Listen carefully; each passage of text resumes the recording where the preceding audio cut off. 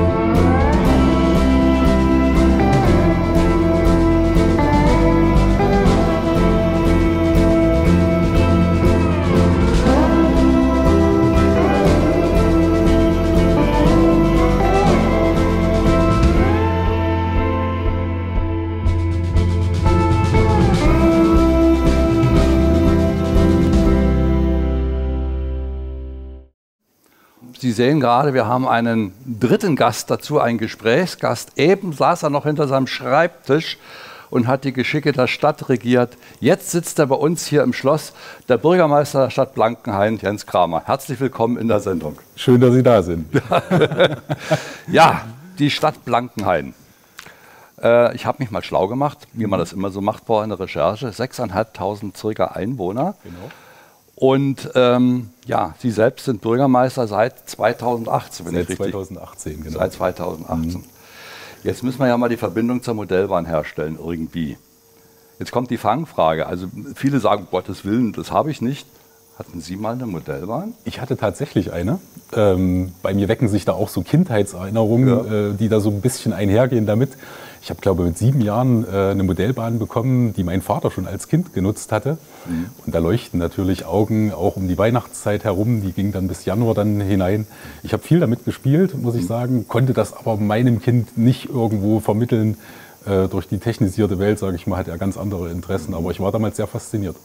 Das kann ich mir vorstellen. Das waren wir alle, Hagen früher ja, sicherlich auch, ja, natürlich. Ich wollte mit fünf Jahren äh, Lokführer werden, Dampflokführer. Äh, Bin es dann nicht geworden, aber äh, zu der Zeit, Mitte der 50er Jahre, wollte jeder zweite Junge Dampflokführer werden. Genau. Und äh, 40 Jahre später wurde wieder eine Umfrage gemacht und da war der äh, Beruf Lokführer nicht einmal unter den Top 40 Wünschen. Das heißt also, die Welt hat sich ein bisschen verändert. Äh, Sie, die, die Stadt Blankenhain heißt auch Lindenstadt. Ja, Warum? das stimmt. Warum? Das, das, stimmt. Also wir sind eine sehr grüne Stadt, mitten im Herzen äh, von Deutschland, also quasi, kann man sagen, in der Mitte. Der Mittelpunkt. Wir haben über 2000 äh, Bäume, die hier wirklich im Stadtgebiet äh, stehen und davon sind 258 äh, Bäume, glaube ich, Linden. Und deswegen dieser Beiname Lindenstadt, der sich dann mit den, mit den Jahren so ergeben hat. Also Linden gibt es genügend? Linden gibt es genügend. Bahnhöfe? Hatten wir tatsächlich, äh, allerdings nicht mehr. Okay.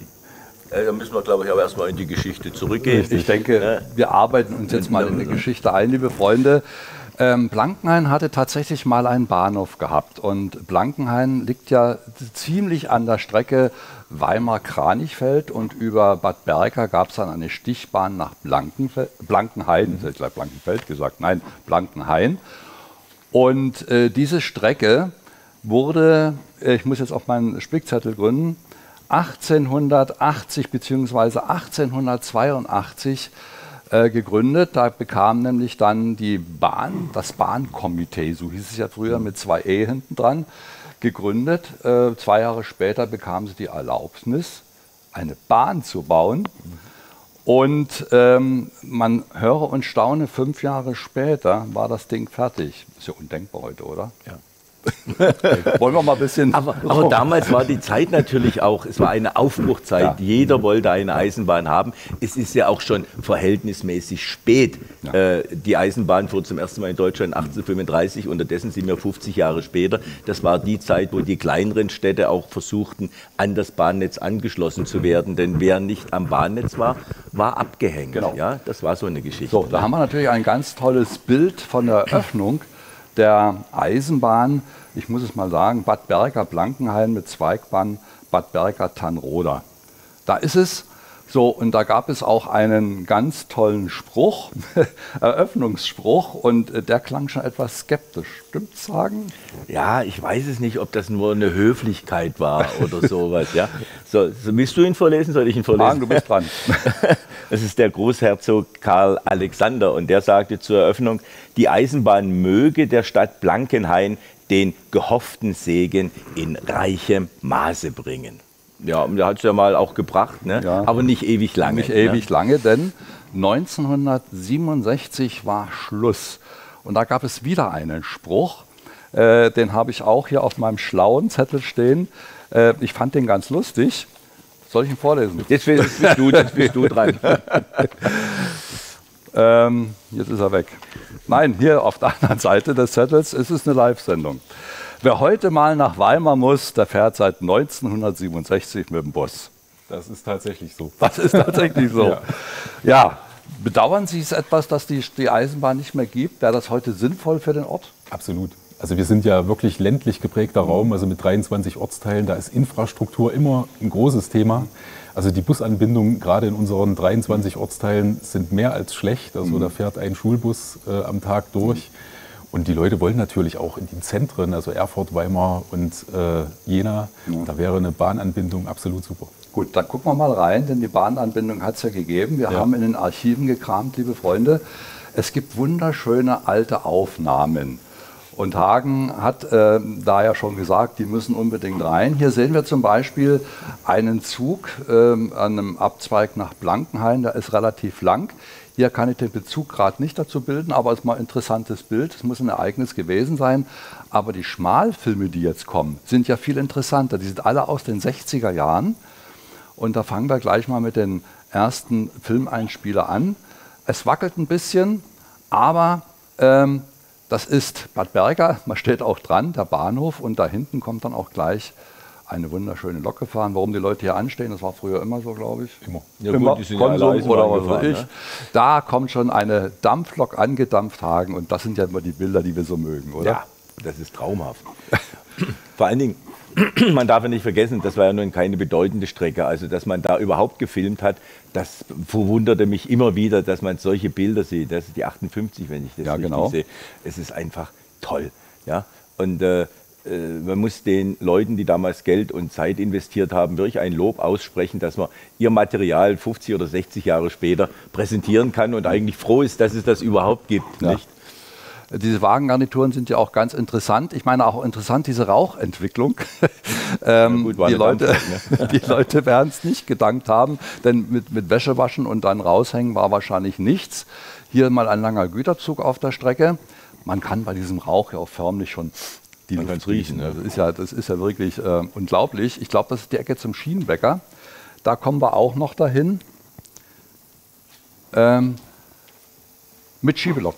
Es war sehr bergig, was hier raufging nach Blankenhain von Bad Berka. Da musste also eine kleine Steigung äh, ähm, überwunden werden. Sehr nostalgisch. Ja? Sehr nostalgisch. Ja, ja, ja, also es ist immer interessant. Also ich liebe ja auch solche Aufnahmen. Äh, es kommen noch dann äh, kürzere Aufnahmen hinterher. Hier sieht man, hier ist man auf der Strecke, da gibt es dann, glaube ich, noch einen Blick auf diesen Aussichtsturm, den man, glaube ich, von der Straße aus immer noch sieht. Ganz kurz kommt er ins Bild. Ja, es gab ja auch Güterverkehr bis hierher in den Ort. Es gab ja auch eine große Firma, die hier äh, beliefert worden ist, beziehungsweise. Ja, ja. Die, Äh, War da, war da mal Porzellanindustrie hier oder in Blankenhain? ja. Blankenhain hat eine große Porzellantradition. Also seit 1790 äh, hat Christian Speck hier eine Porzellanfabrik äh, begründet.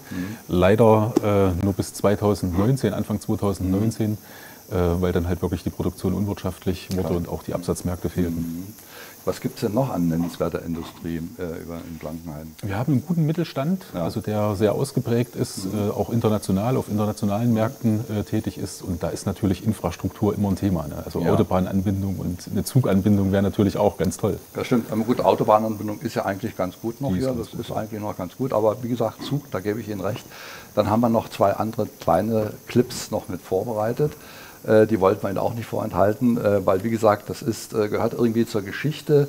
Hier kommt sie wieder gefahren, aber das ist ein sehr kurzer. Es ist sehr interessant. Ähm, Ausflügler, die da noch rumhopsen im Bild. Also Güterverkehr war auf der Strecke. Der Kronprinz hatte wohl ein bisschen recht, dass ein bisschen Vermögen angeschafft wurde in der Stadt.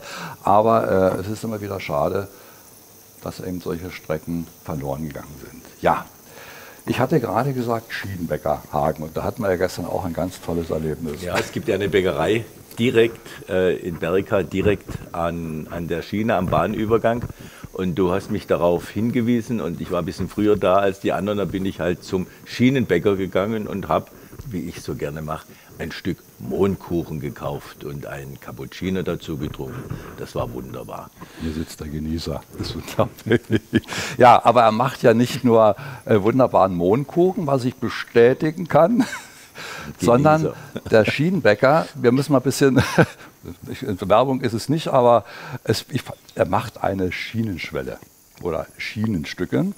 Und die haben wir mal mitgebracht und wollen wir jetzt, bevor wir weitermachen, an alle Beteiligten hier im Studio verteilen. Alle ringsrum, die hier sitzen, die Sie jetzt leider nicht sehen können.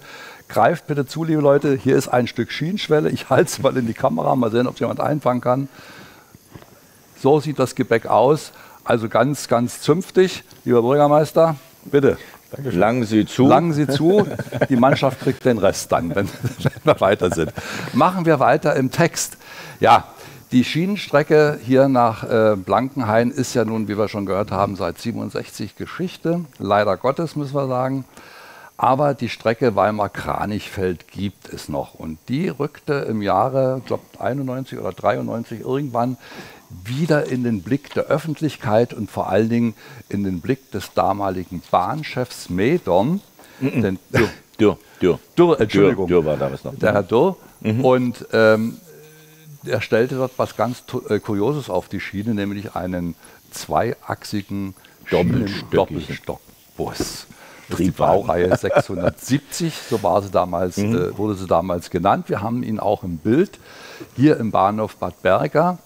Da war auch ein großes Fest zur Einführung dieses Zuges und um diesen Zug ranken sich ja auch etliche Mythen und Geschichten, wie zum Beispiel, dass man also kaum mitfahren konnte, ähm, weil er so schaukelte. Ja, man soll, ich bin selber nicht mitgefahren, man soll ein bisschen seekrank geworden sein, ja, wenn man ja. oben saß. Aber man ist ja nicht nur in diesem Bus seekrank geworden. Ich erinnere mich an den IC2, als der eingeführt wurde, Doppelstockwagen, die haben ja, glaube ich, das ähnliche Phänomen gehabt, ja. dass die auch so geschaukelt haben. Da sehen wir das, dieses große Bahnhofsfest. Ich kann Ihnen versprechen, zum Abschluss kommt noch ein sehr, sehr interessanter kurzer Film äh, zu, zu dem Bahnhofsfest. Da haben wir auch noch was dazu zu sagen. Ja, dieser Bus äh, oder Schienenbus ist hier auf der Strecke Weimar-Kranichfeld erprobt worden. Dazu gibt es auch ein paar Bücher beziehungsweise ähm, ein Buch überhaupt über die Weimar-Blankenhainer Eisenbahn, erschienen im EK-Verlag. EK-Verlag, habe ich nicht richtig gesehen. Wer also Interesse hat, ähm, diese Geschichte dieser wirklich sehr interessanten Eisenbahnlinie nachzuverfolgen, ähm, ist mit diesem Buch relativ gut bedient. Hier ist wirklich alles drin, äh, was man sich vorstellen kann, alles, was hier gefahren ist. Und da gebe ich mir wieder das Stichwort mit dem T05. Ja, das ist ein Einzelstück, nein, andersrum. Es war ein äh, Triebwagen, der in der Vorkriegszeit in Uerdingen, glaube ich, gebaut worden ist, ein Wismarer Triebwagen. Mhm. Und ein Exemplar landete hier. In den 50er Jahren ja. war es hier unterwegs. Genau. Ja. Äh, da haben wir, glaube ich, auch noch ein Bild dazu. Wenn wir dann mal gucken, äh, wir können aber dabei weiterreden. So, die Höchstgeschwindigkeit auf dieser Strecke war immerhin 50 km/h. Das war es damals schon in den 30er Jahren ja. und ist es heute immer noch. Und heute fährt ähm, die Erfurter Bahn hier auf dieser Strecke mit dem RS1, mit dem Rego-Shuttle einteilig, aber zumindest schaukelt er nicht. Und er hat eine Toilette an Bord, was da die Baureihe 670 auch nicht hatte. da ist er. Wunderschön. Die Züge durften allgemein bekannt sein. Gibt es auch als Modell, habe ich mir sagen lassen. Das war, glaube ich, Brava hat die, glaube ich, aufgelegt. Ja. Und ähm, wie gesagt, sind aber schon vergriffen. Es gibt dann auch noch zu diesem Film oder sagen wir diese Filmaufnahmen. Hier gibt es auch eine DVD ähm, wo alle ähm, Sachen nochmal festgehalten sind. Und es gibt auch noch eine Geschichte zu diesem Doppelstock-Schienenbus der Baureihe 76, auch in einem Buch. Wunderschön, auch mit Abbildungen. Kann man die kurzlebige Geschichte eigentlich, muss man ja sagen, nachvollziehen. Denn keiner von, dieser Wagen, von diesem Wagen fährt noch. Das ist tatsächlich so, ja. Das ist tatsächlich ja. so, ja. Die ja. sind mal im Ausflugsverkehr gefahren ähm, ich weiß nicht, ob es auf der Strecke, äh, dass das gut gewesen wäre, kann ich nicht nachvollziehen, aber ähm, immerhin, die sind mal erprobt worden ohne Toilette und schaukelnd. Also das war sicherlich ein Erlebnis für die Reisenden damals. So, dann habe ich Ihnen ja versprochen, dass wir äh, zum Schluss noch einen kleinen Filmeinspieler haben zu diesem Bahnhofsfest. Da ist es. Da gab es ja auch dann Eisenbahnenthusiasten, die sehen ja auch, dass hier unheimlich was los war und hat so bestimmte Augenblicke eingefangen. Und wir haben beim Ansehen des Films sagen ja was ganz Interessantes festgestellt haben, dass also die ja, Dampflok, glaube ich, ein bisschen interessanter etwas umlagerter war, war als, der, als der moderne Triebwagen. ja, ja. Und die Dampfloks gibt es heute noch und der Triebwagen ist beinahe schon Geschichte. Ja. Ne? Äh, der, der Bahnhof bei Ihnen im Ort ist auch Geschichte. Gibt es noch irgendwelche Erinnerungsstücke an die Eisenbahn? es gibt Bahndamm, also der nach wie vor das Gleisbett irgendwo äh, abbildet. Als Fahrradweg? Als Fahrradweg momentan äh, genutzt nach, nach Bad Berka. Der Bahnhof wurde zurückgebaut und äh, auch abgerissen, ich glaube so um 1970. Also weit vor Ihrer Zeit. Weit vor meiner Zeit, genau. Und äh, es gibt durchaus noch äh, Enthusiasten hier in Blankenhain, die halt wirklich auch alte Stücke äh, pflegen. Also quasi in der, in der Waldstraße zum Beispiel steht ein altes Modell noch, äh, was dann halt wirklich liebevoll gehegt und gepflegt wird. Mhm. Also die Erinnerung ist noch vorhanden. Die lebt noch. Ja. Die lebt noch. Und wie hoch schätzen Sie die Chance ein, dass die Eisenbahn irgendwann wieder hierher kommt? Also ich persönlich würde es sehr begrüßen, würde es ja. sehr hoffen. Ich äh, schätze es aber durchaus als gering ein. Das muss man, muss man wirklich so konstatieren. Also mit ja. dem Bau der B85, ja. äh, wo auch äh, Busverkehr Richtung Weimar oder Rudolstadt mhm. Äh, genutzt wird, denke ich, ist die Chance eher gering. Ja. ja, aber die Erinnerung, sie lebt. Die bleibt. Ähm, apropos Erinnerung, die bleibt. Spielt denn eigentlich noch jemand mit Ihrer Eisenbahn? Mein Vater. Immer noch. Mein Vater, der hat es nicht aufgegeben, äh, quasi die, die, Eisenbahn zu pflegen, auch aufgrund äh, der Enkel und so weiter. Es war ja auch sein, sein, seine Kindeseisenbahn mhm. äh, gewesen und er ist da wirklich äh, ab und zu noch dran und äh, pflegt die auch. Da haben wir wenigstens noch ein Stück Eisenbahn in Blankenheim vorhanden. Der Bürgermeister hat die Eisenbahn, nun muss bloß noch die große Bahn kommen. Salopp gesagt. Genau. ja, da würde ich sagen, vielen Dank, lieber Jens Kramer, für dieses kurze, nette Gespräch um die Stadt Blankenhain. Ich hoffe, wir haben einige Zuschauer neugierig gemacht, hier durchaus mal vorbeizuschauen. Liegt an der Strecke oder an der, an der B85, wie ich schon sagte, zwischen Weimar und Saalfeld, wenn ich mich richtig äh, erinnere und liegt in einer wunderschönen Gegend und ja werden Sie auch wunderschöne Geschichte kennenlernen und die Stadt Blankenhain ohnehin. Und wenn Sie aufmerksam durch die Straßen gehen, werden Sie vielleicht den Bürgermeister irgendwann mal treffen. In der Nähe vom Schloss. Ja, genau. In der Nähe vom Schloss. Vielen Dank, Jens Kramer, dass Sie bei uns waren. Vielleicht sehen wir uns ja mal irgendwann wieder. Vielen Dank. So, liebe Freunde, jetzt ist live zugeschaltet Sebastian Fischer, der Geschäftsführer von Fischer Modell Kress und Gützold. Ist das jetzt richtig gesagt? Morgen. Äh, guten Morgen, Frank. Hallo. Fast richtig. Also äh, Geschäftsführer von der Firma Kress, äh, Elektronik und Firma Fischer Modell. Die Marke Gützold ist ja sozusagen integriert in die Firma Fischer Modell und jetzt auch in die Firma Kress. Also es ist eigentlich ein Gesamtkunstwerk. Alles klar, dann haben wir das mal richtig gestellt und ich bin wieder auf dem Laufenden. Du hast ja schon ein bisschen mitbekommen, glaube ich, ähm, von dem Gespräch eben. Und wir hatten ja die Baureihe 670 angesprochen. Richtig, Kannst du uns genau. was dazu sagen im Bereich Modellbahn? Ja, das kann ich tatsächlich. Äh, wir äh, sind ja die Firma, die ähm, es in Spur TT zuerst gewagt hat, ähm, das Modell umzusetzen. Ähm, ist ja ein sehr interessantes Vorbild und ehrlich gesagt waren wir ein bisschen verwundert, dass das noch kein anderer vorher gemacht hat. Aber es ist auch nicht auf meinem äh, Mist, hätte ich fast gesagt, gewachsen, sondern das hat sich noch Herr Köste und Herr Rasch, sozusagen unsere Vorgänger bei der Firma Kress, ähm, noch mit ausgedacht. Ähm, ja, und damit aufs richtige Pferd gesetzt, sage ich mal, aufs richtige Vorbild gesetzt, weil es wirklich ein sehr interessantes Modell ist und äh, wirklich sehr gut nachgefragt.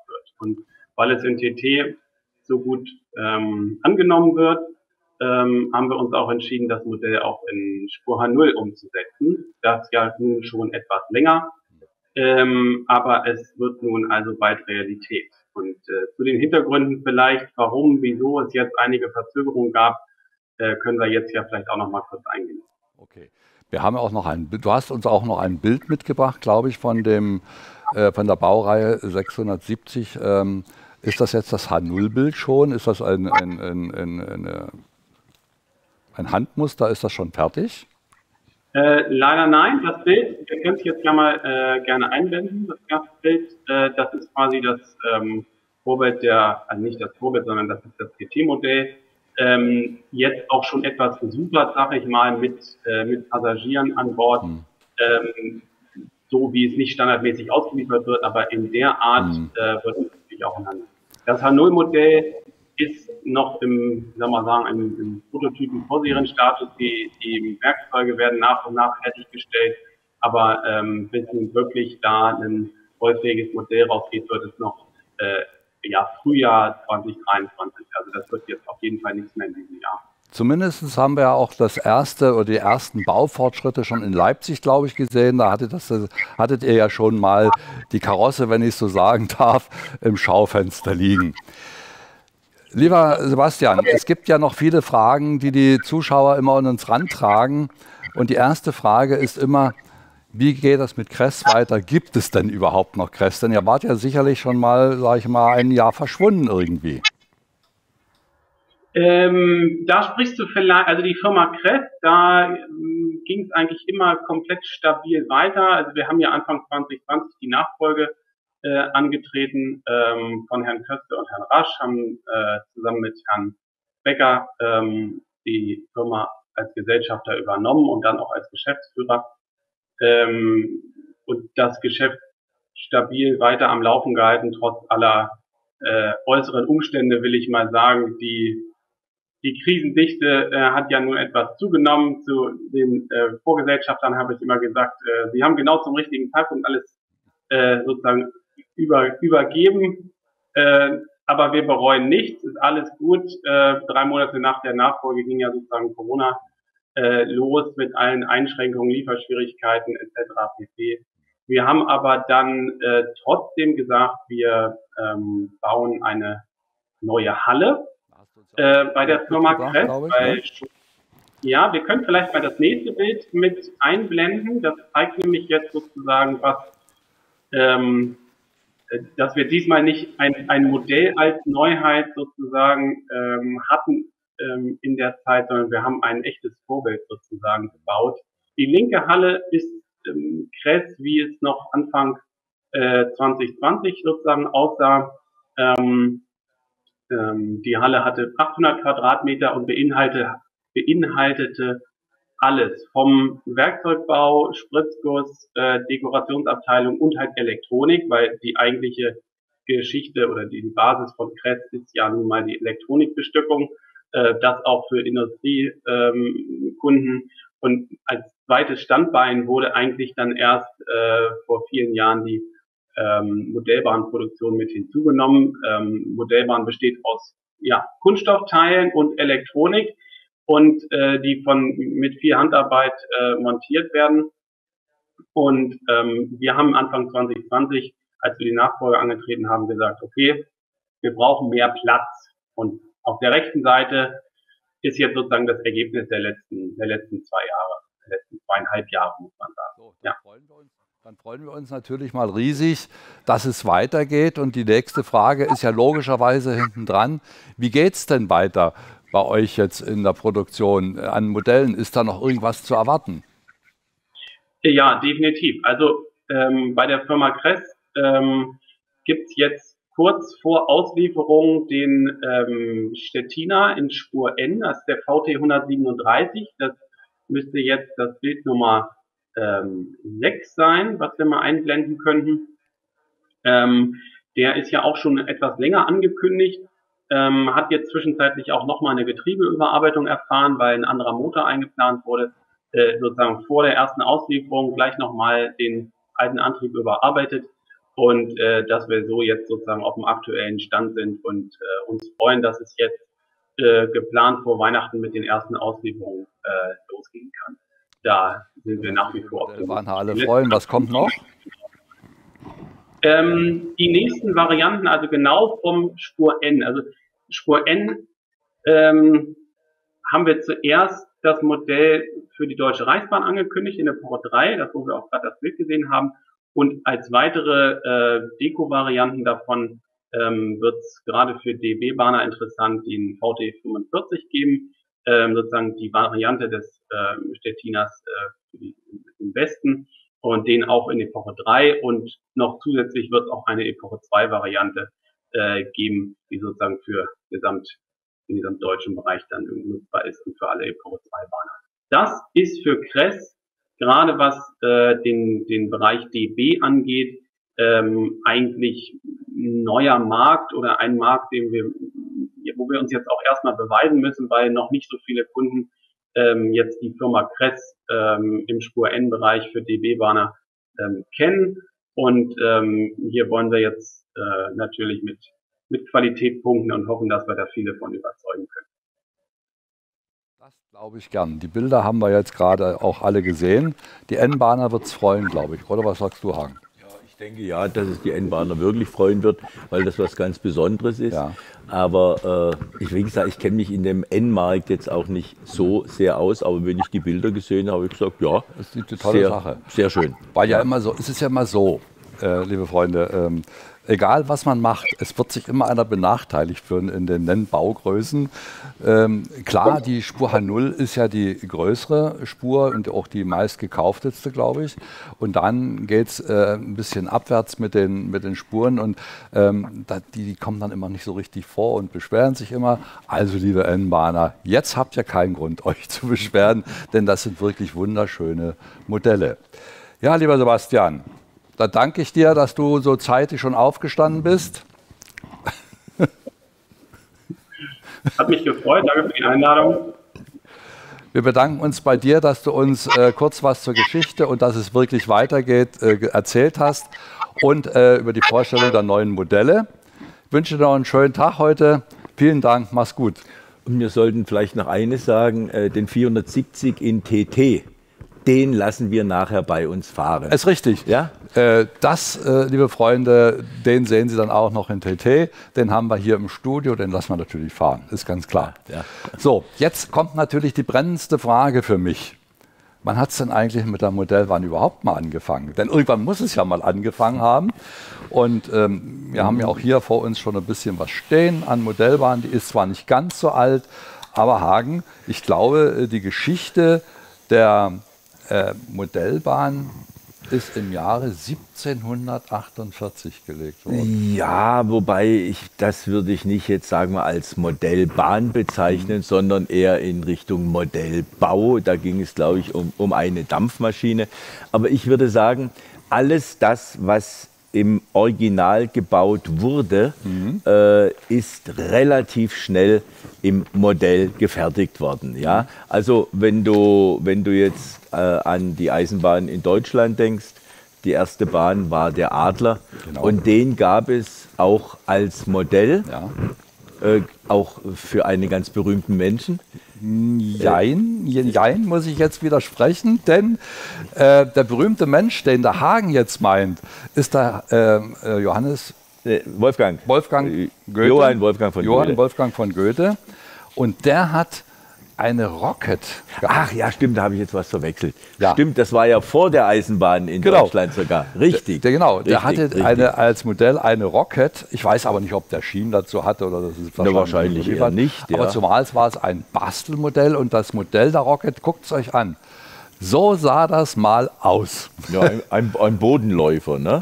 ein Bodenläufer. Und er hatte weder ein Uhrwerk noch irgendwas anderes. Ja, aber allein die Darstellung als Modell ist ja schon das Faszinierende. Ja. Und man hat ja dann auch unterschiedliche Werkstoffe gehabt. Diese Modelle wurden dann mhm. aus Holz gebaut, äh, aus Zinn. Ja, es gab ja. die berühmten Zinnfiguren. Ja. Und da gibt es auch, ich habe das auch noch zu Hause, äh, den Adler, da wahrscheinlich bin ich auf diesen Weg gekommen, ja. den Adler habe ich zu Hause als Zinnfiguren. Ja, genau. ja? Genau. Die stehen dann, das sieht toll aus. ja? aber stand, also die ja. standen, da, da rollte nichts mhm. und die, die äh, späteren Modelle, die dann rollten, äh, die auf, auf, äh, äh waren Bodenläufer mhm. und auf Schienen gab es zum ersten Mal laut eigener Aussage von Märklin anno 1891. Das ist das Modell, das auf Gleisen lief, äh, wobei das, so wie ich weiß, äh, keine Märklin-Entwicklung war vom Ursprung her, sondern es war die Firma Lutz aus Ellwangen. Aber diese Idee wurde von Märklin quasi perfektioniert mhm. und äh, auf der Messe in Leipzig 19, 1891 vorgestellt. Präsentiert. Genau. genau. Aber bevor wir dazu kommen, liebe Freunde, möchte ich Ihnen auch noch mal ein Bild präsentieren, weil ähm, das ist aus Frankreich und da steht geschrieben in der Geschichte, dass das erste Kind, das nachweislich eine Modelleisenbahn besaß, war Prinz Napoleon Eugenie Louis Bonaparte im Jahre 1859. Da gibt es ein Bild, wir haben es eingeblendet, als Gartenbahn. Interessant. Naja, es waren reichere Leute, War die konnten sich konnten so sich etwas dann auch leisten ja. oder die haben dann halt auch jemanden gehabt, der das für sie ja, gemacht hat. Genau. War ja noch keine Industrie, sondern eine Manufaktur. Genau. Wobei ähm, äh, die Geschichte auch zu berichten weiß, dass dieses Modell ein, äh, angetrieben wurde von einem Uhrenwerk, also es musste Uhrwerk, noch aufgezogen werden, denn äh, die elektrischen Sachen kamen ja erst wesentlich später. Aber die Uhrwerke haben ja Tradition, ja. die gab es ja, wie, wie der Name schon sagt, ja. ne, für die Uhren ja, genau. zum Aufziehen. So ist es. So, nun kramen Sie alle mal mächtig in Ihrer Geschichte, wann es bei Ihnen angefangen hat mit der Modellbahn. Es ist wirklich interessant. ähm, Hagen hat seine erste Modellbahn mitgebracht, auch ich, und die werden wir Ihnen im Laufe der Sendung noch zeigen, wie es bei uns beiden angefangen hat. Da gibt es ja auch schöne Geschichten dazu. Aber wir fangen jetzt ganz woanders an. Apropos Anfang, Märklineum, Märklin-Museum, das ist, glaube ich, das, wo du hin wolltest. Äh, da, oder hinaus wolltest? Äh, ja, so in aller Ruhe, weil ich bin ja nun, du hast es ja erwähnt, äh, mit äh, einer elektrischen Eisenbahn und mit einer Holzeisenbahn groß geworden. Äh, und die elektrische Eisenbahn war eine Märklin-Eisenbahn. Und wenn du damit angefangen hast, dann bleibst du dein Leben lang bei dieser äh, Firma. Wir haben natürlich unterdessen natürlich viele andere Sachen auch noch. Aber Märklin war für mich immer schon so eine, eine Herzenssache. Und äh, das hat sich weiterentwickelt. Ich habe auch einen Film gemacht über den 125. Geburtstag der Firma Märklin anno 1984. Und äh, ich war bei der Eröffnung des Märklin-Museums äh, anno, ich glaube 1998 wurde es eröffnet. Und das ganz neue Märklineum, das wurde im vergangenen Jahr eröffnet, ein faszinierendes Museum. Und da hatte ich das Glück, bei der Eröffnung dabei zu sein. Und ich bin ja unterdessen äh, nicht mehr beim SWR äh, tätig, sondern ich bin YouTuber, um dieses Wort zu benutzen, wobei ich mich nicht selber so bezeichne.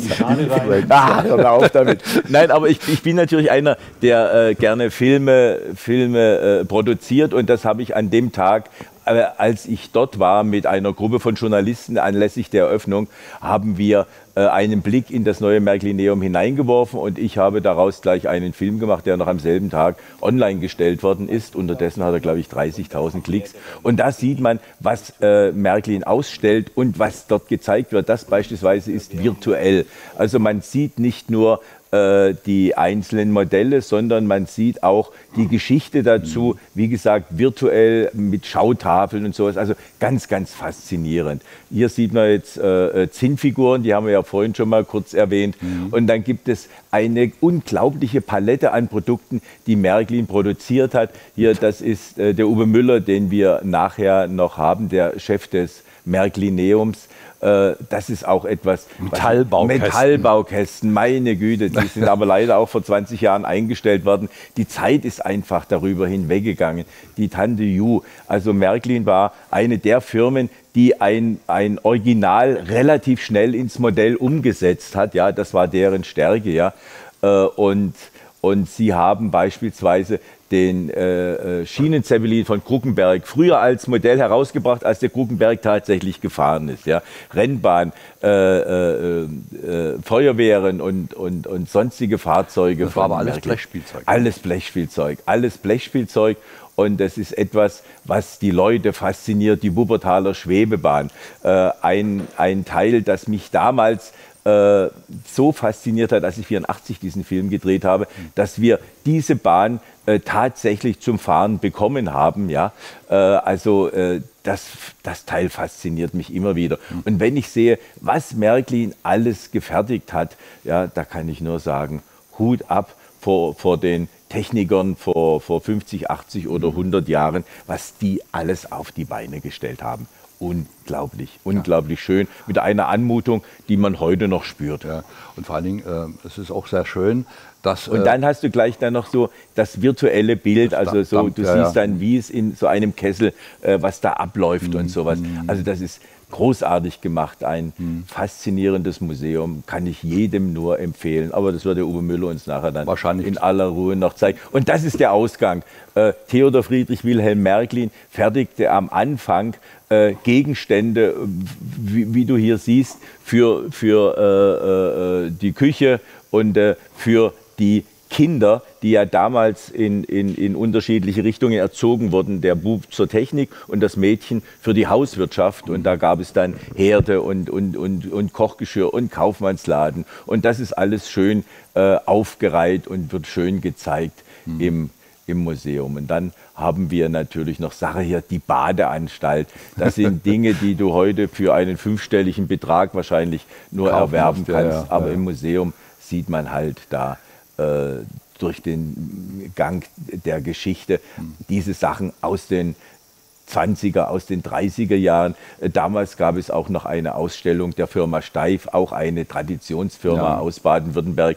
Äh, da gibt es eine Wechselausstellung. Steif ist unterdessen nicht mehr an dieser Stelle. Da steht Ach, äh, jetzt 50 Jahre 50 Jahre Miniclub, das Ja, ist äh, ja. in, in, in dem vergangenen Jahr. Oh, hier, das sind ja ja und dann haben wir natürlich LGB, gehört ja auch unterdessen Ja. äh, zur, zur Firma Merkel und da siehst du natürlich auch unheimlich viele Dinge, äh, die, die dich äh, faszinieren können, Blick in die Geschichte. Äh, also ich habe da einfach nur mal so ein bisschen äh, einen Überblick versucht zu geben. sozusagen. Maxi, äh, auch schon wieder Märklin-Geschichte, das war der Versuch, selber in, in den Gartenbahnbereich zu gehen. Naja, und jetzt bist du ja hier mit diesen Fahrzeugen, die Württembergische C, bist du ja jetzt schon wieder im, im Bereich vor, zwischen den beiden Weltkriegen, was man da an, an großen Sachen gebaut hat bei Märklin, bis hin zum Krokodil in Spur 0, Spur 1. Das waren einfach tolle Sachen. Das ist die tolle Und Anlage, Dann ne? ist es noch die Anlage, das ist quasi da, das zweite Standbein, ist eine große Anlage im ehemaligen, äh, im ehemaligen Presswerk, äh, das heute äh, verschiedene Epochen da, also diese Anlage zeigt verschiedene Epochen Ja. und äh, entwickelt sich weiter und hat unterdessen jetzt eine eine Illustrierung bekommen. Also da kannst du quasi verschiedene Wettersituationen simulieren. Also das schön. ist ja. Es also ist ich- ja auch schön, dass in diesem Museum viele Sachen wieder da sind oder immer noch da sind, denn es gab ja auch mal eine Geschichte mit dem großen Einbruch, mit dem Diebstahl. Da war der Aufschrei sehr groß, da sehr wertvolle Stücke abhanden gekommen sind. Da kommen wir gleich drauf. Das ist der Henschel-Wegmann-Zug. Das ist einer meiner Lieblingszüge. Äh, und das ist der gläserne gläserne Zug. Zug, ja. Auch ein Einzelstück damals in der Spur Null. Ja. Und da sieht man halt, äh, auch dass es damals schon äh, den Versuch gab, nach dem Ersten Weltkrieg klein zu bauen, schm auf schmalerer Spur, 16 oder 20 Millimeter. Äh, das sind einfach Dinge, die man im, im Märklin-Neum äh, anschauen kann. Und die Spur S, meine Lieblingsspur, kommen wir auch nachher noch drauf. Maßstab 1 zu 64, 22,5 Millimeter Spurweite. Ja, das sind alles Dinge, äh, die von den Firmen auch versucht wurden. Ja, man hat ja versucht, kleiner zu werden, also kleiner als die Spur 0. Und da hat man auch äh, die Spur S äh, äh, versucht zu bauen. Und das jetzt hier ist dann schon 00 bzw. H0. Also das ist dann die Größe, die sich letztlich und endlich durch, durchgesetzt durchgesetzt, hat, hat. Ja. Ja. Gut, war ja auch mal eine Platzfrage. Ist ja auch heute noch Ja, eine ja, Platzfrage. natürlich. Es war ne? immer eine Platzfrage und irgendwann auch natürlich eine Geldfrage. Und äh, äh, die, die Zeit nach dem Zweiten Weltkrieg war halt, äh, da hatte man die Möglichkeit, äh, das ist jetzt hier äh, äh, der Versuch, eine, eine Schmalspurgröße zu bauen. Das war Minex in den frühen 70er Jahren, hat äh, nicht so richtig geklappt.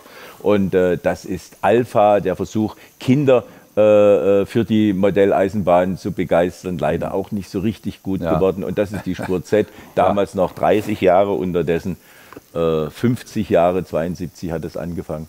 Und äh, ich bin äh, von der Größe, obwohl ich selber kaum etwas äh, besitze, bin ich einfach begeistert von, Ja, der, ja. von der Firma. Wobei wir ja auch den, den Zuschauern sagen können, jetzt, wir werden zu den einzelnen Spuren ja noch im Laufe der Sendung, wir haben ja ganz viel Zeit, Ja. auch noch Und ganz viele Spuren. ganz viele Spuren in Aktion vorstellen.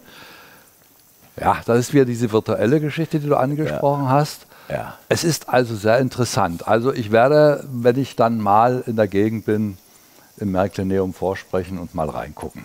Unbedingt. Ja. Und das, das sollte es nicht nur du machen, sollte eigentlich jeder machen, weil es ein wunderbarer, äh, ein wunderbarer Ausflug in die Spielzeug äh, und, die, und die Modellgeschichte ist. Und äh, das hier ist jetzt eine, eine ganz, ganz große Spur. Man sieht es ja den, äh, im Vergleich zu den Personen. Äh, das war eine der Baugrößen, die es nur quasi in, in Einzelstücken gab. Ja, also da gab es keine, keine Massenfertigung, sondern das waren wirklich äh, handverlesene Sachen, die dann an handverlesene äh, Familien bzw. Äh, Fürsten oder, oder, oder gekrönte Häupter verkauft wurden. Dann haben wir jetzt gerade so einen sechs- oder zehnminütigen na, Ausflug ins Märklineum gemacht. Und wir wollen jetzt natürlich ins Märklineum schalten, liebe Freunde. So, Uwe, guten Morgen. Guten Morgen aus Thüringen. Schön, dass du dir Zeit genommen hast. Ja, sehr gerne. Sehr gerne. Ja, jetzt wollen wir natürlich was zum Märklineum wissen. Du hast ja das schon ein bisschen mitbekommen, äh, was der Hagen da gedreht hat. Nun wollen wir noch ein bisschen einsteigen äh, ins Märklineum und die Geschichte von Märklin.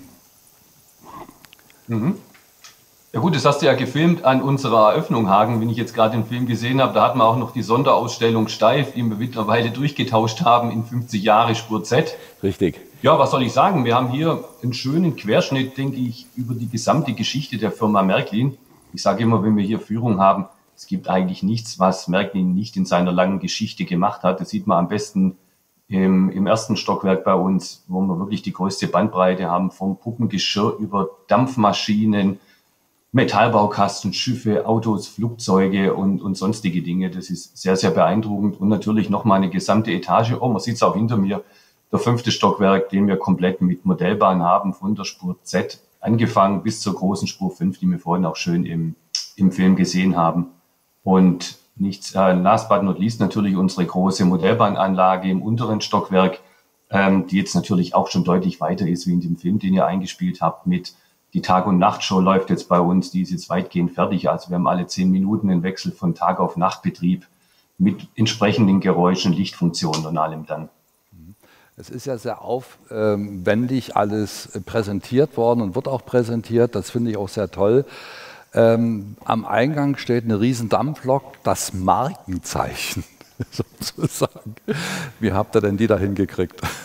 Das war, glaube ich, einer der, der größten Aktionen, die, die Göppingen auch je gesehen hat. Also ich sag mal, nach der Überführung dann von Convestheim hier, hier runter dann mit der Bahn, war alles nur in Schritttempo, hat es fast einen ganzen Tag gedauert, bis der Schwertransport durch Göppingen durch in, bei uns im Werk war. Mit mehreren Anläufen haben wir es dann über unseren Parkplatz geschafft, dass der abends dann noch so eigentlich schon bei Einbruch der Dunkelheit dann, dann auf dem Hof stand und wurde dann am nächsten Tag mit zwei riesengroßen Kränen auf sein, sein Podest gelupft, also die, die Lok und der, der Tender separat.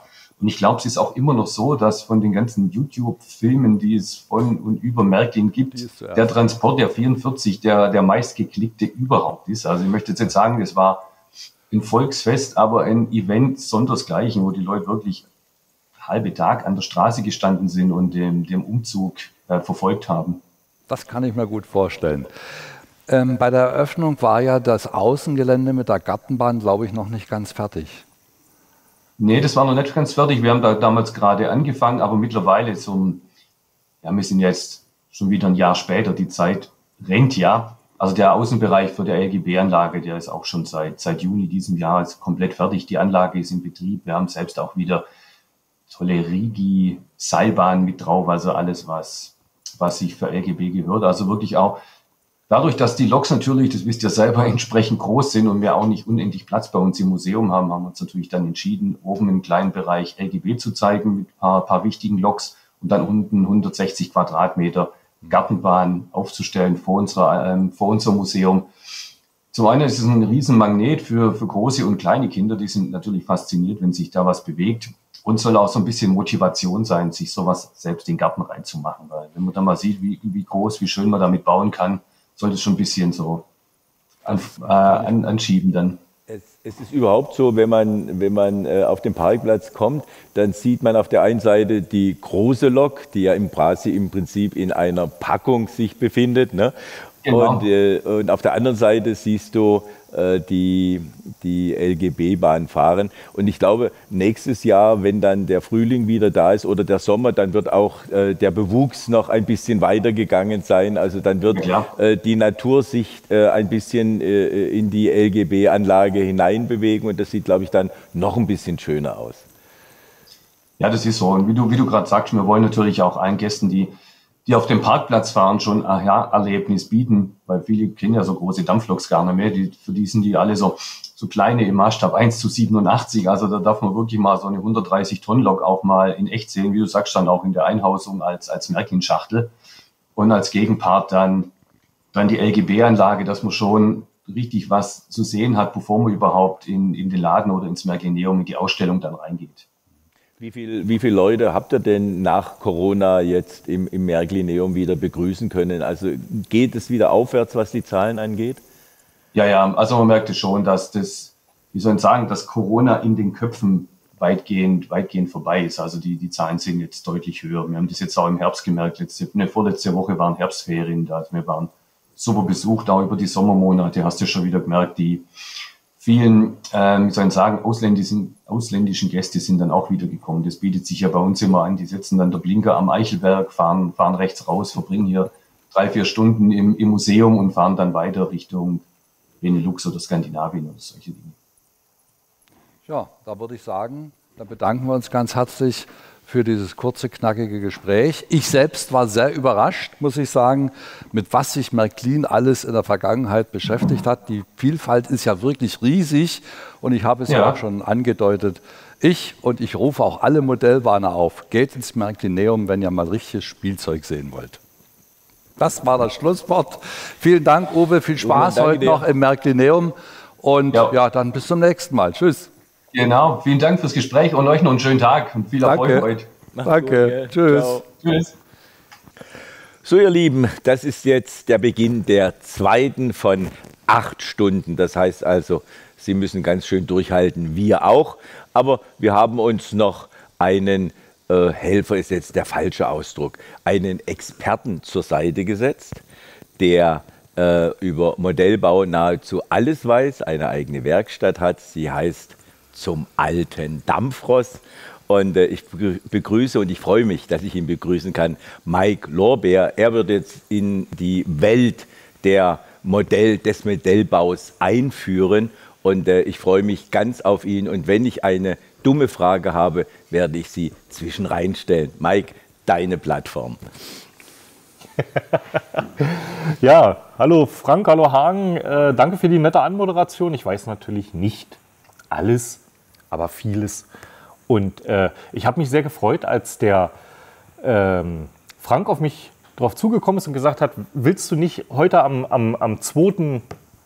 Äh, Dezember was über die Modellbahn erzählen? Da habe ich mich richtig gefreut. Da habe ich gesagt, was darf ich denn machen? Und da hat er gesagt, na grundlegend erstmal alles.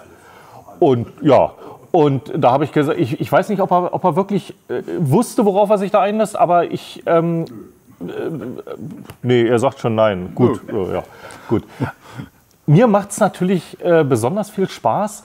Ähm, Sie, Sie, wissen natürlich, Modellbau ist so ein bisschen mein Leben und der eine oder andere wird jetzt auch sagen, Moment mal, den sehen wir doch sonst immer nur mit der Firma Auhang in Zusammenhang. Ja, da mache ich natürlich auch eine, eine Menge und das wird heute hier auch so ein bisschen Thema sein. Wir machen oder ich werde Ihnen viele kleine Sachen, viele große Sachen Modellbau zeigen.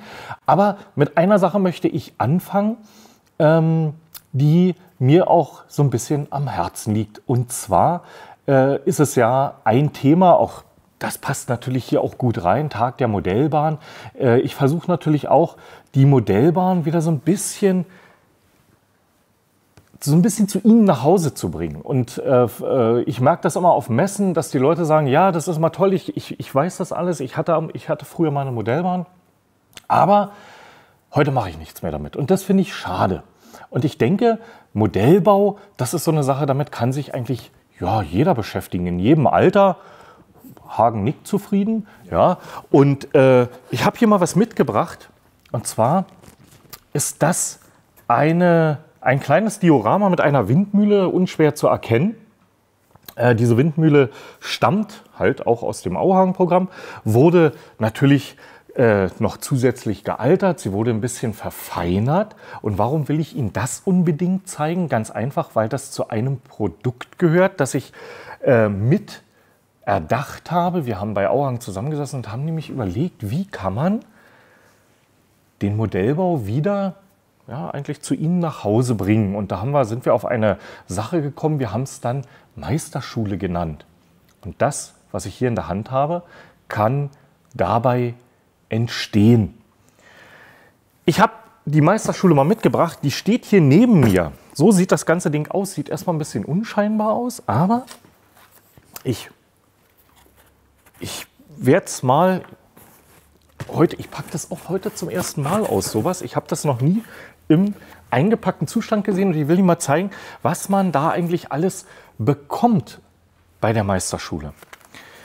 Zuerst mal muss ich natürlich sagen, Meisterschule, was soll das sein? Ganz einfach, das ist ein Kurs, den Sie sich nach Hause äh, bestellen können und da kriegen Sie alles mitgeliefert, was auf diesem kleinen Diorama hier eben zu sehen war. Die Kamera wird es nachher bestimmt noch mal zeigen. Und ich gucke jetzt gerade mal, aha, hier ist oben also auch eine kleine Stückliste. Da steht alles drin, was mitgeliefert wird. Da ist auch noch mal ein Produktbild mit drauf. Auf der anderen Seite sieht man es noch besser. Wunderbar. Und Sie kriegen nicht nur dieses Karton nach Hause geliefert, wo eine Menge Material drin ist und ich will es mit Ihnen einfach mal durchgehen, sondern zuallererst, damit sich das Ganze erklärt, was hier gemacht wird, zeige ich mal das. Das ist nämlich ein Stick. Ja, äh, und da ist die Bauanleitung drauf für das Ganze.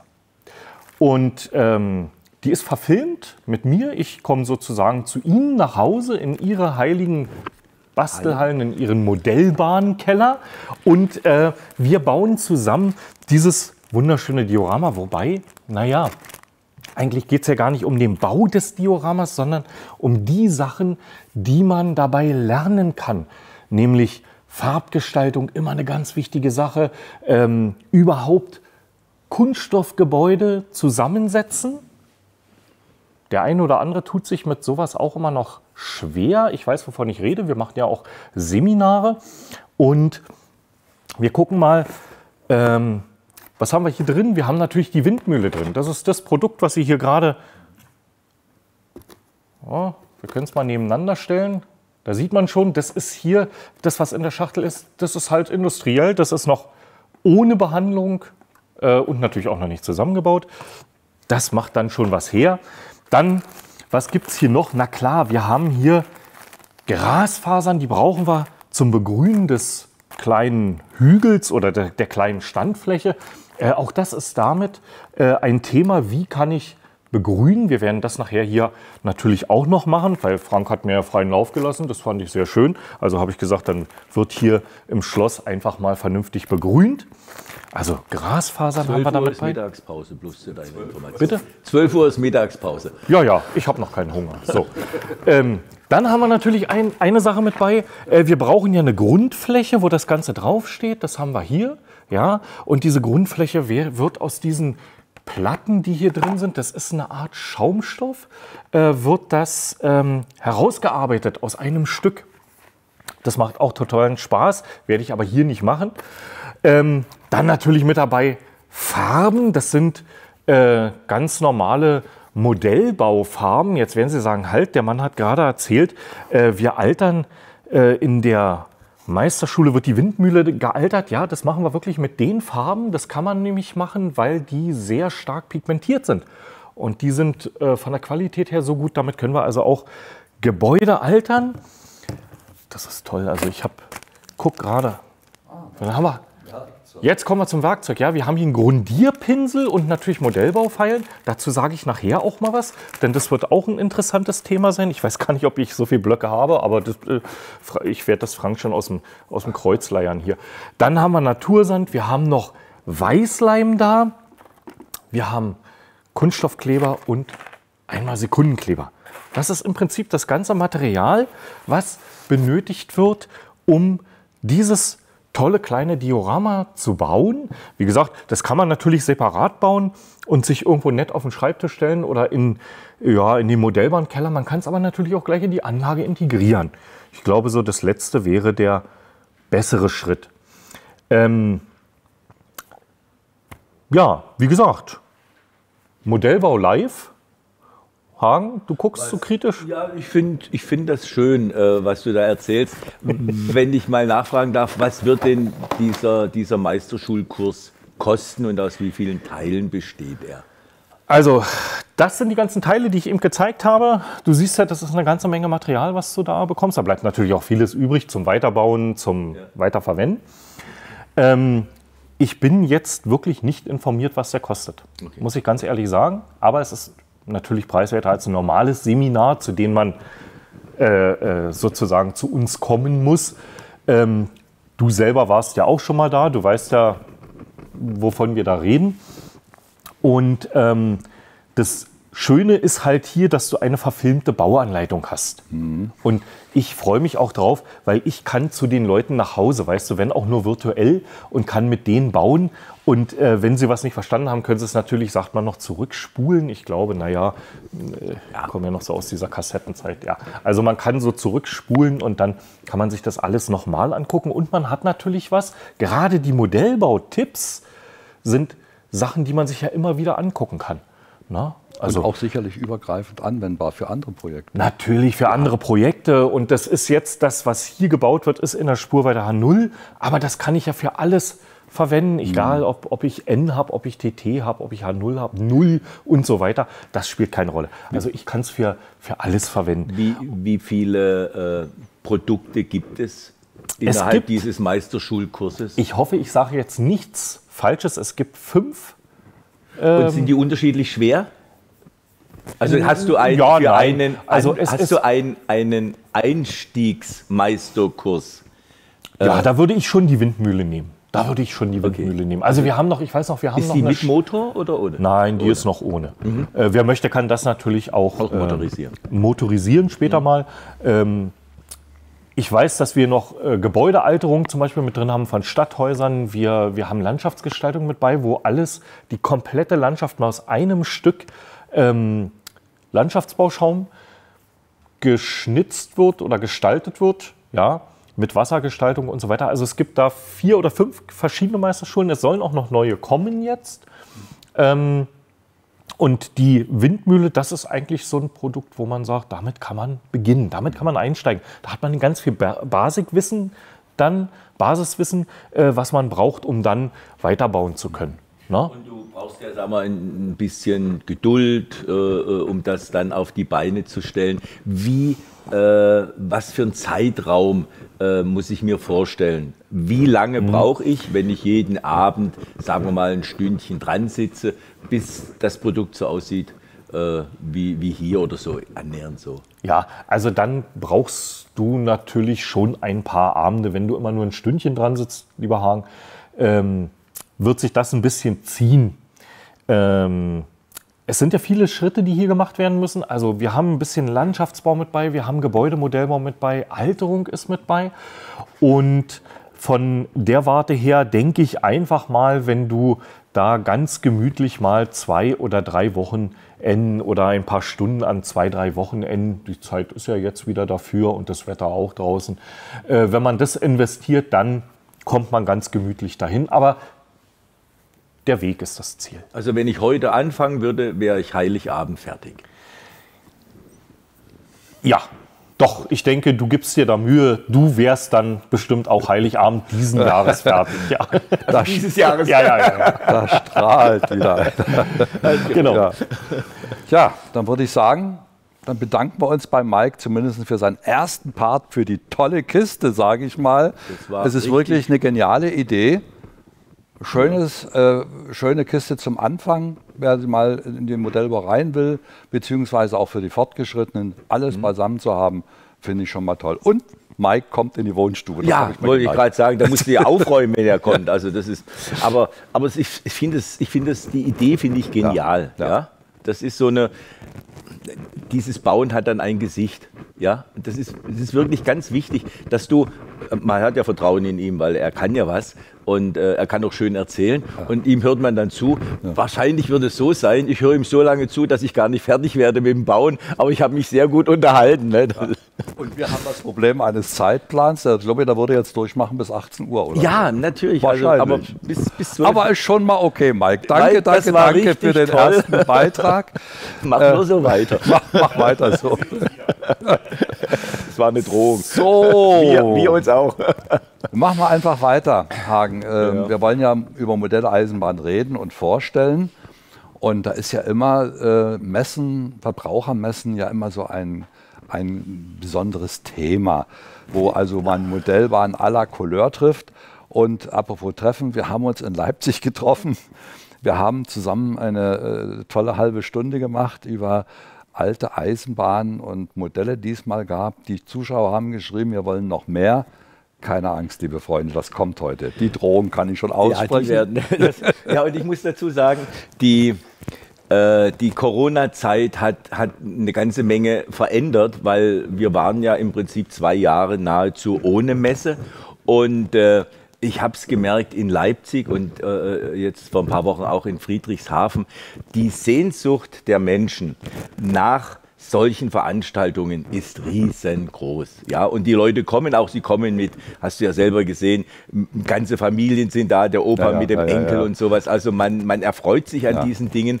Und äh, da sage ich mir, äh, diese Freude muss man äh, erweitern oder man muss diese Freude erstmal teilen, auf, teilen und auf die Gesichter der, der Menschen ja. äh, äh, projizieren oder hinaufzaubern.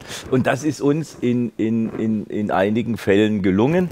Äh, wir, also das muss ich jetzt einfach mal sagen, äh, meine Modellbahngruppe heißt Lokomotive Ochseplatz. Äh, das ist ein Stammtisch, oh. äh, den es seit 1967 gibt. Ich ja. bin erst, ich bin das jüngste Mitglied, ich bin erst 75 dazugekommen. Und äh, da gibt es drei Verrückte. Das ist der Trixbein Rolf, der Revolutz und Hegerli. Hegerli bin ich. Und wir gehen zu dritt auf Messen.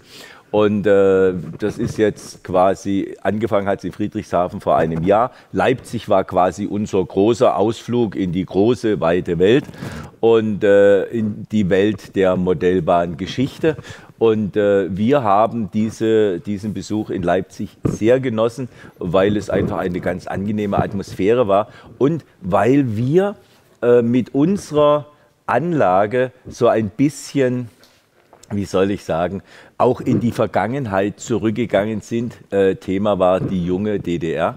Und äh, da haben wir natürlich sehr, sehr viel Resonanz bekommen von Menschen, die gesagt haben, ja, da, diese Lokomotive, die habe ich auch gehabt oder so. Oder der Onkel, der Opa hat doch mit der gespielt und so.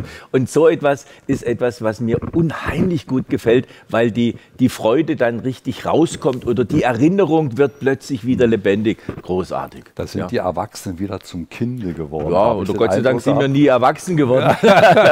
ja, ja, Hagen. Genau. Und äh, liebe Freunde, es ist ja nicht nur, dass dass er mit Revolutz und äh, unterwegs ist. Nichts für einen Rolf. Sondern äh, man sieht auch Hagen dann immer öfters durch die Hallen rennen und er hat ein ganz ins besonderes Instrument in der Hand.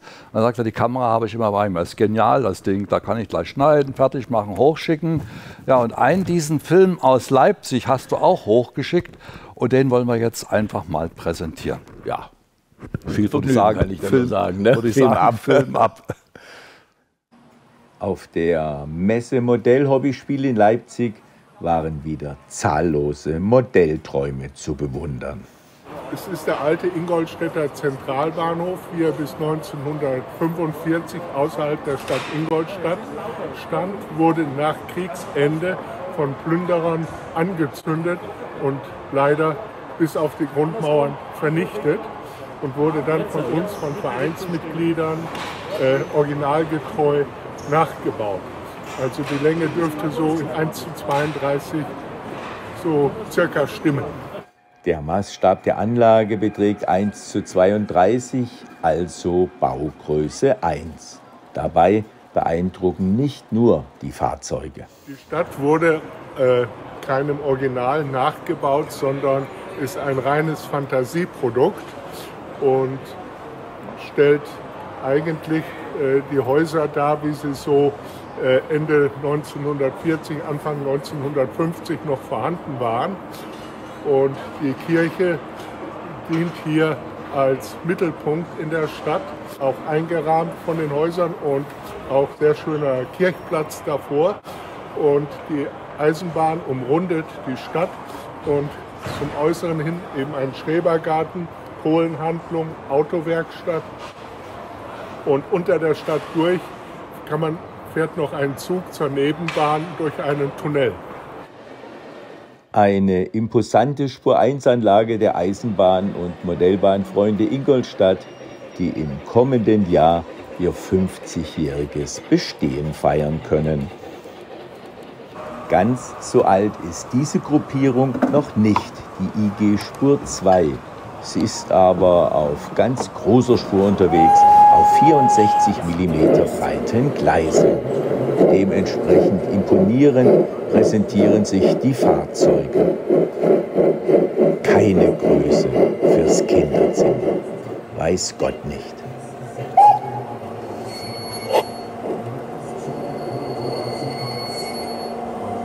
Also wir brauchen einen Radius von drei Metern, um zu fahren. Und das sagt, glaube ich, alles. Kinderzimmer ist nicht tauglich dafür. Auch das ehemalige nicht. Die Baureihe 95 ist eine fünffach gekuppelte Tenderlokomotive, die hauptsächlich im Mittelgebirge unterwegs war. Der Maßstab 1 zu 22,5 kommt dem Original sehr nahe. Und er lebt auch in der Regelspur wieder auf. Also wir machen sehr viel im 3D-Druck. Also gerade die neuen Technologien bieten sich ja dafür an, dass man solch geringe Stückzahlen wie der Spur 2, wo es ja nur sehr, sehr wenig äh, Liebhaber und Hobbyfreunde gibt, dass man das dann noch zu einem anständigen Preis realisieren kann. Das Beispiel haben wir zum Beispiel gerade in Entwicklung die ehemalige V200 der Deutschen Reichsbahn, auch bekannt unter dem Namen Tiger-Trommel. Da ist jetzt das Gehäuse schon so weit fertig, dass man es mal zeigen kann. Und wer weiß, vielleicht fährt sie dann nächstes Jahr auf der Messe hier in Leipzig. Dann ist die 95 nicht mehr allein unterwegs. Also könnte man sagen, bald bekommt die Bergkönigin ihr Gefolge. Jörg Krause liebt die Schmalspur in der Baugröße 0. Den habe ich jetzt nur das Profil eingesetzt, das ist der Umrisswagen der sächsischen Schmalspurbahn. Damit wurde die Profilfreiheit auf der Strecke gemessen. Jörg Krause baut seine Wagen alle selber, meistens aus Bausätzen. So eine Tüte mit so eine Karton mit Teilen ist die Ausgangsprodukt. Ja, und dann eben durch die entsprechend abverändern, wie es die Bauartänderung oder die, die, die Varianten in, in, Sachsen gab und setzt dann hier noch Nieten ein und sowas alles tut das dann also hochdeklarieren, das Ganze. Ist das zum Verkauf? Nur für mich. Nur für die Vitrine? Nee, für Anlage zu Hause. Und das sind seine aktuellen Glanzlichter, wohlgemerkt nur für die eigene Anlage. Gezeigt wird dieses Jahr der Anschluss Wolf von der Bresnitztalbahn. Das ist unsere neue Dioramaanlage, die in Zusammenhang mit Jochen Klinger gebaut wurde. Anschluss Wolf bedeutet, es ist ein Anschluss der Bresnitztalbahn und äh, die Firma Wolf war halt der Besitzer dieses Werksanschlusses ab etwa 1920. Also unser Diorama spielt etwa zwischen den 60er und 70er Jahren. So können wir Epoche 3 und Epoche 4 fahren.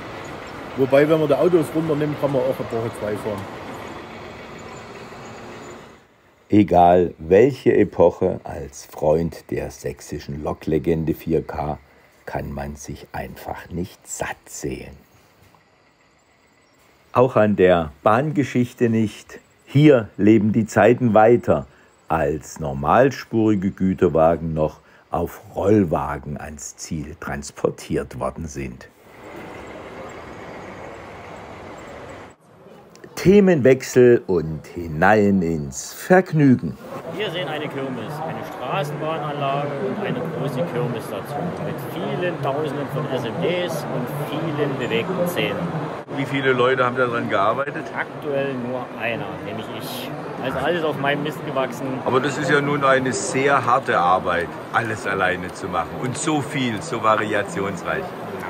Das ist kein Problem. Das schaltest du ab, da gehst du in dein Zimmerchen und da hat man seine Ruhe und dann kann man die ganzen Probleme, die es drumherum gibt, vergessen. Das muss schon so sein. Was für wunderschöne und so unterschiedliche Modellbahnanlagen. Ja, wir sehen den Endpunkt äh, der Strecke, also den, den Kullenschacht Nummer 7 und äh, verschiedene Streckenabschnitte, der große Bahndamm, äh, die Vorbeifahrt am Tradierwerk, äh, der Saline Bad Domberg, das ist alles im Detail zu sehen. Ja, das ist ein Modell äh, der Kohleneisenbahn zwischen Dolwitz und Bad Domberg. Das ist hier in der Region um Leipzig die erste Eisenbahn gewesen. 1836 als Pferdebahn eröffnet und 1908 elektrifiziert. Ja, und der Zustand, der gezeigt wird, ist genau im Sommer 1930. Ja, weil die schon fünf Jahre später eingestellt wurde. Äh, ja, und weil da die Bahn noch so in der letzten Blüte war eigentlich, das wollte ich so darstellen. Die Darstellung ist mehr als geglückt. Ja, man kann beim Zuschauen die Hektik des Alltages buchstäblich vergessen. Das ist ein Gradierwerk, äh, da wurde Sohle, also salzhaltiges Wasser, äh, über Dornreisig äh, laufen gelassen, um das zu reinigen, bevor es dann äh, in Siedepfannen zu Salz verarbeitet wurde. Mehr zu diesem Thema erfährt man auch im Eisenbahnmuseum Kötschau. Und ich habe auch etwas erfahren, nämlich wie man Figuren bemalt und wer das tut. Wir bekommen die Resinfiguren von Herrn Hagen von Ortloff und die malen wir an. Nach einer Vorlage? Nach einer Vorlage, ja. Und wie, wie schwierig ist das? Ja, ist nicht so einfach. Alles unter der Lupe. Muss man schon schauen, dass man zurechtkommt. Und wie lange braucht man dafür? Grob. Ja, für eine Figur, das ist immer unterschiedlich, aber alles zusammen, wenn man alles zusammennimmt, Gesicht und äh, die Kleidung, kommt da schon eine Stunde, anderthalb Stunden zusammen.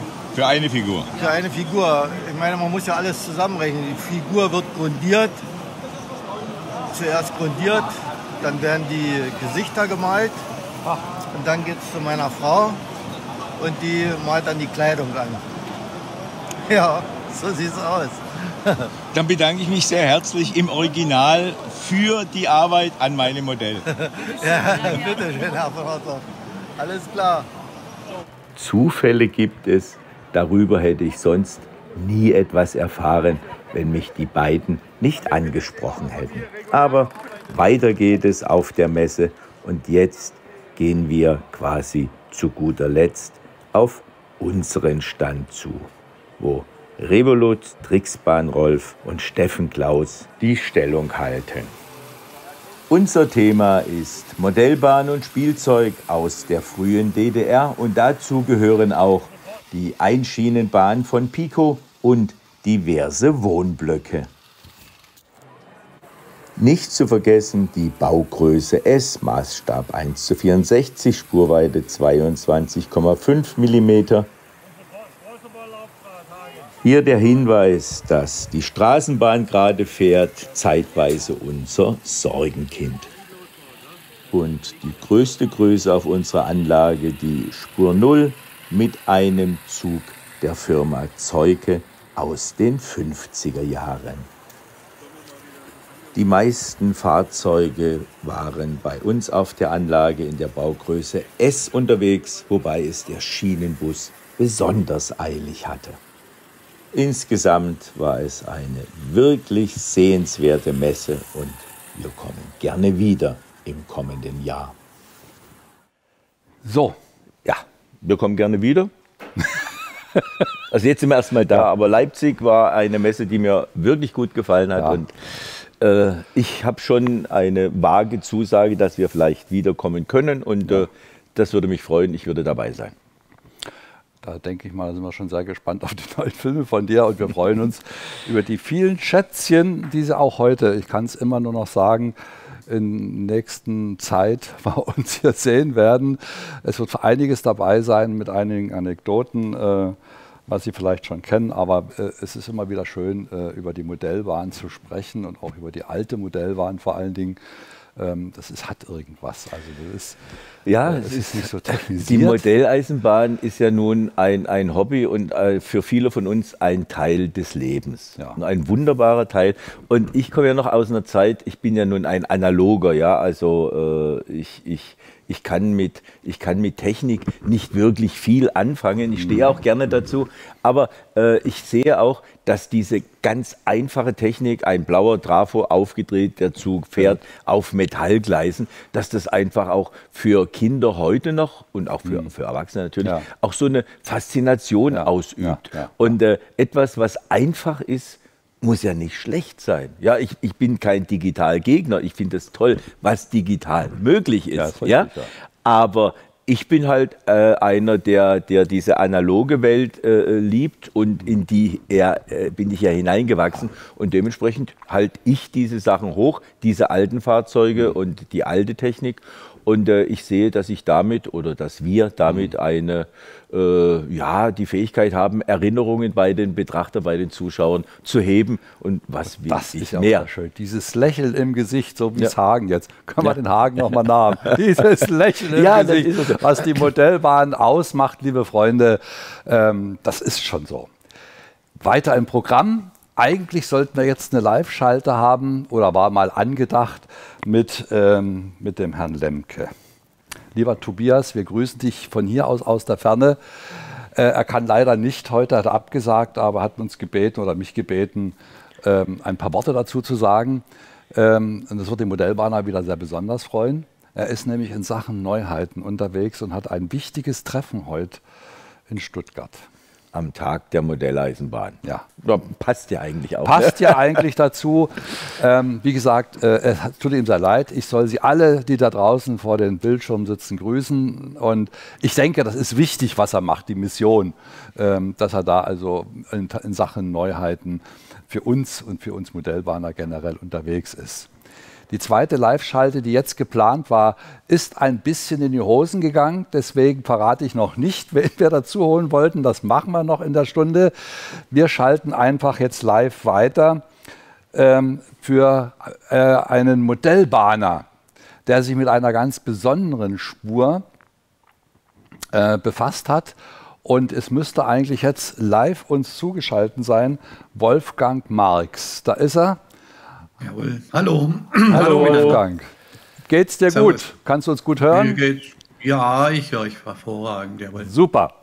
So, jetzt bist du dran. Deine Modellbahnanlage. Erzähl mal bitte was darüber. Ja gut, äh, die Modellbahnanlage entstand äh, in den Jahren 88 bis 92. Sie war als äh, Kofferanlage konzipiert, deswegen besteht sie aus zwei Teilen. Meter, die jeweils die Länge äh, 75 Zentimeter ergibt praktisch zusammen dann 1,50 Meter. Das ist, Äh, aber, die das Anlage- ist aber sehr klein, ne? Ja, trotzdem äh, kann man auch, ähm, Herr, Herr Ortloff oder Hagen hat schon erzählt, wegen ähm, analog, die gesamte Anlage wurde nachher analog gesteuert. Gut. Äh, Großartig. ja, ähm, ich kann aber hier auf dieser Anlage nachher, wir sehen ja wahrscheinlich noch ein paar andere Bilder, da kann ich nachher sieben Züge vollautomatisch drauf laufen lassen oder äh, durch einen Schalter äh, dann hergehen und auch einzeln praktisch alles ansteuern. Nun müssen wir ja auch mal was zu seiner Baugröße sagen. Welche Spur war denn das? Das ist Spur Z. Also nichts 6,5 für Leute, Millimeter. nichts für Brillenträger, oder? Ja, nee, äh, kann man so nicht sagen. Ich bin Brillenträger und zwar schon immer. Äh, also es geht trotzdem. Es geht. Das, äh, ja, es geht. Äh, Das Problem, das ich damals eigentlich hatte, war folgendes. Äh, Wenn ich eine längere Zeit an der Spur Z gearbeitet habe und habe dann später eine Halt-Null-Lokomotive in die Hand genommen, ist mir beinahe aus der Hand gefallen, weil das ein riesen globiges Teil war. Oh, oh, oh, oh, das werden ja Nuller jetzt aber Nö, nicht aber, aber das ist seine Meinung. Das ist ja okay, verstehe Nee, das. es, es ist tatsächlich, es ist wirklich so. Ja. Es ist tatsächlich, es ist einfach viel, viel feiner, die ganze Sache. Und von daher gesehen ist es natürlich, wenn Sie dann was Größeres in die Hand nehmen, ist es einfach äh, ja, Riesig. riesig, ja. Na klar, man richtet sich auf die Haptik und auf die Hand, Handlungen, wenn man so eine Modellbahn, so eine fipslige Modellbahn hat, ja ganz anders ein. Das ist richtig. Wir Ja, müssen das ja auch konzentrieren darauf, auf diese Ja. Größe dann. Ne? ja. Selbstverständlich, das ist ganz klar. So, dann erzähl mal was zu deinen Motiven bei der Modellbahn. Du hast uns ja ganz viele Bilderchen geschickt. Ähm, was sehen wir denn da alles? Ja gut, man sieht äh, jetzt zum Beispiel, äh, das ist das Drucktastenstellwerk. Das wurde in einen Koffer integriert. Ja. Man sieht unten die einzelnen äh, Industrierelais, über das dann praktisch alles gesteuert wird. Sind auch natürlich die bestimmten Widerstände drin für die LEDs. Was man hier jetzt zum Beispiel nicht sieht äh, oder es nur sehr schlecht sieht, mal an den Weichen beziehungsweise an den Signalen sind LEDs eingearbeitet, die dann natürlich auch das tatsächliche Lichtbild anzeigen. Also wenn ich zum Ja. Beispiel HB1 habe, habe ich grünes Licht, Ja. HB2 in dem Fall äh, grün-gelb und HB0 natürlich auf, Ja. auf rot dann. Ja, dann wollen wir uns mal ein Ähm, bisschen die Landschaft betrachten. Ja.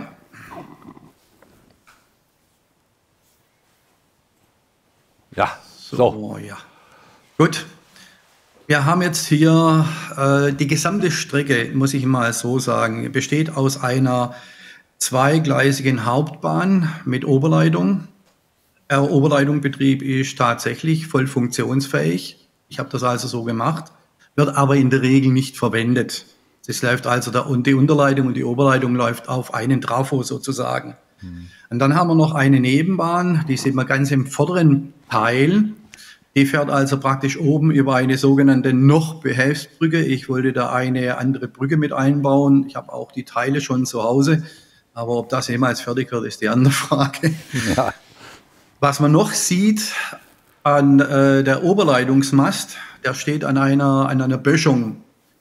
Und an, unterhalb dieser Böschung kommt da der, praktisch auch nochmal diese äh, Nebenbahn sozusagen nach oben weg. Ja, ja.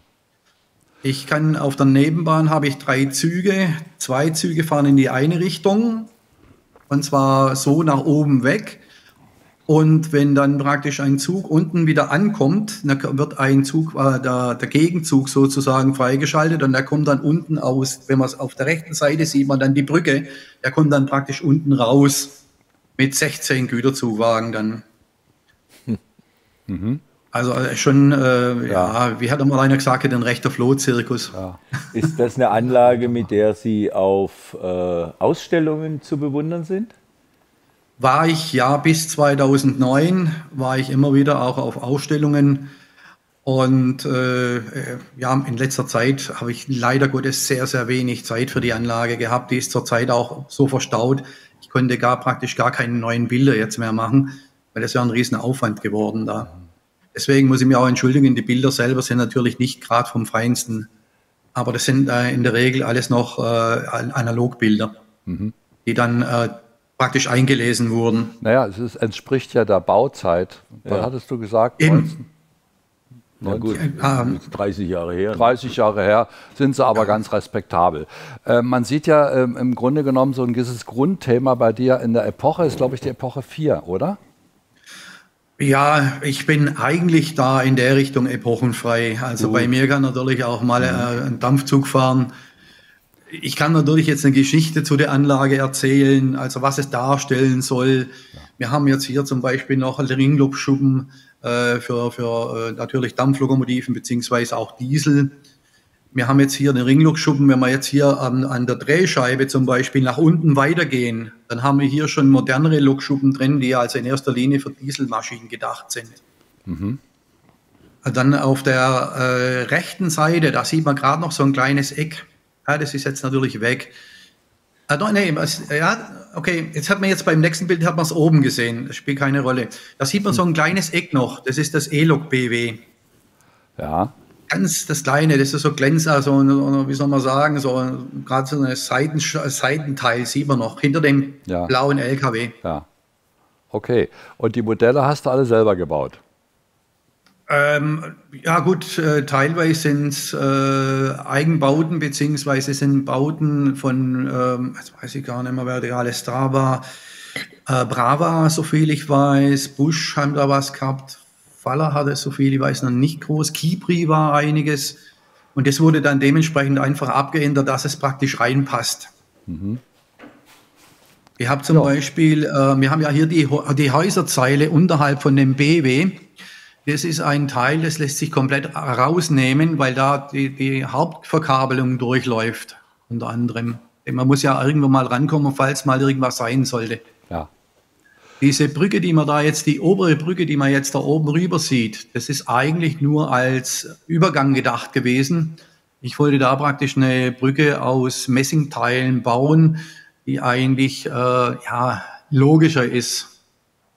Weil in dem Fall sind die halt zusammengeleimt im Prinzip und es müsste normalerweise überall müssten ja Pfeiler drin sein.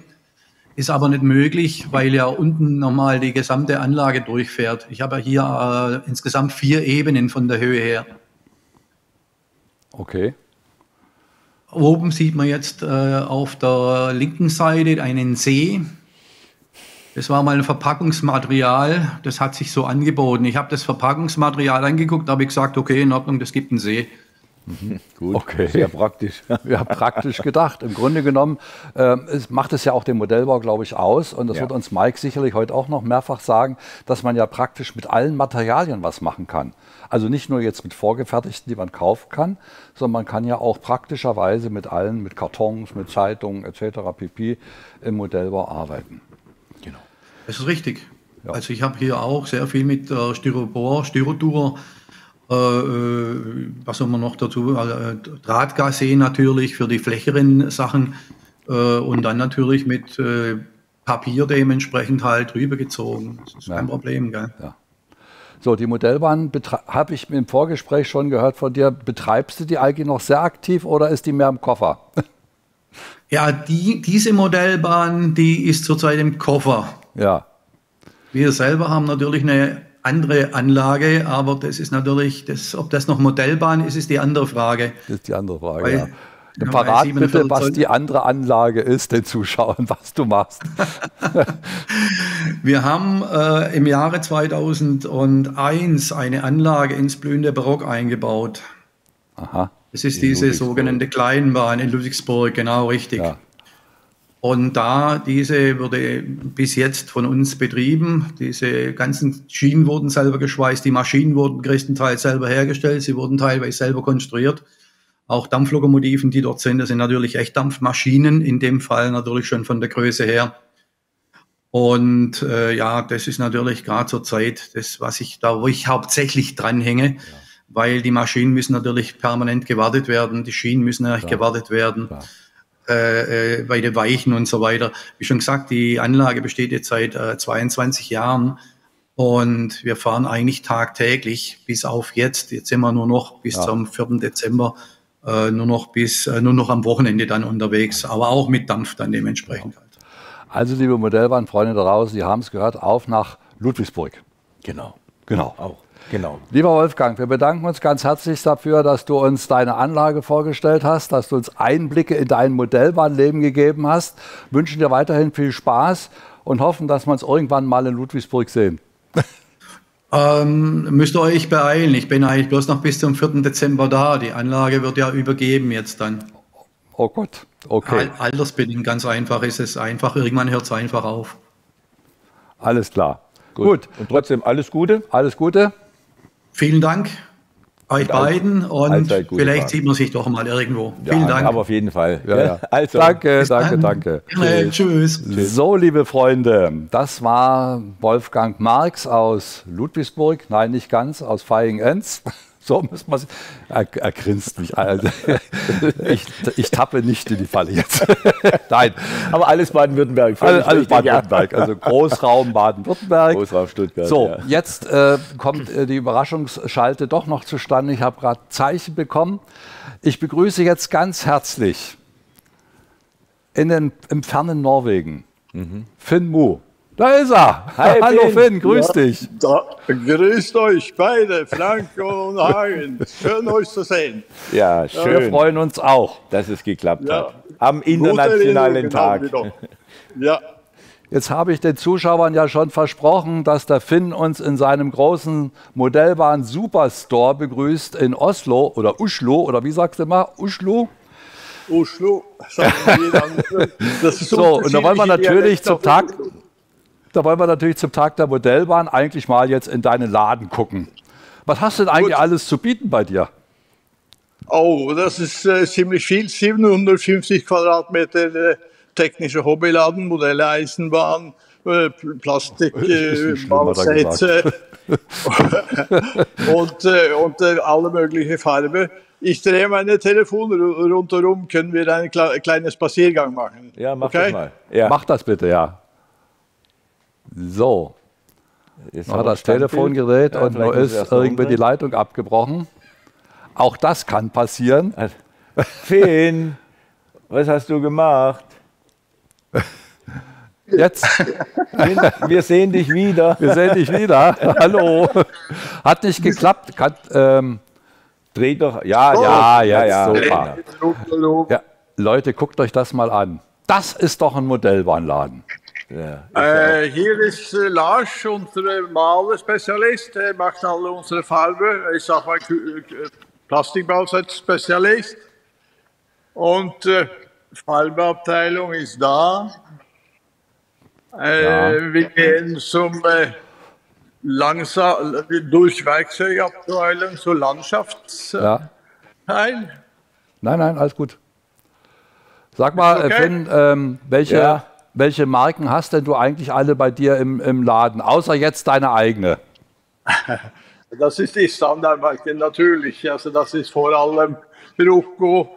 Äh, das ist Jetzt ist Im- er wieder im weg. Funkloch. Er muss wieder zurück. Ja. Finn, komm wieder zurück, du bist im Funkloch. Ja, liebe Freunde, auch das ist live. So gehört das wohl dazu. Der Fluch und Segen der Technik. Machen wir weiter, bis er wieder zu sehen und zu hören Ja, ist. ja. Was sagst du zu dem Geschäft? Ja, Wahnsinn. Ich wusste es gar nicht, dass der so ein großes Geschäft hat. Ich weiß, dass er, äh, wir müssen es einfach mal sagen, NMJ ist noch gar nicht gefallen. Das ist ja die Firma, Ja. der er vorsteht und Ja. die es schon seit ich weiß nicht wie vielen Jahrzehnten gibt. Dass er ein Modellbahngeschäft hat, wusste ich nicht. Also Ja. das ist mir völlig neu und äh, ich bewundere es, weil das ist ja ein Riesengeschäft. Es ist ja auch, äh, ich sage jetzt mal so, ich hatte es auch, glaube ich, schon mal äh, dem Finn selber gesagt.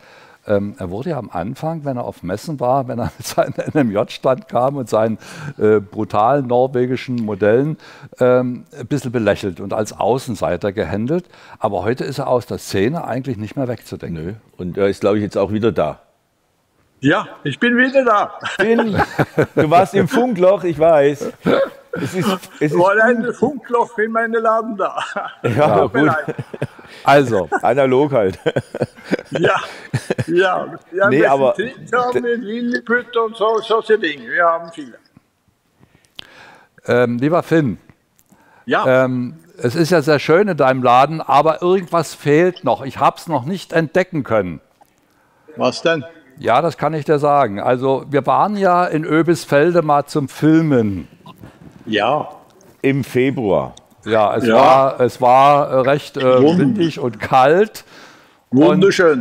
Und, ja, da haben wir eine Weihnachtslok gesehen, aber zu der fehlt eigentlich noch eine ganz bestimmte.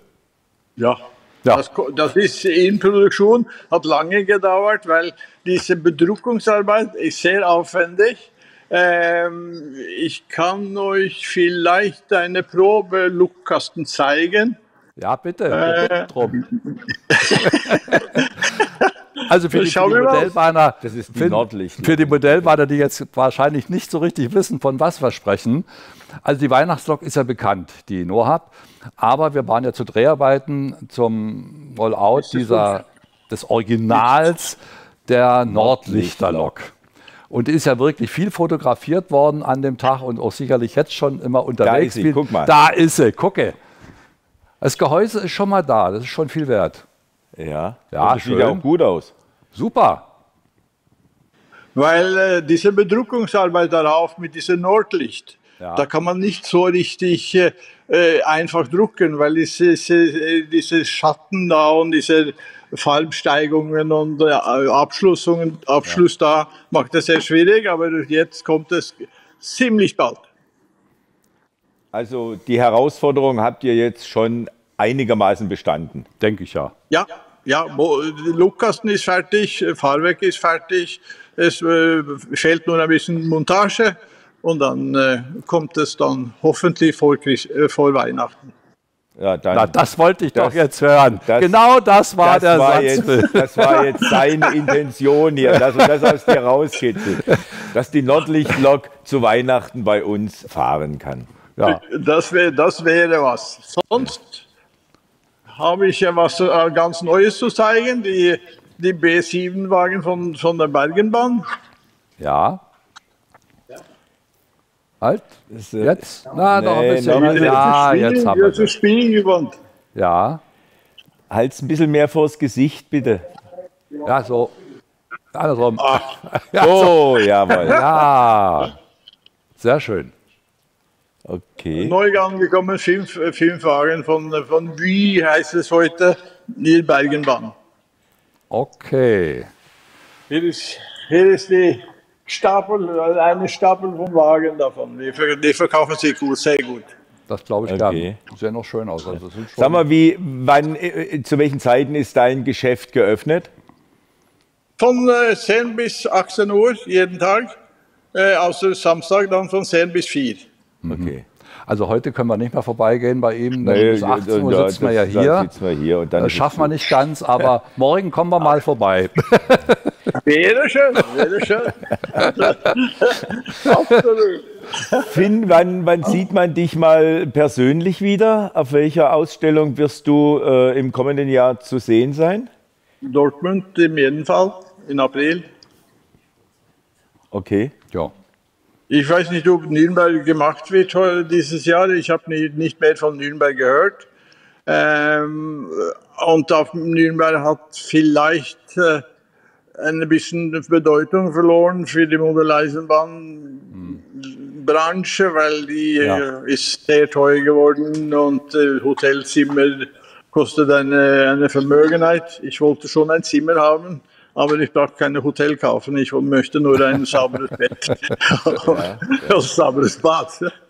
Ja, das ist, glaube ich, du sprichst etwas an, Finn. Äh, die Szene hat sich durch Corona in den letzten zwei Jahren verändert und viele Modellbahnhersteller produzieren ihre Neuheitenfilme selber oder lassen sie produzieren und das funktioniert auch ganz gut. Ne? Also äh, ich glaube, du bist auch auf so einem Weg. Ne?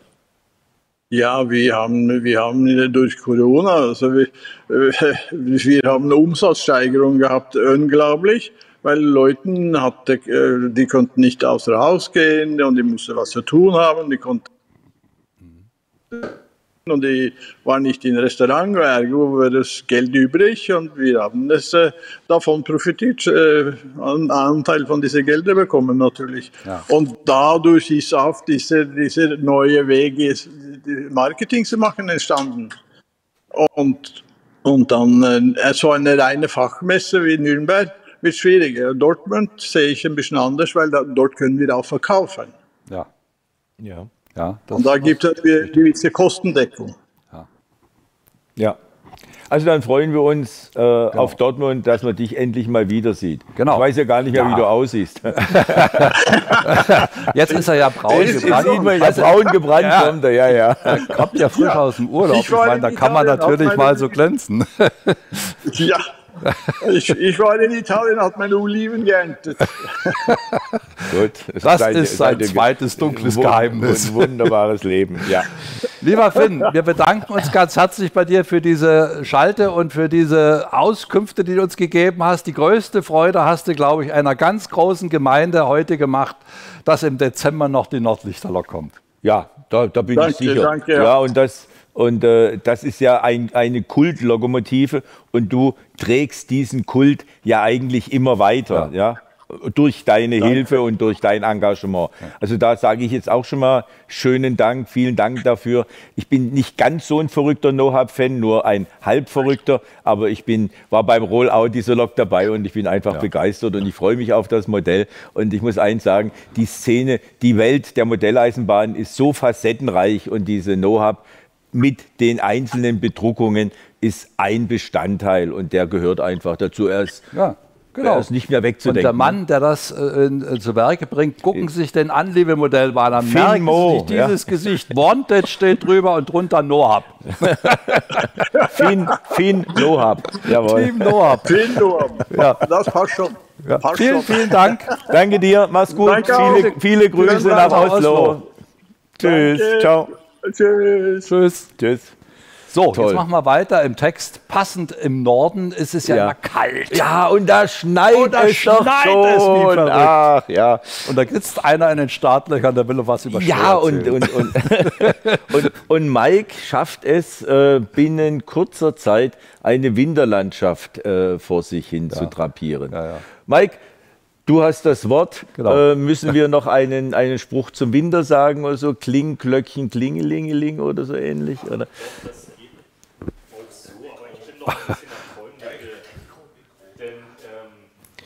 Die, die Lokomotive vom Finn Mo, diese Nordlichterlok, das ist schon was Schönes. Also das würde ja hier auch gut draufpassen. Ne? Ja. Ja. Ja. Das ist- Wenn dort Schienen liegen würden, ja. Ja, und, und wenn der Finn das noch gehört hat, äh, hätte, dann hätte es vielleicht registriert. Ja. Naja, gut.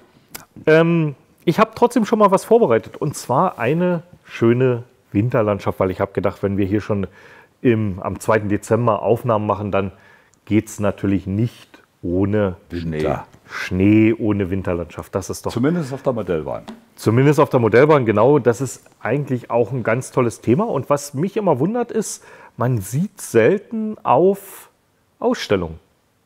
Es kann natürlich auch daran liegen, dass so, eine auf, äh, dass so eine Anlagen dann sehr, sehr aufwendig zu pflegen sind, weil das Ja. natürlich alles weiß ist, weil es hell ist. Ähm, Verschmutzungen sieht man schnell. Aber trotzdem ist es ein tolles Thema, gerade für einen Dioramenbau, wie ich finde. Und äh, das kleine Diorama, was ich hier vor mir habe, äh, ist mal in einer ja, Zusammenarbeit, in einer Kooperation entstanden. Die Firmen Busch und Auhang haben mal zusammen etwas gewagt und da haben wir das mal gebaut. Und ich habe natürlich auch noch was anderes vorbereitet und möchte zeigen, wie man so eine Winterlandschaft baut. Was ist dafür notwendig? Dafür muss ich das hier mal zur Seite stellen. So, danke Frank. Bitte. Und Schneidematte nehmen wir mal weg, sonst ist die nachher hin. Ich habe hier einfach mal einen kleinen Rohbau gemacht, ähm, wie, so ähnlich wie das, was wir da zu stehen hatten, nur in klein. Also ich habe hier ein Stück Straße aufgeklebt. Das ist einfach eine Straßenplatte, die einmal eine Lasur erfahren hat, damit sie nicht mehr so ganz äh, ja, kunststoffmäßig glänzt. Und jetzt sieht man schon das, das Diorama. Vielleicht kann man das mal so ein bisschen, ich versuche es mal so zu haben, ja, als Schnitt mal zu sehen. Das ist schon rechteckig und kantig. Das heißt, das muss jetzt erstmal in Form gebracht werden. Jetzt wird es schmutzig. Jetzt, naja, schmutzig nicht, aber ein bisschen Arbeit muss hier schon sein, Konzentration. So, ähm, jetzt kann ich natürlich, ich habe hier so eine schönen roten Werkzeuge, ja, so, sieht man, die extra für diesen Leichtbau-Schaumstoff angefertigt wurden. Die sind dafür geeignet und ich werde jetzt damit einfach das Ganze ein bisschen in Form bringen. So.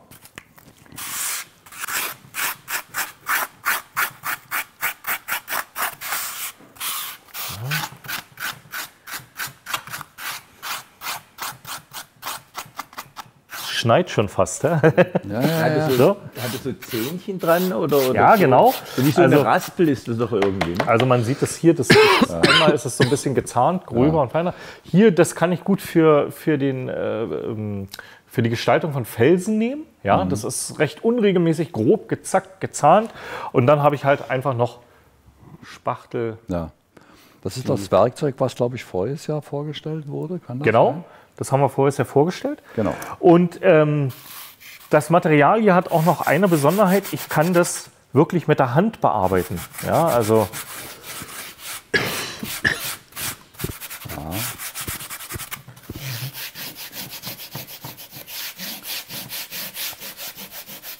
Das Material ist Styrodor, ne? oder wie heißt das?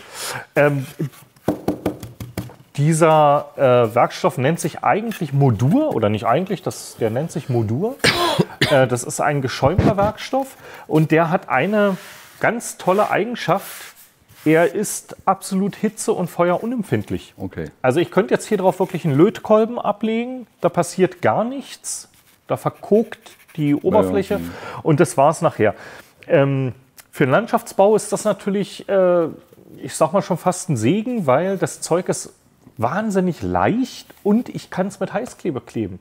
Jeder, der schon mal mit Styropor oder Styrodur im Landschaftsbau gearbeitet hat, der weiß, das kann ich nicht mit Heißkleber kleben. Das muss ich dann umständlicherweise mit Weißleim kleben oder mit Spezialklebstoffen, die es im Baumarkt beispielsweise gibt.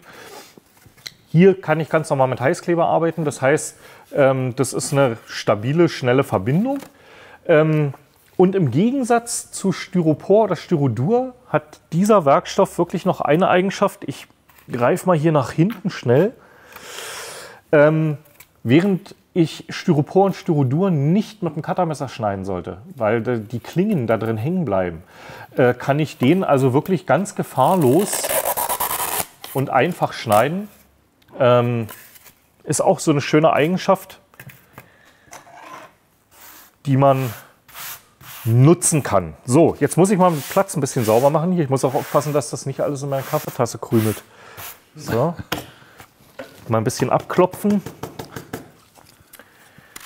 Und das Wichtige bei Winterlandschaften ist jetzt einfach, dass ich fließende Formen habe, dass ich nicht so viel Kanten, nicht so viele Ecken drin habe. Ähm, es gibt natürlich auch verschiedene Möglichkeiten, wie ich Schnee aufbringen kann. Ich kann ja nur eine Möglichkeit hier zeigen, aber die bedingt natürlich, dass ich einen relativ glatten Untergrund habe, fließende Formen habe, denn äh, wenn ich irgendwo dann Kanten habe oder Absätze, sieht es ja auch nicht mehr schön aus. Und äh, Schneelandschaft, ja, so richtig dick verschneit. Ja, vor allem, wenn es richtig schön viel geschneit hat, Mike, ist das ja alles schön gerade und eben und zugedeckt. Keine, keine Ecke mehr Gibt drin, es ja ne? keine Kanten Richtig. und Ecken. Genau. Ja. Jetzt müssen wir natürlich das Ganze ein bisschen vorbereiten und ähm, dafür brauche ich zuallererst, ich bin ja hier fantastisch ausgestattet, ganz normales handelsübliches Klebeband. Das ist so ein Crepe, sagt man dazu. Ja, ne? So ein Crepe, so ein Malercrepe. So Abklebe. Und damit klebe ich mir zuerst die Kanten der Straßen ab. Denn ich muss eine Sache machen, die ganz wichtig ist, bevor ich auf diesem Material arbeite. Ich muss, weiß das einer von euch? naja. Jetzt hast Ich du muss- mit zwei fragende Gesichter geguckt. Ja. kommt wahrscheinlich kommt eine ganz banale Antwort. Ja, ich muss es vorgrundieren. Äh, Oh, das hätten hätten wir wir auch gewusst, gewusst. also. Das hätten wir auch gewusst. Das hätten die beiden auch gewusst. So. Ähm, Man muss es vorgrundieren. Ja, ganz genau. Warum muss ich das vorgrundieren? Ähm, wenn ich hier, hier rüber fasse, ich habe mir extra schwarze Handschuhe angezogen, damit ihr meine Hände noch drauf seht. Ähm, äh, wenn ich hier rüber fasse, dann ähm, ist das ganze Material sehr sandig. Ja, hier muss ich noch mal ein bisschen was abschneiden. So. Ist das Material sehr sandig und wenn ich da einfach versuche mit einer Spachtelmasse oder ähnlichem drauf zu arbeiten, dann perlt mir das alles wieder runter. Das kann man sich so ein bisschen vorstellen, als wenn man auf, äh, auf einer Tischoberfläche äh, Mehl aufgestreut hat. Man nimmt das Mehl runter, aber so ein ganz feiner Belag bleibt davon immer noch, so ein ganz kleiner Film bleibt davon immer noch drauf. Und wenn ich dann versuche, da irgendwas raufzukleben oder sowas, wird es mir nicht gelingen. Warum? Weil das natürlich staubt. Also, vorgrundieren. Ich habe hier eine ganz normale Modellbaufarbe in Reinweiß. So, mache ich mal ein bisschen was ins Schälchen. Äh, dann habe ich hier ganz normal einen alten Pinsel, den man so zum Vorgrundieren nehmen kann. Das gibt es auch in ganz vielen verschiedenen Ausführungen. Ich habe hier sowas, der, da sieht man, der hat schon richtig gelitten. Ne? Aber für Vorstreicharbeiten äh, reichen so eine Pinsel völlig aus. Jetzt ist eine Sache ganz wichtig. Kaffeetasse muss man ein Stück rücken. Ja, Nicht, dass die Tasse umfällt. Nicht, dass ich einen Pinsel drin ausmache. So, bevor ich mit dem Pinsel in die Farbe gehe, immer den Pinsel nass machen. So. Dann kann ich die Farbe aufnehmen und vielleicht wird man es jetzt, ich mache es mal hier oben, wird man sehen, dass die Farbe so ein bisschen wie zurückgezogen wird. Ja? Und deswegen ist es wichtig, dieses Material vorzugrundieren. Und damit ich jetzt an der Straße relativ zügig arbeiten kann, dafür habe ich es mir eigentlich nur abgeklebt. Ich kann da drauf auch mal über den Rand malen. So. Und die Art und Weise streiche ich dann das ganze Diorama vor. Und wenn das fest geworden ist, dann kann schon weitergearbeitet werden. Und damit Frank nicht den ganzen Moderationsplan umschreiben muss, habe ich da natürlich schon was vorbereitet. Ich stelle das mal zur Seite. Hat sich vorbereitet. Ja, so sieht das Ganze dann aus, wenn man es einmal komplett vorgestrichen hat. Ich zeige es nochmal so im Schnitt, kann man gut erkennen. So, ja. Äh, ist im Prinzip das gleiche, was ich eben hatte, nur schon komplett vorgestrichen, weil ich habe hier natürlich nicht die Trockenzeiten, das ist klar, Wie bevor ich weiterarbeite. trocken- wie lange trocknet das etwa? Ja, je nach Raumtemperatur. Also ich lasse sowas gerne mal einen Tag stehen. Also, mhm, über ja? Nacht. Aber ich sag mal im Falle eines, das, weißt du, die, äh, der Werkstoffhaken ist ja auch dafür geeignet, dass ich hier wirklich mit dem Föhn drauf kann. Ich muss ein bisschen mit der Straße aufpassen, weil das eine Kunststoffplatte ist. Ja. Ansonsten kann ich hier mit dem Föhn drauf arbeiten und könnte die, die, die Farbe. Aber die reißt nicht beim Trocken mit dem Föhn, oder? Nee. Nö, nö, nö, nö. Das macht sie nicht. So. Gut. Ich wasche bloß mal schnell den Pinsel aus. So, das stellen wir zur Seite. Und jetzt kommt was ganz Tolles. Wie macht man eigentlich Schnee? Da gibt es Produkte für. Ich habe hier natürlich Auhang-Produkte, klar, aber die gibt es auch von anderen Herstellern. Also wer jetzt sagt, hier der Lorbeer kommt bloß immer mit Auhang um die Ecke, nein, gibt es auch von anderen Herstellern. Ähm, zum einen haben wir hier das Schneepulver, da ist gleich so eine Art Glitter drin, wobei ich den immer noch ein bisschen suche. Spielt doch keine Rolle, denn dafür gibt es den sogenannten Winterzauber. Das ist so ein, ja, was, wie würde man das beschreiben? Das ist so ein bisschen wie Glasbruch. Es sieht augenscheinlich ein bisschen aus wie Zucker. Also ich muss es nachher auch wegstellen, weil hier sind alles Kaffeetrinker. So. Ja. Ja, steht der Auhagen dran. Ja, ja. Das Material, was ich hier habe, dieses Schneepulver, das ist einfach eine Sache, die mit Weißleim zusammen im, Marsch, äh, im Verhältnis 1 zu 1, im Maßstab, das ist Quatsch, Maßstab. im Verhältnis 1 zu 1 wird das angerührt und das habe ich natürlich auch schon vorbereitet. Ähm, dann, ich versuche es mal ein bisschen, kann man das sehen? Ach, ich habe ja oben eine Kamera, das ist praktisch. So, ah, so, also das ist einfach bloß, ich gehe mal mit dem Pinsel rein, das ist einfach, das sieht ein bisschen aus wie so ganz dünner äh, Gips. Ja, so Ja. kann man sich das vorstellen. Und den trage ich jetzt auch mit dem Pinsel einfach hier auf. Wobei der jetzt, Jetzt wirklich klebst sehr... du nicht mehr ab. Nein, jetzt klebe ich nicht mehr ab. Warum? Zeige ich dir. Ich will ja hier auf die Straße auch so ein bisschen so einen unregelmäßigen Schnee Rand kriegen. Realistisch.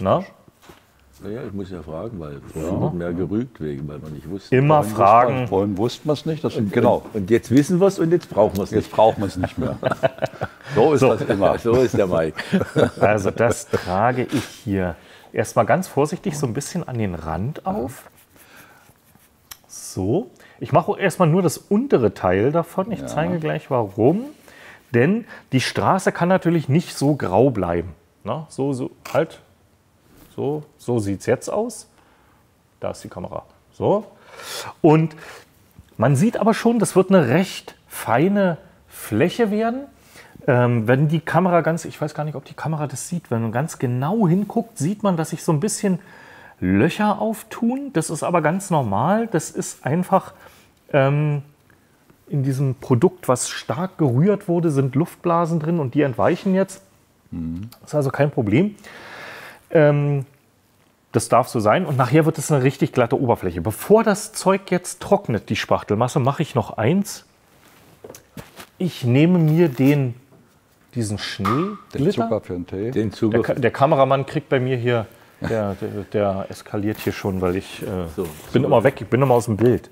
So, äh, jetzt nehme ich diesen Schneeglitter, ja, und äh, streue den einfach lose erstmal nur in die Fläche ein.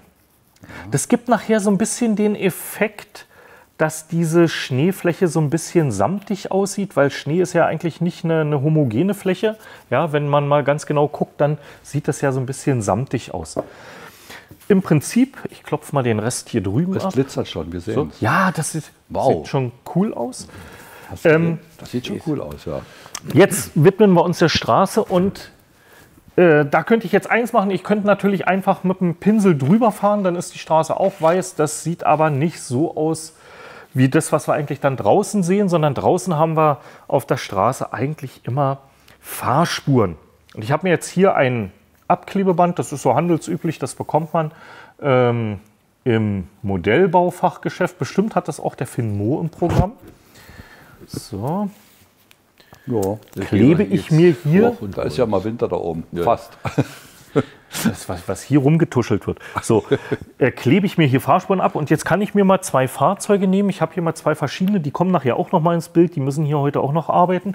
Und gucke mal, wie breit muss ich denn ungefähr die Fahrspur machen, denn wenn es nachher zu schmal wird, dann sieht es etwas unrealistisch aus. Machen wir es zu breit, dann schaut das auch nicht mehr schön aus. So, also ganz normales Abklebeband. Das kriegt man auch im Übrigen in verschiedenen Stärken. Ja, also das ist hier, glaube ich, ein Zentimeter, was ich habe. Ähm, jetzt kann der eine oder andere natürlich sagen, warum klebt dann das mit einer Fahrspur mit einem Zentimeter breiten Stärken? So, so breit sind gar nicht die Reifen oder Räder, aber es fährt ja nun mal nicht wie auf Schienen, sondern die Fahrspuren äh, variieren natürlich immer ein bisschen nach Fahrzeug- und Lkw-Breite. Also ich glaube, hiermit bin ich schon recht zufrieden. So, die beiden stelle ich mal wieder in die Garage. Dann das Klebeband gut andrücken. Jetzt kommt, äh, ich bin schlecht vorbereitet. Ich suche einen bestimmten Pinsel. Hier ist er. Jetzt kommt ein etwas feinerer Pinsel zur Anwendung. Und damit nehme ich mir hier wieder meine Spachtelmasse, die ich dann erstmal sehr, sehr vorsichtig über die, an die Klebebänder ran, trage das Material hier auf der Straße auf. So. Das mache ich jetzt auch mit einem weichen Pinsel, weil ich einen recht flüssigen Anteil nur oben rausnehme von der Spachtelmasse. Die setzt sich natürlich im Laufe der Zeit ein bisschen ab, ganz klar. Und ich nehme oben nur einen flüssigen Teil raus und gehe vorsichtig über die Klebebänder so ein bisschen rüber im Randbereich, dass das nachher nicht das Klebeband ab, äh, abhebt. Ja. Das sind ja auch sogenannte Maskierbänder, sagt man auch dazu. Und ein Maskierband hat nun mal die Eigenschaft, das klebt nicht so stark, wie man das von einem normalen Klebeband hm. kennt. So, ich mache bloß mal hier noch die eine Seite. So.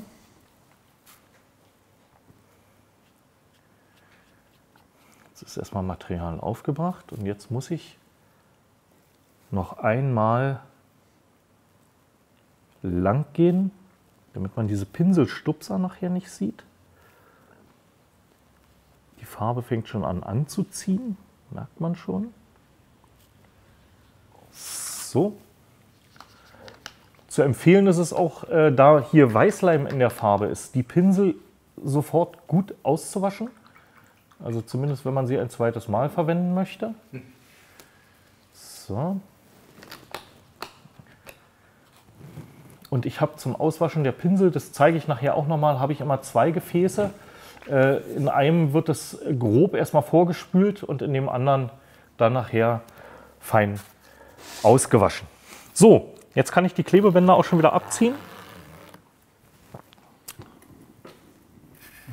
Fahrspur. Packe ich mal da hinten hin und jetzt sieht man schon, jetzt haben wir eigentlich schon sehr schöne Fahrspuren. Jetzt gibt es noch ein Problem mit der Fahrspur, denn da, wo die Reifen rollen, ist überhaupt nichts weiß. Und das gefällt mir natürlich noch nicht. Aber da kann man Abhilfe schaffen, indem man einen Pinsel nimmt. Ah, hier, nehmen wir den. Ich nehme hier einen, einen, einen Borstenpinsel. Ja, der ist also wirklich recht hart.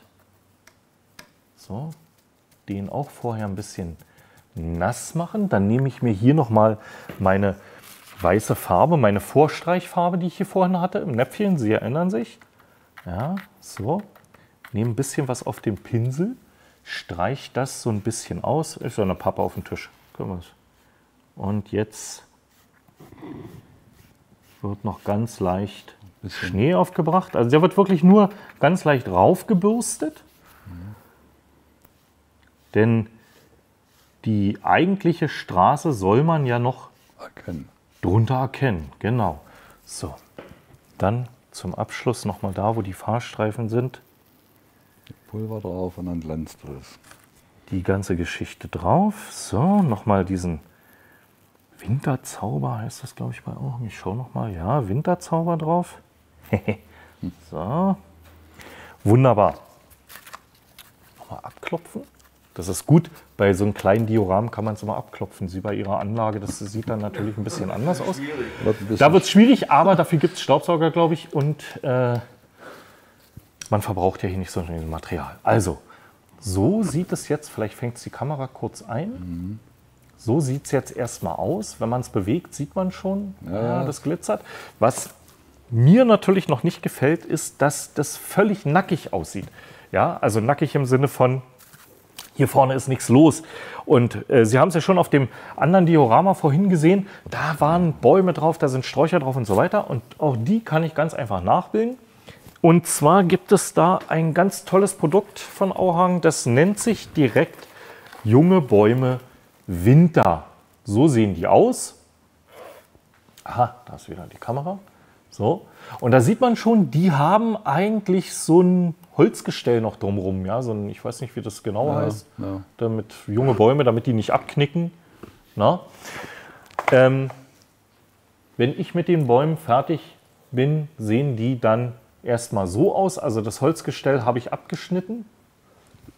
Sieht man? Ja. Ich habe das Holzgestell abgeschnitten und habe mir die Äste natürlich noch ein bisschen zurechtgebogen. Und die werde ich jetzt in meine frische, frisch gestaltete Landschaft stecken. Dafür nehme ich eine Pinzette und kann das Ganze dann hier verwenden. Äh, mitunter passiert es, wenn man diese kleinen Äste biegt, das ist natürlich alles nur Polystyrol, ganz weicher Kunststoff, dass die abbrechen, aber das ist nicht etwa Abfall, sondern die kann ich gleich als kleines Strauchwerk weiterverwenden. So, ich stecke bloß mal ein paar davon ein und dann bekommt diese ganze Geschichte schon ein bisschen Leben. Blätter brauchen wir ja nicht. So. Wunderbar. Da Ja, kann man komm. sich schon ganz gut vorstellen, wie die Straße aussieht, ne, Hagen? Ja. Zumindest Und. Ja. dann nehmen wir noch einen weichen Pinsel. Da brauchen wir den. Wie gesagt, vorm Arbeiten Pinsel immer schön nass machen. So. Dann nochmal die Vorstreichfarbe nehmen. Ich vermute, jetzt werden die Äste eingestellt. Und jetzt werden noch ganz klein,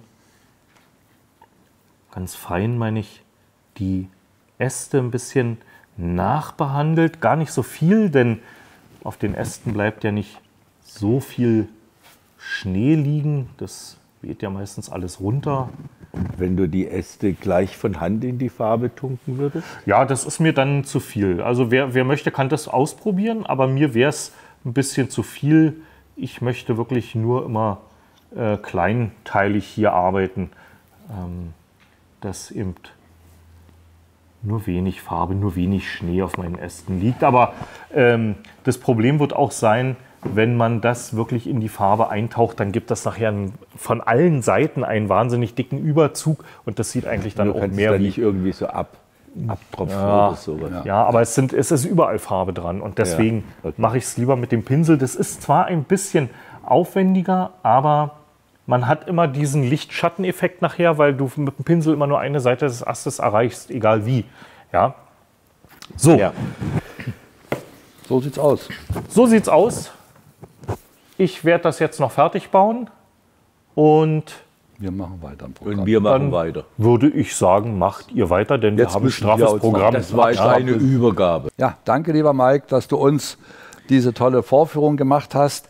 Und Vorführung ist wiederum das Stichwort. Wir sind jetzt hoffentlich live miteinander verbunden zur Modellbahngemeinschaft Germering e.V. Und die beiden Herren sind jetzt, sehen wir im Bild, die hören uns wahrscheinlich auch recht gut. Und die werden uns jetzt ihre Anlage vorstellen. Wunderbar. Herzlich Hallo, willkommen. guten Morgen. Morgen. Hallo, Morgen. Eine kleine Bitte hätte ich noch, äh, eine kurze Erklärung vorher. Wie groß ist euer Verein, beziehungsweise wo seid ihr denn eigentlich untergebracht? Ja, gute Frage. Also unser Verein ist relativ neu. Wir haben uns im Jahre 2015 im Januar gegründet und haben zurzeit 21 Mitglieder. Und unser Hauptaugenmerk liegt auf der Durchführung einer alljährlichen Modellbahnausstellung in unserem Ort Germering in der Stadthalle, die uns dafür zur Verfügung gestellt wird. Das lockt sehr viel Zuschauer an und in diesem Zusammenhang haben wir uns auch entschlossen, dann eine Gleichstrom H0 Modulanlage zu bauen, die wir da vorführen, aber auch viele Gastaussteller bei uns immer sehr regelmäßig auch gerne bereit sind, bei uns mitzuhelfen. Dazu habt ihr uns ja auch ein paar Bilder geschickt. Ähm, Fangen wir gleich mit dem ersten Bild an. Stichwort Zuschauer. Da sehen wir einen Teil eurer Modulanlage und erzählt mal ein bisschen was dazu. vom, vom Bahnhof beziehungsweise vom Bahnhofsvorplatz auf den sechsgleisigen Bahnhof. Man sieht ja vier ähm, Bahnsteiggleise, zwei Durchfahrtsgleise, dann geht es über in eine zweispurige Hauptbahn, die nicht elektrifiziert ist, also eine Dieselstrecke. Und ja, das Bild stammt von der diesjährigen Ausstellung. Wir haben direkt äh, eine Woche, nachdem es quasi wieder erlaubt war, uns gewagt, haben quasi hochgepokert, äh, uns gewagt, den Termin festzulegen und die Ausstellung durfte man dann auch so, wie sie war, durchführen. Äh, Maske musste man keine tragen, aber viele haben sie getragen und ja, also wir sind, sage ich mal, fast quasi überrannt geworden dieses Jahr. Also das Interesse ist auf jeden Fall sehr groß gewesen. Was habt ihr für eine Baugröße? Die Baugröße ist H0. Wir fahren ähm, digital mit Gleichstrom, haben Rockrail als System dahinter, aber wir haben keine komplette Automatiksteuerung. Das ist eher so eine Halbautomatiksteuerung, die ist nur zur Absicherung da, weil wir nach den ersten Ausstellungen festgestellt hatten, dass es doch zum einen oder anderen Unfall kommen kann und dann haben wir das eben eingeführt. Ja, das Bild zeigt ein, ein Diorama, das ich jetzt gebaut habe. Das ist der Bahnhof Gerner in Unterpfaffenhofen oder Unterpfaffenhofen-Gerner, wie es damals hieß im Zustand der Eröffnung der Bahnlinie Pasing-Hersching, also München-Pasing nach Hersching raus, äh, aus dem Jahr 1903. Äh, ich habe da im Bayerischen Staatsarchiv und im Bayerischen Hauptstaatsarchiv recherchiert nach Plänen, nach Vorlagen, nach historische Aufnahmen genommen und versucht anhand dessen auch noch mit heutigen Satellitenaufnahmen und heutigen Fotos eben das Ensemble nachzubauen und so zu gestalten, wie es damals vermutlich aussah. Baut ihr hauptsächlich nach Vorbildern? Äh, also das Germeringer Diorama war ein Vorbild. Die Anlage, die wir haben, unsere Modulanlage mit, mit dem Bahnhof Fichtenau, so heißt so gesehen auch die Anlage, die äh, ist keinem konkreten Vorbild äh, entstanden. Äh, das ist einfach nach, soll halt einfach vorbildgerecht ausschauen, aber es wird nichts konkret nachgebaut in dem Sinne, nein. Ja. Äh, ist, es, ist es so, dass ihr diese äh, Module nur in Anführungszeichen für diese Ausstellung zusammenbaut? Oder habt ihr einen Raum, wo ihr damit auch äh, spielen könnt, sage ich mal? Nee, das ist leider unser großes Problem. Wir haben kein eigenes Vereinsraum, äh, Vereinsheim. Die Module, die sind ja 1 Meter mal 60 Zentimeter. Ähm, die lagern ähm, bei verschiedenen Mitgliedern. Ich glaube, bei drei der vier Mitgliedern sind die mittlerweile verteilt, immer irgendwo im Keller im Eck. Äh, die Anlage hat auch mittlerweile eine Länge von ungefähr 15 Metern. Wir haben eine L-Anlage, Kurven fehlt noch eine weitere Schleife, dass man U oder einen Kreis machen könnte. Ähm, wir sind aber halt da auch an, an der Grenze mittlerweile angelangt von dem, was möglich ist, weil, sage ich mal, die Lagerkapazitäten bei unseren Mitgliedern jetzt langsam ziemlich ans Ende gehen und daher eigentlich auch der, der Weiterbau ein bisschen stockt, weil wir nicht mehr wissen, wo man die Module lagern können, wenn keine Ausstellung ist. Ja. Also müssten wir jetzt mal den Aufruf starten in Germering und Umgebung. Liebe Hausbesitzer, liebe Immobilienbesitzer, wenn ihr aber irgendwas leer stehen habt, was ganz preiswert ist, die Germeringer Modellbahnverein würde sich freuen. Ja. ja. Wir haben leider das Problem, dass es gäbe zwar Gewerbeflächen, aber die wollen natürlich nur einen marktüblichen Preis, was für uns als, als nicht kommerziellen Verein nicht, nicht machbar ist zu finanzieren und was wir auch nicht wollen jetzt vor Corona und der Energiekosten, sage ich mal, sind wir in gewisser Weise auch ganz froh, dass wir diesen Kostendruck äh, nicht haben. Aber vielleicht ergibt sich noch mal irgendwann eine Möglichkeit. Gewerbeflächen sind momentan auch recht rar, weil zwei große Geschäftsgebäude am Ort abgerissen werden und dadurch ja. natürlich alles, was frei war, jetzt durch dieses Gewerbe belegt wurde, was ja auch schön ist. Aber da bleibt natürlich für den Verein leider recht wenig offen, äh, übrig. Also es gibt noch eine Hoffnung, das ehemalige ähm, Kasernen-WIFO-Gelände. Wir haben ja hinten in Richtung Kreiling ein großes Tanklager. Da gehört ein Teil der Gebäude der Stadt Germering. Die wollten aber irgendwann ein Kulturzentrum draus bauen. Das ist aber leider durch Corona äh, und die anderen Geschichten leider alles zögert sich hin und erstmal auf Eis gelegt. Da müssen wir einfach mal abwarten. Wir haben die Hoffnung nicht aufgegeben. Vielleicht ergibt sich noch mal eines Tages. Aber was wir hier im Bild sehen, wäre doch schon mal eine richtige Unterbringungsmöglichkeit für ja, euch. Genau. war vor ein paar Wochen im Oktober, das, da waren wir eingeladen auf der Ausstellung im VG-Museum in München. Das war natürlich auch eine sehr schöne äh, Geschichte, die Anlage mal im Umfeld von historischen äh, Fahrzeugen unterzubringen. Ja. Genau, das, das zeigt, Bild zeigt jetzt noch eine weitere Anlage, eine Nebenbahnanlage von uns. Gräfenstein nennt sich das. Die hat ungefähr drei Meter mal 60 Zentimeter, ist momentan nur in einem Stück. Da planen wir jetzt eventuell auch einen Anbau, dass man einen Schattenbahnhof hat und ein bisschen im Kreis fahren kann und noch ein bisschen äh, ansprechendere oder ja, interessantere Fahrmöglichkeiten zu bieten. Vielleicht sogar einen Anschluss an die Modulanlage, mal schauen, was die, was die Zukunft so bringt. Wie, wie trefft ihr euch dann, wenn ihr kein Vereinsheim habt? Also wir haben jetzt einmal im Monat einen Stammtisch. Das ist also nicht nur unser Vereinstreffen, sondern auch ein öffentlicher Stammtisch, wo jeder uns besuchen kann. Wir haben durchaus auch äh, verteilt Interessenten, die sich für unseren Verein interessieren. Da treffen wir uns jetzt einmal im Monat immer in einer Sportgaststätte, in einem Nebenraum. Das, aber das ist kein Vereinsheim, da haben wir nur unseren Stammtisch und wie gesagt, die, einen festen Raum, wo wir uns auch außerhalb dieser Zeiten treffen können, existiert leider nicht.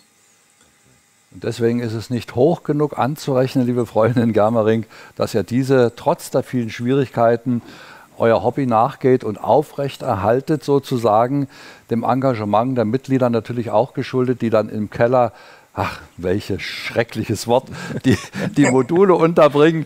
Aber es ist zumindest erstmal ein Anfang und ähm, wie gesagt, der Aufruf nochmal an der Stelle, äh, Germering, München, Umgebung, wer was hat und wer da wagt, Mensch, die können bei mir in einem stillgelegten Geschäft, da können die alle rein. Haben wir noch eine Schaufensteranlage, bitte helft den Germeringern unbedingt, denn diese Anlage hat es mit Sicherheit verdient. Auf jeden Fall. Und wann ja. kann man sie im kommenden Jahr wiedersehen? Habt ihr schon das Ausstellungsdatum? Ja, das Ausstellungsdatum für nächstes Jahr steht, steht fest. Wir sind am 11. 12. März 2023 wieder in der Stadthalle Germering zu besuchen. Ja gar nicht mehr so lange. Nee, und wir haben auch schon viele Anmeldungen von interessierten Teilnehmern. Also wir können auch dieses Jahr Sachen bieten, die noch nie zu sehen gewesen sind. Kann ich gleich vorweg sagen. Dann, dann wünsche ich euch viel Erfolg, viele Besucher, schöne Anlagen ja. und vielleicht habt ihr Glück und ihr kriegt ein Domizil ja. in Germering und Umgebung. Genau. Hoffnung haben wir nicht aufgegeben, ja. Vielen Dank. Vielen, vielen Dank nach Germering, dass ihr die? Anlage vorgestellt habt. Hagen ja. hat sich sehr gefreut. Ja. Ich genauso und ich drücke euch alle Daumen, dass ihr in der Richtung vorwärts kommt. Vielen Dank. Schöne Grüße. Okay, danke auch. Ciao. Tschüss. Ciao. So, liebe Freunde, das war der zweite Block. Die zweite Wie viel Stunde. haben wir denn noch vor uns? Nur noch sechs. Nur noch sechs Blöcke. Es geht weiter. Ja, liebe Zuschauer, es ist der 2. Dezember 2022, der internationale Tag der Modelleisenbahn und den begehen wir mit einer achtstündigen Sendung und da gibt es viele Eisenbahnen, viele Tipps, viele Gesprächspartner und einen begrüße ich jetzt ganz, ganz herzlich. Es ist Wieland Fissmann von der Firma Fissmann. Herzlich willkommen, Wieland. Du, Hallo. Uns, du hörst uns, genau. Wie Hallo. geht es dir denn am Tag der Modelleisenbahn? Sehr gut. Ich bin glücklich in der Branche wie je zuvor oder glücklicher wie je zuvor. Wir haben ja dieses neue Baby, Car-Motion. Also erst einmal auch von meiner Seite, von Rettichhausen hier, Hatzfeld-Rettichhausen. Herzlich willkommen zum Tag der Modellbahn aus dem Hause Fissmann. Ich freue mich sehr, dass ich heute dabei sein darf. Ja. Du sprachst gerade dein neues Baby an. Wieland, du sprachst gerade dein neues Baby an. Ja, wir haben ja dieses. Das war genau. ja die Überraschung des Jahres. So kann man es nennen, ja. Für mich auch. Dass es so gut ankommt und dass das letztlich so gut gelungen ist, wundert mich selbst. Wir haben das jetzt im Frühjahr noch vorgestellt. Car-Motion sind seit circa vier Jahren am entwickeln. Und was dabei rausgekommen ist, ist wirklich sensationell. Das muss man schon so sagen. Und ähm, wir hatten zum Beispiel auch jetzt am Wochenende wieder Fachhändler hier im Haus. Äh, wir haben das äh, mit in, in, Instagram, auf den Social Medien Kanälen ja schon vorgestellt, mit Print, auf den Messen und so weiter. Und es ist wirklich eine sensationelle Neuheit. Wir haben das ja auch bei dir schon mal äh, vorgestellt im Frühjahr auf deinen Kanälen und ich möchte es nochmal wiederholen.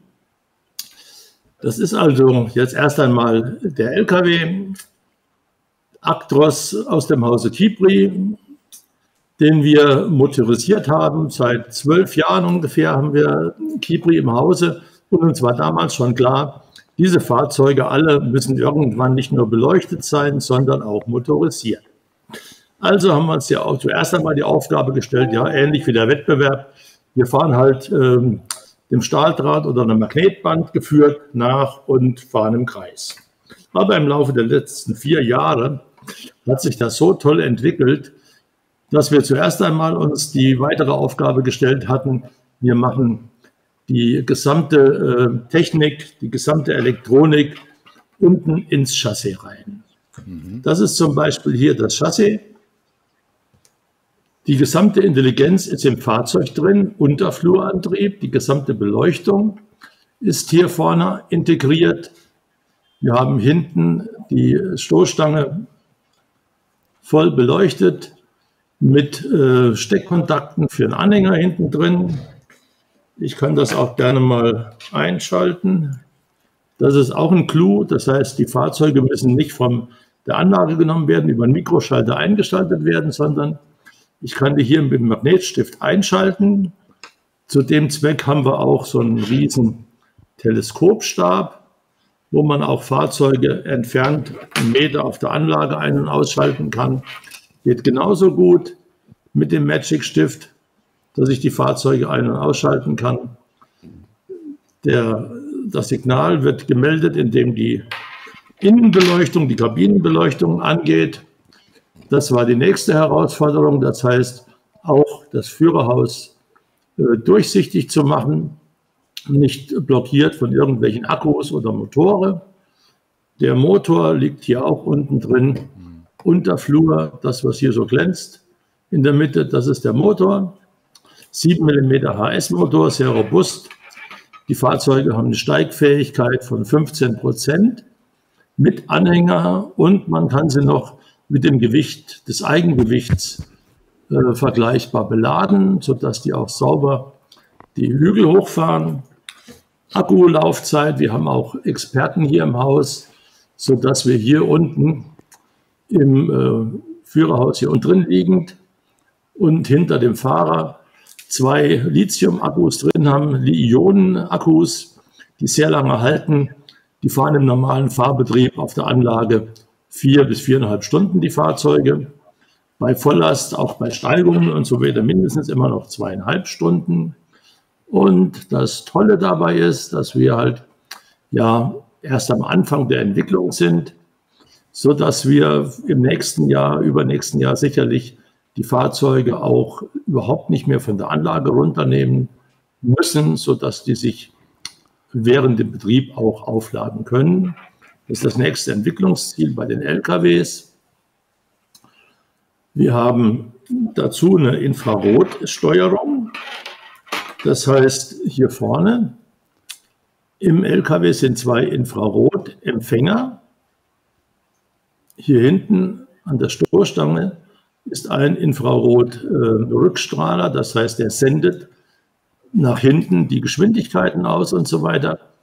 Zuerst einmal haben wir gedacht, naja gut, prima, äh, wir machen erst einmal die Kollisions, äh, die Abstandsregelungen, Kollisionsschutz rein, sodass die Fahrzeuge nicht aufeinander fahren.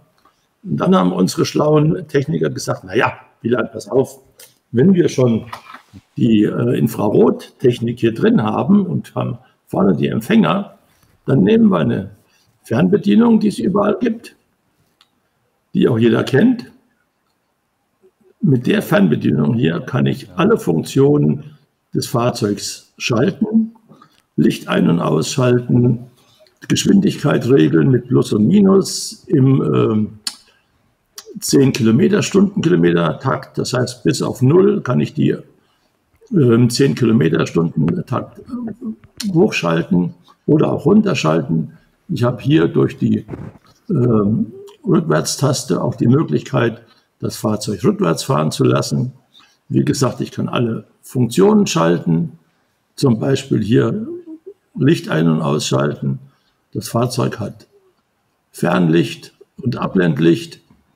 Wenn die Fahrzeuge aufeinandertreffen, das heißt auffahren würden, bremsen die nicht nur, weil der, das vordere Fahrzeug die Geschwindigkeit nach hinten aussendet, sondern auch das Abblendlicht wird automatisch eingeschaltet, die Bremslichter gehen an und ähm, damit eben der Fahrer im vorderen Fahrzeug wie in Wirklichkeit nicht geblendet wird. Insofern, das sind Funktionen, die es so nicht gibt. Mhm. Philosophie der ganzen Geschichte ist die, dass wir sagen, okay, die gesamte Intelligenz muss nicht wie beim Wettbewerb ähm, extern verwaltet werden, programmiert werden oder wie auch immer, sondern das sieht man hier nochmal ganz deutlich. Das Chassis, das gesamte Chassis in dem Fahrzeug hier ist eine Riesenplatine mit Mikroprozessoren vorne drauf, sodass wie in Wirklichkeit, dass die Fahrzeuge die Intelligenz integriert haben, sodass man die lokal steuern kann. Der Clou dabei ist noch der, dass wir hier unten einen Halssensor drin haben, der auf Dauermagnete reagiert, sodass wir ohne Verkabelung auf den Anlagen die Fahrzeuge steuern können. Wenn zum Beispiel ein, Elektrom ein Dauermagnet, hier zum Beispiel kann man so ein Teil sehen. Ich habe jetzt gerade keinen dabei. Diese kleinen runden Dinger. Hier ist ein kleiner Dauermagnet drin, 3 mm Durchmesser, 4 mm lang. Die kann man in die Fahrbahn integrieren. Man kann die äh, Magneten mit dem Südpol nach oben, mit dem Nordpol nach oben einbauen, sodass das jeweils für die Fahrzeuge eine andere Bedeutung hat. Man kann äh, mehrere Magnete hintereinander schalten, sodass man äh, auch verschiedene Befehle an die Fahrzeuge abgeben kann. Nordpol, Südpol, Nordpol heißt zum Beispiel, du bleibst in den nächsten 10 Zentimetern stehen, ähm, machst die Bremslichter an, bremst langsam und dann fährst du nach 10 Sekunden wieder los, langsame äh, Anfahrgeschwindigkeiten und du fährst jetzt 30 Zentimeter mit 50 km/h weiter und dann schaltest du hoch, dann ist das, kommt das Ortsschild, dann ist das Ort, der Ort zu Ende, dann fährst du 80 km/h oder wie auch immer. Und das Schöne dabei ist, über unseren Car-Manager, der ist mittlerweile auch im Internet kostenlos frei ähm, runterladbar. Mit diesem Car-Manager kann jeder sein Fahrzeug individuell programmieren. Wir haben dann hier ein kleines Programmiergerät, das gibt es auch. Das heißt, mit diesem kleinen Stecker hier kann ich die Fahrzeuge nicht nur aufladen, sondern auch programmieren über den Computer, über den, das USB-Kabel hier. Kann ich jedem Fahrzeug individuell sagen, zum Beispiel, wenn du über einen Dauermagneten fährst, Südpol nach oben, dann bleibst du stehen. Das nächste Fahrzeug macht, hat eine ganz andere Funktion dabei. Fährt zum Beispiel bei Nordpol, Südpol. Die Magnete werden im 2 cm Abstand installiert in der Straße, ohne jede Verkabelung. Dann kann ich jedem Fahrzeug individuell sagen, du machst den Blinker rechts, du machst den Blinker links, du schaltest das Licht ein oder aus, wie auch immer, sodass man jedes Fahrzeug mit dem Car-Manager individuell ähm, programmieren kann, sodass wir einen Fahrbetrieb haben wie in Wirklichkeit. Da ist es ja auch so, dass der ähm, Fahrer selbst sagt, ich fahre jetzt links weg, ich fahre rechts weg, ohne dass das ferngesteuert ist. Das spart insofern wirklich Geld, weil die ähm, Fahrzeuge müssen ja auch irgendwo bezahlbar sein. Und indem wir die Intelligenz im Auto drin haben und alles gleich ist, brauchen wir auch keine externe Steuerung, keinen Funkverkehr mit den Autos. Das heißt auch keine Zentrale, die aufwendig programmiert werden muss und so weiter. Das sind alles Vorteile, die wir hier integriert haben. Und die Fahrzeuge sind auch so jetzt schon in der Auslieferung seit vier Wochen, so dass man die jederzeit auch updaten kann, auf den neuesten Stand bringen kann, auch in Hinsicht auf die Neuentwicklungen mit äh, anderen neuen Funktionen, die wir jetzt noch entwickeln, so dass man da flexibel ist und wirklich ein ganz tolles System hat. Und ich sehe das auch immer wieder jetzt auf den Messen, zum Beispiel in Leipzig waren wir gewesen oder bei unserer äh, Fachhändlerschulung letzten Sonntag. Die sagen, naja, man liest auch in den Foren, ist noch ein K-System schön, Fissmann macht auch noch ein weiteres K-System, aber man muss das wirklich erleben, die Fahrzeuge mal fahren sehen, sehen wie die ähm, Anfahrrampen, die Bremsrampen, wie schön leise die laufen, wie gut die funktionieren. Das ist schon sensationell, wenn man das mal erlebt hat. Auch jetzt auf der Leipziger Messe haben wir das gehabt, dass die ähm, Besucher total überrascht waren von der Laufruhe der Fahrzeuge, von den Funktionen und von der einfachen Handhaber, Handhabung und Installation der Dauermagneten.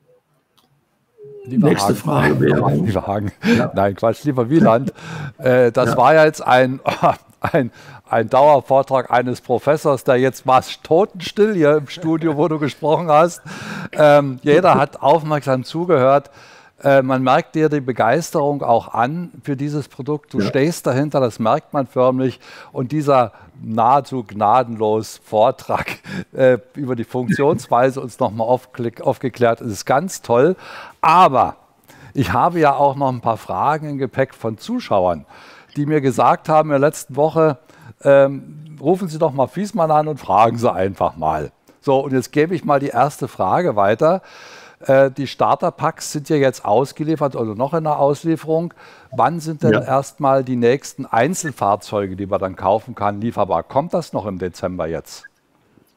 Ja, das soll noch vor Weihnachten kommen. Mir wurde versprochen von unserer ähm, Produktionsfirma, dass ähm, die noch ausstehenden Bestellungen ähm, noch dieses Jahr ausgeliefert werden. Ob wir das schaffen, hoffe ich mal stark.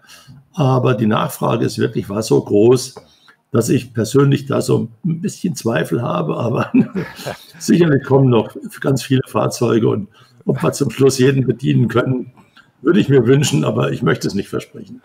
Weißt du, Wieland, dann kommen ja noch die nächsten Fragen hinterher. Ich meine, das ist ja nur die eine Frage. Da danke ich dir erstmal. Die Zuschauer haben es wahrgenommen und gehört, die schon spitz drauf sind und drauf warten. Ähm, gestern hatte ich ein Gespräch im Auto auf der Herfahrt hierher von einem Kunden, der gesagt hat, wissen Sie, Herr Buttig, sagt er, fragen Sie doch mal den Herrn Fiesmann, ob er auch Epoche 3 Fahrzeuge baut. Ja, also für, für natürlich Epoche logisch, 3. dass wir jetzt ähm, die Vielzahl der ähm, Fahrzeuge aus dem Kibri-Programm, gerade die Epoche 3 Fahrzeuge, den Mercedes Rundhauber, den ähm, Magirus Eckhauber, ganz viele Anhänger, Fahrzeuge und so weiter, möchten wir jetzt in Verbindung mit diesen Zügen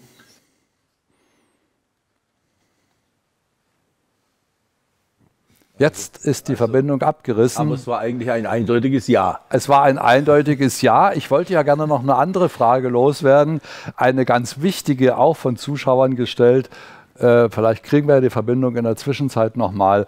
Aber da ging es immer um die Frage, werden die auch mal kleiner, die Autos? Das heißt also PKWs. Das ist ja immer das Spannende. Ja, Das aber das ist ja logisch. Meine, bei, bei Wieland, ich, ich kenn Wieland ihn, würde ich sagen, wird- okay, der fummelt so lange rum, bis er es reingekriegt hat. ja, genau. Ähm, aber ähm, ja. Und dann noch die Frage, gibt es auch e Autos aus der ehemaligen DDR? So. Aber, aber weißt du was? Ich, ich glaube, das, das technische Problem entfremd- nach wie vor. entfremdet uns jetzt von, von Jetzt- Wieland. Äh, vielleicht können wir die Antworten nachliefern. Also ich hätte da schon eine gute Idee. Multicast zum Beispiel. Beispielsweise, ja. Das wäre doch auch mal so Das eine- ist nicht nur eine gute, es ist eine naheliegende Idee. Da hätte ich noch eine andere Idee, aber die wäre dann, glaube ich, ähm, okay. Okay. Gut, dann sagen wir einfach Danke. Danke Wieland. an Das der war- Stelle, Wieland. Das war, äh, das war atemlos, es- was, es- was er erzählt hat. Es- ja, ja, und es- es war die Begeisterung, hört man äh, aus, aus, aus, aus jeder Pore von ihm. Das Genau. ich.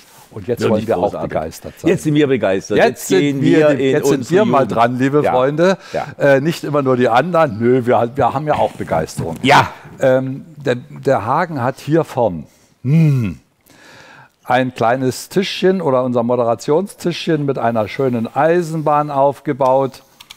Die fährt auch richtig. Das eine ist, was jetzt innen fährt, der Innenkreis ist die Busch-Feldbahn. Richtig. Und das andere ist die Feldbahn von Minitrains. Das ist H0F und das ist H0E, beides Feldbahnen. Und äh, ich bin ja nun ein Freund von winzigen und kleinen äh, Fahrzeugen. Äh, das ist einfach großartig. Ja, und ich weiß, dass äh, Andreas Schönfeld von Minitrains ein großer Fan der Eggerbahn ist. Eggerbahn, die hat ja auch einen guten Namen, eine lange Tradition, äh, äh, eine Bahn aus den späten 60er, frühen 70er Jahren. Und äh, äh, auf, die, auf dessen Spuren ist er quasi mit Minitrains unterwegs. Und äh, das ist jetzt die, die ganz kleine Spur H0F. Und äh, hier vorne steht noch ein Das ist, eine ganz, das ist ein also ganz, andere winziger Spur. Zug. Das ist eine ganz andere Spur, das ist auch Holz. Und das, weil wir ja auch hier, hier und da einen persönlichen Einwurf machen, als ganz kleiner Bub zum zweiten Geburtstag, hat mir meine Mutter erzählt, weiß ich nicht mehr, durfte ich mir in einem Spielzeuggeschäft in Zwickau, äh, unserem Heimatort damals, ein, ein Spielzeug aussuchen, was ich haben wollte. Und ich habe mir den kleinsten Zug ausgesucht, den es gab, so etwa in dieser Größe. Und dann hat mir meine Mutter gesagt, den habe ich ganz lange festgehalten, so, so ein, ein Schatz. Ja. Und als ich abends ins Bett musste, habe ich mich geweigert, diesen Zug aus der Hand zu legen. Ich habe mit diesem Zug übernachtet. Und das war irgendwie so eindeutiges Zeichen dafür, äh, Ortloff und Eisenbahn, das ist eine Gehört Liaison fürs. Leben. ja, Ja, Und was, auch so was macht der Fahrdienstleiter da? Ich meine, der ist ja nur etwas sehr groß. Na gut, der Fahrdienstleiter spielt Eisenbahn. Also Okay. das ist Ah, ja. der spielt mit der kleinen Ja, Eisenbahn. natürlich, siehst Okay. du doch. Ne? Ja. Und dieser Fahrdienstleiter, das ist, eine, das ist eine Figur, die verhältnismäßig neu ist. Die hat KM1 gemacht. Das ist meine, äh, äh, meine Wenigkeit, die da dargestellt wird. Mhm. In, in einer Uniform soll eigentlich königlich sächsische sein, aber dann gibt es auch in unterschiedlichen Formen. Und vorhin in dem Film aus Leipzig hat man ja äh, das Ehepaar gesehen, was äh, diese Figuren anmalt. Ja. Übrigens eine zufällige Begegnung. ja, das ja, ist das Schöne an Messen. Da kommt jemand auf einen zu, sagt, Herr von Ortloff, so und so. Ja, und die haben, haben gesagt, wir haben Sie angemalt. Äh, ein, anderer, ein anderer Zuschauer, ein anderer Besucher hat mir vor Jahren mal gesagt, Herr von Ortloff, kennen Sie mich? Da habe ich gesagt, nee, aber Herr von Ortloff, ich habe Ihnen doch vor zwei Wochen einen Brief geschrieben. Aber weißt du, das, Ja. das sind alles so diese Begegnungen, die einfach Ja. nett sind, die Ja, Spaß machen. Und äh, ja, äh, die Welt der Eisenbahn ist wunderschön und ich versuche diesen Traum zu leben, äh, solange ich noch träumen kann. Wann hast denn du eigentlich deine erste Eisenbahn geschenkt? Also das war die erste, ja, mit, die zwei, erste? mit zwei Jahren. Nein, ich meine die so richtig elektrisch Elektrische. gefahren. Äh, ich muss da vorschieben, ich habe so ein, so ein doppeltes Leben geführt, führen müssen. Äh, ich bin ja in Dresden bei meiner Oma dann aufgewachsen bis zum 11. Lebensjahr und meine Eltern haben die DDR verlassen, anno 53 und lebten dann in der Nähe von Stuttgart, also in der Nähe von Heilbronn, in einem kleinen Ort, wo es äh, auch ein sogenanntes Landesdurchgangs- oder ein Flüchtlingslager gab. Und dort habe ich äh, ab und zu mal Besuche gemacht. Und bei, beim ersten Besuch 1954 hat der kleine Hagen zu Weihnachten eine elektrische Eisenbahn von Märklin bekommen. Da sind wir wieder bei Märklin. Da sind wir jetzt wieder bei Märklin Ja, genau. und da bleibe ich natürlich auch. Und diese Eisenbahn, da müssten wir eigentlich mal hingehen. Müssten wir hingehen. Ja, aber jetzt, jetzt habe ich erzählt, was ich als erstes gekriegt habe. Du musst mir vorher noch erzählen, was du gekriegt hast und dann gehen wir an den Tisch. Dann gehen wir zur Eisenbahn. Dann gehen wir Oder du gehst schon mal zum Tisch und ich erzähle in der Zwischenzeit den Zuschauern, was meine erste Eisenbahn war. Können wir ja auch machen. Da kannst du schon mal die Trafos scharf stellen. Meine erste Eisenbahn war eine Pico-Eisenbahn, liebe Freunde. Eine Lok, Dampflok der Baureihe 50, die ich geschenkt bekommen habe im zarten Alter von neun oder zehn Jahren äh, und einen gehörigen Zug dazu. Und das wurde dann immer peu à peu sozusagen erweitert. Vor allen Dingen dann zu Weihnachten gab es mal dann zum Oval, zum Schienenoval, so fängt man ja an auf dem Teppich. Ähm, fängt man an, äh, dann kriegt man eine Weiche, dann kriegt man ein Signal. Natürlich alles Pico. Und Pico war damals ja auch noch mit Pappgleisen. Der eine oder andere wird es sicherlich noch wissen. Ja, und dann würde ich sagen, ich höre schon Geräusche da hinten. Hagen hat also die Trafos schon scharf gestellt. Äh, dann werden wir Ihnen jetzt natürlich ganz klar zeigen, mit welcher Eisenbahn wir sozusagen groß geworden sind. Auch meinen ersten Zug habe ich mitgebracht. Der ist auch auf der Anlage zu fahren. Ja, und dann gehe ich einfach mal weiter und dann gucken wir mal, wie das hier auf der Anlage funzt. So, gleich bin ich da. Hagen lässt schon mal rollen. So, das ist dein erster Zug oder was? Das ist mein erster Zug. Und es gibt auch noch ein Bild, der kleine Hagen. Ich weiß nicht, ob ich das in die Kamera halten kann. Das ist der kleine Hagen mit fünf Jahren. Ein Kreis. Meine Mutter hat damals noch eine Kirche aus Pappe gebaut, ein Tunnel, kleine Häuschen. Und die TM 800, der Niederbordwagen, der Kranwagen, die Lore und der Kesselwagen. Und genauso fährt dieser Zug jetzt auch durch die Gegend, wobei es noch einen fünften Wagen gibt. Den habe ich ein Jahr später geschenkt bekommen, den Schlusslichtwagen. Jetzt wollen wir natürlich den Leuten noch mal die Eisenbahn zeigen. Sollen wir sie anhalten? Äh, der Herr Kameramann wird mal so freundlich sein.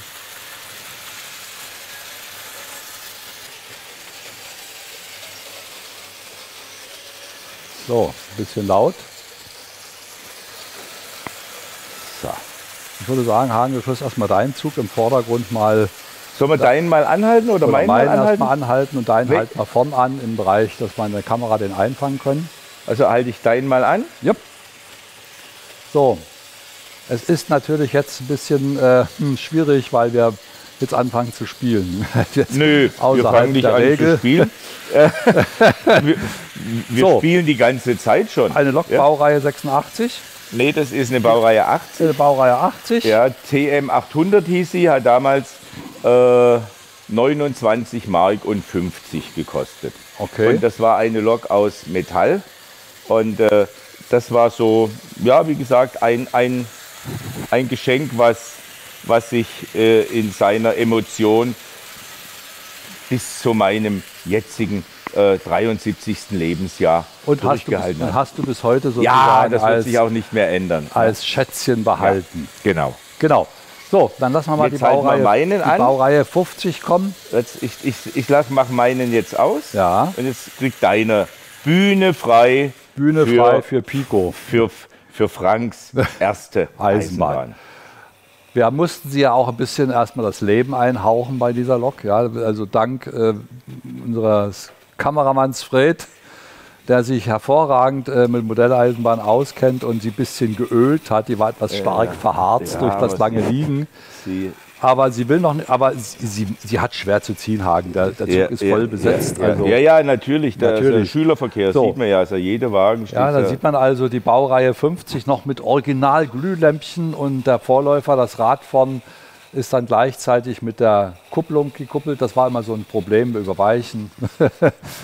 Entgleisungsgefahr, die Donnerbüchsen hinten dran und ja, das war das, wo ich als kleiner Frank mal angefangen habe zu spielen. Ja, und es ist einfach diese Emotionen, die, die, die, die sind in einem dann einfach drin, was auch schön ist. Ich lasse ihn mal anhalten, der kriegt jetzt noch mal ein bisschen Öl und dann darf er nachher noch ganz, ganz weit fahren. Wir müssen übrigens noch ein Versprechen einlösen. Wir haben Ja. ja gesagt, den 470. Der den haben wir auch. Die Baureihe Und 470 der, ist richtig. Dieser Doppelstocktriebwagen darf jetzt, jetzt mal fahren. zu sehen ist, da steht hier, Hagen geht an die Regler und Das ein- ist jetzt die TT-Ausführung. Spur-TT, die Ausführung, das, was wir im ersten Stunde besprochen hatten und auch äh, Sebastian Fischer angesprochen hat. Und was wir ihm ja auch versprochen hatten, dass er dass wir, auch, dass wir das ja da nochmal hoch- Modell hier fahren lassen, dass das, muss unbedingt fährt. sein. Äh, vielleicht nehmen wir mal ein paar Loks hier rüber, dass wenn er vorbeifährt, Hagen, vielleicht von der Kamera gut eingefangen werden kann. Ja, die können wir ja einfach mal ein bisschen Komm, zur wir Seite stellen die mal stellen. beiseite. So, wir machen jetzt mal freies Blickfeld für die Kamera, dass die Vorbeifahrt gelingen möge. So. Da kommt nochmal. Ja, wir haben hier übrigens sehr viele Spuren, liebe Freunde, ähm, äh, auf diesem schönen Tisch, Messetisch ausgebreitet. Sag doch mal was zu den Spuren, was wir noch alles haben. Hagen. Naja, wir haben ja, wir sind ja Spielkinder und äh, wir haben gesagt, wenn wir schon den Tag der Modellbahn begehen, dann zeigen wir doch mal alles, was möglich ist. Wobei alles geht natürlich nicht. Aber, ist schon sehr viel hier. Also. wir, haben, wir haben einfach gesagt, auf diesem Tisch fahren ganz unterschiedliche Baugrößen, angefangen von H0 Gleichstrom, H0 Wechselstrom, dann gehen wir einen Stock tiefer, äh, TT, dann kommen wir zu N. Diese, das ist der N-Zug. Ich habe dummerweise äh, nur Feldbahngleise da, deswegen kann diese Lokomotive nicht fahren. Aber wir haben noch eine, eine kleine Rangierlok, die, die den, die den äh, vierachsigen Umbauwagen Vor zumindest in. Bewegung setzen kann. Stilgerecht, wir sind Spieler. Ja? Ja. Also, äh, das ist eine H0 E-Lok, die einen äh, vierachsigen Umbauwagen, sagen wir mal, jetzt schwindlig fährt. Ja, Das darf Oh, sie ja. Darf sie. Ne? Aber, dann- aber, aber, mit dem schwindlig fahren. Man kann sie auch schwindlig gucken. Ja, ja, ja, du, du bist viel schneller als ich. Du als die willst- Polizei du willst so, Ja, du bist zur Mittagspause, ich weiß. Äh, ich wollte noch sagen, äh, dass wir jetzt nachher deinen Zug und meinen Zug auch wieder fahren lassen. Und dann werden wir noch ganz klein. Äh, die bisher bekannte kleinste Baugröße war Z. Die darf jetzt auch losfahren. Na, das ist da die falsche Richtung. Das war Z. Und oh, oh, Unfall. Grand Malheur. Live, alles live, liebe Freunde. Die sind Draht hängen geblieben. Moment. Ja. Live ist live. Na, na, na, na, na. So. Jetzt sind die Wagen auch noch hier. So, dass wir, äh, also ich komme vielleicht von hier besser dran. Ja, die fährt aber noch die Lok. Deswegen. Ja, dann machen wir so aus. Halt! So. so kann es gehen. Äh, wir Nee, soll's ja, nicht gehen. wir, wir können ja noch ein bisschen weiter erzählen. Ja, genau. Bis vor zehn Jahren war die Baugröße Z die kleinste Größe. Das ist die Baugröße T. T für Tiny. Ah, Jetzt sind wir erst noch bei der Z-Lok, okay. Ja, ich wollte einfach nochmal die Größenverhältnisse zeigen. Das ist nichts für Leute mit angeborener Sehschwäche. Also die ist etwas sehr klein, aber schön. Dankeschön, dass du das. So. Aber die, die, was hast du gesagt? T? T. Jetzt, jetzt sagen wir erstmal Z. Ja, sagen wir bei Z. Jetzt lassen wir Z laufen. Die fährt noch. Halt sie mal an. Oder? Ei, ja, ja, ja. Gut, jetzt. Gut. Ja, und jetzt, jetzt komme ich mal zu dir. Jetzt kommen wir zur Baugröße T. Ich weiß nicht, ob das für Tiny steht, also für winzig. Äh, Das Da ist hätte man Ma- doch W nehmen können. Winzig. Da hätte man doch W nehmen können. Winzig. Aber das ist ja äh, eine chinesische Entwicklung und, äh, äh, oder japanisch. Ja, und also wie gesagt, das ist jetzt die Baugröße T, Maßstab 1 zu 480, äh, 3 mm breite Gleise. Dann lass mal aber jetzt mal die, die Z-Spur anhalten. Das muss man genießen, so eine kleine Bahn. Sonst sehen wir sie nicht. Oder kriegen wir die äh, scharf gestellt. Dann lass uns mal fahren. Also, was hast du gesagt? Wie viel Millimeter? Drei. Drei Millimeter, liebe Freunde. Drei. Und die Räder drehen sich. Es ist abartig. Und, und äh, die Beleuchtung vorn und hinten Geht mit auch. rotem Rücklicht äh, ist auch zu sehen. Also das ist etwas, wo ich sagen muss, äh, kleiner geht's nimmer. Ja, Ja? das sollte man nicht sagen. Also, Aber das sollte man nicht sagen. Ja, ja, So, und jetzt lassen wir die anderen auch laufen. Oh, jetzt, jetzt machen wir fahren. einfach. Ja, Danke. Keiner weiß, warum wir jetzt lachen, aber Hier ist, ein, hier ist eine Steckdose im Boden und da ist jeder von uns schon drüber gestolpert. Wir haben den Stuhl davor gestellt, damit wir das verhindern können, aber Ja, jemand ja, hat ihn ja. zur Seite geschoben. Ja, So, aber Hagen, das, du lass das- jetzt lassen wir noch den, lassen So, kleinen das- Frank noch fahren und deine noch. Und dann fahren und den kleinen Hagen. Und dann fahren alle Spuren hier auf der Runde bei, unter mörderischem Lärm. Ich hoffe, man versteht uns noch.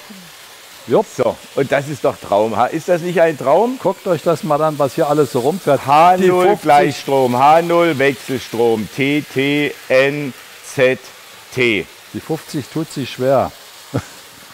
Naja, sie hat in der Ruhe liegt die Kraft, du weißt es. Ja, so ungefähr. Weißt du, was wir jetzt machen? Nee. Mittagspause. Das ist eine coole Idee. Ihr Lieben, wir machen jetzt für ein paar Minuten Mittagspause und dann melden wir uns Gleich um wieder. 13 Uhr, glaube ich, wieder zurück. Ne? Mit diesem rollenden Inferno verabschieden wir uns jetzt erstmal in die Mittagspause. Wir unterhalten Sie in der Zeit mit einem kurzen Film, der dann schon auf das nächste Thema anspielt. Genau. Und der überraschenderweise mit Modellbahn zu tun hat. Ja. Ein bisschen zumindest. Bisschen, ja.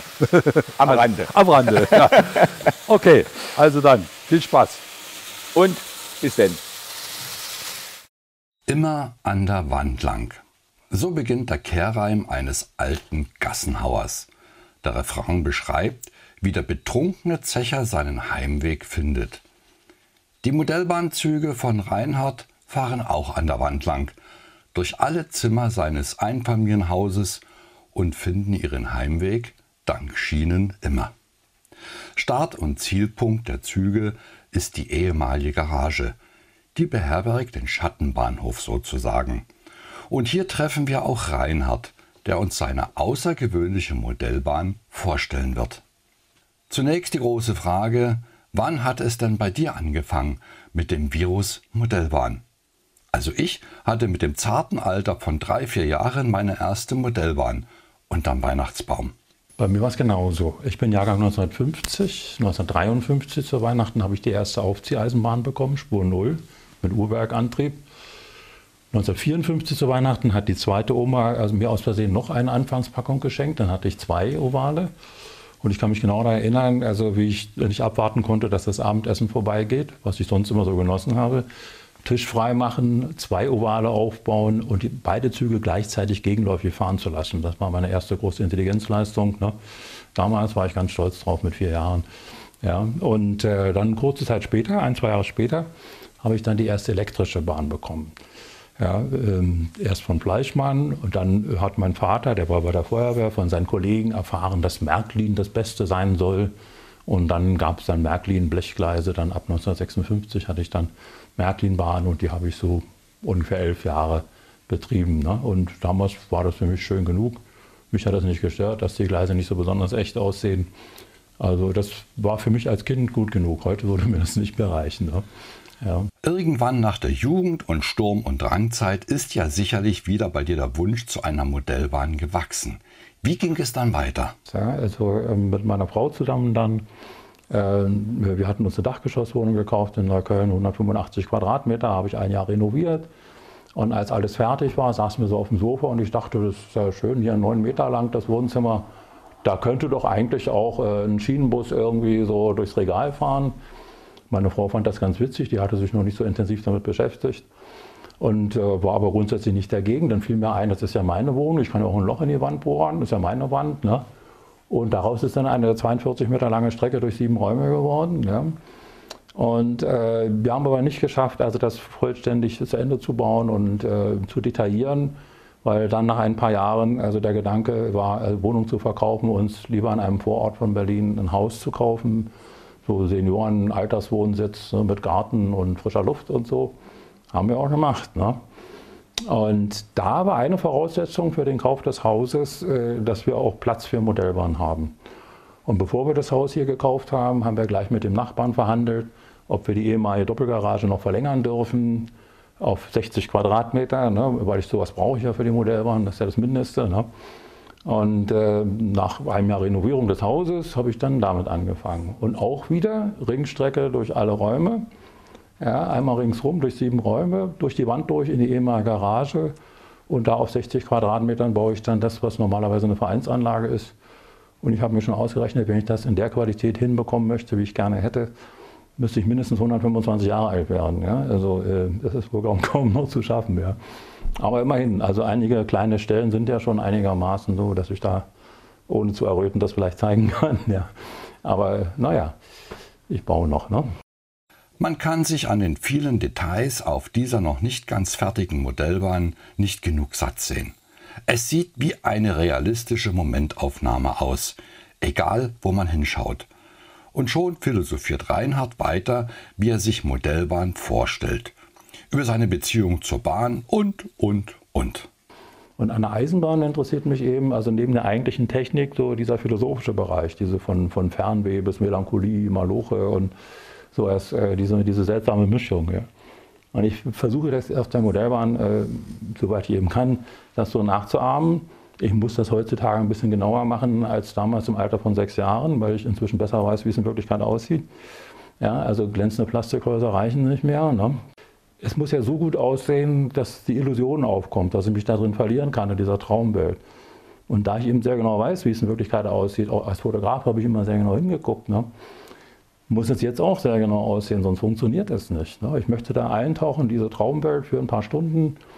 Ja, und das Auftauchen ist so besonders schön, wenn man aus dieser Traumwelt wieder auftaucht und wieder in die Realität zurück muss. Dann kann man für einen kurzen Moment die Realität von außen sehen und sieht sie viel genauer, als wenn man drin steckt. Und das ist ein interessanter Effekt. Es ist so wie wenn man einen ganz starken Film sieht, in dem man sich so verlieren kann. So ähnlich ist das hier auch. Das kann ich hier sozusagen auf Knopfdruck machen, bei mir zu Hause. Und weil ich eben in Berlin-Neukölln groß geworden bin, im nördlichen Teil von Berlin-Neukölln und eben nicht irgendwo auf dem Lande, habe ich äh, keine lieblichen Landschaften hier gestaltet mit, mit Wassermühlen und, und äh, Förster im Wald, der auf, auf den Hirsch wartet oder so ähnlich. Das kann man alles machen. Aber das ist nicht meine Kindheit. Ne? Ich bin in Berlin groß geworden Vierstöcke Mietskasernen, äh, Gaswerk, Fabriken, Kanal, auch ein bisschen morbide teilweise. Und das versuche ich hier nachzubauen. Also solche Häuser zum Beispiel kann man gar nicht kaufen, sowas gibt es gar nicht, das muss man irgendwie selber bauen. Ne? Die sind zum Teil aus Pappe, aus, aus Gips, Mischungen aus verschiedenen Materialien, Teile aus Bausätzen, Teile selbst gebaut. Und äh, auch in der maßstäblich richtigen Größe. Die meisten Modellhäuser sind ja viel zu klein vom Volumen. Ne? Und es darf nicht so super neu und glänzend und äh, frisch aussehen. Ne? Also in Wirklichkeit ist das ja auch selten.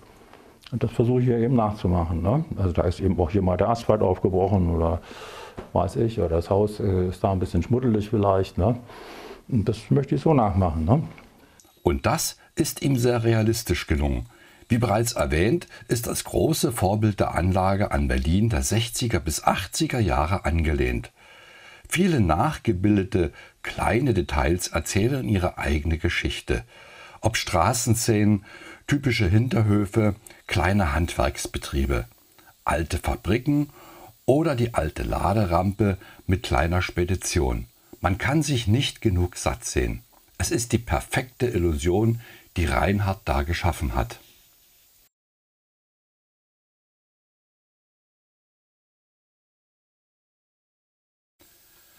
Schicken wir jetzt einen Zug auf die Reise durch die Räume des Hauses. Vom Schattenbahnhof aus, in der Garage, macht sich ein Personenzug, gebildet aus Eilzugwagen und einer E44, auf die Reise. Der Zug erreicht nach kurzer Fahrt die Küche. Das ist auch Reinhards Lieblingsplatz. Von jetzt an geht es immer an der Wand lang.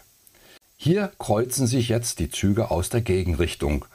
Es ist die legendäre Baureihe 601, die auf unseren Eilzug warten muss. Weiter geht es dann durch einen Mauerdurchbruch ins Bad, vorbei an Waschmaschine und Sanitärkeramik, um das Treppenhaus zu erreichen. Die Hintergrundkulisse übrigens begleitet den Zug durch alle Räume. Eine geniale, realistische Gestaltung.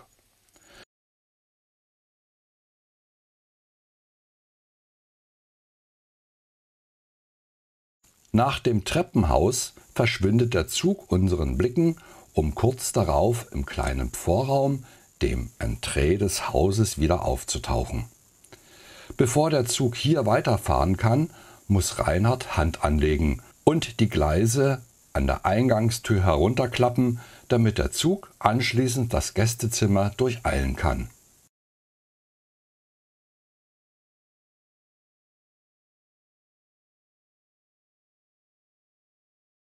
Nach Passieren des Gästebettes verschwindet der Zug wieder in der Wand, um anschließend aus dem Bücherregal im Wohnzimmer wieder aufzutauchen.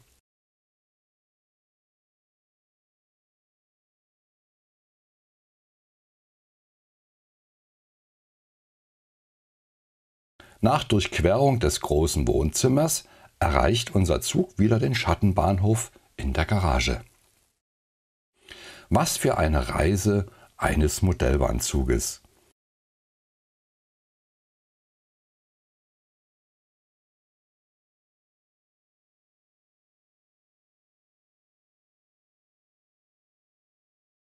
Eine wichtige Rolle im Leben und der Modellbahn spielt auch Reinhards Frau.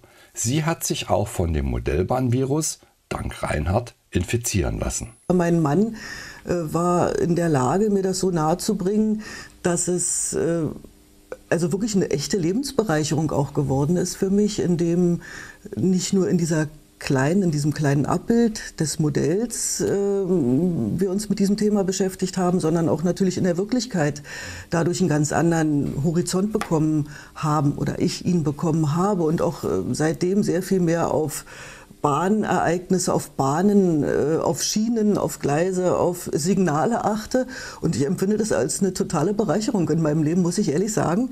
Ähm, ja, und nachdem das in der Wohnung eigentlich wirklich eine sehr schöne Sache war, sehr konstruktiv, es herrschte überall nicht überall, aber an vielen Stellen, aber zu jeder Zeit eigentlich irgendwo eine Baustelle, die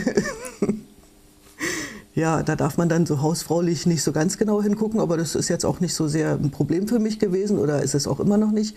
Aber ähm, diese Baustellen überall empfinde ich auch als total konstruktiv, weil da entsteht etwas Neues, etwas, was mehr ist als vorher da war.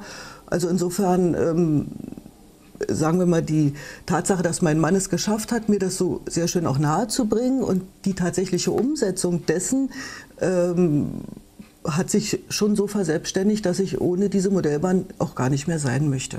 Die Modellbahn ist ja digitalisiert. Wer hat das von euch bewerkstelligt? Mein Part daran ist zum Teil die, ja, die, der PC, wenn man so will, aber auch eigentlich mehr Hard- und Software im Anfang gewesen, weil um diese Modellbahn zu betreiben, äh, braucht man äh, alles digitalisiert und es muss dann halt auch mit einer Software gesteuert werden.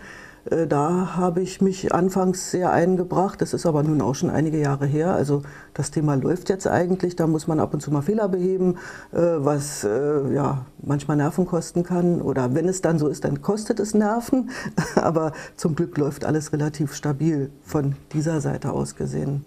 Die Einrichtung dieser Software auf dem Rechner habe ich gemacht. Das ist aber jetzt auch nicht sehr kompliziert. Und um die Bahn jetzt zum Laufen zu bringen, muss man sie natürlich individuell anpassen, also ein Gleisbild konfigurieren.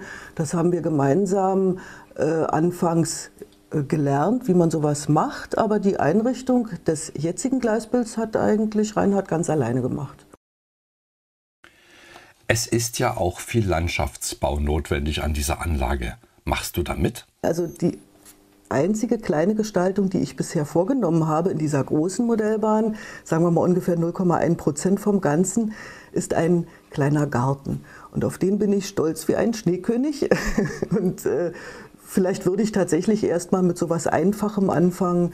Äh, jetzt nicht unbedingt ein Garten, aber mehr Landschaftsgestaltung vielleicht tatsächlich, ja. Mancher Modellbahner am Bildschirm wird jetzt sicherlich ein bisschen neidisch auf euch sein. Kann er das? Ja, unbedingt. also äh, ja, doch muss ich schon sagen, denn die, wenn ich es jetzt nur auf die Modellbahn beziehe in unserem oder meinem Leben, ist das wirklich ein, ein ja, es ist ein Universum, diese Modellbahn, grundsätzlich wahrscheinlich für viele oder für alle, die sich dafür interessieren. Und für mich hat es einen solchen Stellenwert bekommen, dass ich es mir ohne diese Modellbahn gar nicht mehr vorstellen kann, weil es gibt einfach so viel zu gucken.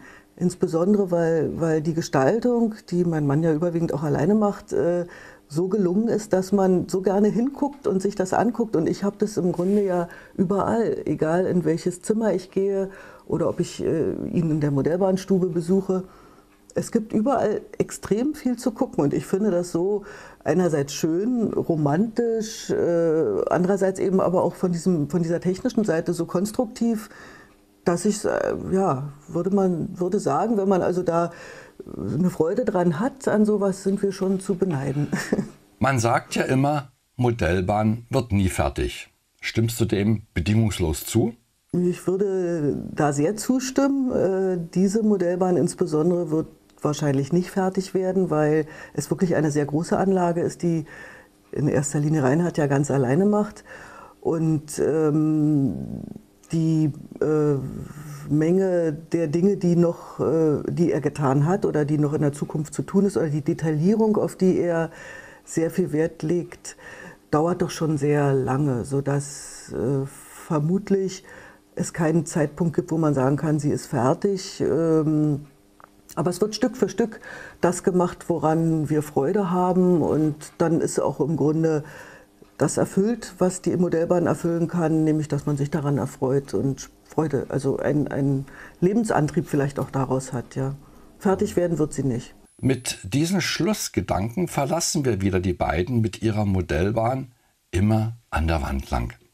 Es waren interessante Einblicke, wie Reinhard und Petra gemeinsam an ihrer Modellbahn, ach was sag ich, Modellbahn Traum, Freude und Erfüllung haben. Was kann es Schöneres geben? Nur in einem möchten wir Reinhard widersprechen. Wir wollen nicht warten, bis er seinen 125. Geburtstag feiert. Wir wollen eher wiederkommen. Die Anlage ist einfach viel zu schön und in zwei, drei Jahren ist sicherlich auch wieder viel geschaffen worden. Und das werden wir uns dann wieder ansehen. Versprochen. So, liebe Freunde, weiter geht's im Modellbahn-Marathon zum Tag der Modellbahn. Wir haben jetzt eine kurze Mittagspause genossen. Sie durften einen wunderschönen Film sehen, nämlich den von der Familie Gorn mit dem Titel Immer an der Wand lang. Und wenn die Technik uns jetzt kein Schnippchen schlägt, müssten die Gorns irgendwo jetzt auftauchen. Da sind sie. Ja, hallo. hallo. Liebe Grüße aus Thüringen. Hallo, schöne Grüße zurück. ja. Vielen ja. Dank. Wolltest du noch was zu der Anlage sagen? Du hattest ja den Film auch schon angesehen. Ja, ich, ich war beeindruckt. Also das ist äh, großartig, was euch da äh, gelungen ist. Und äh, mir hat ganz besonders gefallen äh, die, die Echtheit äh, der einzelnen Gebäude. Ja, also wenn du so ein bisschen mit die Augen zukneifst und drauf schaust, weißt du es wirklich nicht mehr, ob es echt ist oder ein Modell ist. Und das hat mich unglaublich fasziniert. Ja, Toll. Dann hatte ja der Reinhard in dem Film gesagt, ähm, dass er ja eine Anlage noch weiter bauen muss und er mindestens 126 Jahre alt werden muss, um das zu vollenden. Da habe ich schon immer gesagt, das glaube ich ihm nicht, denn eine Modellbahn wird nie fertig. Er wird da ganz steinalt, der Reinhard.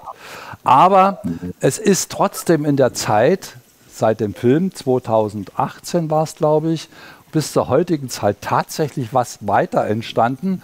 Und in diese Welt will uns Reinhard Gorn jetzt entführen. Und dazu haben wir erstmal den ersten Filmeinspieler. Und dann kann der Reinhard gleich sagen, was wir da sehen.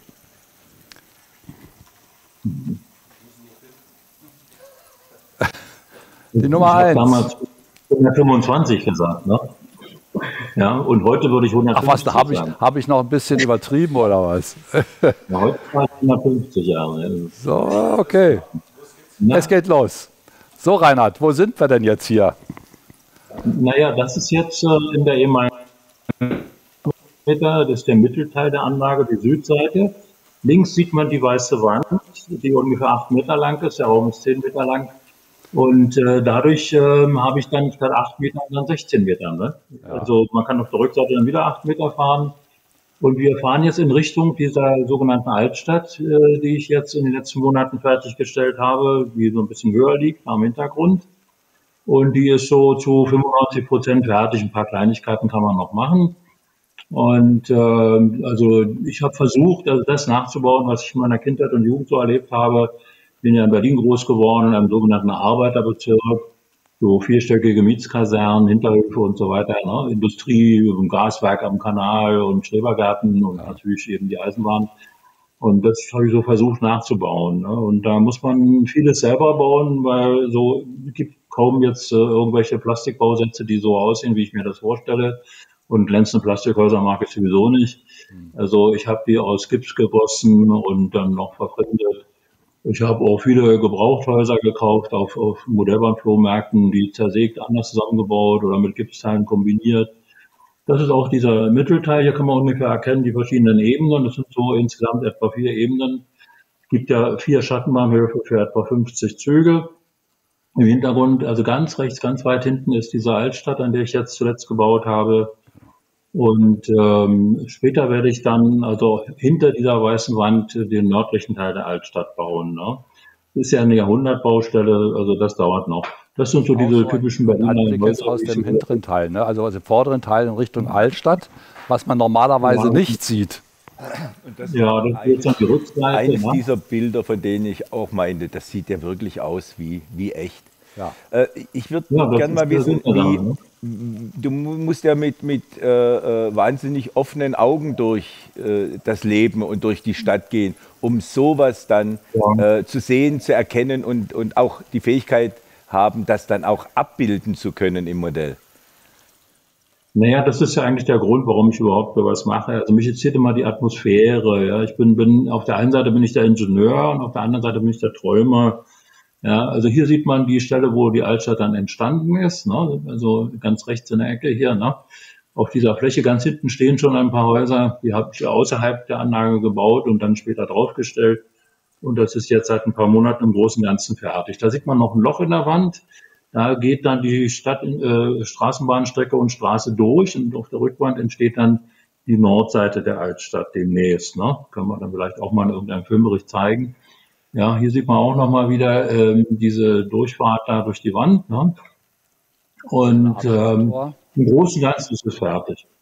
Ein paar Kleinigkeiten könnte man noch machen. Mir fehlt dann noch hier, muss in der Mitte müsste noch eine Straßenbahnhaltestelle hin und äh, vielleicht ein kleines Wartehäuschen. Also so ein paar Kleinigkeiten kann man schon noch machen, aber im Großen und Ganzen ist es schon erkennbar, was ich machen wollte. Ne? Ja, sieht man von der Altstadt aus, also in Richtung Westen. Die ganze Strecke ist etwa acht Meter, was man hier sieht. Rechts sieht man diese weiße Trennwand. Und dahinter entsteht dann der Nordteil später. Ne? Im Hintergrund oben links sieht man noch die Wände, 14 Umdrehungen, ja, weil ich die Anlage in vier Ebenen habe. Ne? Also hinter dieser Wände kommt äh, die Bahn aus der Küche dann durch die Wand. Links oben sieht man jetzt nicht, ist der Schattenbahnhof für die Ringstrecke. Unterirdisch gibt es noch drei Schattenbahnhöfe. In, insgesamt 50 Züge. Das ist ja ein ist allerherzlichst liebstes Bild, muss ich sagen, was wir hier sehen. Das ist jetzt so aus deiner Erinnerung, Reinhard, ja?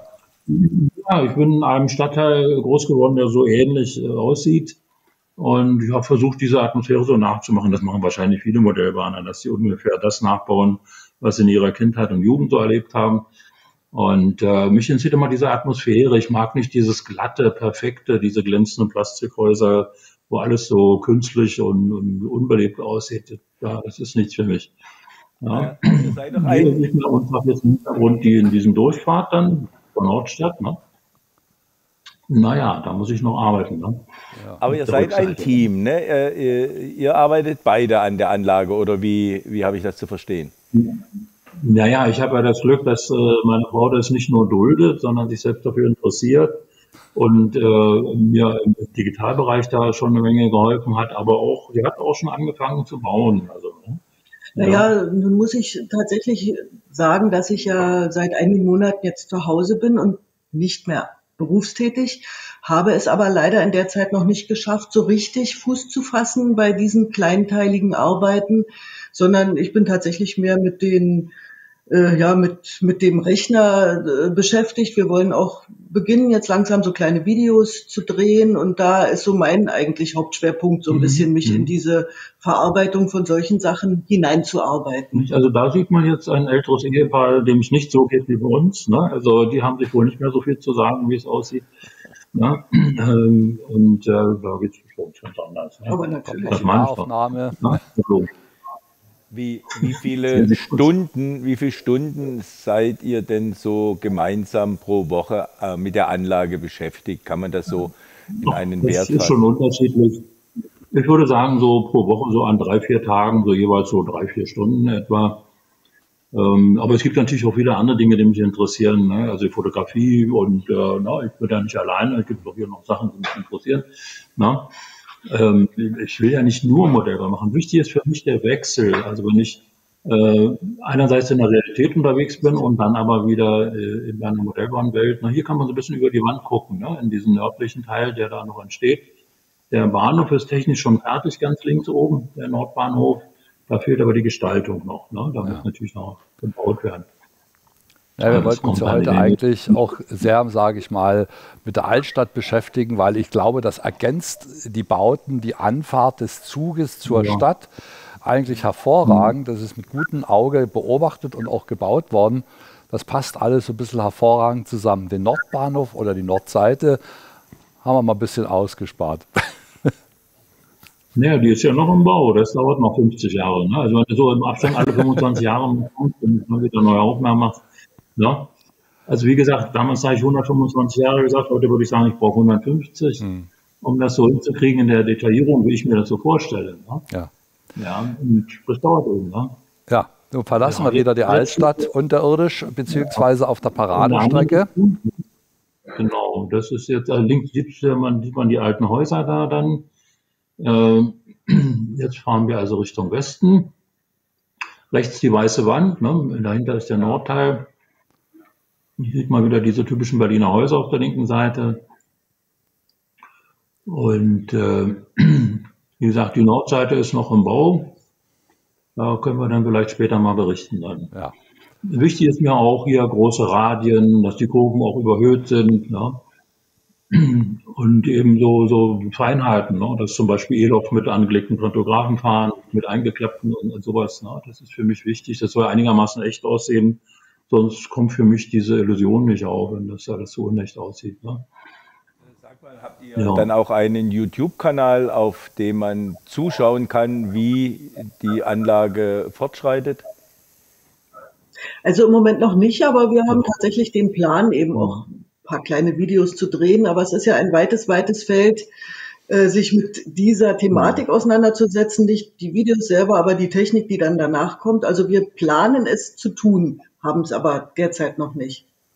Und bevor es soweit ist, liebe Freunde, da draußen vor dem Bildschirm, bis die Gorns ihren eigenen YouTube-Kanal haben, stehe ich immer beim Reinhard und bei der Petra auf der Matte und ich kann Ihnen jetzt schon versprechen, das ist wirklich kein leeres Versprechen, zu Weihnachten wird es dann einen Film geben. Reinhard hat versprochen, er steht mir zur Verfügung. Wir nehmen die, das Thema Altstadt und den Bau da hinten und was dann hintenrum noch so fehlt, mal unter das Auge. Und Reinhard wird uns dann mal äh, gekonnt in seine Welt entführen. Aber dieser, diesen Film gibt es erst zu Weihnachten. Welches Weihnachten? Na gut, machen wir. Welches Weihnachten? Nee, das war jetzt nicht nett. Ja, also, Nee, aber ich wir kann, sind am Ball. ich kann euch, ich kann euch oder ich muss euch und möchte euch einfach meine, meine Hochachtung aussprechen für, für diese Leistung. Also von Lebenswerk zu sprechen, da, da scheue ich mich immer ein bisschen. Aber so, so eine riesengroße Anlage im Prinzip zu zweit zu bauen, das ist schon eine, oder fast schon alleine, äh, das ist schon eine, eine wahnsinnige Leistung. Und da habe ich also aller, allergrößte Hochachtung. Und ich kann nur sagen, weiter so. Äh, Es ist, man kann sich nicht satt sehen daran.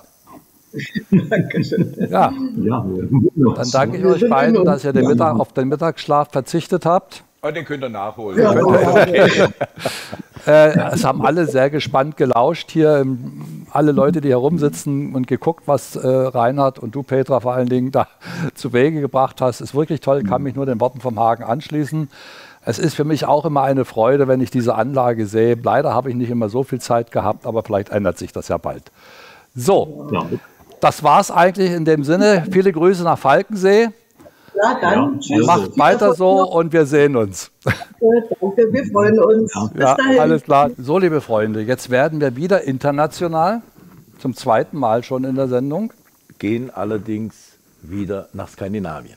Ich weiß nicht warum, aber Skandinavien ist einfach schön. Ja, wir haben jetzt eine Live-Schalte nach Schweden zu Magnus Hellström. Den hatten wir ja eigentlich schon mal vor längerer Zeit auch bei einer Live-Schalte gehabt. Jetzt ist er wieder da. Magnus Hellström ist der, ein Admin von der Märklin H0-Gruppe in Deutschland. Also er ist nicht nur in Schweden tätig und aktiv, das wird er uns gleich erzählen. Hier habe ich nochmal einen Screenshot gemacht von der Märklin H0 Forum. Dort ist also ein sehr eifriger Admin.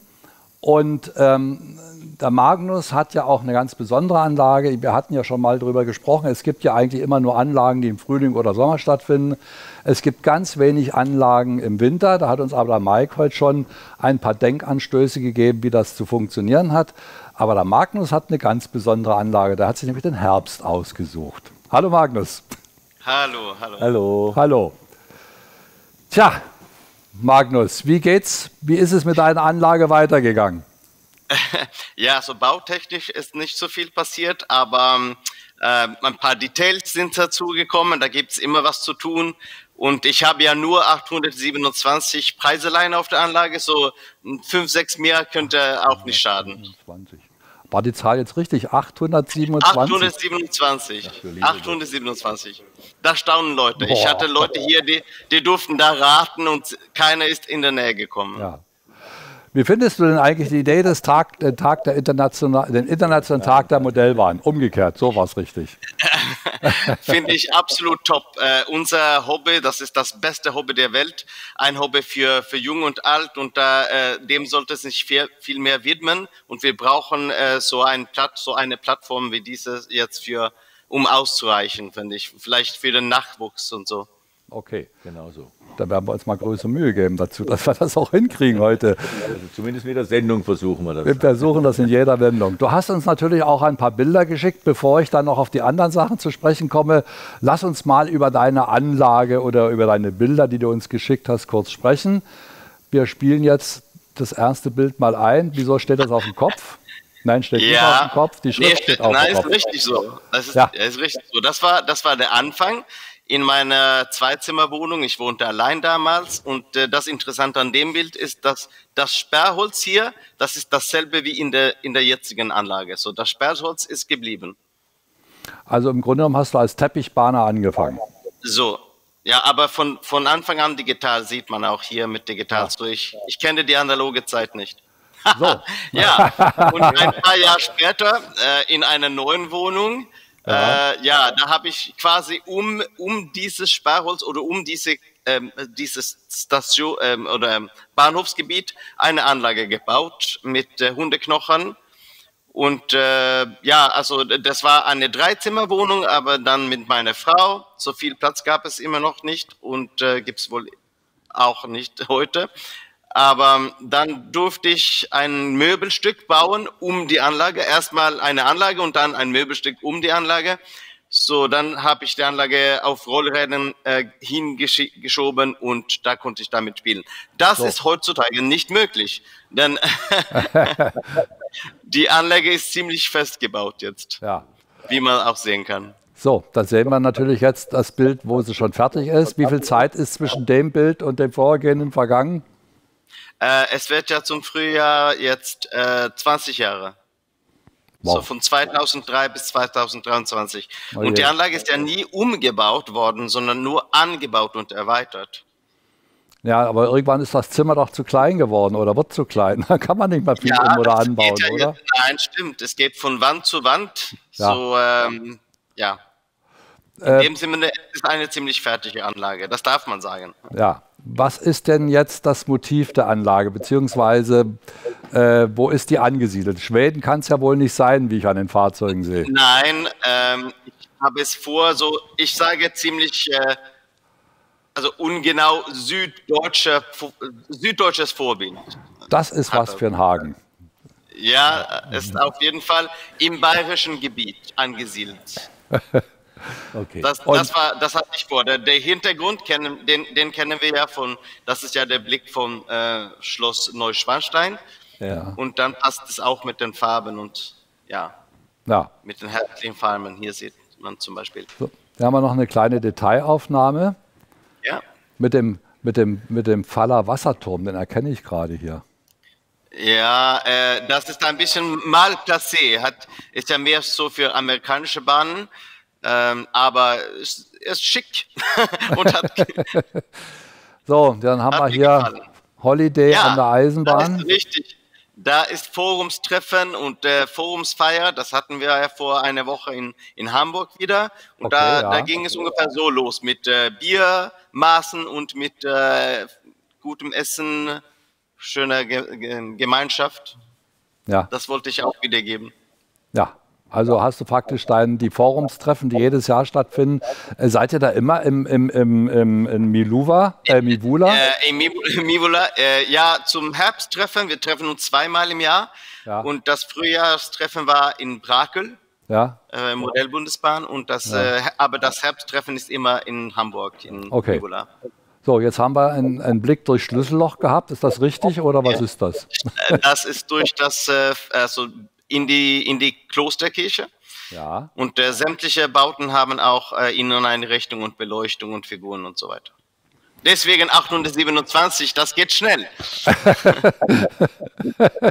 also dir war auch wichtig, die Gebäude innen zu beleben, sozusagen in Anführungsstrichen. Ja. Manche stellen ja nur die Gebäude hin und machen eine Birne rein, damit es ein bisschen brennt. Aber du legst wirklich Wert darauf, dass dann auch äh, das Ganze mit sogenannten Leben erfüllt wird.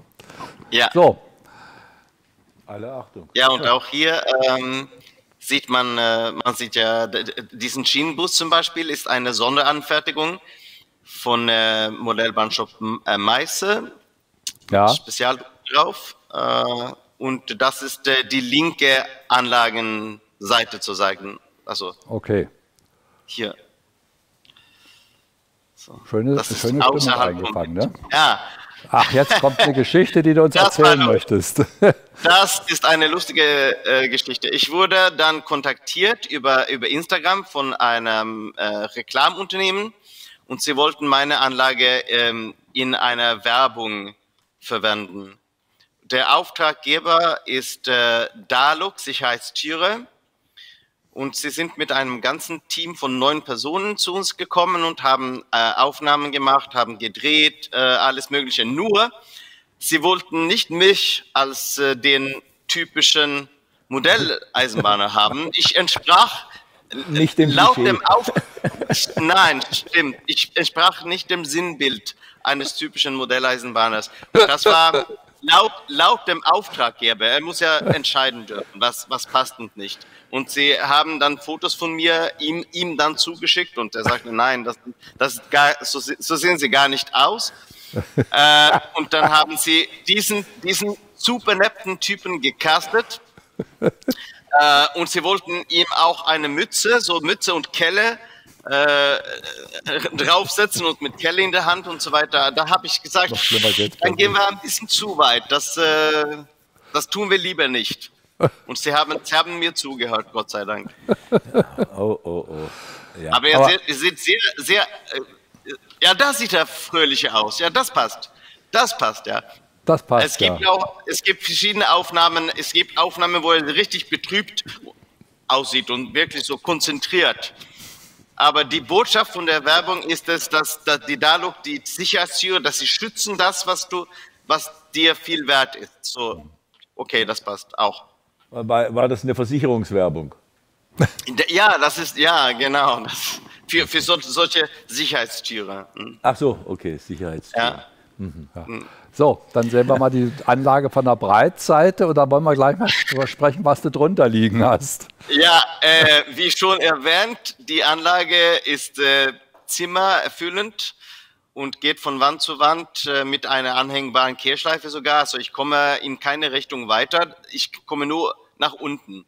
Äh, so, dann habe ich äh, eine N-Bahn gebaut. Das sind die Anfänge von meiner N-Bahn. Und das ist auch, man sieht direkt, das hat einen äh, Schattenbahnhof, äh, ist Hund Hundeknochen, äh, aber diesmal quergestellte Bahnhof statt Bahnhof in einer Kehrschleife. Ja, Ja, und wann willst Und, du die ähm, M-Bahn fertig haben? ah, okay, in 20 Jahren.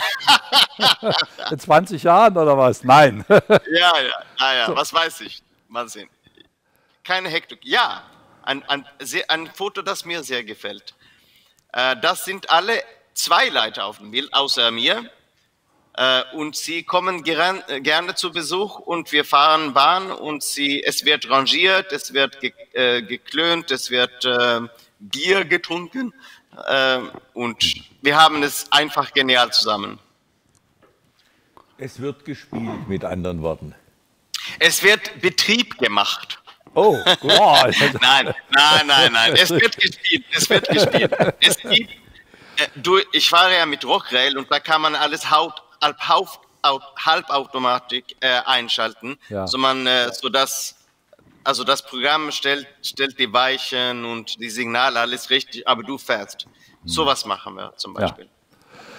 Ja, na lass uns noch mal bitte zurückkommen. Erstmal vielen Dank, dass du die Anlage so wunderschön präsentiert hast. Wir haben auch noch eine Danke. kleine Überraschung dann dranhängen, während wir jetzt sprechen. Lass uns noch mal über das ähm, Märklin Forum sprechen. Es ist ja eigentlich das Ja. größte in Deutschland, oder? Ja, ja, das auf jeden Fall merkt ihn das Größte. Ja. Und ich meine, ich bin, ich bin ja heilfroh, dass es da junge Gesichter gibt. Ich meine, die, die, die Schilderung jetzt, dass man so einen Topf gehauen werden, es müssen nur olle Leute da irgendwo sitzen. alte an der- Tatterkreise. Alte Tatterkreise mit dem Rollator wollen wir eigentlich nicht haben. Wir wollen ja die Modellbahn auch jünger haben. Wie ist denn das bei euch im Forum? Äh, Wie ist denn da der Altersdurchschnitt? Kannst du das ungefähr sagen? Also le leider im oberen Bereich. So, also ich bin äh, ich bin als Jungspund quasi dabei. Ich bin 50. so leider, aber beim letzten Treffen äh, konnten wir schon feststellen, es gibt es gibt Nachwuchs, es gibt äh, junge Menschen, es gibt junge Paare, die zu uns kommen äh, und zusammenbauen, so wie das Ehepaar, das wir äh, kürzlich hier getroffen haben, ja. Und äh, so das, das kommt vor. Äh, und ich weiß nicht, ich habe zwei Töchter, die sind jünger als meine Bahn. So es gab ja die Bahn immer für sie als als Kind. Und wenn sie Freunde einladen, dann finden vor allem ihre Freunde finden das geil mit so einer Anlage. Da, da wird gespielt. Ja genau, hier tut sich was. Ja. Ja, genau. Hier sehen wir Das, deine An das, das ist alte Bilder. Man sieht, äh, okay, äh, da kam ja die Frage, was ist neu? Die Bäume sind neu. Das, das äh, Bereich hier mit den Bäumen, das ist alles neu geworden. Das sieht äh, mittlerweile ein bisschen anders aus. Ja, ich wollte einfach mal so ein bisschen in Erinnerung schwelgen bei dir, bei dieser Modellbahn. Ähm, das ist ja nur Bilder von 2018 gewesen, die du mir damals geschickt hast. Ja. Ist ja ja. schon wieder äh, jetzt vier Jahre dazwischen, fünf Jahre sogar bald, fast fünf Ja. Jahre dazwischen. Da ist es klar, aber ich wollte einfach nur noch mal so einen Eindruck vermitteln, wa- was du damals gemacht hast. Ich fand Ja. damals schon die Farben so toll. Diese, diese Herbstlandschaft, dieses. Ja, die Farben sind geblieben. Ja, die Farben. Das ist alles okay. Also keine, also immer noch Herbstbäume, aber ich habe das mit Okay. so einem Seemoos, die sind von noch, diese Seemoos Naturbäume. Ja, ja, ja, ja, ja. Die, das äh, sieht prima aus. Ja. Absolut top. Lieber Magnus, dann danken wir dir ganz herzlich für diese Präsentation deiner Anlage, für das tolle Gespräch. Und jetzt darfst du wieder in die Schule gehen, denn was die Das meisten vielleicht nicht wissen, da ist Lehrer.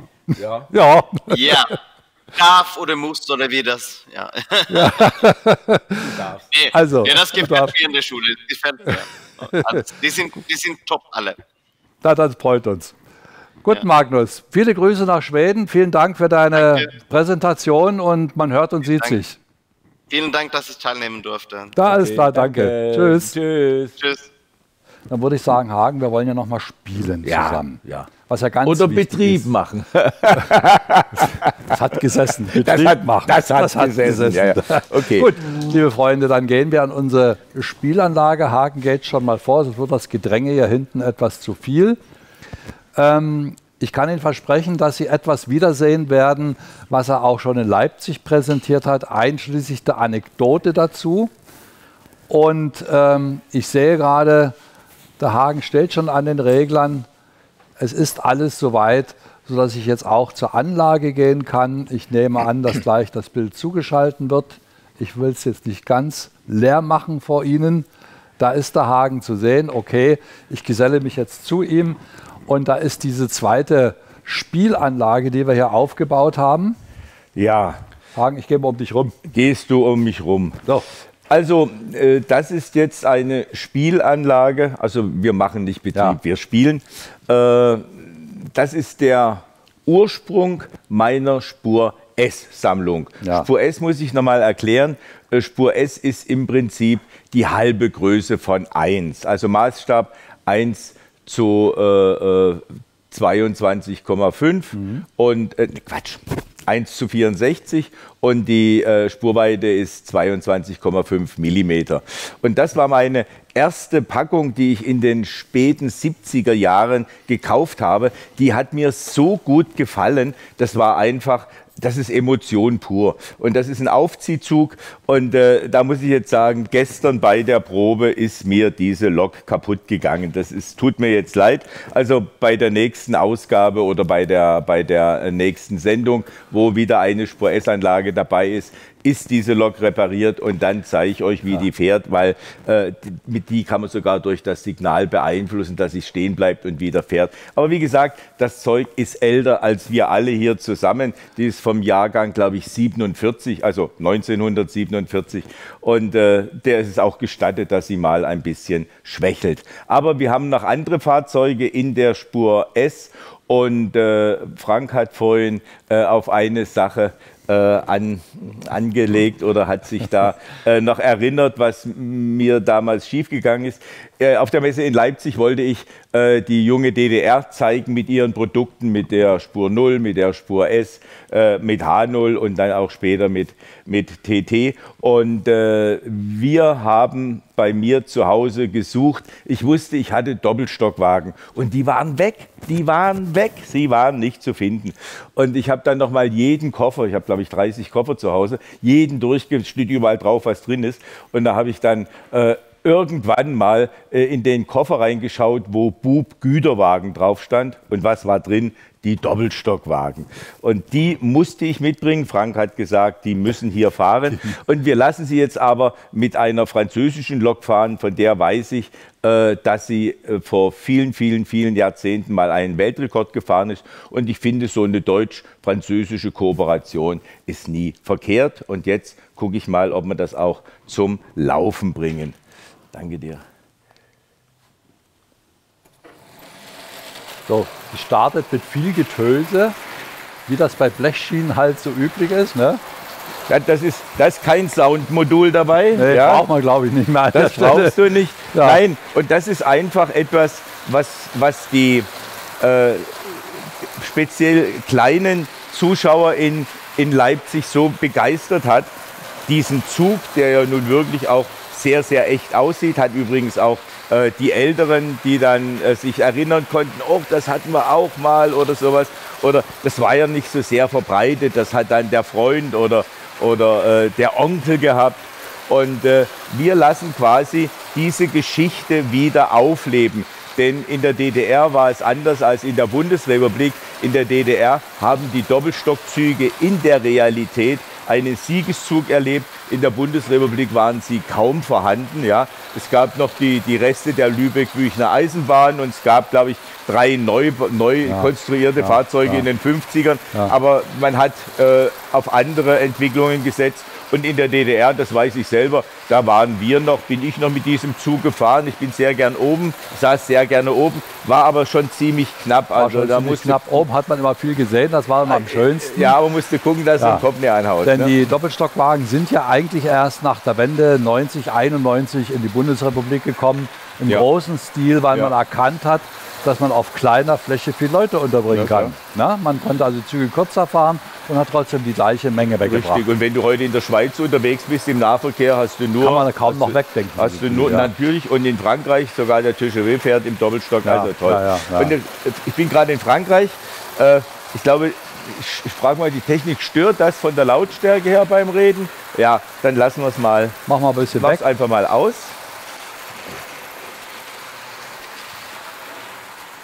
So, ja, das war jetzt, glaube ich, ein bisschen. Ja. Aber wir wollten halt das, das Gefühl rüberbringen einer alten Eisenbahn. Und dann habe ich natürlich auch noch die Spur 0 mitgebracht. Ja. Äh, die Spur 0 äh, ist für meine Begriffe eine Faszination aus der Zeit vor dem Zweiten Weltkrieg, das sieht dann an den Blechschienen. Aber es hat bis in die 70er Jahre dann auch in Deutschland, in Frankreich gab es auch Produzenten. Das ist äh, Justra, also Spielzeug aus Straßburg abgekürzt. Und das ist ein Fahrzeug, äh, das fährt nicht ganz so laut. Und es ist etwas Besonderes, es fährt mit Batterie. Ja. Also du musst es nicht verkabeln. Ja. Die Batterie ist in dem Fahrzeug drin und du, du, siehst ja oben den Knopf, mit dem kannst du die Richtung wechseln. Das geht hier bei dem Modell nicht. Äh, ist vielleicht die Batterie zu Ende, ich weiß nicht. Oder, oder, das heißt, äh, wir sind ja. so laut, deswegen ja, ja. schalten wir das jetzt ab. Und das sind, das sind einfach Fahrzeuge, die mir richtig gut gefallen. Und dieses Fahrzeug passt in einen Zyklus, den ich mit, mit Reberlutz, mit meinem Freund Reberlutz zusammen aufgebaut habe und den zeigen wir auch auf hm. verschiedenen äh, Ausstellungen. Ja. Zuerst äh, auf den Münchner Wissenschaftstagen im vergangenen Jahr. Ja. Wir zeigen die unterschiedlichen Antriebe. Das finde ich auch genial und schön, dass man auch mal in der Geschichte rumwuselt und sagt, Menschenskinder, so hat sich, so ist die Modellbahn groß geworden und vor allen Dingen ist es auch ein Zeugnis davon, wie, die, wie rasant die Entwicklung in den vielen Jahren gegangen ist, bis heute zu diesen höchst technischen Wunderwerken. Es ist ja fast kein Spielzeug mehr. Man muss es ja schon ganz vorsichtig anfassen, ja? weil sie auch preislich hoch angesiedelt sind. Aber man sieht, wie einfach das gestaltet war. Man hat damit gespielt. Das war irgendwo angelehnt an irgendeine Form. Aber ja, äh, und, und es geht auch darum, dass du äh, die Entwicklung eines Kindes dann natürlich auch spielzeuggerecht mitverfolgst. Ja? Also beispielsweise, ich hole es mal ganz kurz, ja. hier, äh, ein, ein äh, kleines Spielzeug von der Firma Lehmann, die ist ja bekannt für die Gartenbahn. Oh ja, und, machen wir mal ein bisschen Und Lehmann hat, äh, ich stelle das einfach mal hier hin, Lehmann hat in den, ich glaube, 50er oder 60er Jahren eine sogenannte Lilliputbahn äh, gebaut. Und diese Lilliputbahn, das ist der Karton dazu. Da denkst du, ah, das ist ja ein Wahnsinnsteil. Es ist ein bisschen kleiner, als ich es ursprünglich erwartet hatte. Aber du kannst dieses Fahrzeug, diesen Triebwagen, kannst du antreiben, indem du kurbelst. Also das ist quasi ein, ein Antrieb äh, über einen Faden über ein, ein Seil und da kann er die Richtung auch wechseln. Und wenn du auf dieses Fahrzeug dann selber drauf schaust, da schauen Leute aus dem Fenster. In dem Bahnhof sind Lithografien dran. Also das ist ein Bestandteil unserer Demonstration. Der andere Bestandteil ist, wie gesagt, dieses Fahrzeug ja. mit Batterieantrieb. Dann gibt es noch die Aufzieheisenbahn, es gibt die elektrische Eisenbahn, es gibt, das haben wir jetzt leider, können wir das bei dem Wetter heute nicht machen, äh, eine Möglichkeit über einen Sonnenkollektor äh, Energie zu generieren. Das geht heute leider nicht. Und, das habe ich jetzt aber nicht dabei, äh, es gibt eine, eine Möglichkeit, einer echten Dampflokomotive, Mhm. auch in H0. Du, schüttest, Ja. du füllst Wasser rein und dann, und dann wird es erhitzt und dann fährt er aus eigener Kraft. Und sowas versuchen wir den, den Besuchern und, äh, zu zeigen, äh, was es alles für Möglichkeiten des Antriebes ja, gibt, Äh, weil das, der, der Sonnenantrieb, also die Sonnenkollektoren, sind ja etwas Zukunftsweisendes. Ja, und ja. das das versuche ich zu zeigen. Das ist eine, die Technik ist relativ alt, aber sehr funktionsfähig und die Eisenbahn ist ein unverzichtbarer Bestandteil unseres Lebens und es gibt unterschiedliche Arten, diese, diese äh, Welt im Modell darzustellen. Und das machen wir. Apropos Modell darstellen. Sie werden das schon bemerkt haben, liebe Freunde, hier stehen auch Häuser. Und ich weiß, dass es ein Lieblingsthema von Hagen ist. Und dann wollen wir Ihnen erstmal, da das meistverkaufteste Modellhaus vorstellen. Ja. Von der ja, Firma ja, Faller. Ja, ja, ja. Wir haben das einfach hier äh, so, so gestellt. Ja, Toskana stimmt nicht ganz. Also das ist jetzt quasi das Gebäck für, für den Nachmittagskaffee. Aber darauf steht diese Villa im Tessin. Und äh, das ist für meine Begriffe ein, ein zeitloses äh, Dokument. Ja, es kommt aus den 60er Jahren. Wollte das muss man sich mal sagen. vorstellen. 60er Jahre, das ist schon, wie lange ist das her? Auch mehr als 20, gell? Oh ja, 80 Jahre. Und, und äh, es hat. Äh, ich 60 glaub- Jahre, mehr als 60 Jahre. 20. Das ist wieder so ein genialer Spruch. Und man darf eines nicht vergessen, dieses Haus, ich, ich, die Zahlen habe ich jetzt nicht hundertprozentig parat, aber ich bin mir ziemlich sicher, mehr als 300.000 Mal wurde dieses Haus Ja. verkauft und wahrscheinlich ähnlich oft dann auch zusammengebaut. Und ich finde, solche Dokumente äh, liebe ich zu zeigen, weil es ganz einfach äh, eine ein, ein Blick in die Geschichte ist. Äh, Die Firma Faller oder beziehungsweise die Gebrüder Faller haben das Gebäude in der Schweiz gesehen und sie haben in Gütenbach im Schwarzwald, wo ihre Firma ist, ein ähnliches Gebäude hinbauen lassen. Ja? Damit Das war klar. dann ihr Familienwohnsitz. Ah. Also großar großartige Sache. ja, ich hatte es auch auf der Modellbahn. Ja, ich glaube, das hatten, haben Fast viele gehabt, gehabt, oder? Und dann, wenn wir gerade dabei Ja, genau. sind, hier sind noch Häuser, die, äh, die entstammen oder die habe ich aus dem Erzgebirge. Und zwar war das eine Geschichte, äh, ganz genau wurde sie mir bis jetzt noch nicht beantwortet. Aber, aber es steht äh, bei, bei verschiedenen Häusern unten drunter steht der Name und 7b. Also es sieht aus, als wäre es eine Klassenarbeit, dass man halt kleine Papphäuser mit mit äh, äh, fotorealistischem äh, äh, äh, Karton versieht und die dann in diese Form bringt. Also da gibt es ein, ein, ganzes, ein ganzes Dorf davon mit, also das ist jetzt ein Holzgebäude, das gehört eigentlich nicht da rein, aber es passt für meine Begriffe so gut. Und das sind einfach Dinge, äh, die bringen Leben auf eine Anlage. Und ich habe es dem Frank vorhin schon gesagt, wir sind Spielbahner. Das heißt also, der Maßstab stimmt nicht, die Epoche stimmt nicht, aber die Emotion stimmt. Ja, die Emotion ist da. Und das ist etwas, was ich immer wieder versuche, äh, in die Anlagen reinzubringen. Du hast jetzt hier noch eine Ich Kirche werde von jetzt noch mal noch ein bisschen fortsetzen, die Sache, Sache mit äh, Falla, weil wir die Villa im Tessin hatten oder Toskana. Ähm, das war dann in so einer Verpackung, nicht in der, denn die Verpackung hat eine, der Bausatz 235, das war auch eine sehr moderne Kirche. Ja, das war natürlich die moderne Zeit, die Ja. dann auch abgebildet Ja, worden ist. Man, äh, man findet dann aber auch, das war, war so wunderschön, auch in den Verpackungen, äh, dann noch die, das ist das Stadttor, da Das wurden halt diverse, diverse Ja. Produkte wurden halt auf dem Karton dann auch abgebildet. Genau, wurden ja? dann also mit beworben, die Mhm. Produkte äh, entsprechend. Aber das war eben die alte Fallerzeit. Mhm. So, und wenn wir schon von alten Eisenbad reden, ähm, auch die Firma Fleischmann hatte sich früher sehr viel Mühe gegeben im Verkauf ihrer Produkte. Das würde man heute wahrscheinlich gar nicht mehr so finden. Guckt euch das mal an. Ähm, dieses äh, Modell habe ich auch als kleiner Kind, als kleiner Junge geschenkt bekommen. Da war ich ganz stolz. Ich hatte die ersten Westwagen an meinem Zug hängen, mhm. hatte nur ein Problem, die Fleischmänner hatten eine andere Kupplung, Kupplung. Als, die, als die Bügelkupplung, aber irgendwie haben wir dann immer trotzdem noch dran gehangen. Aber man, ich meine, hier war noch eine Klarsichtscheibe davor, aber diese feinen Ausarbeitungen, da hat man noch ein bisschen sich Mühe gegeben und auch ja. versucht, irgendwie Emotionen zu wecken, indem man gleich das Produkt dann nochmal irgendwie anders beworben hat. Es gibt ja auch eine Dampflok mit äh, irgendwelchen Wagen und da kommen wir heute auch noch drauf zu sprechen. Ähm, hier eine Abbildung äh, des, äh, nicht Santa Fe ist es nicht, sondern. Nö, aber das FP7 wahrscheinlich. Ja, ja. Also so quasi also die berühmteste die, Diesellok, die es damals in Amerika genau, gab. Also Fleischmann warb schon damit, mit diesen Produkten, dass sie das also auch hatten. Und äh, jetzt, wird, äh, jetzt werden die Augen glühen von unserem Mike. Er guckt schon ganz interessiert rüber. Auch das ist Modellbahn gewesen. Äh, der Bausatz ist noch original erhalten und zu der Karton. Ein Marmosbausatz, Stellwerk, Radeburg. Gibt es das eigentlich noch? Radeburg? Das Stellwerk ist wirklich noch im Programm. Das ist ein H0.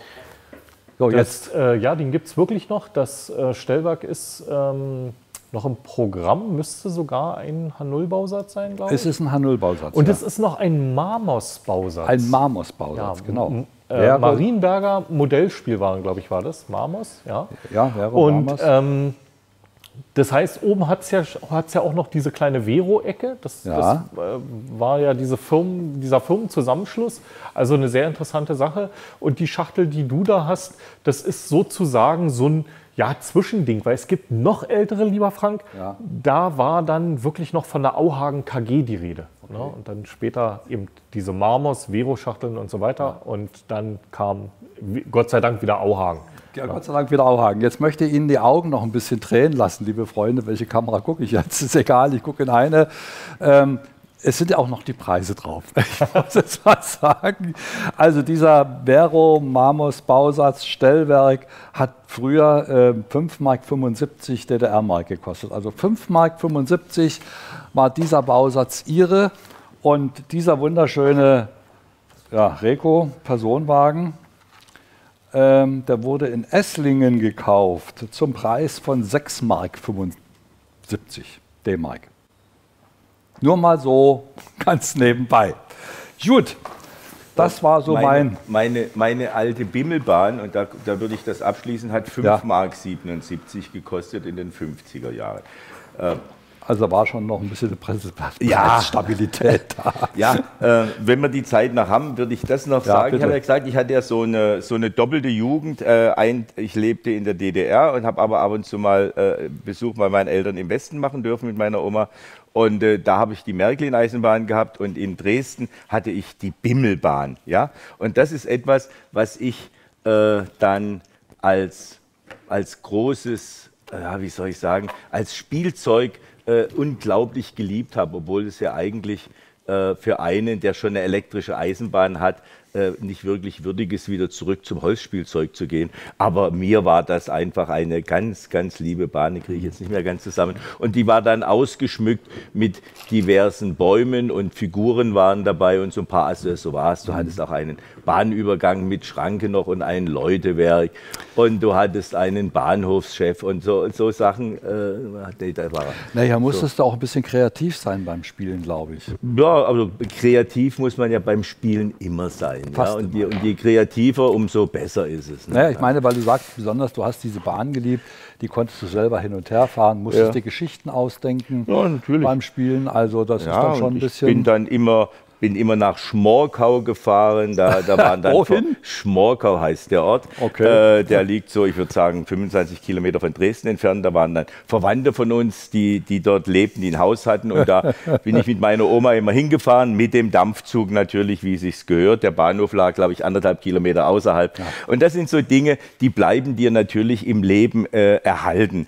Und äh, dieses, dieses äh, diese Schachtel habe ich dann natürlich, äh, wenn du dann ein gewisses Alter erreicht hast, ist es zerspielt oder verschenkt oder jedenfalls ist es irgendwann mal weg. Und ich habe mich an diese Bimmelbahn immer erinnert und ich habe vor 10 oder 15 Jahren ist mir die mal angeboten worden. Und da habe ich sofort, Sofort zugegriffen. rein, Und das war ist quasi jetzt meine von damals. Also diese, dieser Zwischenraum ist jetzt weg. Also Ist weg, ja, die ja. Bimmelbahn habe ich 1955, ich glaube zum sechsten Geburtstag gekriegt. Das, äh, zum, ich weiß es nicht, also fünften oder sechsten Geburtstag habe ich es gekriegt und ja, und das habe ich immer noch. Ja. So, dann sind wir eigentlich jetzt mit Spielen Jetzt sind wir durch. mit Wäre Spielen. jetzt die Erstmal, Frage, wir spielen, Technik. wir spielen noch weiter. Wenn man noch, jetzt die Frage an die Regie, ist schon jemand da, den man, mit dem man, Gut. okay, ist noch, ist noch nicht da, aber dann können wir doch noch mal spielen. Äh, hier haben wir noch ein, ganz, interessantes ein ganz interessantes Aufziehspielzeug. Das stellen wir jetzt dahin, wo es die Kamera am besten einfangen kann. Soll ich dann ein bisschen hier vorgehen? Das ist ein, Frank, wenn du guckst, äh, räum's erst mal auf und dann zeige ich. Das ist von der Nürnberger Firma Technofix, die ja sich einen großen Namen gemacht haben mit solchen Bewegungsspielzeugen aus Blech in den 50er Jahren, in den 60er bis in die 70er. Und das hier ist das Spielzeug Bergbahn. Huch.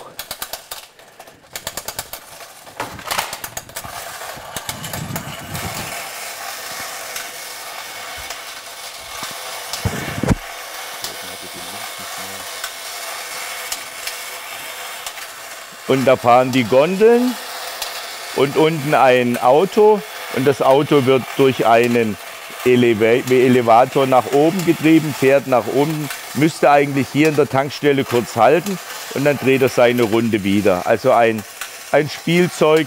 Gut, es wird, wenn du es hundertmal gespielt hast, sicher langweilig, aber die Ausstrahlung gefällt mir bis heute.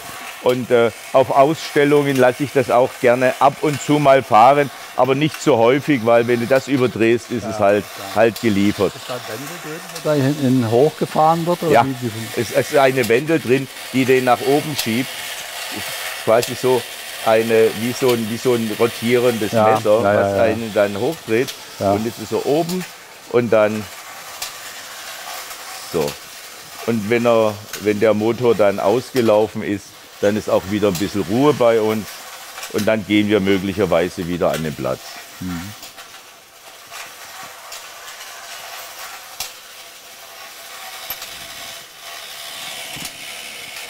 So, wir kriegen jetzt das Zeichen. Wir machen mal aus, liebe Freunde, dass wir wieder eine Live-Schalte haben. Jawohl, das geht von selber zu Ende. Okay. So, liebe Freunde, die nächste Live-Schalte steht an nach unserem Ausflug in die Spielwelt. Wir haben es genossen, ich und Hagen eben Ihnen diese alte Spielwelt vorzuführen. Ist immer wieder schön. Ja, macht Aber jetzt wollen wir nicht in die alte Spielwelt. Jetzt blicken wir nach vorn. Jetzt blicken wir nach vorn, jetzt geht es in die moderne Spielwelt. Und dann, liebe Freunde, habe ich Ihnen heute anzubieten, und da begrüße ich ganz herzlich Jürgen Lindner, den Geschäftsführer von ESU. Und das ist wiederum eine internationale Schalte, wenn ich so sagen darf, denn der Jürgen sitzt nicht in Europa, der Jürgen sitzt in den USA. Toll. Herzlich willkommen. How are you? Guten Morgen aus den USA. Schönen Nachmittag nach Deutschland. Vielen Dank. Vielen Dank. Ja, Jürgen, wir wollen dich natürlich ein bisschen löchern zum Tag der Modellbahn. Wäre die erste Frage, wie findest du denn die Idee eines Tages der Modellbahn? Was bedeutet das für dich? Für jemanden, der natürlich jeden Tag sich mit Modellbahn beschäftigt, schon wenn er morgens aufsteht und unter der Dusche steht, ist natürlich die Modellbahn als solches schon für mich äh, mit einer besonderen Bedeutung natürlich behaftet. Grundsätzlich finde ich die Idee natürlich mega toll, weil ähm, die Amerikaner würden sagen, World's Greatest Hobby, also das beste Hobby, was man auf der Welt überhaupt haben kann. Ähm, ich finde es gut, dass man das ein bisschen ins Bewusstsein bringt. Und insofern finde ich das, was ihr hier macht, natürlich mega toll. Ja, wir haben ja auch ein Vielen Dank. umfangreiches Programm. Vielen Dank für die Worte an der Stelle. Es sind ja acht Stunden, die wir heute hier zu absolvieren haben. Und äh, wir wollen ja den Modellbahnen mal die gesamte, das gesamte Spektrum, die gesamte Welt der Modellbahn zu Füßen gelegen. Wie hat es mal angefangen, beziehungsweise was sind die Trends? Apropos Trends. Wir hatten ja von ESO dieses Jahr wirklich eine, äh, eine Reihe von Überraschungen serviert bekommen. Das fing an mit der KG 230, die ja auch recht lange schon bei euch in der Pfanne lag. Gibt es denn da eigentlich noch Modelle davon?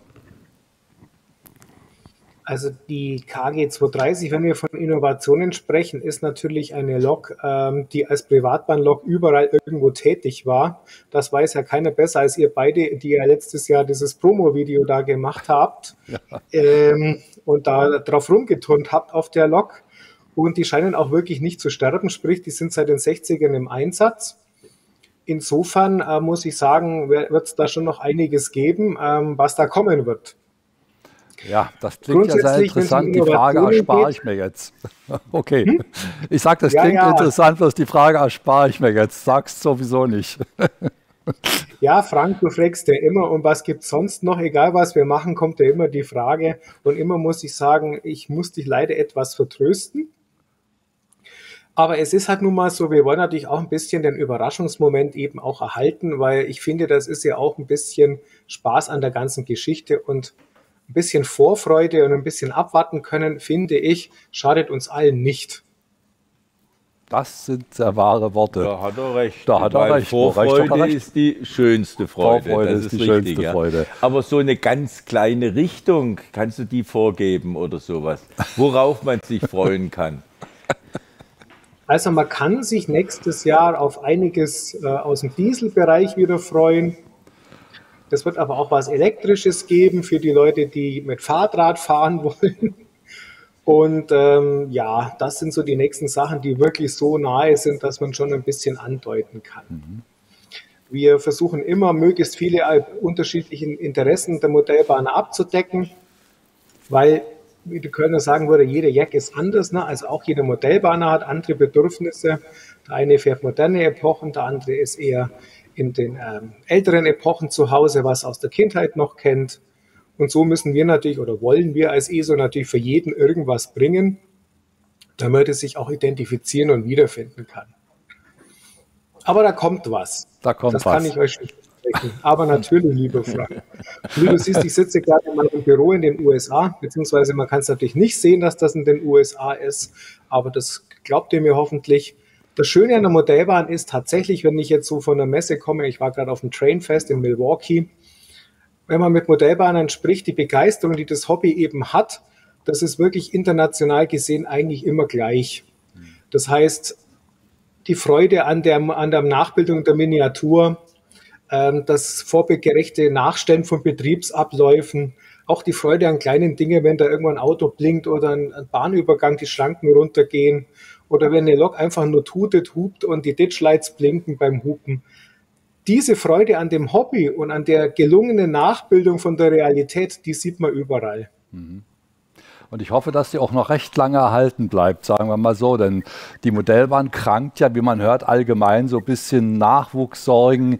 Die Jugend ist nicht mehr ganz so interessiert an der Modellbahn. Es gibt zwar noch welche, vielleicht machen auch die Alten was falsch, die Jugend nicht richtig ranzuführen oder keine Ahnung, ich weiß es nicht. Das ist schwierig, ja. Es ist schwierig, ja. Aber auf Messen, und das hast du ja auch gesehen, jetzt äh, Friedrichshafen, Leipzig, die Begeisterung der, der Besucher, Besucher, alt und jung, ist riesengroß ja. und ungebrochen. Und das gibt mir persönlich doch Hoffnung, dass es mit unserem Hobby, auch wenn wir schon lange nicht mehr da sind, äh, dass es dieses Hobby auch noch gibt. Also ich gehe mal schwer davon aus, ihr seid noch sehr lange da. Und ja, das stimmt natürlich. Ähm, man muss natürlich sehen, jede Zeit hat natürlich andere Attraktionen auch. Und ähm, in, ja, gerade in, in, in unseren modernen Zeiten gibt es natürlich für die ganz Jungen natürlich unglaublich viele Möglichkeiten, sich auch zu betätigen. Aber wir merken eigentlich schon, ähm, auch jetzt gerade, ich bin sehr positiv überrascht, auch von Milwaukee und von Friedrichshafen. Es sind also auch durchaus jüngere Leute dabei und ähm, jetzt vielleicht nicht zwingend Kinder, aber ich sage jetzt mal so in den 30er, 40ern kommt doch sehr, sehr viel Nachfrage und, und, und Fragen und Leute bleiben auf dem Stand stehen und gucken sich das alles an. Das gibt mir eigentlich schon in gewissermaßen die Bestätigung, äh, dass wir hier nichts machen für äh, Leute, die bald sozusagen, ähm, ja, ja, nicht nur für Rentner oder so. Also es ist wirklich quer durch. Und äh, ich würde auch sagen, äh, das Publikum habe ich so das Gefühl, das verjüngt sich ein bisschen. Ja. Also ich mache mir da jetzt mal momentan keine Sorgen. Klar, wir müssen natürlich auch versuchen, die Leute entsprechend abzuholen. Ähm, der technische Anspruch ist hoch. Mein Hagen, du hast natürlich in, äh, in Friedrichshafen so eine Eisenbahnanlage mit einer Kurbel gezeigt, quasi zum Energiesparen. Ich finde das ja eigentlich ganz toll. Natürlich hoffe ich auch immer trotzdem, dass genügend Strom da ist, dass man mit unseren ESO-Loks und mit allen digitalen Funktionen rumfahren kann, inklusive Rauchgenerator, weil natürlich das auch primär das ist, was wir machen. Und um eine ESO-Lok per Kurbel zu betreiben, müsstest du ganz schön schnell da dran drehen, weil die brauchen natürlich ein bisschen mehr Strom. Aber da, und, top, die Wette gilt. Also ich weiß nicht, wo du wieder bist, auf welcher Messe. Ich bringe den Kurbelgenerator mit und dann werden wir das probieren. Okay, top, die Wette ist angenommen. Wir werden definitiv eine ESO-Lok mit Smoke-Generator ähm, zu dir bringen, dann kannst du dir mit der Hand ankurbeln. Ich bin gespannt. Aber ich glaube, ich weiß ja, du bist ziemlich fit. Ich mache mir da vielleicht gar nicht so die großen Sorgen. Okay. Was ich aber eigentlich... Was ich eigentlich sagen wollte, äh, gerade diese vielen Funktionen, das, das, das berührt natürlich schon auch die Allerjüngsten. Also wenn es da Rauch quietscht und blinkt, bös gesprochen, dann sind die, da sind die Jüngeren ähm, immer dabei, aber auch die Älteren. Ich sehe es ja an den Gesichtern, an den leuchtenden Augen, wie die Leute dann mit den Handykameras wirklich teilweise minutenlang am Messestand stehen und filmen. Das fasziniert mich immer wieder. Und ich hoffe auch, dass die Leute sich daran wirklich erfreuen und ähm, einfach da ja, Freude aus dem Hobby ziehen. Also ich bin bei dir die, die Freude, die, die spürt man. Also die haben wir am Stand ja. gespürt und die haben, die haben die Händler gespürt. Also das ist tatsächlich da. Und diese Emotionen, äh, die kann man nicht auch, äh, die kann man nicht irgendwie abtöten oder so wie. Die sind drin und die werden durch uns, hoffe ich zumindest, äh, so gut verstärkt, wie es irgend geht. Ja, das stimmt. Da macht ihr ja einen tollen Job. Wir bemühen uns. Wir bemühen uns. Wir sagen, wir bleiben bescheiden, wir sagen, wir bemühen uns. Wir versuchen ja acht Stunden lang die Freude der Modellbahn rüberzubringen. Deine Worte hier dazu haben eigentlich schon dazu beigetragen, dass man Hoffnung hat, dass es doch Polen noch nicht ganz verloren ist, wie man sagt, sondern die Hoffnung hat, dass es weitergeht und ähm, ja, wir glauben einfach dran. Ja, es wird auch weitergehen. Da bin, ich, bin ich bei ihm. Es geht weiter. Es wird vielleicht ein bisschen anders, aber es geht weiter, weil die Abbildung der Welt im Miniaturmaßstab ist etwas, was schon alle Zeiten faszinierend war, von unseren Urgroßeltern bis zu uns. Also es wird auch und unseren Enkeln, es wird weitergehen. Also da und bin ich ganz bei. Es wird auch weitergehen mit tollen Modellen, die da ähm, die der Jürgen uns nicht verraten will. Ich nehme nochmal Anlauf. Aber mit, Diesel, aber mit Diesel hat er gesagt, ja. er will es uns nicht verraten. Lass mal mal so stehen. Wir bedanken uns ganz herzlich, lieber Jürgen, bei dir für dieses nette, tolle Gespräch. Grüße zurück oder guten Morgen in die USA. Was machst du heute? Danke. Ich werde heute noch ein bisschen langweilige Sachen machen. Ich werde hier bei uns im Büro ähm, einige Besprechungen abhalten, was wir nächstes Jahr so alles anbieten werden. Fängt ähm, wieder damit also das, ist das ist natürlich nicht langweilig, aber letztendlich müssen wir halt auch jetzt gucken, äh, dass wir es ist ja die Weihnachtszeit jetzt, die vor der Tür steht, dass wir gucken, dass die äh, Modellbahner auch die Produkte kriegen, die sie brauchen zum Basteln, weil das ist auf jeden Fall hüben wie drüben das Gleiche. Die Leute wollen sich für Weihnachten und die Feiertage eindecken. Und ähm, ich werde heute Abend auch wieder zurückfliegen.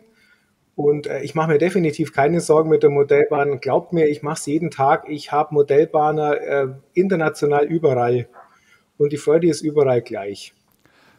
In dem Sinne, Schönes Jürgen, Schlusswort. Das ja. war ein gutes Schlusswort. Da brauchen wir nichts mehr dazu sagen. Nein, vielen Viele Dank. Grüße, vielen Dank. Und man sieht Gerne. sich. Und, Und viel Spaß euch noch. Danke. Danke. Tschüss. Tschüss. Tschüss. Tja, liebe Freunde, das war ein sehr schönes Gespräch, ja. was also auch mal die andere Seite beleuchtet. Wir sehen es vielleicht immer zu negativ. Kann das sein? Nö. Nö. Äh, du musst es ja auch negativ sehen. Du kannst ja immer nicht nur äh, Friede, Freude, Eierkuchen haben, sondern du musst auch mal einen anderen Blick oder den Blick von einer anderen Seite nehmen.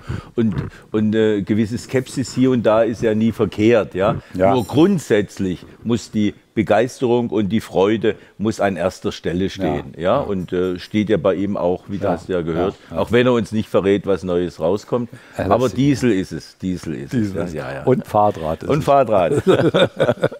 so, jetzt frage ich nochmal in die Technik. Ähm, ist Janine Deutscher vielleicht online gegangen?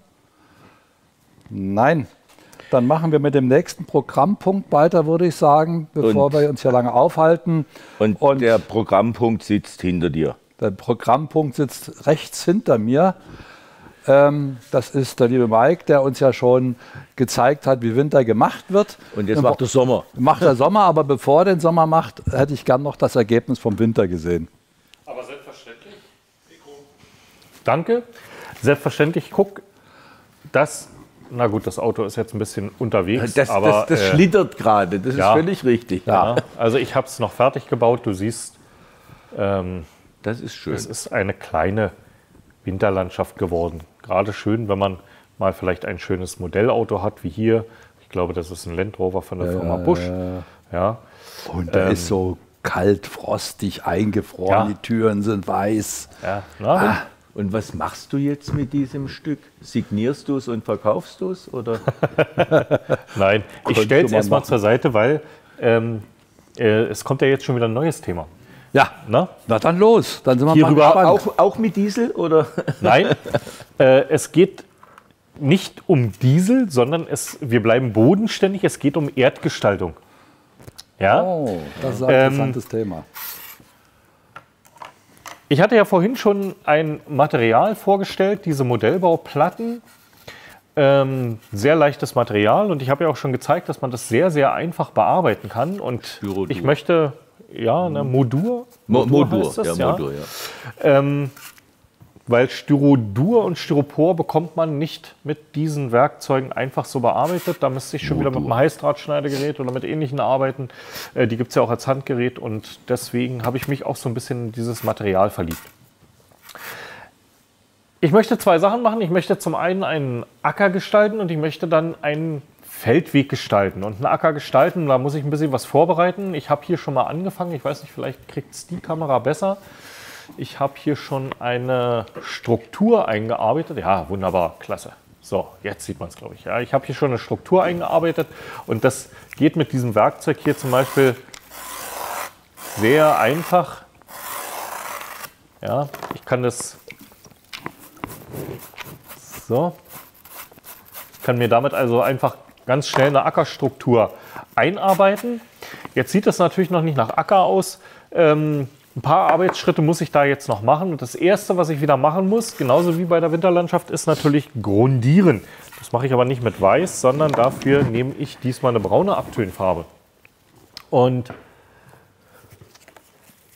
jetzt kann ich hier drauf nochmal genau den Unterschied zeigen zwischen äh, maschinell geschnittenem ähm, Landschaftsbaumaterial und dem bearbeiteten, weil auf dem geschnittenen kriege ich die Farbe relativ zügig verteilt. Ja.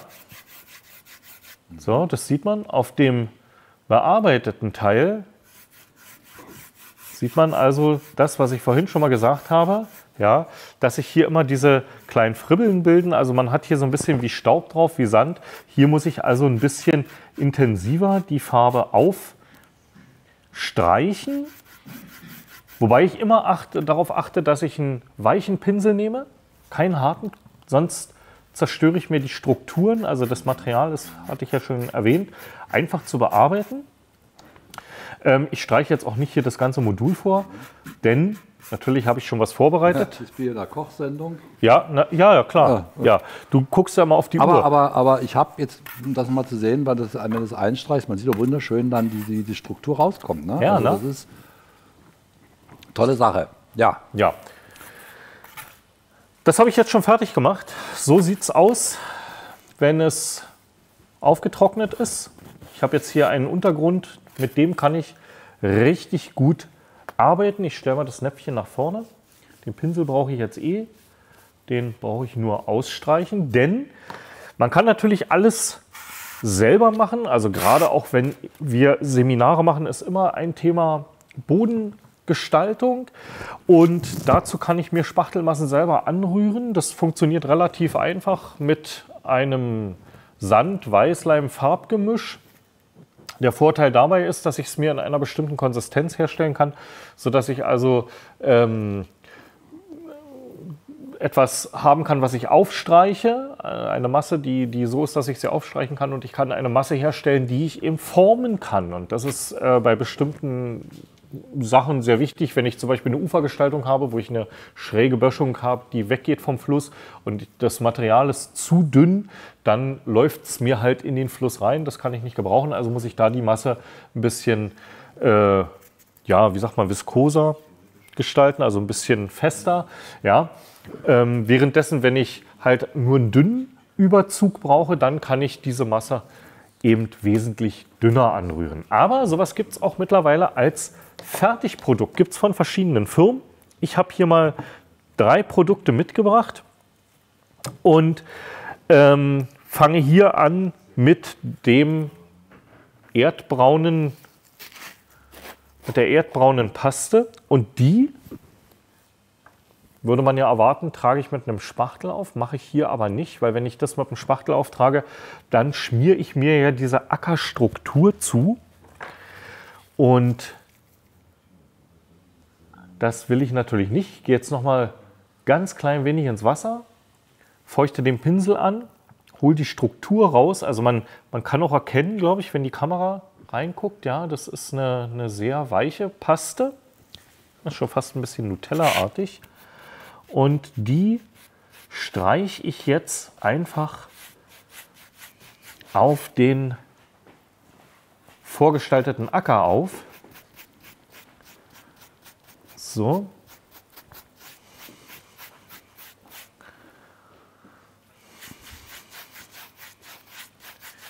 Auch wieder mit einem weichen Pinsel, also nicht mit einem Borstenpinsel arbeiten, sondern mit einem weichen Haarpinsel.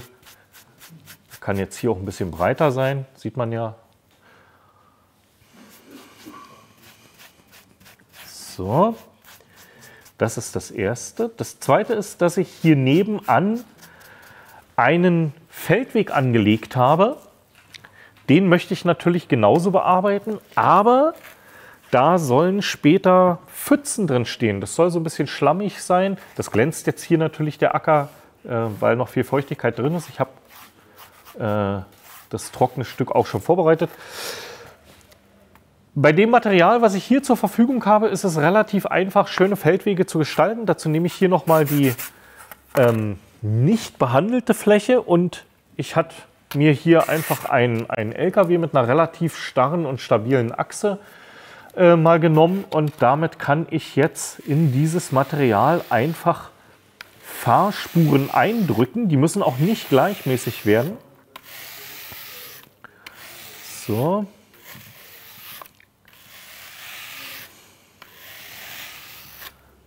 Ja, durch mehrmaliges Hin- und Herfahren kann ich mir hier also einen Feldweg einarbeiten. Ich zeige es mal hier in die Kamera. So sieht man es, glaube ich, ganz gut. Ja, hier sind jetzt die Fahrspuren drin. Äh, das Ganze wird dann natürlich wieder vorgestrichen, so wie ich es hier gemacht habe. Also auch einfach die Fahrspuren mit dem Fahrzeug eingearbeitet, die Geschichte vorgestrichen und jetzt passiert was total schön ist, da gibt es diese Paste, die nennt sich Muddy Ground, also Matschfarbe. Auch die streiche ich mit dem Pinsel auf, aber die wird ein bisschen dicker aufgetragen. So. Die ist auch etwas gröber.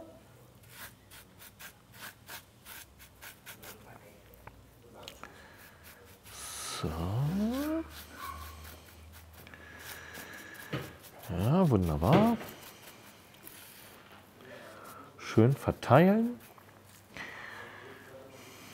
Jetzt habe ich natürlich die Fahrspuren wieder zugesetzt mit der Paste, aber ich nehme jetzt mein Fahrzeug und werde hier einfach die Fahrspuren nochmal nachfahren. So, richtig schmutzig. Ja, das, soll auch so sein. Ja, so. Mehr mache ich jetzt gar nicht. Jetzt muss ich bloß aufpassen, wo ich das Fahrzeug hinstelle. Das lasse ich jetzt gut abtrocknen. Ja, man sieht also, dass die Fahrspuren hier wirklich sehr schön durchgekommen sind. Das lasse ich jetzt abtrocknen. Und wenn es abgetrocknet ist, sieht es nachher so aus. Also man sieht, dass der Bereich auch noch so ein bisschen schlammig glänzt. Hier habe ich den Acker. Habe hier auch nochmal Fahrspuren reingemacht. Da könnte ich noch einen Traktor reinsetzen. Und eine Sache fehlt jetzt noch. Und zwar sollen hier Modderpfützen stehen. Und auch dafür gibt es ein Produkt. Das nennt sich direkt Paddles, also Pfützen. Und das Schöne ist, ich brauche hier nichts weiter zu machen, als dieses Produkt einfach nur einlaufen zu lassen. Das sieht jetzt auch noch so ein bisschen schlammig aus. Das hat so einen ganz schlammigen Charakter hier. Aber ich zeige gleich, wie es aussieht, wenn es weggetrocknet ist. Das Schöne ist, das hat also auch wirklich so eine kleine Dosierspritze. Und äh, wir haben das witzigerweise, dieses Produkt, äh, mal in einem Auhagen-Seminar ausprobiert. Die Seminarteilnehmer wussten nicht, dass sie mit nagelneuen Produkten arbeiten. Ähm, wir haben es denen einfach mal in die Hand gedrückt und die Ergebnisse sind wirklich zauberhaft geworden auf unserem Seminardiorama. Ich zeige Ihnen das jetzt mal. Ich lasse das mal zum Vergleich hier liegen, wie es frisch aussieht. So. Und dann hole ich mal ein Diorama rüber, was nämlich genau in diesem Seminar entstanden ist. Ich versuche es mal ein bisschen anzukippen. Kannst du es einfangen? Aha, ja, jetzt wunderbar. Man sieht hier vorne schön die gestaltete Ackerfläche. Und ähm, hier oben drüber sieht man also den schlammigen Feldweg. So sieht das nachher fertig aus. Wir haben hier nochmal eine Ecke, da kann man das vielleicht auch ganz gut erkennen. Ja, also wirklich sehr, sehr schöne Produkte. Mit denen kann man also toll arbeiten, vor allen Dingen einfach und schnell arbeiten. Und ich glaube, dass wir nachher, glaube ich, haben wir noch mal so ein, so ein bisschen was zum Thema Begrünung. Ja, kann das sein? Wir werden nachher noch begrünen. Da werden Sie die Teile noch mal sehen. Und äh, ich würde jetzt einfach zurückgeben an unsere beiden Moderatoren. Ja, liebe Freunde, da kann man sich nur beim Mike bedanken für seine bodenständigen Geschichten. Es war sehr interessant, was er uns da dargelegt hat mit Ackerbau und wie man das alles anlegt. Und wir machen flugs weiter mit der nächsten Live-Schalte zu einem Modellbahner, nämlich zu Rainer Ehle. Ich hoffe, dass er mir jetzt zugeschaltet ist. Da ist er, da sehen wir ihn. Hallo. Willkommen zum Tag der Modellbahn und in unserer Sendung. Was sagst du zum Tag der Modellbahn? Ist das okay so? Ich finde es das toll, dass es einen eigenen Tag gibt, allein nur, wo wir Modellbahner so ein bisschen mal herausgehoben werden für unser Hobby, das ja wirklich äh, okay. für mich, für mich wirklich super ist. Ja. Hast dir schon ein Bier zur Seite gestellt, angestoßen mit uns und gesagt, jetzt geht's los. So, lieber Rainer, du hast uns eine Riesenanlage zu bieten. Und da würde ich gleich mit einem kleinen Film einsteigen, den du uns ja dankenswerterweise zur Verfügung gestellt hast. Vielleicht kannst du uns dabei schon mal ein paar allgemeine Angaben äh, zu dieser Anlage erzählen. Der Film startet gleich los und wir würden schon mal gern wissen, wie groß ist das Ding, welche Spurweite und alles, was so Interessantes ist rund um die Anlage, vor allen Dingen auch welche Motive. So, da Gerne. sind wir schon. Jawohl, also die Anlage habe ich vor etwa über 20 Jahre begonnen. Und in dieser Zeit ist die Anlage immer wieder weitergewachsen. Nach zwei Umzügen hoffe ich, dass es jetzt am Zielbahnhof ist. Und die Anlage misst aktuell 25 Quadratmeter, äh, ist auf drei Ebenen aufgeteilt. Ich habe drei Schattenbahnhöfe unter der Anlage und fahre dann über Wendeln nach oben. Und hier sieht man jetzt äh, mein neuestes Projekt. Das ist eine ICE-Brücke, die ich da gebaut habe. Alles, äh, wie gesagt, in Eigenregie, alles selber gemacht. Und da fährt jetzt gerade eine schöne 43er aus dem Tunnel raus. Darf jetzt ja. an der neuen. Hat es ein bisschen schwer. Der hat es ein bisschen schwer, ja. Könnte ein bisschen schneller fahren, ja. ja, und ähm, das war für mich auch ein sehr interessanter Zug der auf der Neubaustrecke unterwegs war. Ja, das ist der Schorsch, den gab es letztes Jahr neu von Märklin und den musste ich natürlich haben. Klar.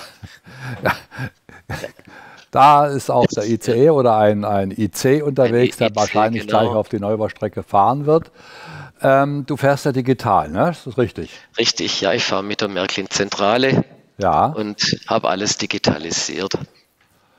Okay. Hier sind wir jetzt auf der Neppenbahnstrecke, da geht es am Fluss entlang, Ja. äh, durch eine Altstadt unterdurch und hier ist die Gutachbrücke, die ich auch selber nachgebaut habe. Ja.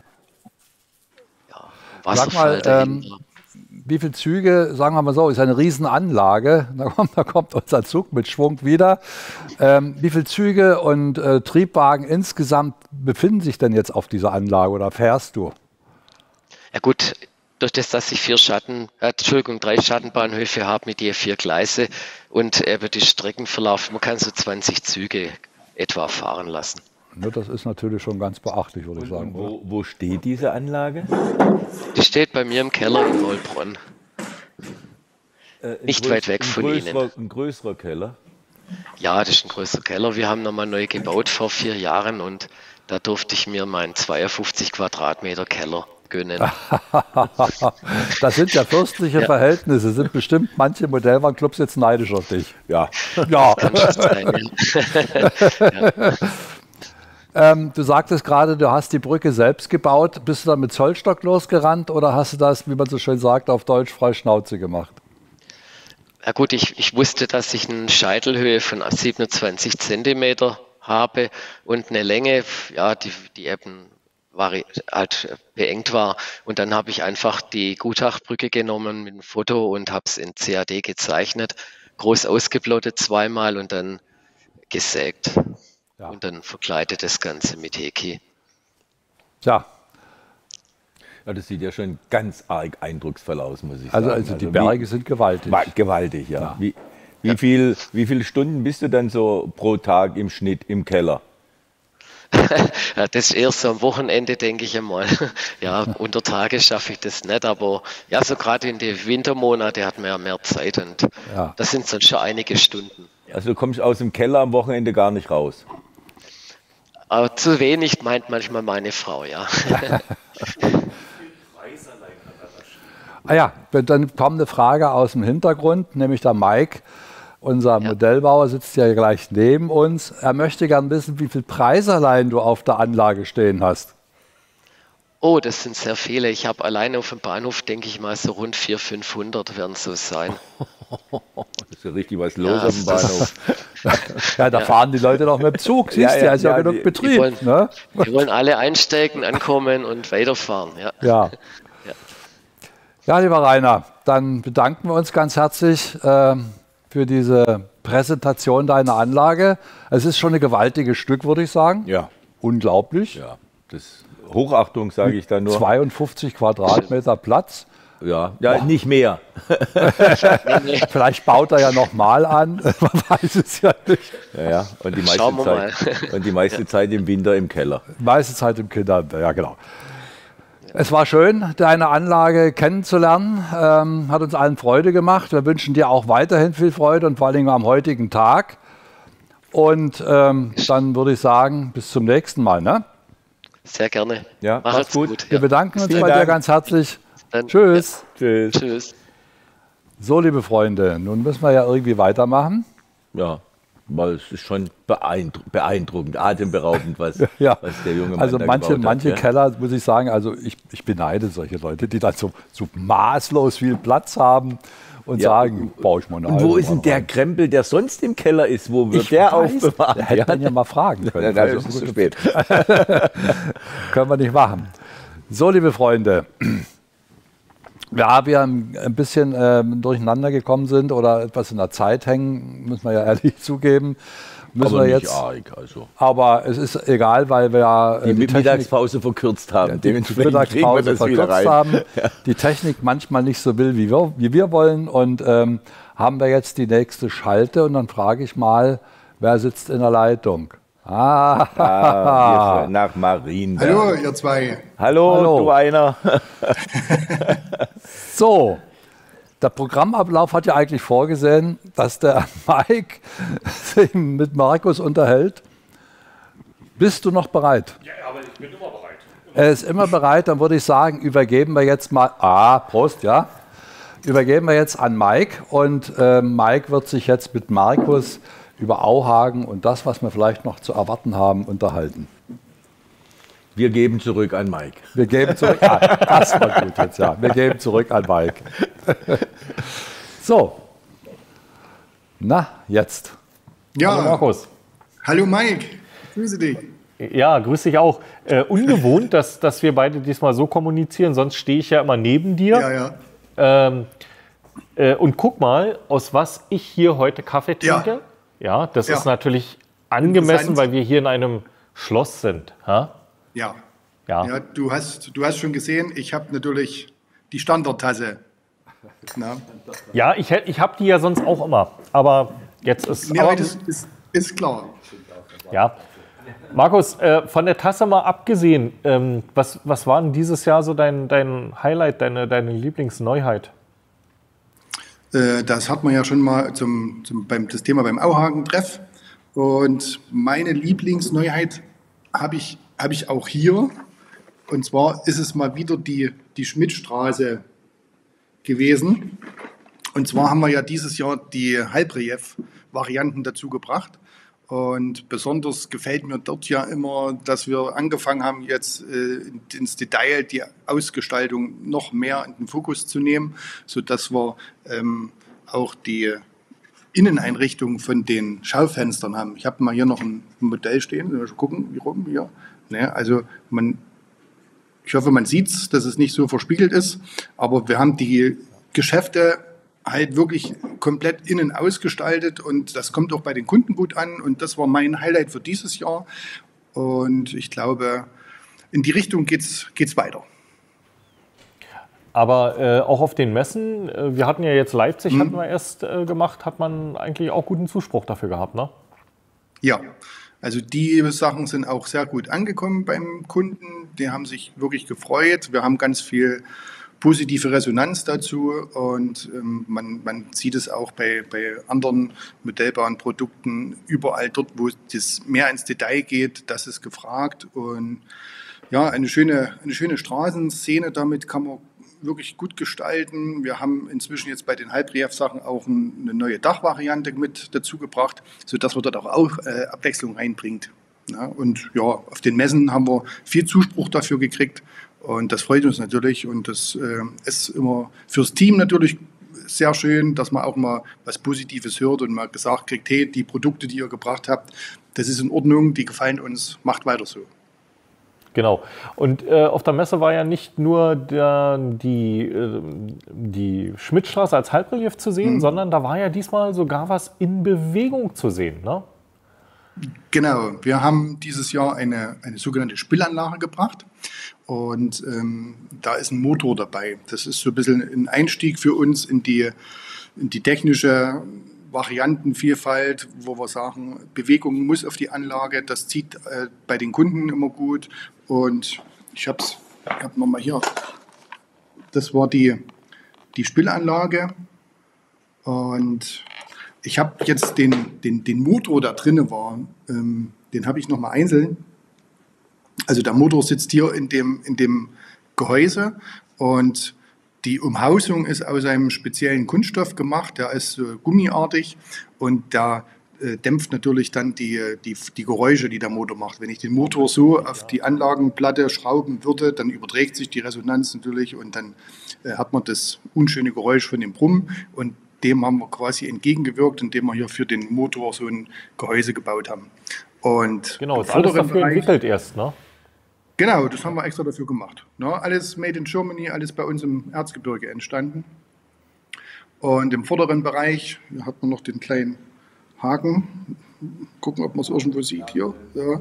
Und hier, äh, wo das aufgewickelt wird, da ist eine sogenannte eine, ähm, na? Rutschkupplung. Eine Rutschkupplung, genau. ähm, Wenn ich helfen kann. ja, ist halt live, ne? Und ähm, die Rutschkupplung kann man in drei verschiedenen äh, Stufen einstellen, sodass man dann dort wirklich individuell für seine Fahrzeuge das äh, ausgleichen kann, äh, wie viel muss die Spielanlage jetzt ziehen. Genau, also da sollte man noch dazu erklären, dass die Spielanlage äh, dafür konzipiert wurde, wirklich Wagen oder vielleicht auch eine freilaufende Lokomotive ähm, zu ziehen. Äh, früher hatte man das ja äh, gerade in kleinen Betrieben, die sich keine Lokomotive leisten konnten oder wo einfach eine Lokomotive auch viel zu teuer und Genau. aufwendig geworden wäre, hat man sogenannte Spillanlagen gehabt. Man hat also einen Elektromotor gehabt mit einem langen Seil, einen Haken dran und äh, dann wurden diese Wagen verschoben. Ne? Genau, ne, die wurden dann in die Werkhalle gezogen oder ja, halt quasi wirklich als, als Ersatz für die Betriebe, die halt wirklich keine eigene Betriebslok hatten.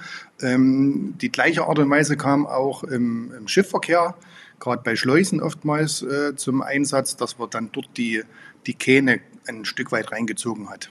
Ja, genau. Also äh, das ist ja ein Modell, ich, also schon wieder 500 Ideen im Kopf, was man damit alles so machen könnte.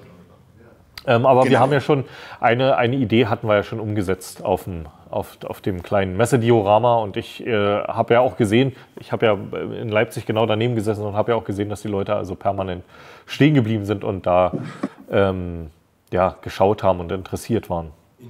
Genau. In Friedrichshafen auch, sagt der Hagen. Ja, Die, war die beste, das war die beste Idee, fand ich, oder die, die, die eindrucksvollste Neuheit äh, von Auhagen für mich in diesem Jahr. Also, und ich bin jetzt noch mit Revoluz dabei, die in die Realität umzusetzen. Das wird noch ein bisschen dauern, aber vor Weihnachten schaffen wir es noch. Und ich bin von dieser ganzen Neuheit bin ich sehr, sehr beeindruckt. Das muss ich an dieser Stelle sagen. Ja. Ich weiß ja nicht, wer die Idee hatte, aber sie war gut.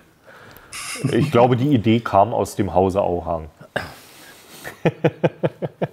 Ja, die Ideen finden sich ja dann oftmals Ja. bei uns in der, in der Gruppe. Wir haben ja ganz viele Zuschriften von unseren Kunden, Anregungen und ähm, wir haben zum Glück auch Leute im Haus mit, mit guten Ideen und dann auch die Möglichkeit, das umzusetzen.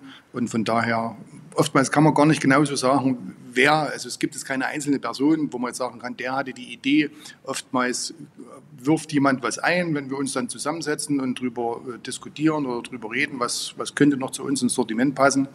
Und dann kommt man von einem ins andere und dann irgendwie ist es dann immer ein Gemeinschaftsprojekt und der eine hat eine Idee, der andere hat noch ein besseres Argument dazu und so nach und nach entsteht dann das Produkt. Und ähm, von daher, wie gesagt, als, als, als Teamleistung bin ich da immer sehr stolz drauf, wenn wir dann solche Produkte haben und natürlich noch schöner, wenn sie dann auch angenommen werden und gerade wenn der, wenn der Hagen sagt, es gefällt mir und ähm, er setzt das jetzt mal um als Beispiel, ich, ich bin gespannt, ich freue mich da. Ich bin auch sehr gespannt. Sehr gut. höre dein Lachen. Ja, ne, nein, äh, Ja, es, ist ja, es ist ein Wohl- Ja, ja. es ist ein Wohl äh, Ja, noch Lachen. eine Sache, die er jetzt unterschlagen hat, glaube ich, der Markus. Oh, was? Markus, Ja. du hast Ja. uns was unterschlagen. Echt? Ja. Ich habe ein neues Modell entdeckt und du hast es nicht erwähnt. Steht Das hinter dir. wäre? Dreh dich mal um. Die Pyramide. Die meinst Pyramide. Mann! Genau, Markus, Naja, ich habe ähm, ich hab, ähm, ich hab hier schon ein bisschen Landschaftsbau gezeigt. Na? Ähm, Natürlich auch wieder mit Auhagen-Produkten. Kannst du zum Thema Landschaftsbau noch ein bisschen was erzählen? Ja, Landschaftsbau, ähm, sag mal, sind wir ja nur nicht so bekannt für die, die, die super Top-Produkte jetzt in, in diesem Bereich, aber wir werden das so nach und nach doch ein bisschen ausbauen und dazu wird es hoffentlich äh, dieses Jahr noch äh, neue Produkte geben, die sich dann finden werden. Wir hatten verschiedene Sachen jetzt schon mal bei uns im Seminar ausprobieren lassen von unseren Seminarteilnehmern. Und die waren damit sehr zufrieden, was so ein paar Fasern betrifft und so ein paar Sachen im- im Weg zu gestalten. Und da sind wir jetzt dabei, die letzten Schritte zu gehen, dass die dann auch vertriebsfertig da sind und wir die dann in den Handel geben können. Genau. Äh, Thema Was es, Auhagen. was, es, was es jetzt alles genau ist, das verrate ich mal noch nicht. Ja, okay. Nichts verrät. Genau. Also, Ja. Aber sag mal, Thema Auhagen ist ja ähm, auch die auch Minicar. Was, was, was gibt's da? Erzähl mal. Ja, im Minicar haben wir ja dieses Jahr im, im Frühjahr die ersten Modelle gebracht, äh, was die Multicar-Reihe betrifft. Wir haben die Goliath-Modelle gebracht. Ich, ich, ich habe ja auch ein, ein paar Muster äh, vorbereitet. Hier zum Beispiel ist, mal gucken, wie rum. In, in, gucken, dass es nicht zu so sehr spiegelt. Also das sind die, die, die Serie der Goliath-Modelle. Da haben wir quasi die Modelle von 3K übernommen und haben die jetzt in unsere Verpackung gesteckt und haben dazu äh, die Spiegel noch gemacht. Das ist natürlich sehr, oh. sehr filigran. Ja. Ähm, glaube, man sieht es. Ja, ja, ja, jetzt genau. Wobei ja, ich ja, wenn ich da mal kurz dazwischen grätschen darf, Markus, man, man darf ja nicht nur sagen, ihr habt die nicht nur in eure Verpackungen gesteckt, diese Modelle, sondern die wurden ja ursprünglich mal bei euch entwickelt. Ja, ja. genau. Die äh, Entwicklung komplett sowie der Spritzguss und der Werkzeugbau ist schon bei uns gewesen. Das ist ja. damals mit dem Herrn Katzung zusammen bei uns im Haus realisiert worden. Und der Herr Katzung hat es jetzt ähm, abgegeben und da lag es natürlich nahe, dass wir das mit bei uns im Sortiment mit, mit aufnehmen und das dann unter der Marke Minicar äh, in den Handel geben. Das hat sich sehr, sehr angeboten.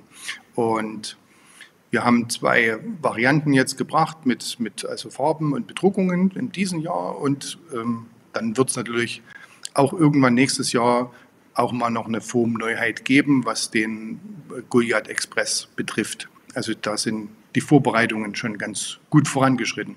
Ja. Ähm, sonst ähm, zum, zum Minicar-Sortiment.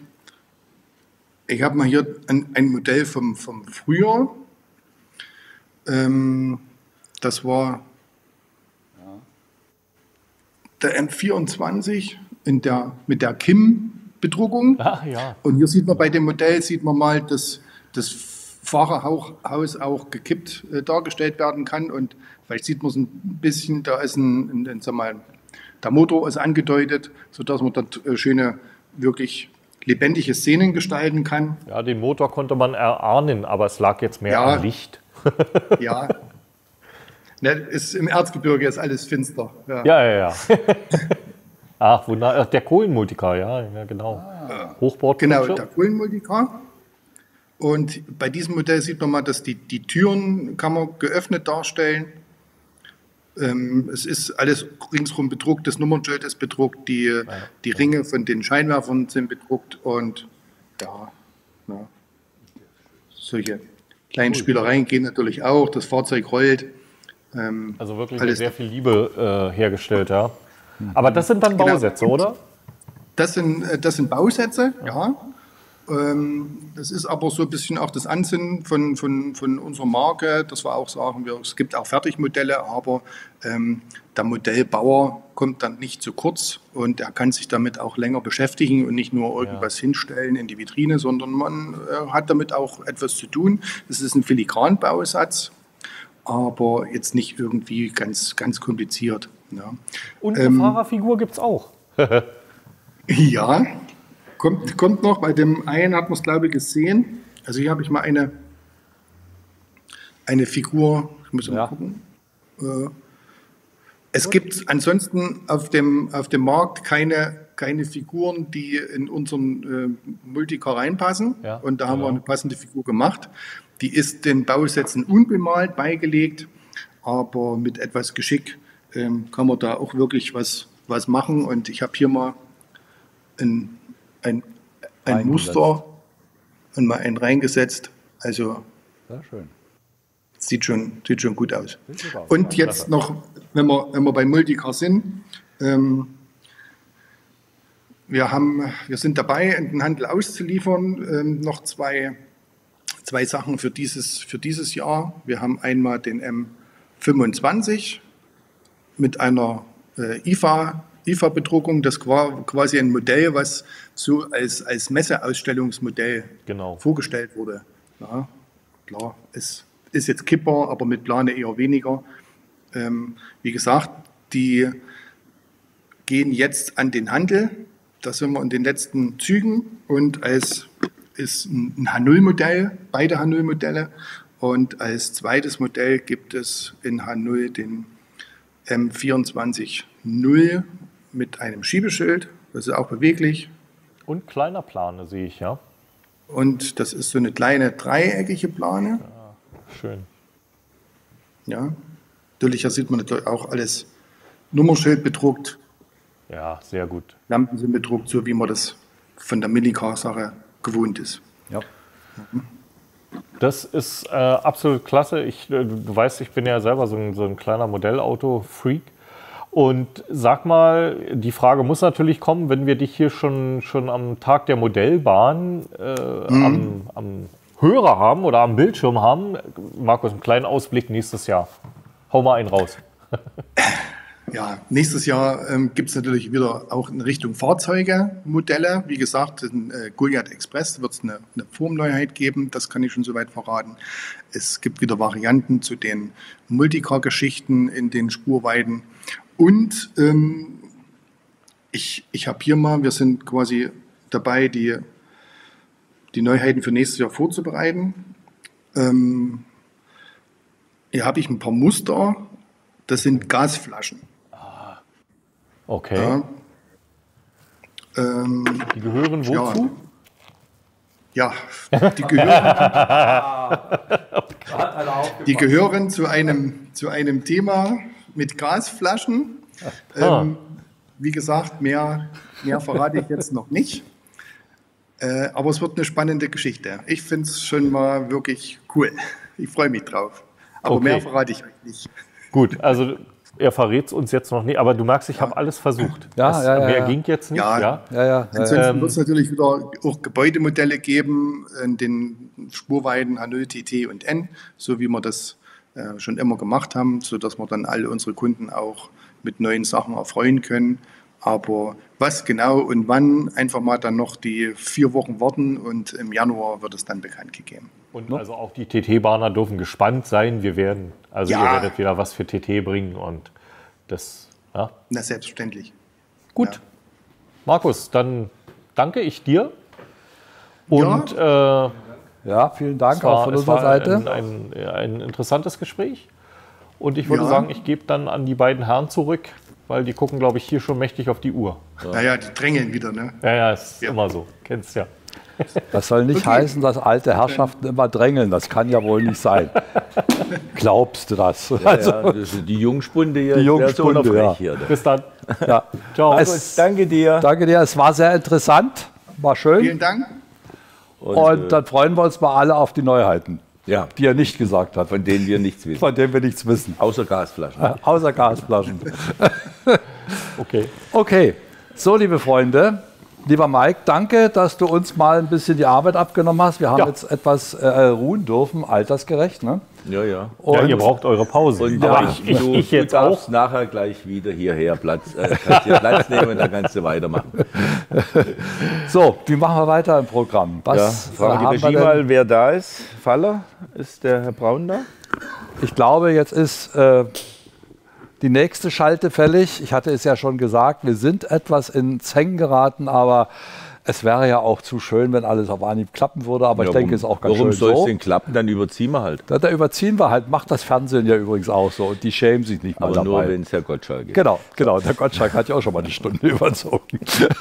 Aber wir sind nicht Gottschalk und wetten das. Wir sind am Tag der, der Modellbahn Modelleisenbahn, ja. in einem Schloss. Das ist viel, viel schöner. Und ich hoffe, dass der Andreas Braun von Faller mir jetzt zugeschalten ist. Da ist er. Hallo Andreas. hi. Hallo. Du Hallo, musstest ja nur beiden. etwas länger warten, aber es hat sich gelohnt. Wir sind dabei geblieben und wir würden uns gerne mit dir mal unterhalten über das, was diesem Jahr äh, Faller so alles äh, gemacht hat, beziehungsweise was da gekommen war. Wir hatten uns ja auf der Messe schon mal unterhalten und ähm, ja, äh, was sagst denn du eigentlich mal vom Anfang gesehen her zum Tag der Modellbahn? Wie findest du so eine Idee?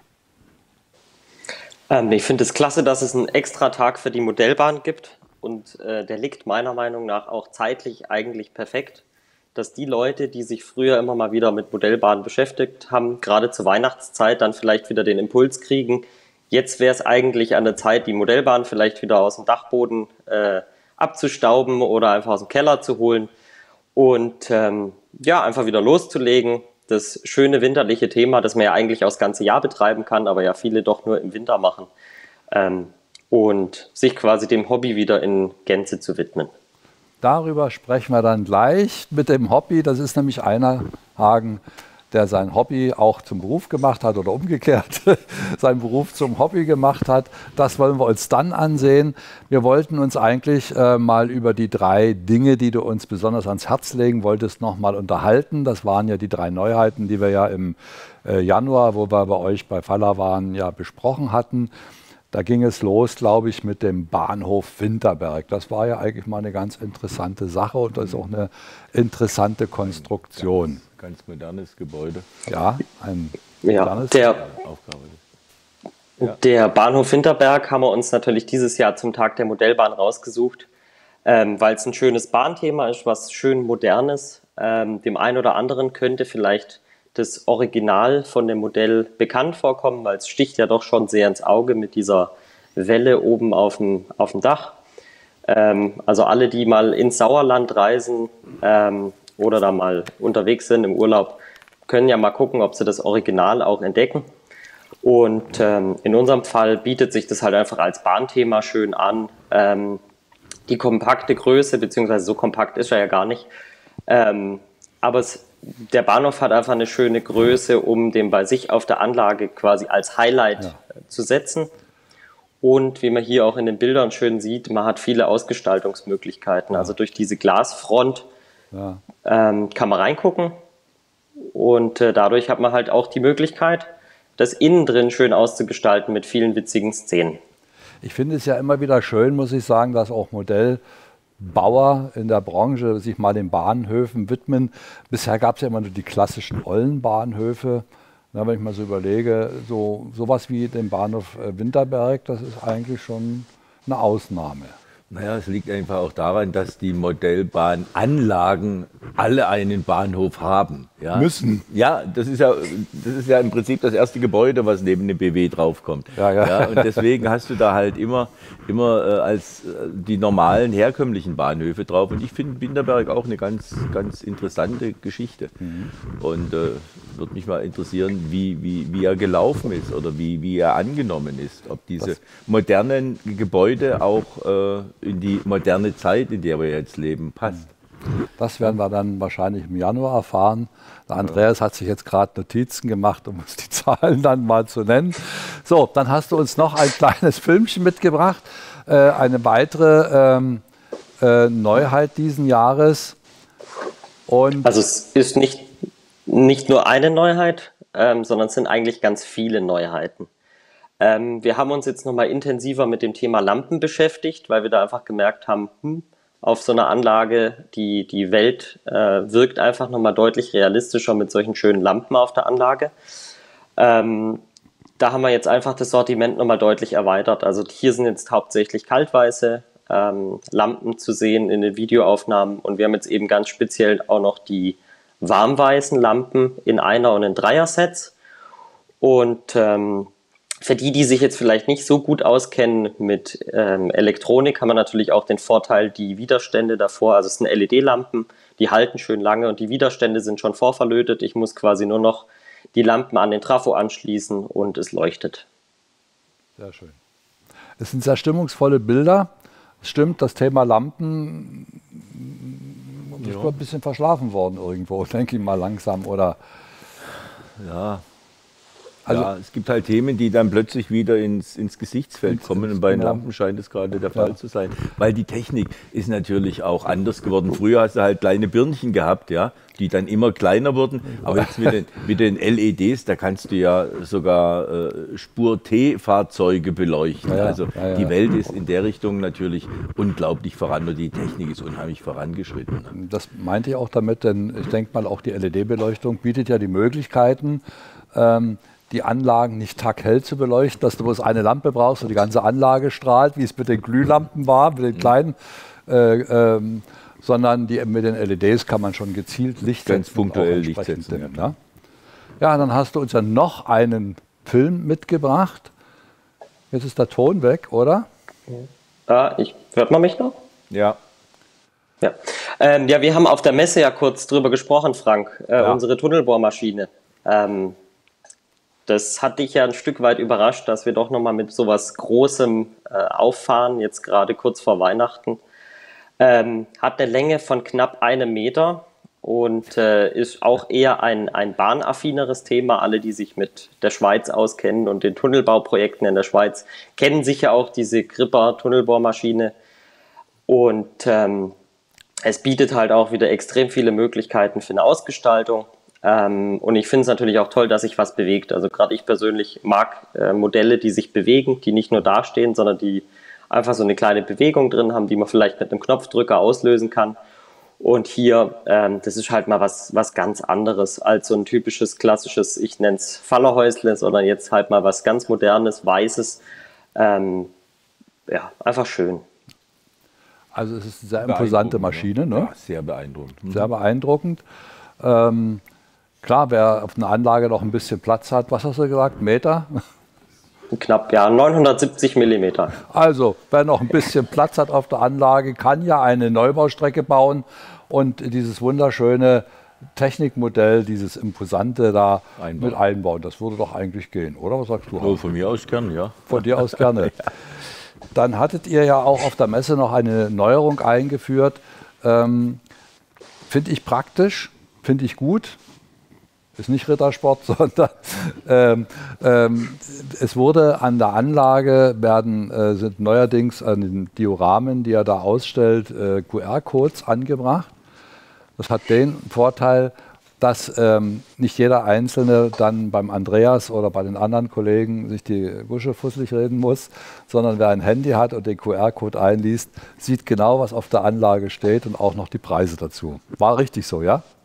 War genau richtig so, ja. Also kriegt jegliche Informationen, die vielleicht der ein oder andere Mitarbeiter nicht in dem Moment parat hat. Und äh, oft sind wir ja mit den Neuheitenanlagen auf der Messe, die noch gar, also die Modelle sind noch gar nicht im Handel draußen. Ja. Und bei uns auf der Webseite hat man ja mit diesem kleinen Herz die Möglichkeit, sich das auf die Merkliste zu setzen. Und äh, dadurch hat man halt dann da seine Merkliste im Shop, äh, kann sich das auf der Messe gleich zusammenstellen oder sofort theoretisch bestellen, wenn man Lust hat. Und ähm, dadurch kriegt man halt nochmal äh, die Möglichkeit, wirklich auf jedes Modell einzugehen äh, auf der Messe. Also äh, oft ist ja so, es gefällt einem vielleicht irgendwie was und man traut sich vielleicht auch nicht, den einen oder anderen Mitarbeiter ja. anzusprechen. Scannt den QR-Code ein, kann sich angucken, okay, äh, hier, das sind die Modelle und vielleicht auch zu Hause dann einfach nochmal in Ruhe stöbern, damit, wenn gerade die Messestände so voll sind, ähm, beim Gedränge man sich dann in Ruhe nochmal die Modelle angucken kann. Also quadratisch praktisch gut. Die Idee finde ich klasse, wenn man sich das zu Hause dann auch mal in Ruhe angucken kann. Und im Messebetrieb ist es ja immer ein bisschen schwierig. Ähm, und wenn da wirklich Neuheiten sind, dann ist es auch für die Mitarbeiter sicherlich schwierig, da rauszukommen. Klar. So, nun hattest du uns ja noch einmal, ich hatte dich darum gebeten, äh, nun verrate ich Ihnen mal was. Der Andreas hat natürlich auch privat eine Modellbahn. Das ist ja selten, muss ich sagen, dass Leute, die in der Modellbahnindustrie arbeiten, äh, bei der Modellbahn arbeiten, zu Hause eine Modellbahn haben. Ich glaube, die können kaum noch Modellbahn sehen. Ich weiß nicht, sehen. ob das so selten ist, aber Sie sagen es häufig wahrscheinlich nicht. Ne? Ja, die, ja, die ich kenne schon ein paar Mitarbeiter von mir, die auch zu Hause Modellbahn haben. Ja, also Andreas hat gesagt, nee, ich habe eine Modellbahn und da hat er uns ein paar Bilderchen aber geschickt. Und dann darf er uns das jetzt mal erzählen. ja, ähm, meine Dauerbaustelle. Bitte? Wie groß ist die Anlage? Die Anlage ist 4,50 Meter auf 1,20 Meter in der L-Form. Okay. Also, äh, wie man sieht, ich komme ja eher aus der alpineren Ecke und oft ist dann einfach so, dass man das, was man zu Hause vor der Haustür hat, dann irgendwie nachbaut. Und so kam es dann bei mir bei der Anlage auch. Also ich habe angefangen mit, einer, mit einem einfachen Tisch im Prinzip, wo eine Startpackung drauf war und dann war irgendwie dieser Kreis nachher zu langweilig, dann ist es weiter gewachsen und gewachsen, dann kam ein Berg dazu und äh, ja, wie man hier sieht, wird dann halt etwas Größeres draus. Ja, dann gucken wir uns gleich mal das nächste Bild an. Da gibt es noch, ähm, das ist das L, was Bild. gewachsen ist. Nee, das ist nicht das L, was gewachsen ist, sondern das Problem ist an der Stelle, äh, die Anlage steht nicht dort, wo ich wohne. Die steht bei meinen Eltern. Und äh, jeder, der schon mal eine Anlage gebaut hat mit etwas größeren Ausmaßen, weiß, so eine Anlage aus einem Haus wieder rauszukriegen, ist nicht so ganz einfach. Ja. Und ähm, weil ich nicht so oft dann bei meinen Eltern bin, um da weiterzubauen, habe ich gesagt, ich kann nicht ganz ohne irgendwie was Modellbauerisches unterwegs sein. Und äh, so habe ich die Gunst der Stunde genutzt, quasi dadurch, dass ich bei Faller bin, hier mal ein kleines K-System-Diorama aufzubauen. Ähm, das ist quasi noch in der Arbeit ein Verkehrsübungsplatz. Ähm, und da fährt dann einfach das K-System-Fahrzeug verschiedene Übungen ab. Hinten sieht man schon, stehen ein paar Pylonen auf der Strecke. Da fahren die Autos dann hintereinander Slalom. Und äh, so konnte ich quasi dann einfach mal mich dem Thema K-System bei Faller noch ein bisschen näher widmen ähm, und zu Hause ein bisschen rumprobieren. Ist ja mal echt eine coole Idee, muss ich sagen. Also Fahrschulübungsplatz auf einer Modellbahnanlage habe ich noch nicht gesehen. Nee. Was sagst du, Hagen? Nö, wenn er an der Quelle sitzt, ist es ja auch gut. Ne? Ja, klar. So, was sehen wir da? Das ist das Genau, da sehen wir jetzt einfach nochmal die, die große Anlage von der anderen Seite, dass man ein bisschen Übersicht hat. Ähm, aber ähm, es ist irgendwie so, man fängt an einem Stück an, baut was und dann fallen einem wieder neue Ideen ein, man reißt was weg und äh, dieser Berg, der wächst halt einfach Schritt für Schritt und wird sicher auch, also ich gehe davon aus, dass diese Anlage nie fertig sein wird. Ihr werdet es wahrscheinlich selber von euch auch wissen, ähm, so eine Anlage endet eigentlich nie. Man kommt wieder auf neue Ideen und äh, baut dann einfach Stück für Stück weiter. Ist auf der Anlage eigentlich die Villa im Tessin äh, zu finden? Leider nicht, nee. Hätte ja sein können. Also die Villa in Tessin können wir dir bieten, muss ich sagen. Die haben wir hier stehen. Oh, die gebe ich Die- Da findet sich aber sicher noch ein Platz, wenn ich die vielleicht mal baue. Das habe ich mir gerade gedacht. Gibt es wohl bei euch nicht mehr?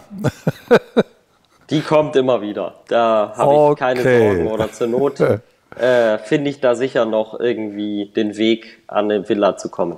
Sag mal die Zahl, die aktuelle Verkaufszahl. Also Hagen hat geratet vor, geraten Nee, vor nee, zwei ich habe das irgendwie so gehört, also 300.000 waren es auf jeden Fall.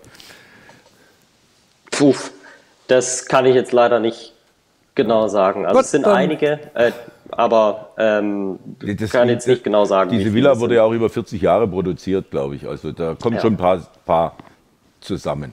paar zusammen, ja. Also denk dran, wenn du das nächste Mal uns die, deine Anlage präsentiert, wollen wir die Villa sehen. Können wir machen, kein das hast du Problem. versprochen. Ja, ja. also Hast du gerade Ja. versprochen, wir haben es alle gehört hier. Alle Mann. Okay, lieber Andreas, danke für Vielen deine Dank. Präsentation. Wenn mich nicht alles Gerne. täuscht, sehen wir uns nachher nochmal wieder. Wir sehen uns wahrscheinlich wieder, wenn es technisch funktioniert. Ähm, ja. Wir kümmern uns drum. Also, dann bedanken wir uns erstmal dafür, dass du uns das, äh, die Produkte von Faller nochmal vorgestellt hast, die dieses Jahr so ein bisschen im Mittelpunkt standen, dass wir deiner, an deiner Anlage teilhaben durften. Am L. Ja, am L und am Fahrschulübungsplatz. Das muss ich mir mal merken. Da brauche ich mal Bilder oder sowas davon, wenn es fertig ist. Vielen Dank, Andreas. Liebe Grüße in Schwarzwald. Grüße zurück und bis demnächst mal wieder. Bis demnächst mal wieder. Alles klar. Also, Mach's gut. Danke. Tschüss. Tschüss. Ciao. Ciao. Ja, war So. ganz spannend, ne? Ja, muss ich sagen, es war sehr interessant. Fahrschulübungsplatz. Ja, das ich lässt auch- mich gerade das nicht los. Ich, das finde ich auch eine gute Idee. Hatten Ja. wir noch nie. Nee, ne? nee, nee. Ja. Ja, wie laufen wir jetzt weiter, lieber Hagen? Äh, wir, wir laufen einfach äh, dem Ende entgegen. Oder gehen wir jetzt Kaffee Wir- trinken? Nein, das nee, können wir Kaffee nicht. trinken machen wir erst nach dem nächsten Gespräch. Wir Okay. steht, bei mir steht noch MECR gerade. Äh, Aber vielleicht tut der MECR gerade ja gerade Kaffee trinken. ah, na gut, dann machen wir jetzt auch Pause. Wollen wir mal gucken? Kaffeepause oder gucken? Wollen wir gucken? Die Regie? Macht der MECR gerade gerade Kaffeepause? Nee. Nee. Nö. Hallo und herzlich willkommen zum Tag der Internationalen Modellbahn. Schön, dass ihr dabei Danke, seid. gleichfalls. Als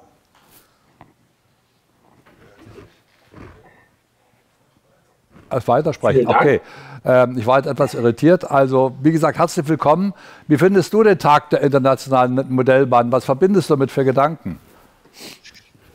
Ein, grundsätzlich erstmal eine gute Idee, im Speziellen zur Nachwuchsgewinnung, äh, die ja so ein bisschen ein Problem, ich sag mal, unseres Hobbys darstellt. Ja, okay. Ja, man muss ja alles versuchen, um dieses Hobby in die nächsten Generationen hineinzutragen. Und das war halt ein Gedanke, äh, vor ein paar Jahren, so einen Tag zu installieren, der dann immer wieder äh, genannt wird und äh, die Modellbahn in die Köpfe der Leute hineinbringt. Und ich hoffe, äh, dass wir diesen Weg weitergehen können. Ja. ja. So, nun wollen wir uns natürlich über eure Anlage unterhalten, die du uns mitgebracht hast, zumindest visuell. Eine Frage, wie groß ist denn eigentlich der Club? Wie viele Mitglieder seid ihr denn? Rund 40 Mann in einer Halle von rund 250 Quadratmetern haben wir unsere Anlage stehend aktuell.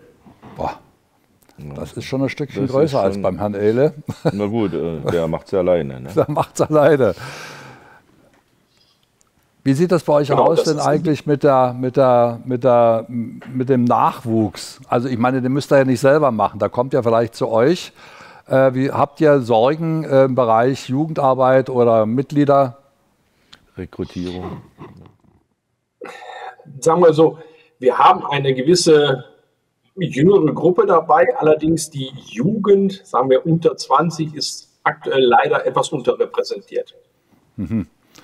Woran liegt es? Ist es zu langweilig oder ähm, kein Interesse von den Jugendlichen? Erreicht ihr niemanden? Es, es, gibt sicherlich heutzutage deutlich mehr Dinge, die man in seiner Freizeit machen kann, als ich sag mal zu unserer Jugendzeit. Ähm, und äh, da sind sicherlich viele dann anderweitig. Es finden sich aber genügend Leute immer noch, die Interesse haben, aber es ist halt etwas aufwendiger heutzutage, an diese Person ranzukommen. Okay. Ähm, wie sieht denn das aus? Seid ihr in einem festen Gebäude untergebracht? Habt ihr feste Räumlichkeiten? Denn wir hatten ja heute schon die Erfahrung machen müssen, beim MC Germering zum Beispiel, dass die händeringend eine Bleibe suchen. Ist das bei euch einigermaßen in trockenen Tüchern? Ja, wir haben aktuell, wie gesagt, eine Halle von rund 250 Quadratmetern angemietet, ähm, wo auch dann kein Bedarf besteht, etwas zu ändern. Zumindest aktuell nicht. Okay, dann schauen wir uns mal die große Halle an und die Eisenbahn, die In drin die aufgebaut ist. Wir fangen mal mit dem ersten Bild an. Eine wunder zwei wunderschöne Zuggarnituren. V200, ja. V200, das klassische mit mhm. den entsprechenden Zügen dran. Epoche 3, 4, ja, das ist auch vom Prinzip das Hauptthema der Anlage. Epoche 3, 4 im Rheinland-Bergischen Land. Und daher haben unsere ganzen Bahnhöfe auch ähm, Namen aus der Region hier, die allerdings nur Namensgeber und nicht Vorbild entsprechend okay. sind. So, dann gucken wir uns mal die nächste Abbildung an. Die klassische V100 ja, mit, mit klassischen, klassischen Gebäude. Mit klassischen ja. Gebäuden. Ja, also ich denke mal, die sind wahrscheinlich auch typisch eurer Gegend angepasst, oder? Ich wollte gerade sagen, wir haben auf die handelsüblichen Modelle zurückgegriffen, allerdings teilweise halt ähm, entsprechend anders lackiert. Von daher. Okay. Und verändert ihr die Mehr Gebäude? oder weniger passend, aber stilmäßig schon hier die Region treffend, ja. Hm, okay, also ihr legt sozusagen Hand an, um das ein bisschen anzupassen. Ja. Gut. Ja, dann sehen wir einen sehr langen Zug mit Panzern, ich nehme an von der Bundeswehr. Ja, wir haben halt auch Mitglieder im Verein, die, sagen wir, bundeswehraffin sind. Okay. Und damit haben wir keine grundsätzlichen Probleme. Von daher sind die auch interessante Fahrzeuge. Ja. Und äh, so als Ganzzüge machen die auch schon was her. Ja, man sieht es ja auch selten auf Anlagen. Ich meine, eine Armee äh, ist in jedem Land vorhanden. Also warum sollte man bei dem Thema auch nicht die Armee auf die, auf die Modellbahn bringen? Warum nicht? Gute Sache. Da haben wir wieder so einen klassischen Zug. Das wird sich wahrscheinlich auch bei den Bildern weiterziehen. Sind die Bahnsteiglängen, die ihr da habt, äh, äh vorbildgerecht oder sind die verkürzt? Ähm, nein, nicht vorbildgerecht. Wir können Züge von circa sieben D-Zugwagen äh, an den Bahnsteigen halten lassen, was für eine Modellbahn ja schon eine ganz ordentliche Länge eigentlich darstellt. Das ist richtig. Aber ihr könntet, wenn ihr wolltet, länger, denn bei 250 Quadratmeter geht da schon was rein, oder? Ja. Ähm, ja, die Anlage füllt den Raum aber in ihrer gesamten Länge zwischenzeitlich. Insofern wird es schwierig, die Bahnsteige länger zu machen. Okay. Das mal ein Bild des gesamten Hauptbahnhofs von uns. Und da ja. sieht man ja auch einen Zug mit sechs D-Zugwagen, das passt also genau da rein. Hier haben wir dann das nächste Bild mit viel Betrieb auf großer Fläche. Den Triebwagen drüben rechts als Einzelstück, interessantes Teil. Akkutriebwagen. Ja. Kenne ich das richtig? Dann ja, haben ich wir glaube, was das ist der, Moderneres. S der Esslinger vom Brekina. Ja. So, dann sind wir in etwas moderneren Bereich. Das ist ein bunter Zug, Genau. den habe ich eigentlich noch nicht gesehen. Hat, kanntest du? Das ist der Das ist der Mauszug. mit der Maus. Der, das gab zum, zum Geburtstag Genau, der Maus, zum- zum, am 50. Geburtstag der Maus, gab es diesen Zug. Gut, äh, hängt- ist aber auch schon ein paar Jährchen hier. Und Hängt du vielleicht guckst, und du guckst ja die Maus auch schon ein paar Jährchen nicht mehr Ja, an. ich wollte ne? gerade sagen, also äh, guckt jemand von hier euch die Maus? Nee, alle schütteln mit dem Kopf. Doch, da hinten. Naja gut, wenn du Kinder oder Enkel hast in dem Alter, die, die müssen die Maus gucken. Die müssen die Maus gucken, ja. klar. Aber sehr interessante Szenen. Vor allen Dingen auch die etwas alten Postfahrzeuge da im Vordergrund. Das finde ich schon eine interessante Mischung. Ja, also eigentlich ist die Anlage angesiedelt eben in den 60er, 70er Jahren, wo dann der Autofuhrpark natürlich hingehört, ähm, während die auf der Anlage gezeigten Fahrzeuge sicherlich deutlich moderner sind, sowohl der Schweizer Zug als auch der Mauszug. Ja. Aber ähm, das sehen wir nicht zu eng. Von daher dürfen bei uns also auch Leute, die die ganz modernen Epochen äh, als Vorbild nutzen, gerne mitmachen. Ja. So, das ist wahrscheinlich ein Teil des BWs mit der Ja, Drehscheibe. das ist eine äh, genau, Drehscheibe und eine selbstgebaute Besandungsanlage von einem Kollegen. Oi, die habe ich so noch nicht gesehen. Ja, bei Selbstbau ist das wahrscheinlicher, dass man die noch nicht gesehen hat. Nö, Besandungsanlagen kenne ich nur eine, die steht in Schöneweide. Stimmt's, Mike? Nicht nur in Schöneweide, sondern auch auf vielen Anlagen mittlerweile. Denn die gibt es ja auch in klein. Kann man der Empfehlung mal geben, die schöne Weide. Aber nein, die soll ja in die Landschaft und vor allen Dingen auch äh, äh, reinpassen. Aber es ist eine interessante Form. War- Ob das mal ein Wagen gewesen ist früher, den sie da hochgesetzt ja. haben? Ja, durchaus Hauptsache das Nee, Anfahrtsloch. der, der, Verein- der, der Kollege hat das damals aus Messingprofilen die, das Gerüst gebaut und dann oben mit Holzleisten und Ähnlichem den Rest auch dargestellt, eben das aufschiebbare Dach, damit der Begrünungskran, der sozusagen weiter links auf dem Bild theoretisch noch wäre, ähm, halt aus einem Fahrzeug den äh, Sandbunker da oben nachfüllen kann. Ja. Okay. Was erzählen wir denn hier? Du siehst aber so anders aus. Ich wollte gerade sagen, das, das bin auch nicht ich, das ist ein Kollege. Ja. gleiche Stelle wie vorher. Diesmal rechts ist der Sandbunker halt nochmal kurz zu sehen. Das ist die Einfahrgruppe von unserem Abstellbahnhof, den man Ja. dort sieht. So, dann kommen wir was auf moderneres, der Metronom. Genau, wie eben schon gesagt, wir haben auch Kollegen, die die Epochen 5 und 6 als ihr Gebiet sozusagen betrachten und auch da haben wir keine Probleme mit, dass diese Fahrzeuge auf unserer durchaus in einer anderen Epoche angesiedelten Anlage dann verkehren können. Da steht was Interessantes drauf bei diesem Haus. Die Aufnahme hast du mir wahrscheinlich absichtlich geschickt. Ja. es, ist ja so, letzte Tankstelle vor der Autobahn oder ähnliches gab es ja immer mal mal die letzte Kneipe vor der Modulkante. Und der Name ist äh, Gramm. Das ist äh, der Name der Kneipe, in der wir regelmäßig unsere Kegelabende oder ähnliches veranstalten.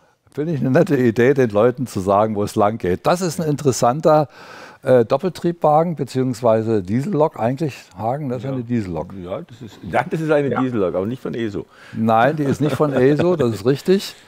Ähm, Das ist noch das Märkling-Modell. Ja. Die gibt es auch von Trix, ne? oder gab es als Ja. erstes von Trix. Ne? mit einem ganz Kohlezug abgebildet auf der Anlage. Das muss ja Spaß machen, auf so einer großen Anlage mit so vielen Zügen oder mit langen Zügen zu fahren. Vor allen Dingen. Ich glaube, das ist dann schon ganz okay. Ja, wir können grob zehn Züge a zweieinhalb Meter verkehren lassen und das ist dann schon Ja. natürlich was ganz Ordentliches. So, dann hat sich ein etwas modernerer Zug der Schweiz noch verirrt gehabt, haben wir jetzt noch im letzten Bild gesehen. Der passt aber nicht mehr ganz in die Epoche 3, 4. Nee, aber wie, wie schon gesagt, wir sind, sehen es nicht zu eng, äh, wenn Mitglieder halt aus ihrem Privatfundus ihre Fahrzeuge mitbringen, da der Verein keinerlei Fahrzeuge besitzt, ähm, sind da halt dann Fahrzeuge zwischen, die aus allen Epochen kommen. Ja. Äh, kurz zur Einblendung, mein Name ist bitte ohne R.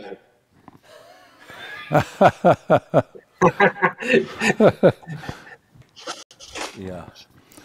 Okay, wir versuchen es gleich zu korrigieren, dass wir es richtig machen. So. Ah, wunderbar. Wunderbar. So, und das muss ja auch gesagt sein. Das muss ja auch stimmen. Ordnung muss sein, das gehört dazu. Danke, lieber Stefan Bückmann, für deine interessanten Ausführungen von einer Riesenanlage. In einer Riesenhalle. In einer Riesenhalle. Ich muss das Wort nochmal sagen, 250 Quadratmeter. Ist unglaublich. Schafft man das ja. überhaupt alles zu beackern, Mensch? Oder die Halle zu kehren? Es ist eine Frage der Zeit und der Anzahl der Mitglieder, die aktiv mitmachen, dann geht das schon. Da müssen, das ist wie im Betrieb, die Neuen müssen ran, die Lehrlinge müssen erst mal kehren. Ja. Ja, so ungefähr. Alles klar. Ja, Staubsaugen, genau. genau. Vielen Dank für die interessante ähm, Darbietung, für, deine, für eure Anlage, für eure Clubanlage vom ersten MC Erkrad. Erkrad. Habe ich das richtig gesagt? Am, Absolut. Am Fuße, der Steil, am Fuße der Steilrampe. Am Fuße der Steilrampe? Der Steilrampe. Stimmt, ja. Er sagt. Düsseldorf-Wuppertal. Alles klar. Vielen Dank, viele Grüße dahin. Bis zum nächsten Dankeschön, Mal. Dankeschön, Grüße zurück, bis demnächst. Okay. Tschüss. Danke, tschüss. tschüss. So. Und jetzt machen wir Kaffeepause. Das war das Wort zum Nachmittag. Genau.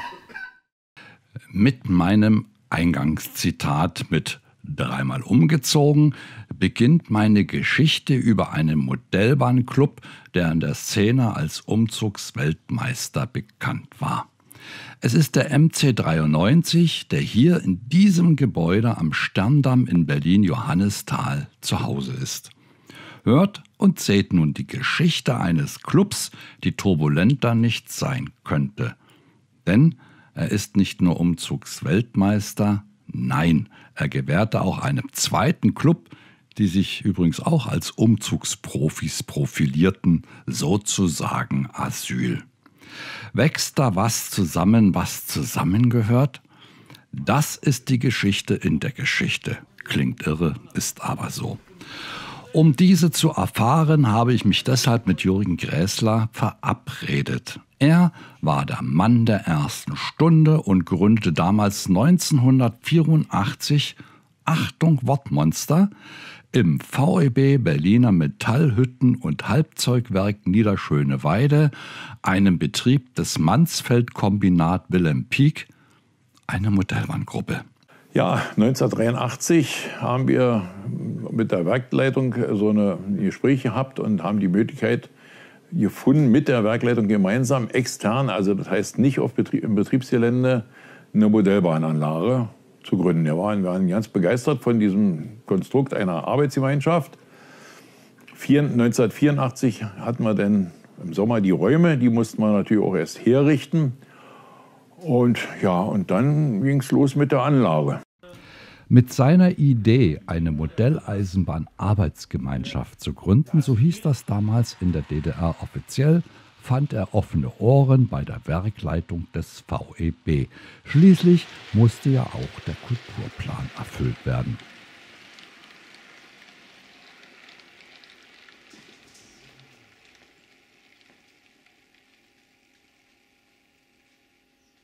Nur mit Gründung der Modelleisenbahn-Arbeitsgemeinschaft war ja nicht alles Friede, Freude, Eierkuchen in der ehemaligen DDR. Auch Modelleisenbahnartikel waren schwer zu bekommen oder mussten irgendwie besorgt werden.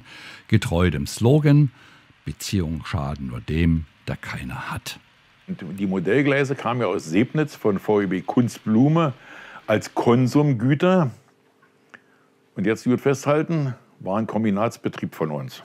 Die gehörten zu unserem Kombinat. Also habe ich die beiden BGLer aufeinander aufgehetzt. Die sollen sich mal darum kümmern, wir brauchen so und so viel Meter, Meterware Modellgleis und die entsprechenden Schwellenbänder und Weichen und so was alles. Weil das war ja eine Ware, die ich der, im Handel gekriegt habe, ja, mh, hm, mal zwei Weichen und mal fünf Meter Gleis. So, und dann kriegte ich nach einer Woche oder einer guten Woche ich die Ansage, ich soll mich mit denen telefonisch in Sebnitz in Verbindung setzen. Habe ich dann gemacht. Und dann war mein Termin ausgemacht. wo ich dann zwei Taschen mit nachgenommen habe mit Tomaten und Bananen und alles, was man so in Berlin kriegte, was eben dort nicht zu kriegen war. Und dann bin ich nach, nach Kunstbube Sebnitz gefahren und habe das geholt. Man hat mich dort sehr, sehr freudig dank meiner beiden Taschen empfangen. Und das Material ist noch viel, viel schlimmer. Äh, ich habe eine ehemalige Schulkameradin, mit der ich sogar mal befreundet war, wiedergefunden. Die hat einen Spielwarenladen, Alis Puppenstube. Und die handelte auch mit Modelleisenbahn. Und da war dann folgender, stand dann folgendes, wir haben uns früher ja immer montags getroffen. Und dann bin ich immer Montag, äh Quatsch, äh, Mittwoch hat die immer Ware gekriegt und dann bin ich Mittwoch, bevor sie die Ware rausgegeben hat, die angelieferte Ware, durfte ich sichten, was wir davon haben wollen. Der Rest ist dann nach draußen gegangen. Also das wurde dann auch an äh, ganz normalen Kunden verkauft. Der sozialistischen Planwirtschaft war die Finanzierung von Arbeitsgemeinschaften dagegen gar kein Problem. Ja, finanziert hat es der VEB. Wir hatten, ja, wir, hatten, wir hatten zwar einen Mitgliedsbeitrag, das war aber mehr oder weniger, äh, naja, dass wir mal auch was unternehmen konnten, dass wir also auch mal eine Exkursion machen konnten. Wir sind nach, nach Dresden zum Beispiel ins Verkehrsmuseum gefahren oder haben dies oder das gemacht. Und das musste von irgendwas finanziert werden. Und dann haben wir noch was ganz Schlimmes gemacht. Wir haben also teilweise äh, die Waggons, die ich gekauft habe oder die ich besorgt habe, die haben dann Mitglieder zurückgekauft. Und dieses Geld kam, ging dann in die sogenannte bunte Kasse. Und mit der konnten wir dann auch mal so eine Dresdenfahrt sauber finanzieren. Und so entstand eine im Laufe der Zeit trotz Mangelwirtschaft zu DDR-Zeiten eine Anlage, die sich sehen lassen konnte. Nun will ich euch nicht länger auf die Folter spannen, liebe Freunde. Hier kommen die Bilder zur Anlage. Die ca. 27 Quadratmeter große Segmentanlage ist in L-Form ausgeführt. Das Anlagenthema ist keinem konkreten Vorbild nachempfunden. Auf dem Hauptschenkel befindet sich ein neungleisiger Durchgangsbahnhof namens Hoppenburg. Von diesem zweigt die Nebenbahnstrecke ab. Der Endbahnhof der Nebenbahn heißt Schwarzburg. Auf der Nebenbahnstrecke befindet sich noch der Haltepunkt Birkengrund.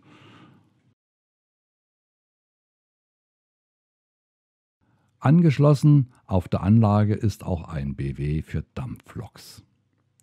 Der Bahnhof Hoppengrund hat zwei Bahnsteige für die Hauptbahn und einen Bahnsteig für die Nebenbahn. Dann sind noch drei Gleise für Güterzüge vorhanden. Das Bahnhofsgebäude befindet sich höher und die Bahnsteige werden über eine Brücke erreicht. Die Nebenbahn fährt vom Hauptbahnhof auf dem rechten Schenkel über den Haltepunkt Birkengrund zum Endbahnhof Schwarzburg. In Schwarzburg gibt es eine Schmalspurbahn, die das Sägewerk bedient.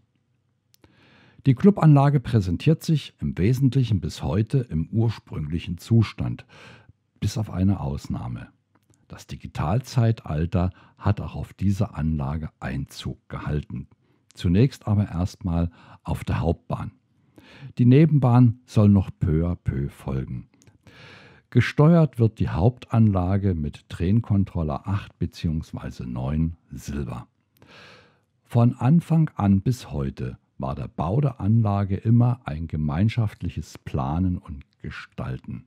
Darauf legt Jürgen Gressler immer großen Wert. Bis hierhin scheint alles eine Modellbahn-Idylle.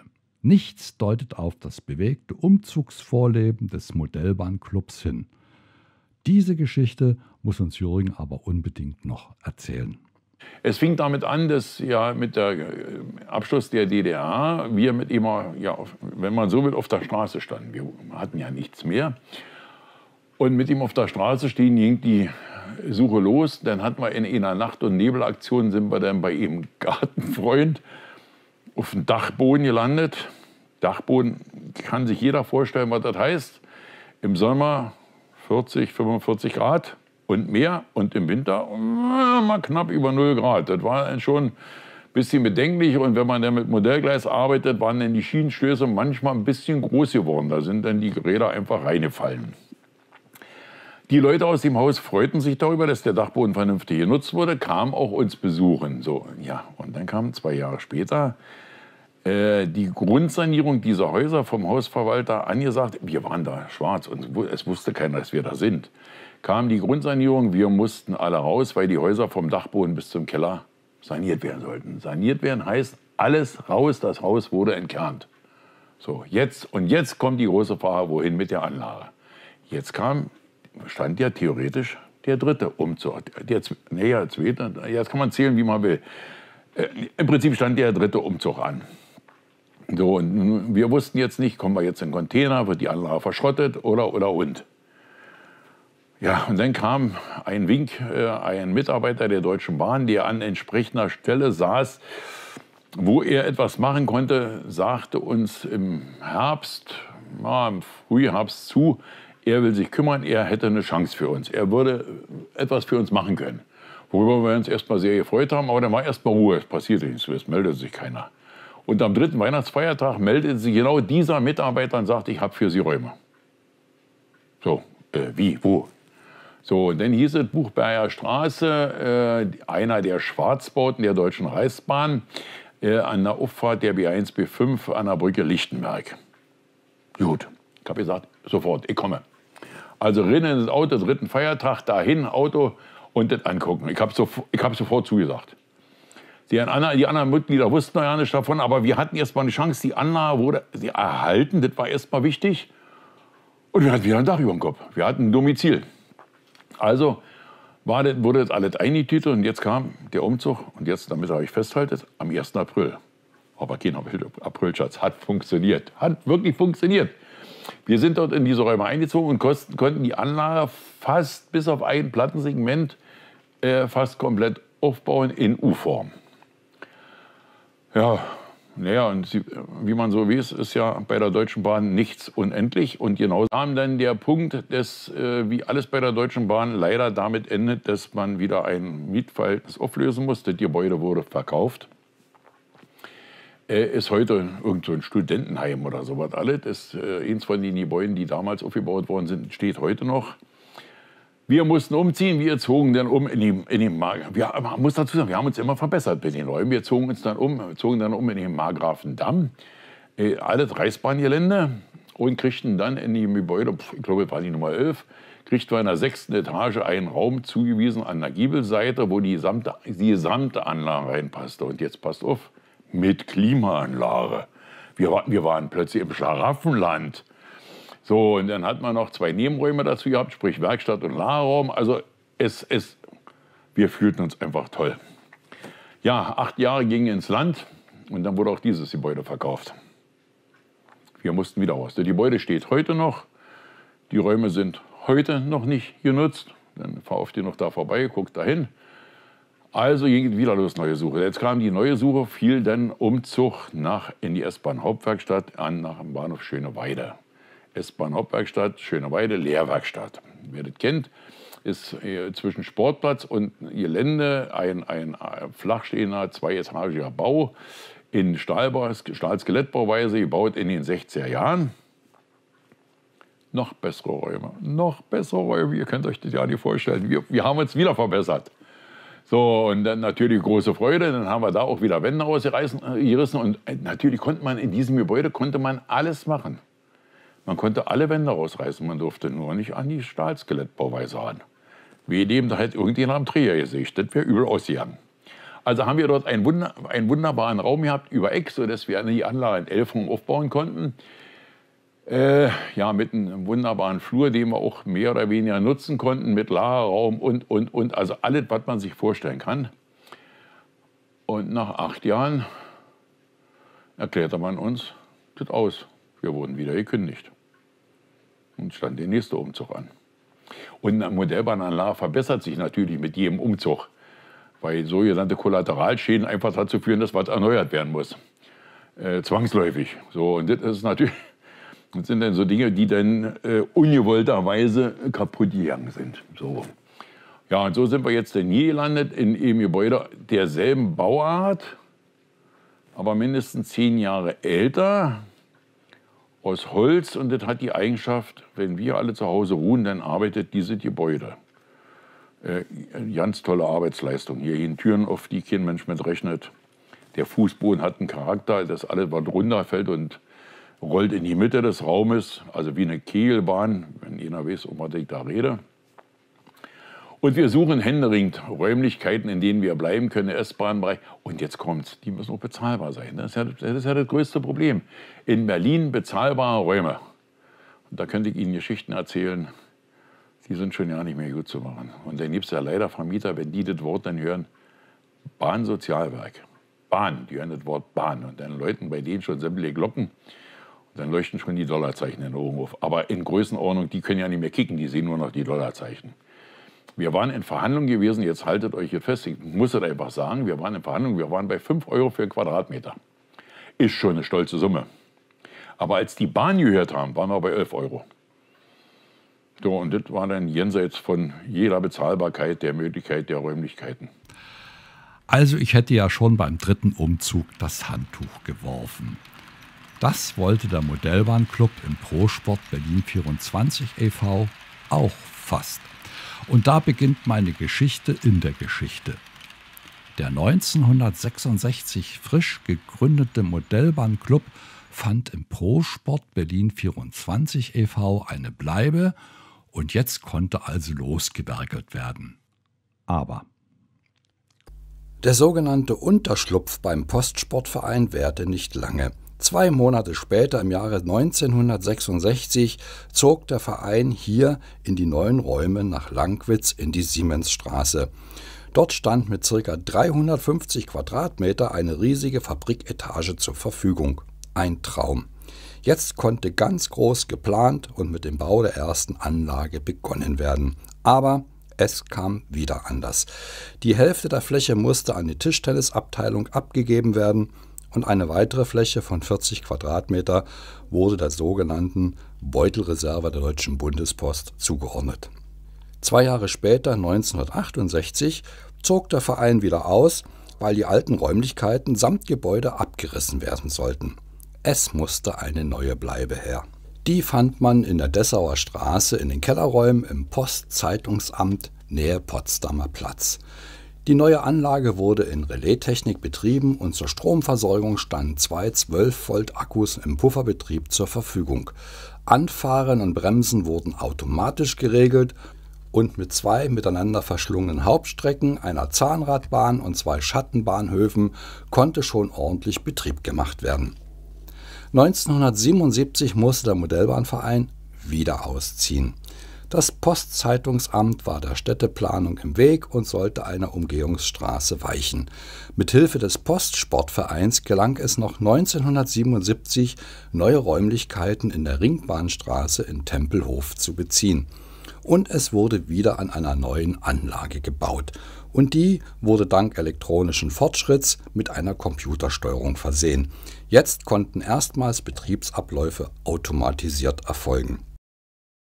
Die Anlage hatte bis Ende 1991 beträchtliche Abmaße angenommen. 1991, Sie ahnen bestimmt, was kommt, mussten die Räume in Tempelhof wieder aufgegeben werden. Noch brauchbare Materialien wurden für mehrere Monate in Kellerräumen des Fernmeldeamtes 3 zwischengelagert und es begann die Suche nach einer neuen Bleibe. In Adlershof in der Agerstraße wurde dann eine Holzbaracke ausfindig gemacht und dem Verein zur Verfügung gestellt. Nun hieß es also wieder Ärmel hochkrempeln und neu anfangen. Aber auch die Agerstraße in Adlershof war kein dauerhaftes Domizil für den Verein. 1997 mussten sozusagen wieder die Koffer gepackt werden. Jetzt war der Verein erstmals obdachlos. Durch Vermittlung des Vereinsmitgliedes Ulrich Berner gelang es, im Telekom-Gebäude in Berlin-Wedding in der Seestraße eine Bleibe zu finden. Hier endet der kleine Ausflug in die Geschichte des Vereins. Ich sage nur Hut ab vor so viel Ausdauer. Nach diesen vielen Umzügen war man in der Seestraße in Berlin-Wedding angekommen. Von hier kann ich euch auch Archivaufnahmen aus dem Club präsentieren. Mittelpunkt ist die große H0-Anlage Posthausen mit ca. 80 Quadratmeter Grundfläche. Hier sind 800 Meter Gleise verbaut, 190 Weichen eingebaut, 72 Oberleitungsmasten aufgestellt und mit ca. 30 Meter Fahrleitung versehen. 72 Lichtsignale und 9 Flügelsignale sichern die Fahrwege der Züge ab.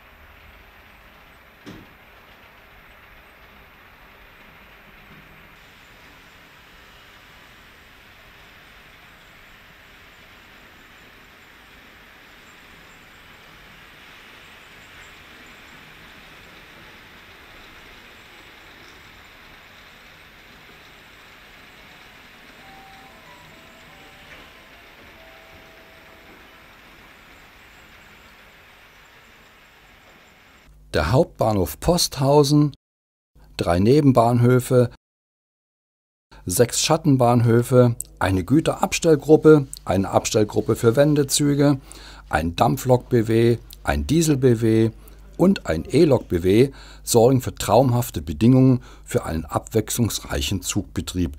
Die Anlage wird komplett digital im DCC-Format gesteuert. Vom Hauptbahnhof Posthausen aus will ich mir einen kleinen Überblick über die Anlage verschaffen. Die gesamte Anlage in allen Einzelheiten vorgestellt, würde allerdings den Zeitrahmen dieser Sendung jetzt sprengen. Links neben dem Kopfbahnhof befindet sich die fünfgleisige Abstellgruppe und ein Bahnbetriebswerk für E-Loks. Gegenüber befindet sich das BW für Dampf- und Dieselloks. Über die zweigleisige Hauptstrecke nach links mit Abzweig einer eingleisigen Nebenbahn gelangen die Züge zu einem fünfgleisigen Schattenbahnhof oder zum Bahnhof Wärts, an dem sich eine sechsgleisige Güterzugabstellgruppe befindet. Beide Strecken führen über Kehren wieder zum Hauptbahnhof Posthausen zurück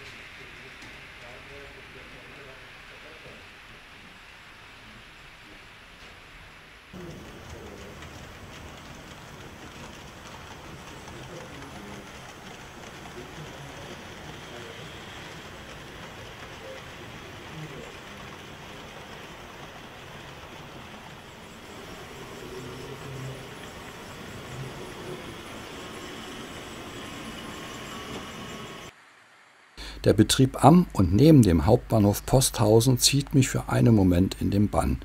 Viele Details gibt es hier zu entdecken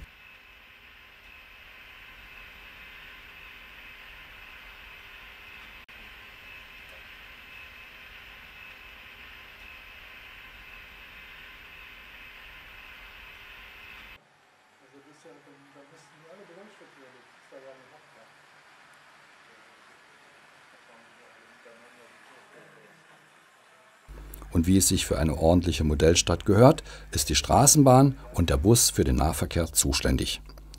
Vom Hauptbahnhof Posthausen nach rechts führen zwei zweigleisige Hauptstrecken, auf denen die Züge den idyllischen kleinen Bergbahnhof Wendelstein erreichen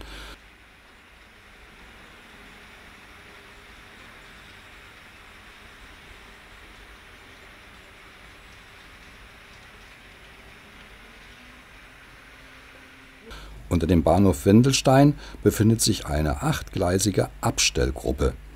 Über diese Abstellgruppe gelangen die Züge über eine Kehrschleife wieder zurück in den Hauptbahnhof.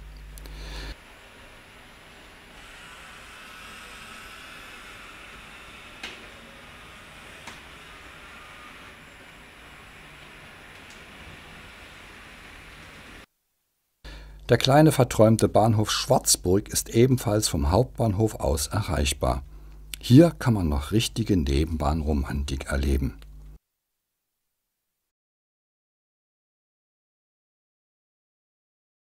Diese Bilder sind gut für die Modellbahnsäle, stimmt's? Aber erstens kommt es anders, als zweitens, wie man denkt.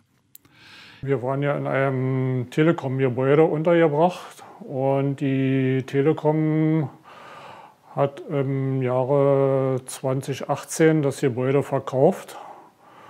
Und der neue Besitzer hatte sich dann die Verträge angeguckt und hatte dann festgestellt, dass wir eigentlich äh, mehr oder weniger für Null in diesem Gebäude, in den Räumlichkeiten sitzen. Und der sagt also, wie gesagt, dass, dass dieses also so nicht geht.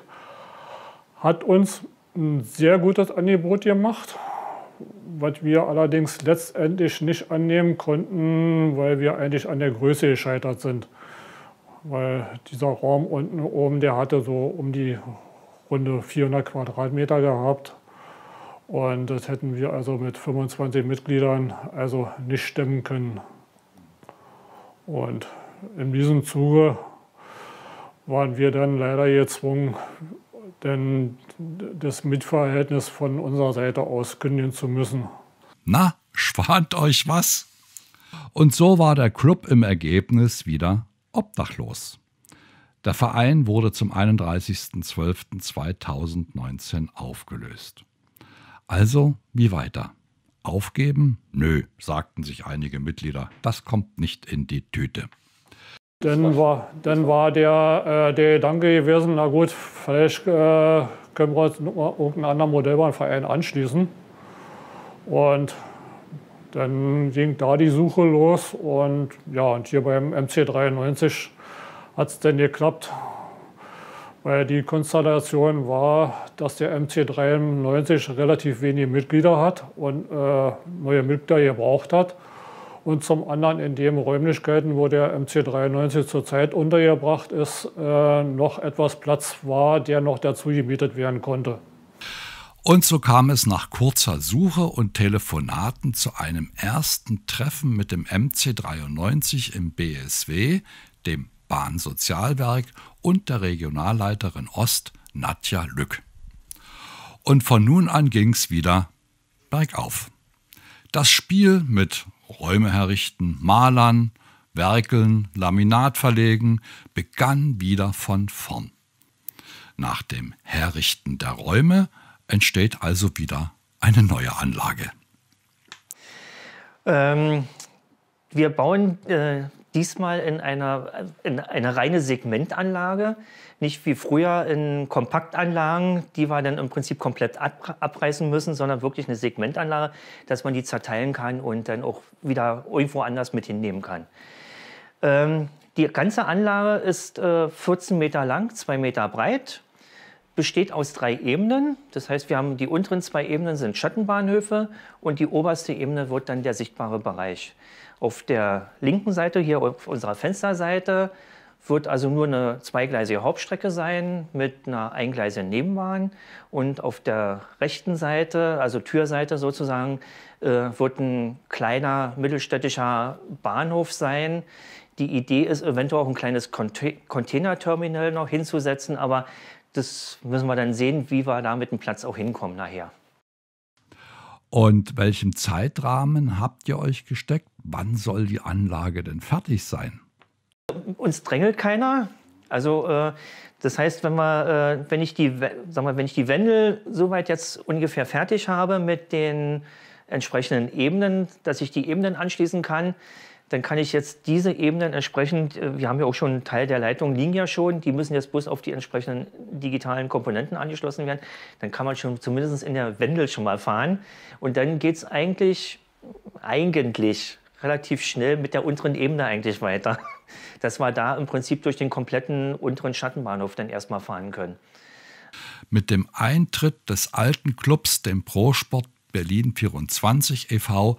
entstand übrigens der mitgliederstärkste Modellbahnclub von Berlin-Brandenburg in der Stiftungsfamilie des BSW. Und hier endet erstmal die unglaublich irre Geschichte mit hoffentlich dauerhaften Happy End zu diesem Club. Ich werde dranbleiben und hin und wieder mal vorbeischauen. Ja, fehlt mir eigentlich jetzt nur noch ein guter Schlusssatz. Ähm, Ach, ich hab's. Es wächst zusammen, was zusammengehört. Das finde ich gut. Weiter geht's, liebe Freunde, im Modellbahn-Marathon des Internationalen Tag der Modellbahn. Wir haben eine neue Live-Schalte aufgebaut und zwar reden wir jetzt mit Rüdiger Stock vom ersten, ähm, es ist der erste Vorsitzende. Ähm, die, die Abkürzung ist etwas schwierig, aber des Märklin Insider Clubs. genau. Bindestrich, Bindestrich HI für Hildesheim. Richtig. Für Hildesheim, genau. Hildesheim und Umgebung sind wir dort unterwegs. Genau. Da sind wir ja heilfroh, dass es ja. nicht Bielefeld ist. So, so, weit reicht unser Einzugsgebiet halt nicht. Nein, das ist so. Ja, willkommen in unserer Sendung, lieber Rüdiger. Ja, vielen lieben Dank, dass wir uns auch äh, dass wir hier sein dürfen. Ja. Klar. Ähm, Tag der Modellbahn. Findest du die Idee gut? Das finde ich eine super Idee. Also ich persönlich finde das super, auch wir vom Stammtisch aus, auch und von unserer Modulgruppe, die wir dort irgendwann implementiert haben, äh, finden das eine super Idee, ja. dass wir die Modellbahn halt dementsprechend hier ein bisschen weiter im Vordergrund drückt.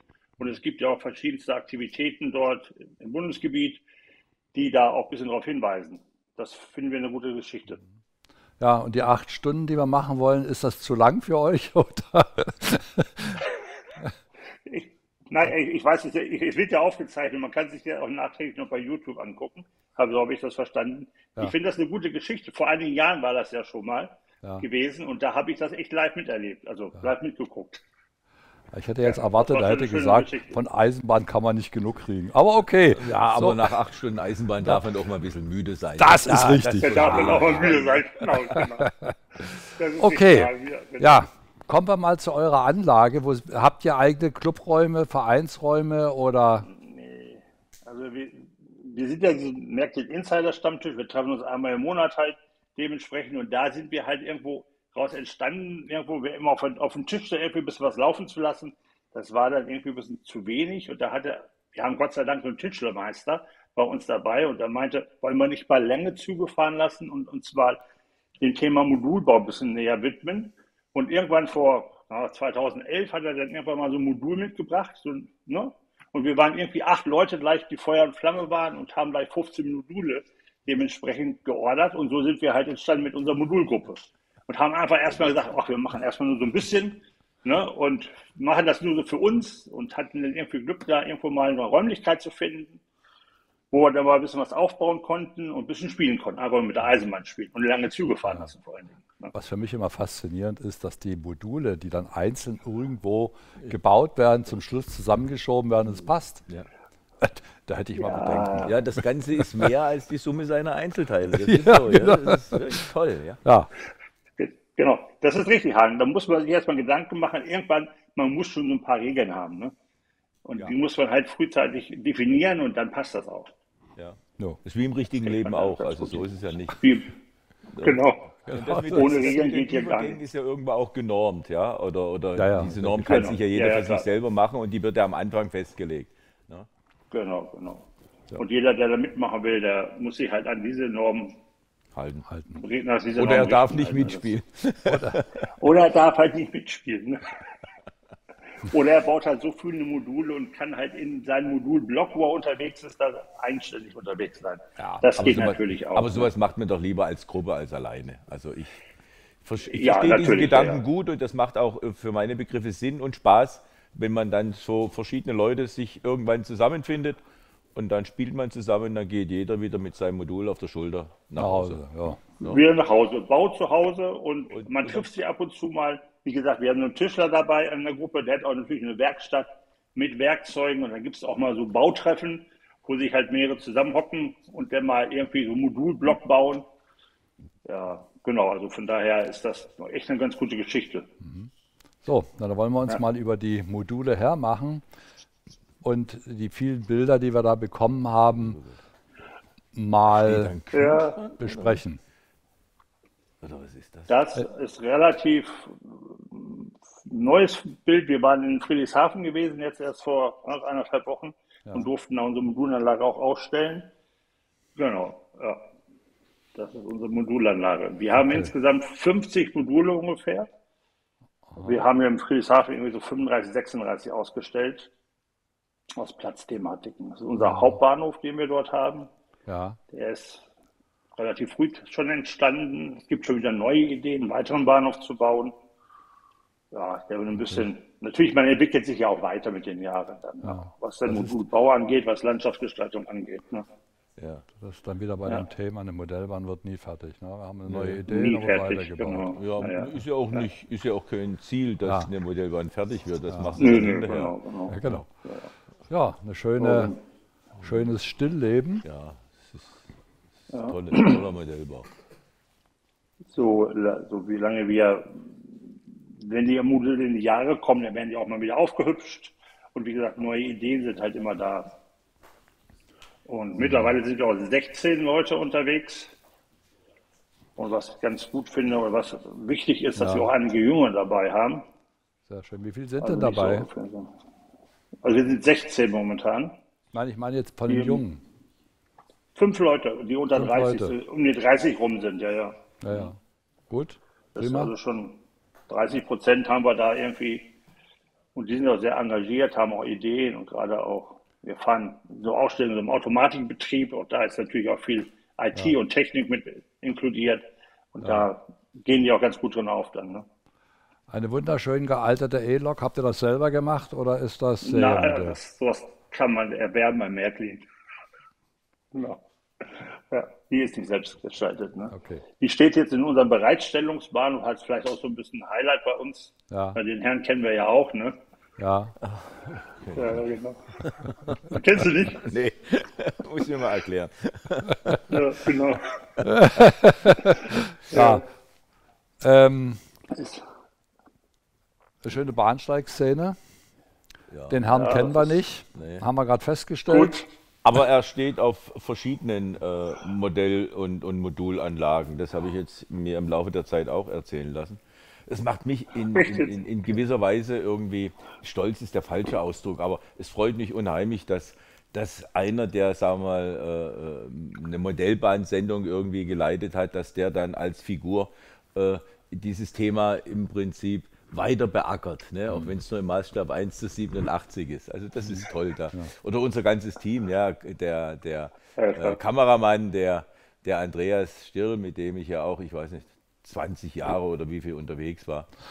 Und der Michael Frick, der Tonmann, der nicht mehr zu dem Team gehört, Ja. aber der halt auf andere Art und Weise äh, sich, sich äh, verdient macht um die No-Hubs, die er ja in Öbisfelde hat. Also Ja. das ist toll. Du siehst hier äh, also auch auf dem Bahnsteig, dass die, die Welt der, der Miniaturen auch äh, äh, fortgesetzt werden kann in die Realität hinein. Ja. Und das ganze Ding erzählt eine Geschichte. Wenn man Ja. sich das anguckt, das ist, wenn man. Es erzählt eine Geschichte. Genau. Ja.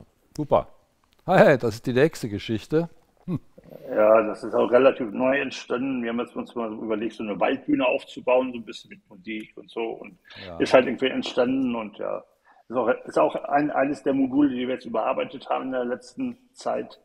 Genau. Und da haben wir auch die Möglichkeit, ein bisschen Musik abzuspielen. Ja.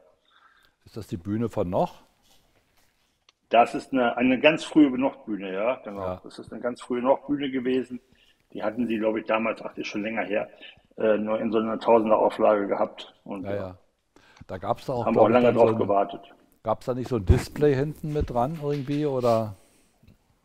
Nee, nee, Ja, ja. also das ist wirklich nur die Bühne gewesen. Also Okay. gesagt, ich habe da, glaube ich, lange drauf gewartet. Auf alle Fälle ausgegangen freuen sich die Fans wie verrückt. Sie jubeln irgendjemand zu. Auf alle Fälle. Ja, wenn das Ja. auch immer sein mag. Da geht die Post ab. Veronika Fischer. Ja, oder so. Zum da scheiden sich noch die Geister, ne? Genau. Ja. Nein. So, ein klassischer Schnellzug. In den Farben gefällt mir die Deutsche Bundesbahn oder die Deutsche Bahn am besten. So, so Also ist aber in persönlich der auch, Realität nie. Ne? Nein, nein, nein. In der Realität ist sie so nie gefahren. Müsste eigentlich eine 103 dran. Nee. Ja. ja, das ist richtig. Das war so eine Sonderaktion, die Ja. Da man von einem Händler, MHI war von das. einer Händlergruppe da. Oder ja, Händlergruppe, Ja, ja. Genau. Aber die Farben, war die das Farben gewesen, sind genau. schon. Ach, die Farben sind großartig. Die waren elegant, also das ja, muss ich ja, wirklich das sagen. war halt aus den, aus den 50er Jahren, beziehungsweise frühen 60ern. Ja, ja, ja, ja. Ja, genau. Ja. Tja, ist alles das vergänglich, stimmt, auch ja. die Farben. So, und das finde ich am allertollsten, denn hier werdet ihr nämlich euren Namen gerecht Stammtisch. Richtig, genau. Das ist, ja, das ist halt auch der, die Idee der, der Modulgruppe raus entstanden, unser Stammtisch halt mit, ja, wir haben irgendwie in unserer Adressenliste haben wir so 30 Leute mittlerweile. Letztes, letztes Wochenende waren zum Beispiel drei neue dabei. Bin ja gespannt, ob die wiederkommen, hoffentlich.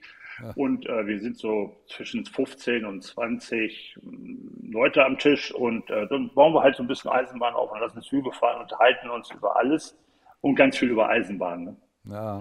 Genau. Und, was äh, gibt es Neues was, am Markt? Und, ist hm? doch, ist doch was, ein wunderbarer Stammtisch. ja, was lasst ihr denn was für Züge da fahren überhaupt? Bringt ihr da irgendwas mit, die da rumfahren? Oder? Na klar, Genau, genau. Jeder, was er möchte. Wir haben auch mal so Mottoabende, dann gibt es mal Ganzzüge okay. oder mal Epochenfahrten. Das ist ganz unterschiedlich. Gute Oder Sache. Auch mal, wir, fahren auch mal nur komplett analog, so wie sich das gehört. Ne? Da gibt es ein paar ältere, ältere Herren, die dann da ihre ganz alten Schätze mitbringen. Und das ist dann echt spannend. Ja.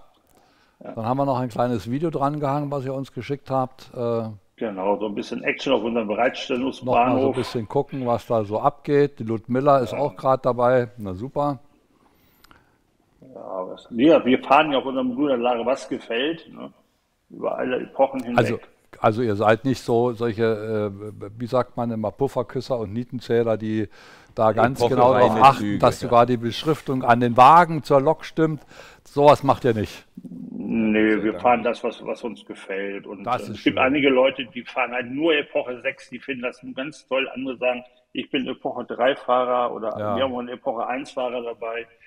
Und da müssen wir natürlich auch die Bahnsteige alles nach ausrichten, weil das doch ein bisschen dann ja, ja. in den einzelnen Maßstäben etwas anders ist. Also genau. Daher, ja. aber, aber zumindest, wenn ihr alle Pochen fahrt, ist es doch so, dass man ähm, alle Fahrzeuge, die es mal gegeben hat oder gibt, die, euch gefallen, auf einem Schlag auf einer Anlage zu sehen sind. Das ist doch gut. Irgendwann mal alles, genau, ja, ja. Das ist richtig. Ja, ich finde das, ich find das äh, die einzige Möglichkeit, weil jeder hat seine Vorliebe und in so einer Gruppe oder in einem Stammtisch oder auch im ja. Verein äh, soll doch jeder sich in einer Weise einbringen und äh es darf nicht dann so von oben dann so, so ein Diktum kommen, nur Epoche 3, bei uns fährt niemals ja, ein ja, ICE oder also, sowas. Ja. Genau. Das ist, das ist äh, äh völlig falscher, das ist grauslich, grauslich. falscher Ansatz. Ja. Aber jeder kann das genau, fahren das, das, ist doch etwas, was die, der ganzen Gruppe zugutekommt. Ja? Das genau, erweitert einfach genau. den, den Blick. Ne? Genau, auf alle Fälle, ja. Das passt dann auch. Und, und, wir wollen ja auch neue Mitglieder oder neue Mitstreiter finden, sage ich immer. Und äh, das kriegt man dann ja auch nur, indem man sich halt öffnet auch. Ne? Ja, auch gerade ja. was die jungen Leute angeht. Genau, die muss man auch mal machen lassen oder auch mal Ideen entwickeln lassen. Das ist dann ganz gut. Ja. ja. So, gut. ja. Schlusswort. Dann freuen wir uns mal riesig, dass du uns die Möglichkeit gegeben hast, an deinem Clubleben teilnehmen zu lassen, an deiner Anlage oder Sehr an gerne. eurer Clubanlage. Ähm, war mal interessant zu sehen und auch die Meinung dazu ist für mich immer wieder interessant ähm, und ich fand es toll. Vielen Dank. Ja, vielen wir, Dank. Wir, wir, bedanken uns auch, dass wir die Möglichkeit hatten. Ja. Und Gruß nach Hildesheim. Ne? Gruß nach Hildesheim. Ja. Und vielen Dank. Tschüss. Ja, ja. macht's gut. Danke, ciao, ciao. tschüss. tschüss. Ja, tschüss. So, jetzt geht's weiter im Text so ein Stammtisch, so ein Modellbahn-Stammtisch ist toll. Also mein also Stammtisch also, Der Stammtisch hat mir gefallen, muss ja, ich sagen. Mein Stammtisch in Stuttgart, der heißt ja auch Lokomotive Ochseplatz. Und da fahren ab und zu auch äh, Eisenbahnen auf dem Tisch. Und unsere, und unsere Wirtin, die Karin, die hat uns extra eine Steckdose unter unsere Bank legen lassen am Stammtisch, damit wir da unten Strom haben. Aber eine nette Wirtin. Das ist eine nette Wirtin, die ist großartig. Das ja. ist ja super, dann lad mich doch mal ein, da komme ich mal vorbei, weil oh, das, Stammtisch, das muss ich sehen. Was, ja, muss, außer, ne, wenn du, wenn was du muss den, ich mitbringen? Für deinen Einstand musst du zahlen. Bier musst du nicht mitbringen. Du lädst uns dann zu einer Runde Schnaps ein. Birnenschnaps oder zwei. Die harten Sachen. Na gut, aber auch das ist gut. Du kannst auch Guinness trinken bei uns. ja. das wird auch getrunken. Singt ihr auch Lieder? Nein, nein, nein. Nein, nie. nie. Nie. Auch nie, nicht, wenn nee, er nach Hause nein, geht. Nein, nein, wir trinken Geißhirtle, das ist so eine bestimmte Art von, von eine bestimmte Birnenart äh, und daraus dann der Schnaps. Und äh, die meisten trinken äh, Pilz, äh, einige trinken äh, Guinness und, äh, äh, oder alkoholfrei. Also ich trinke dann immer alkoholfrei nach dem Guinness, weil ich muss ja noch Auto fahren. Okay, gut. Das Mal muss ja auch mal dein gesagt werden. interessanter Einblick in dein Clubleben. Ja, immer freitags, ja. Hieß Lokomo? Lokomotive Ochseplatz. Ja, wie hie- Lokomotive Ochseplatz. Wie hieß dein dein Revolutz. Dein, nein, dein dein Birnenschnaps, was hast du gesagt? Geißhirtle. Geißhirtle. Geißhirtle. Geißhirtle. Toller Name, finde ich klasse. Tja, jetzt müsste rein theoretisch äh, wieder jemand zugeschaltet sein bei uns. In, aus Franken. Aus Franken. Hallo. Der FEC Fürth e.V. Jawohl. Jawohl, so ist das. Hi, grüß dich. So, du hast uns eine, auch eine Modulanlage, glaube ich, war es richtig? Richtig, wir haben mehrere Segmentanlagen, das heißt im Augenblick haben wir drei. Zwei H0-Anlagen und unsere N-Anlage, aber wenn man es genau nimmt, sind es eigentlich Segmentanlagen, weil das müssen wir mal uns anhören, wenn wir eine Modulanlage wären, dann Ja. wären wir kompatibel mit anderen. Aber wir haben unsere eigene Modulnorm, also sind wir eine Segmentanlage. Ne? Okay. Musste jetzt mal gesagt werden. Das muss, da- das war eigentlich ähm, Gute Erklärung. gute Ja. Erklärung. So, du hast uns natürlich auch eine Anlage oder Bilder deiner Anlage mitgebracht. Aber zuvor möchten wir gerne mal wissen, wie viel Mann seid ihr denn eigentlich und wo seid ihr untergebracht? Also wir sind im Augenblick in Verdambach, haben hier ein älteres Gemäuer, sind 42 Mitglieder, haben aber so wie viele andere Vereine auch die Herausforderung, dass wir nur noch einen begrenzten Mietvertrag haben und sind theoretisch Ende 24 sind wir heimatlos. Haben jetzt hier 120 Quadratmeter, klingt zwar nach viel, sind aber viele kleine Räume und das schränkt uns halt in unserer Bautätigkeit enorm ein, weil drei Räume haben wir nur als Lager und haben hier ein größerer, wo ich jetzt auch bin, da haben wir einen Teil von unserer Segmentanlage aufgebaut. Aber die richtig große Anlage, die können wir eigentlich immer nur dann aufbauen, wenn wir auf große Publikumsmessen sind. Also ihr müsst sozusagen die Anlage durch alle Räume fahren oder führen sozusagen. Genau, also wir haben sich halt eingelagert, haben da auch schöne Bilder geschickt, wo alles aufeinander gestapelt ist. Ne? Und dann, wenn wir auf Messen sind, haben wir wirklich die einzige Möglichkeit, dass wir unsere Anlagen auch richtig ausfahren können. Ne? Wie sieht es aus bei euch mit den Mitgliedern? Sind das äh, jetzt etwas, sage ich mal vorsichtig, nur ältere oder habt ihr auch ähm, Nachwuchs oder habt ihr Nachwuchssorgen? wir, haben, wir haben drei Jüngere, die sind acht, sieben und acht. Und mein Schriftführer hat einmal vor einiger Zeit mal ausgerechnet, also das Durchschnittsalter ist bei uns 56 Jahre. Ne? Also wir sind auch eher so eine Rentnerband, sage ich immer so zu meinen Älteren. Ne? Aber es ist natürlich auch besteht, dass wir jüngere Mitglieder wieder gewinnen, aber es ist nicht ganz so einfach. Ne? Na super, dann wollen wir doch mal über die Anlage hermachen. Ja. Ähm, da haben wir schon was. Welche Baugröße ist denn das? Das ist die Spur N 1 zu 160. Das ist jetzt der linke Teil von unserem Hauptbahnhof. Das Schöne an dem Hauptbahnhof ist, den haben wir jetzt hier in Vereinsheim mit unserem BW aufgebaut. Das heißt, den können wir jetzt hier autark laufen lassen, können aber auch hinten die gesamte Anlage nochmal andocken und dann haben wir eine gestreckte Länge von fast 60 Metern. Das ist natürlich ganz ordentlich. Der Betrieb ist natürlich digital, ne? Jein, also ist auch wieder was Besonderes bei uns. Wir haben hier den Trail Controller im Einsatz im sichtbaren Bereich. Können wir Fahrstraßen schalten, aber unsere ganzen Triebfahrzeuge sind jetzt bei dieser Anlage analog. Und wir haben auch neben der Maus haben wir einen ganz normalen Fleischmann-Trafo, wo wir dann praktisch auch die Lokomotive im Bereich des Bahnhofes dann analog steuern können. Genau das ist die Gesamtübersicht der Anlagen, wie wir es jetzt im Verein aufgebaut haben. Und auf der Strecke haben wir ein Blockstellensystem, das heißt, die Züge steuern sich dann gegenseitig. Ähm, wir sehen hier ja vorne auch ein wunderschönes BW. Ein riesengroßes Teil, ist ja leider verschwunden in der Öffentlichkeit, aber zum Glück auf der Modellbahn erhalten geblieben. Auf jeden Fall, ja. Wir haben jetzt hier einen großen Windlokschuppen, da haben wir unsere Dieselloks und Dampfloks. Und vorne haben wir noch mal ein kleineres BW, das ist dann mit einer Oberleitung versehen. Da haben wir auch eine Oberleitungsspinne über, oberhalb von der Drehscheibe und haben praktisch hier zwei BWs nebeneinander, vorne den elektrischen Bereich und hinten den Diesel- und Dampfbereich. Okay. Und wie viele äh, Fahrzeuge habt ihr insgesamt im Club äh, vorhanden? Also so Triebfahrzeuge haben wir circa um die 100 und das Schöne ist auch immer, dass das ist jetzt oben im ersten Stock. Das Schöne ist auch immer, dass unsere Vereinsmitglieder kommen und sagen, da können sie ihre, ihre großen Züge mal auf einer großen Anlage richtig schön ausfahren lassen. Ne? Das ist jetzt oben unser oberer Stock, das ist unsere H0-Segmentanlage, die ist noch im Entstehen, das sieht man schön noch an den Holzrohbauten. Die haben erst vor einiger Zeit begonnen, da haben wir eine zweigleisige Hauptstrecke, eine eingleisige Nebenstrecke und unser Ziel ist es, dass wir die in den nächsten Jahren fertigstellen und die dann auch der großen breiten Öffentlichkeit dann vorstellen können. Mhm, okay. Dann sehen wir noch einen Teil einer unfertigen Baustelle. Ja, das ist eine Kibri-Brücke aus den 60er Jahren. Die haben wir dann mit Pfeile und Säge bearbeitet und dann auch, dann auch nachgestaltet. Also die Brücke ist ziemlich einzigartig, weil die aus drei Bausätzen entstanden ist. Und da haben wir jetzt schon angefangen mit dem Geländebau.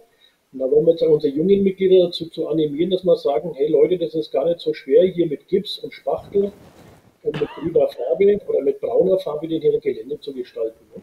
Na klar. Und da kommt jetzt unten die Hauptstrecke aus dem Tunnel raus und die Nebenstrecke kreuzt dann hier die Hauptstrecke. Und wenn man das jetzt von der anderen Perspektive betrachtet, ist es ein wunderbares Modul von der Ansicht her. Ne? So, hier stehst du, glaube ich, an den Reglern. Da stehen wir am Regler. Genau, das sieht man jetzt unten die kleine Öffnung. Da ist praktisch der Trafo. Und der Kollege hat dann hier gefilmt. Und da haben wir unseren Hauptbahnhof in der Übersicht, hat unten die Gütergleise. In der Mitte haben wir die Personengleise und oben haben wir sogar noch einen Kopfbahnhof. Und oben drüber haben wir sogar noch eine Straßenbahn. Also ja. wir fahren im Endeffekt hier auf drei Etagen. Jetzt nochmal die rechte Ansicht vom BW. Und wenn man jetzt ganz nach rechts guckt, sieht man unterhalb von der, äh, vom Lokschuppen sieht man da rechts eine schwarze Öffnung und da kann man praktisch unsere Segmentanlage andocken und dann können wir, wie gesagt, 60 Meter gestreckte Länge fahren und ansonsten haben wir unterhalb von dem BW eine Wendeschleife drin, das heißt, wir können hier auch im Verein mit der Anlage richtig schön Fahrbetrieb machen.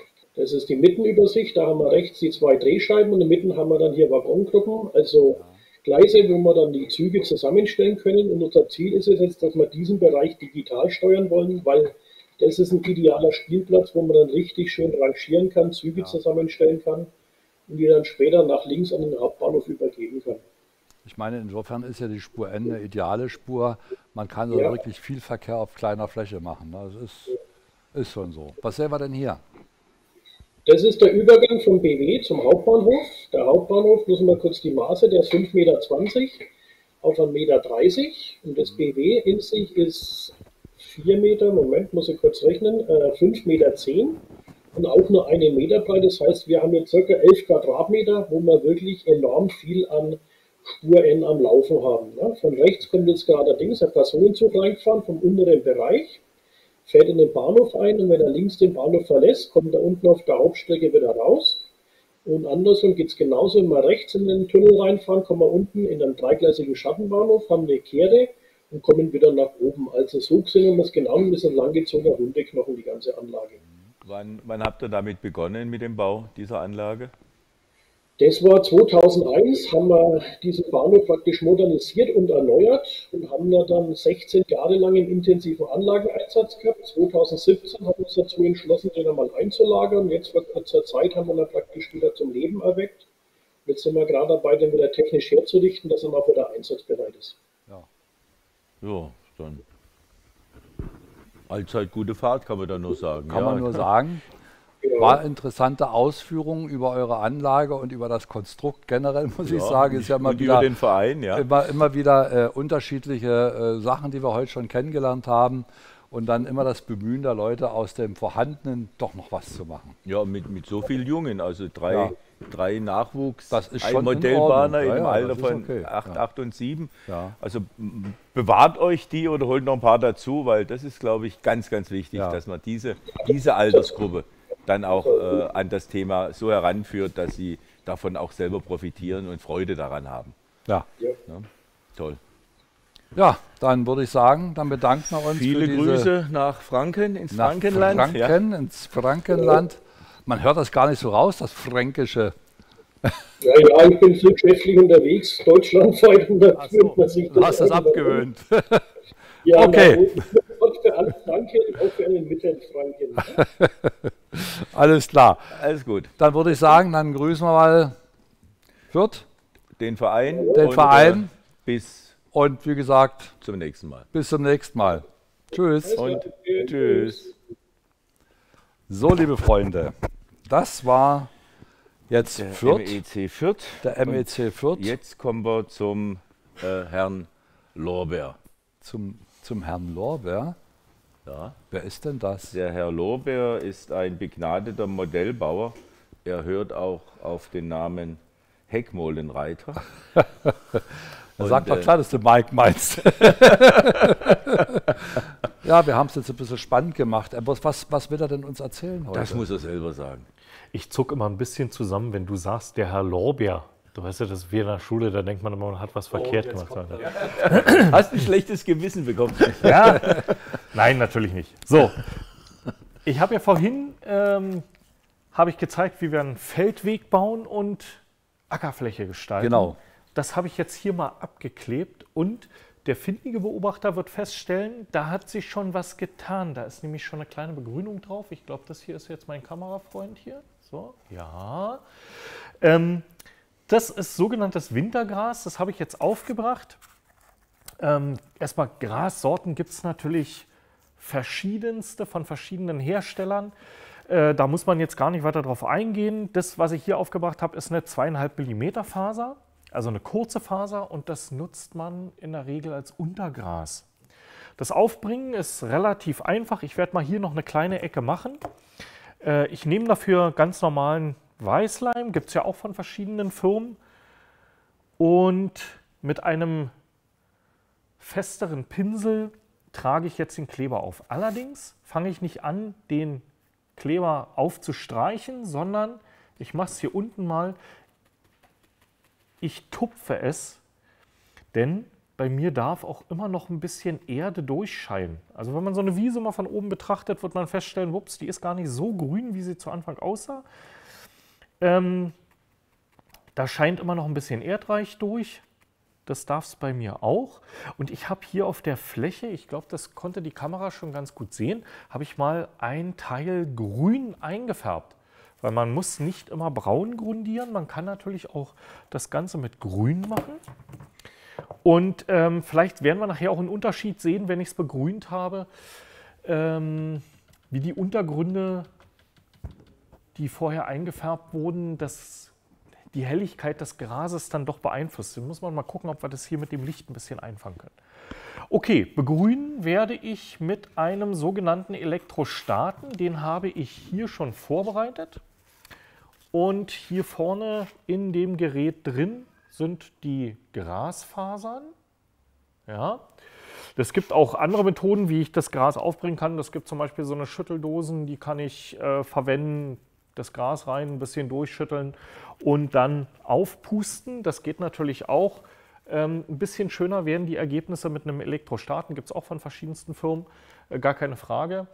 Und den Bereich werde ich jetzt einfach mal begrasen. Warum macht man das eigentlich mit dem Elektrostaten? Naja, weil ich will, dass die Grasfasern drauf stehen bleiben. Die sollen ja senkrecht stehen. Und das Begrünen geht dann relativ einfach. Ich versuche einfach mit dem Elektrostaten so viel Fasern wie möglich stehend drauf zu bekommen. So, ich klopfe das mal ab. Und die Kamera kann jetzt mal einfangen, dass selbst diese zweieinhalb Millimeter Fasern, also schon, ja, ich glaube, so sieht man es ganz gut, ähm, dass die schon ganz gut stehen.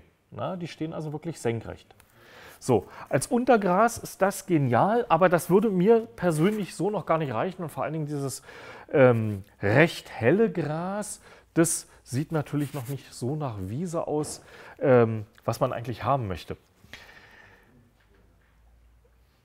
Wenn ich jetzt mit einer zweiten Faser raufgehe, ich habe jetzt hier eine Faser, die ist gut 4,5 mm lang, eine andere Farbe, in grün diesmal. Ach so, ich muss ein größeres Sieb nehmen, weil die Faser ist natürlich länger. So.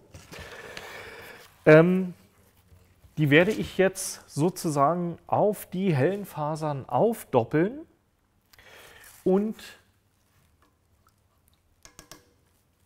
auch an den Stellen, wo ich noch nicht begrünt habe. Der Effekt, der daraus entsteht, ist einfach, dass die Wiese nicht wie ein Golfrasen aussieht, sondern verschiedene Höhen bekommt. Allerdings werde ich das nicht mit diesem Pinsel machen. Man sieht, der ist wirklich recht grob, ja, sondern ich nutze dafür einen Schwamm. Ja, das ist so ein ganz handelsüblicher, haushaltsüblicher Schwamm. Den habe ich mir jetzt in ein kleines Stück geschnitten. Dann nehme ich den Weißleim. Warum mache ich das eigentlich? Naja, wie gesagt, mit dem Pinsel, wenn ich jetzt hier Kleber drauf habe und streiche hier über die Fläche, dann drücke ich die ganzen Fasern nieder. Das möchte ich ja nicht. Ich möchte schon, dass die stehen bleiben. Und jetzt nehme ich auf den Schwamm ein bisschen Kleber rauf. Also, ich tauche auch nur die untere Fläche vom Schwamm ein und streiche die jetzt nicht ab, weil wenn ich die abstreiche, ich mache es einfach mal, dann passiert nämlich das, ich habe nachher gar keinen Kleber mehr auf meinem Schwamm drauf. Ja, das reicht nicht aus, sondern ich brauche ja ein bisschen Kleber auf dem Schwamm, also tupfe ich das ab. So sieht es dann aus. Das reicht. Den Kleber gut wegstellen oder den Deckel wieder rauf machen, sonst ist der nämlich gleich mit zu begrünt. Und jetzt kann ich dahergehen und mir Stellen aussuchen, wo ich Gras hinstellen möchte. Eigentlich hinstellen ist auch nicht richtig ausgedrückt, denn diese Fasern werden ja eigentlich, ja, man kann sagen, eingeschossen in die Anlage. So, jetzt kann man sehen, dass hier oben auf den Grasfasern so ganz kleine Klebetröpfchen drauf sind. Ja? Und jetzt gehe ich daher mit der großen Faser. So.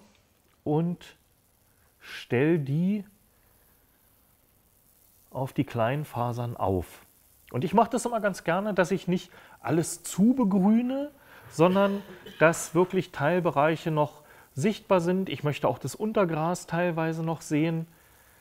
So.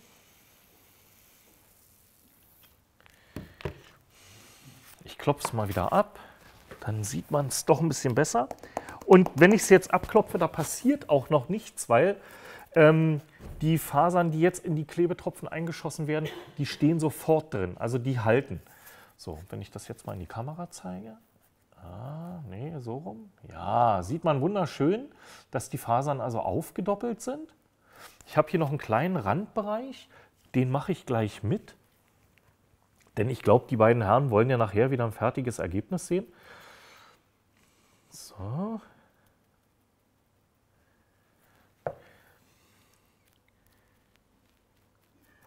Gut. Genau, also mache ich das Ganze nochmal. Das ist hier mal der Gegenpol, den ich einstecke. Manch einer legt auch eine Ringleitung rum. Das äh, kann man machen, wie man möchte. Ich glaube, da gibt es jetzt nicht unbedingt ein richtig oder falsch.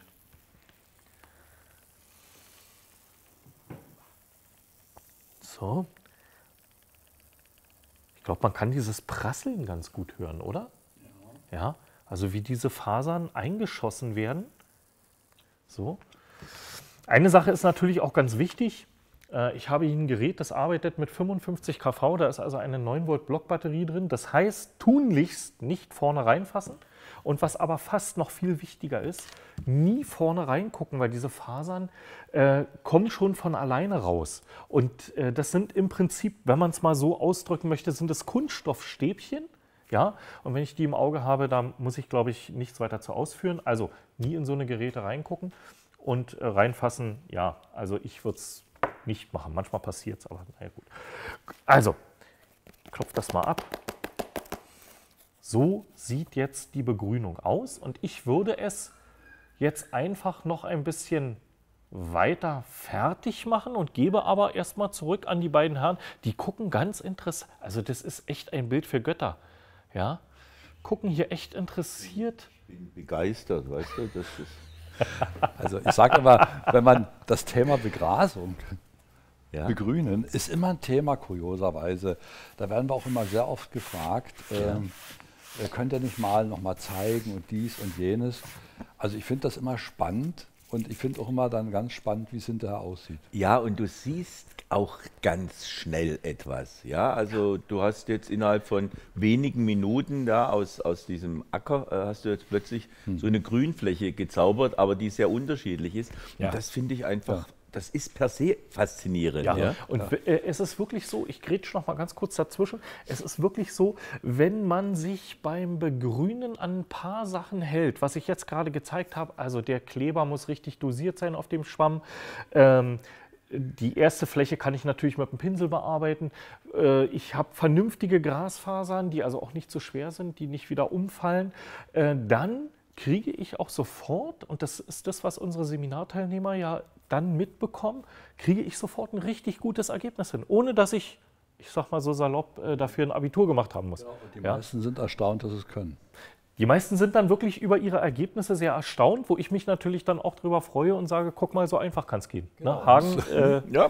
So einfach kann es sein. Ich weiß. Gut, also dann, liebe Freunde, ich mache noch ein bisschen Ich weiter habe und das ja selber schon gemacht, aber ich bin immer wieder fasziniert, dass das so eine Wirkung äh, entwickelt und erzielt. Das ist toll. Toll. Also bevor wir jetzt zum nächsten Talk kommen, ein Kleinod oder ja, eines meiner Kleinode. Ich sammle nämlich Eisenbahn-Kinderbücher aus unterdessen drei Jahrhunderten, hört sich ziemlich gut an. Und ein paar Sachen sind einfach so schön, dass man sie zeigen muss. Schreibers Stehaufbücher. Ah. Und wenn du dir das dann anschaust, ich klappe es nochmal zu, und dann entwickelt sich quasi dreidimensional. Warte, die fahren gerade noch eine Kamera ein, das müssen wir noch mal zeigen den, den Leuten, weil das ist wirklich so affengeil.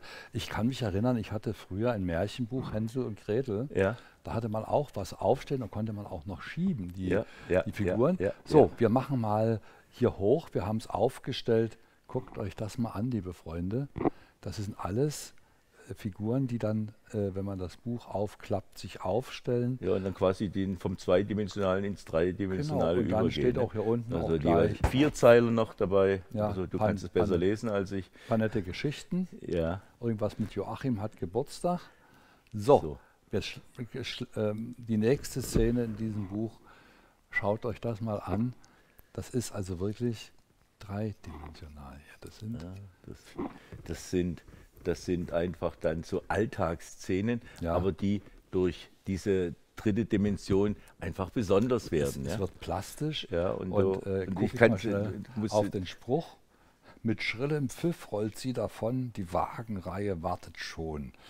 Der Zug fährt ein zur rechten Zeit und steht zur Abfahrt jetzt bereit. Na, wunderbar. Kann ne? man doch gar nicht besser, besser es nicht formulieren. machen. Nee, Das nee. sind Schreibers Stehauf Bilderbücher. Ja, die sind aus den 30er Jahren. Da gab es mehrere davon. Äh, Ich habe nur dieses eine, aber ich finde, das ist so faszinierend. Mhm. Das musste jetzt einfach gezeigt und gesagt werden. Genau, und haben wir noch ein anderes. Und das ist hier, das ist ein sogenannter, äh, ein sogenanntes Leporello. Äh, das ist ein, ein zick aufstellbares, das, da reicht der Platz gar nicht. Aber können's ja, ich, Zick- Zickzackbuch. Ja, komm, ich halte die, die Seite mal fest. So, das und ist, wir halten das mal drauf. So, ja, da ja ist sie. So, ich gehe dann einfach mal weiter. Also der Haken geht jetzt zur Tür raus. Ja, nee, du, du siehst einfach jetzt einen Zug zu Reichsbahnzeiten, äh, der von der Lokomotive über den Gepäckwagen, über den Speisewagen bis hin zum letzten Wagen geht, in einer Länge von etwa zwei Metern und überall noch ein kleiner Spruch drauf. Und äh, wie gesagt, das kommt aus den 30er Jahren. Das hier ist allerdings ein wiederaufgelegtes Ja. Teil aus den 80er Jahren. Also Aber deswegen die- ist es noch so gut. Aber die Faszination, ja, weil ich es halt gut halte. Die, die Faszination ist toll. Nein, äh, dieses, äh, wenn wir auf, auf äh, Messen gehen, ist das immer äh, aufgeklappt äh, auf der Anlage zu sehen, ja, weil das einfach auch ein wunderschöner Hintergrund ist, ja. Mhm. Ja, ja, ja. Du hast das Teil dahinter stehen und da fährt dann davor fahren die, die Züge. Züge Also das ist etwas.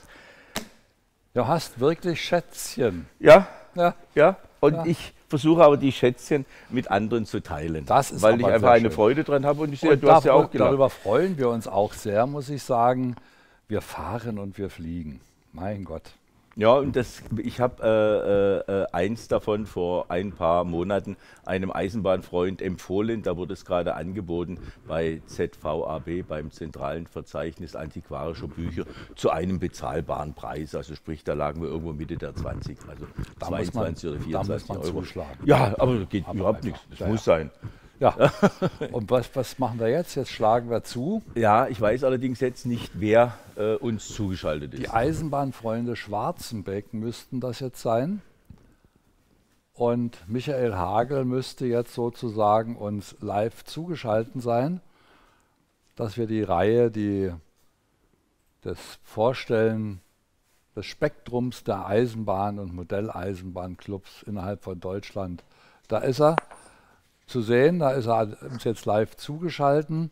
Wunderbar. Wunderbar. Er rennt, nein, er geht, er schreitet, Er Durch, schreitet. die, er schreitet durch die Hallen.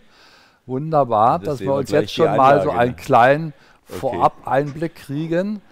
Und wollte nur sagen, es ist wirklich, also wir haben ja von Süden bis jetzt hoch in den Norden ja verschiedenste Clubs und wir werden dann nachher noch andere Clubs kennenlernen, aus der Lausitz zum Beispiel. Ähm, es ist interessant, die Herangehensweise der einzelnen Clubs. Und bei den Eisenbahnfreunden Schwarzenbeek habe ich mir immer sagen lassen, und ich war ja auch schon einmal dabei, soll, der Michael Hagel macht immer fantastische Sommerfeste.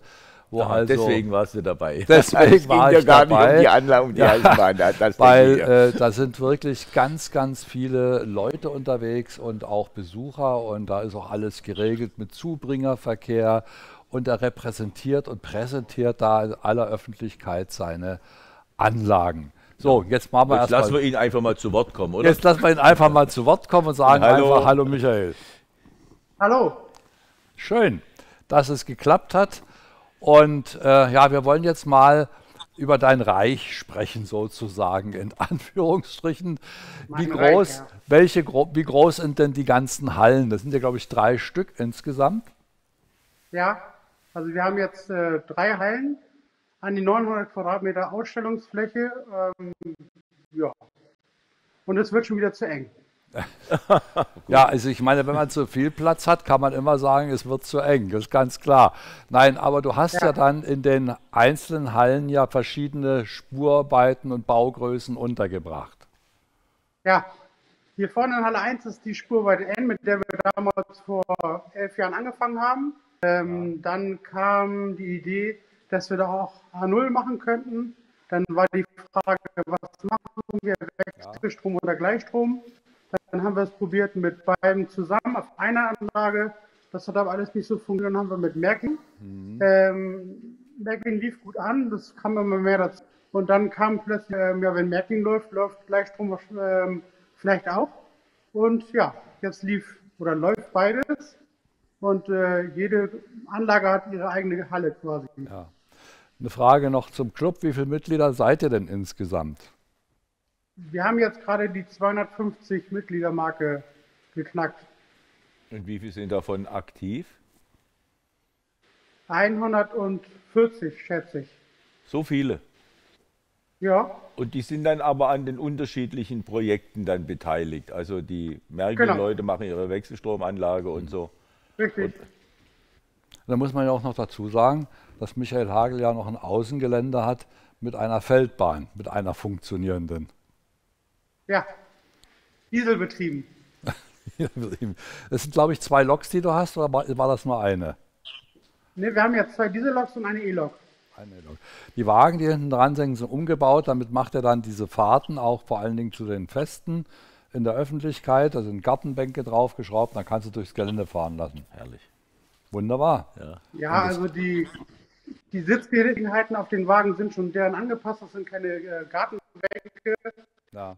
Aber ja, die Besucher, die hier hochkommen, das ist ja meistens auch am Samstag mal äh, der Fall. Äh, die können nur mit der Bahn, lassen eine kleine Spende da. Ja. Und was sind das für Hallen? Was waren, da war die ursprüngliche Nutzung davon? Ähm, die ersten beiden Hallen war früher mal eine, ein Versandhandel für Akkus. Ähm, die sind aber umgezogen und dann stand das leer und ja, wir sind hier rein und Halle 3 wurde extra für uns gebaut. Die jetzige Märklin-Halle. Ja. Dann wollen wir mal uns die Bilder anschauen, die du uns mitgebracht hast. Und fangen gleich mit dem ersten Bild an. Das ist die, Pa- deine Parade der N-Anlage, würde ich sagen. Das ist in der Märklin-Halle. Ups, Nein, jetzt lag, stopp. Jetzt, jetzt lag ich falsch. Das ist in der Märklin-Halle. Das ist die Märklin-Halle. Genau. Das ist aber auch eine sehr große Anlage. Wie viele Quadratmeter hat die denn? 225. Ja. Ja, na gut. Klotzen und nicht kleckern, würde ich sagen. Ne? Ich meine, wenn ich schon Platz habe, dann macht man das richtig ordentlich. Ähm, Ja. wie viel, äh, das, das nächste Bild wäre dann, das ist die Uhr Genau. Das ist quasi da, wo ich jetzt gerade stehe. Genau. Mich interessiert dabei natürlich, ein, also ich sage jetzt mal so, der Blickfang auf diese Anlage ist diese, dieser Ringlockschuppen mit zwei Drehscheiben. Und die ist ja, glaube ich, einem Original entsprungen, ne? Ja, genau. Das ist das ähm, ehemalige Bahnbetriebswerk in Hamburg-Altona. Wie viele Züge fahren denn eigentlich auf deiner Anlage? Auf der N-Anlage? Also zum Sommerfest sind hier 14 Züge gleichzeitig gefahren.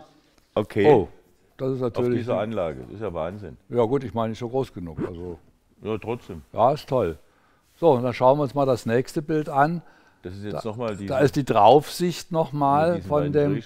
Es ist schon. Wie, wie steuert man denn eigentlich diese, diese drei, diese beiden Bühnen? Ist das Eigenbau? Sind da zwei zusammengesetzt worden oder wie habt ihr das gemacht? Das sind zwei Fleischmann-Drehscheiben zusammengesetzt worden. Ähm, das Ganze ist nicht von mir gebaut worden, sondern einfach übernommen worden. Gebaut hat es mal Sönke Friedrichs. Mhm. Riesenteil. Der Kohlebansen ist ja genauso groß. Das hat mal dafür gesprochen, dass da ganz viele Dampfloks unterwegs waren in den früheren Tagen. Hamburg war ja auch, glaube ich, Altona war ja auch ein bisschen, äh, ja, so ein bisschen Treffpunkt der Loks, ne? Ja, war ja auch mal dänisch. Ne? Die, das war, ich weiß nicht, bis 1800 Ungrad war ja Altona dänisch, wenn mich nicht alles Ja, ja, täuscht. Ja. okay. 1860, glaube ich. Nochmal eine wunderschöne Detailaufnahme einer Länderbahnlok, die da vor dem Lokschuppen steht. Neben diesen Ringlokschuppen waren ja noch mehr Bilder dabei. Da waren also noch ähm, andere Anlagen zu sehen. Ja, das ist zum Beispiel, äh, was ist das, Lasercut-Modell? Habt ihr das selber gebaut? Das ist von Trix. Ich würde sagen, äh, wir wollen es nicht in Länge ziehen. Brechen wir an der Stelle ab. Vielen Dank. Wir Vielen haben ja Dank, viel- wenn du uns noch hören erfahren, solltest. ne? Denn wie gesagt, es hat keinen Sinn, wenn das Bild nicht weiterläuft. Das ist schlecht. Ja. Ja. Also, vielen Dank Ja. äh, nach Schwarzenbeck. Schwarzenbeek. Entschuldigung. Das, also Ja, ja, ja, ja. Wenn du jetzt Schwarzenböck sagst, dann sagen die, boah, das will Schwarzenbeek. Ja, ja, ja, Liegt nahe Hamburg Das und ich, ähm, ja. Okay. Also an der Stelle nochmal, wie gesagt, vielen Dank auch äh, Michael Hagel. Leider war die Verbindung etwas sehr schlecht mit ihm. Ähm, ja, wie machen wir weiter, Hagen? Wir gehen weiter in Normalerweise letzte, würde ich sagen, in der, der, der Mike, der Mike kann uns noch ein bisschen was bauen, aber also wir sind jetzt hier durch Ja. und jetzt kommen wir quasi auf unsere vorletzte Seite. Gut. Und die vorletzte Seite, Moment. Okay. Ähm, Dann auch das ist live, liebe Freunde. So, jetzt steht in der Warteschlange noch jemand. Jetzt steht wirklich Wang in der Warteschleife. Und äh, da ist er. Das Machst du dein Mikrofon, Mikro noch an? das Mikrofon bitte. Das Mikrofon müsste an sein. Ja, Ja, ja, ja, ja, wunderbar. Alles klar. Hallo. Jetzt haben wir ihn. Wir grüßen, Hallo. Wir grüßen nach Schönen Wang. guten Abend. Hallo. Hallo. So, ja, Clubanlage möchten wir gerne natürlich von euch sehen. Zuvor aber erstmal ein paar Fragen in der Richtung, wie viel Mann seid ihr und habt ihr auch ein festes Gebäude? Denn wir haben heute schon ganz komische Sachen gehört. Ja, ähm, also aktuell kann man so sagen, wir sind so circa 30 Mann ungefähr. Unser Verein ist auch noch nicht ganz so alt. Der wurde gegründet im Jahre 1998. Das heißt, nächstes Jahr ist großes 25-jähriges Jubiläum. Und ähm, ja, wir haben inzwischen tatsächlich ein festes Gebäude. Also ähm, nach langer Suche kann man sagen, wurde uns dann ähm, vor einigen Jahren doch ein Gebäude zur Verfügung gestellt, eben durch die Stadt. Genau, hier sieht man es jetzt. Ähm, das wurde quasi von einem anderen Verein benutzt, war also in einer völlig anderen Nutzung und wir konnten es dann übernehmen und haben es dann in Eigenregie quasi komplett innen renoviert, komplett neu gedämmt und ähm, eben für unsere Zwecke, sage ich mal, ähm, eingerichtet. und hatten das besondere Glück, sage ich mal, dass wir beim Umbau des ähm, Lindauer Reutiner ähm, Bahnhofes eben dieses Doppelflügelsignal noch zur Verfügung gestellt bekommen Ah, haben, sodass wir okay. das dann quasi noch direkt vor unserem Vereinsheim haben auch aufstellen können. Ja, also ist der MEF in der glücklichen Lage, in gesicherten Verhältnissen seinem Hobby nachgehen zu können. Denn wir haben ja heute schon andere Sachen gehört, wenn ich an Germering denke, die verzweifelt Räume suchen, äh, andere überhaupt keine Räume haben und dafür eine Modulanlage gebaut haben. Da seid ihr ja wirklich in der glücklichen Lage, ähm, etwas Eigentum, ich denke, dass es das vielleicht ist, oder ist es bloß gepachtet? Ähm, Eigentum ist es nicht. Wir sind quasi auf ähm, lange Sicht da mit der Stadt eben äh, übereingekommen, dass wenn wir das jetzt renovieren, dass wir das dann auch als Okay. Nutzungsrecht haben. Wie viele Leute seid ihr denn? kommen. 30 ungefähr. Und wie viele Also- davon aktiv? Das ist die gute Frage. Ähm, Aha, ich würde einfach sagen, ja, ja, ähm, die klassische Frage, sage ich mal. Ähm, ich würde sagen, 10, 15 Leute sind auf jeden Fall noch aktiv. Okay. Und äh, wie sieht es aus bei euch äh, mit Nachwuchs, sprich mit Jungen, jungen Leuten? Ähm, da würde ich sagen, also vor allem in der Führungsetage haben wir eigentlich so ein bisschen den Generationenwechsel vollzogen. Also da sind wir jetzt tatsächlich ähm, doch sehr weit runtergekommen vom Alter her, was leider unsere Jugendgruppe beziehungsweise unsere Bemühungen, eine neue Jugendgruppe, auch eine neue Vereinsräumlichkeiten auf die Beine zu stellen, sehr gestört hat, war jetzt eben die Corona-Pandemie. Ja. Das heißt, wir waren gerade fertig mit der Sanierung, hätten dann eigentlich wirklich starten können und dann kam Corona und quasi eineinhalb Jahre war das Vereinsleben ja praktisch nicht mehr möglich. Naja, jetzt geht es ja vorwärts, Gott sei Dank, muss ich sagen. Genau. Und äh, da wollen wir uns jetzt mal über eure Bilder freuen. Wir hatten es gerade schon das erste kurz eingeblendet. Wenn wir das nochmal kriegen können. Jo, was sehen wir denn da? Da sehen wir den Bahnhof Wangen, nachgebaut von unserem Vereinsmitglied Paul Hei- Paul Heinl, der den damals für die erste Wangener Anlage, also die erste Anlage, die damals den Bahnhof Wangen dargestellt hat, gebaut hat und ähm, der uns eigentlich seither begleitet. Die Anlage wurde jetzt, man könnte sagen, zweieinhalb Mal eigentlich neu gebaut. Aber der Bahnhof bzw. das Bahnhofsgebäude wurde quasi in dieser Form dann doch immer erhalten und mitgenommen. Ja, Genau. super. Äh, H0, Gleichstrom, Wechselstrom? H0 Wechselstrom sind wir in dem Fall jetzt aktuell unterwegs. Ähm, genau, ja. Das wird die Es gibt Einfahrt noch einzelne, äh, Entschuldigung, ähm, es gibt noch einzelne äh, Vereinsmitglieder, die jetzt andere Spurweiten fahren, aber unsere Vereinsanlagen sind H0 Wechselstrom Ja. digital. Wie viel, wie viel habt ihr? Wie viele Anlagen? Ähm, wir haben jetzt quasi die Anlage Wangen an sich. Das ist eine große Segmentanlage, also besteht aus Segmenten, dass man sie theoretisch auch abbauen und transportieren könnte. Mit der Anlage waren wir auch schon, sag mal, in Deutschland öfters unterwegs, bis damals in, zu der Intermodellbau in Dortmund. Ähm, Genau, das ist so ein bisschen unsere Hauptanlage, die unterliegt auch immer wieder größeren Änderungen und zusätzlich haben wir jetzt quasi in den letzten Jahren noch einen weiteren Bahnhof gebaut. Das ist quasi der nächste Bahnhof auf bayerischer Seite, denn wir sind ja noch im württembergischen Allgäu bei uns. Ähm, Bahnhof auf bayerischer Seite ist Hergatz. Das ist eigentlich so ein bisschen das große Drehkreuz, wo sich die zwei Bahnlinien eben Memmingen-Leutkirch, äh, Lindau und äh, Memmingen Kempten, Lindau treffen. Und die Hauptspur oder halt die äh, Doppelgleisanlage ähm, Anlage ist eben Hergatz, dann weiter über Reden, Röthenbach und dann eben nach Kempten. Und die haben wir jetzt eben auch nachgebaut. Okay. Und das ist- sind jetzt alles Bilder eben von der Wangener Anlage im Zustand circa um 1970. Ähm, was man jetzt hier rechts sieht, also diese ganzen ähm, alten Lagerhallen und Schuppen sind alle leider nicht mehr vorhanden. Die hatten wir jetzt in den letzten Jahren peu à peu alle abgerissen und sagen wir von den ehemals sechs Gleisen, wie wir sie jetzt hier auch auf unserer Anlage dargestellt haben, sind auch nur noch zwei vorhanden. Zumindest also ist wird eine auf eurer Anlage auch gefeiert. Genau, das ist ja wichtig. Also ich meine, ja. Vorm, vorm Vereinsheim war ja auch sowas wie ein, wie ein Biergarten, wenn ich das richtig gesehen Ja, habe. ja, ja, ja, ja. Das ja, da war Grillfest. Das macht, Da den, Grillfest, ne? das macht den Ja, Verein genau. sympathisch. Wenn du Ja. im Sommer hinkommst, kriegst du erstmal kühles Bier. Ja, das ist ja in Ordnung, dafür ist ein Verein. Absolut. Genau. Also da sollte immer ein Vorrat vorhanden sein. Okay, eine lustige Hochzeitsgesellschaft haben wir gerade gesehen. So, das ist was? Ist wieder der Bahnhof Wangen? Das ist immer noch Bahnhof Wange, genau.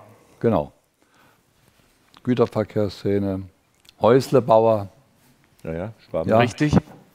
Schaffe, schaffe. Das ist eben auch so ein Punkt, das wissen viele, selbst die Einheimische nicht mehr unbedingt. Damals gab es tatsächlich direkt gegenüber vom Bahnhof noch einen Tennisplatz. Das ist heute komplett verbaut. Ähm, aber wie gesagt, damals war es noch relativ offen und direkt gegenüber Ja. vom Bahnhof stand eigentlich ein Tennisplatz.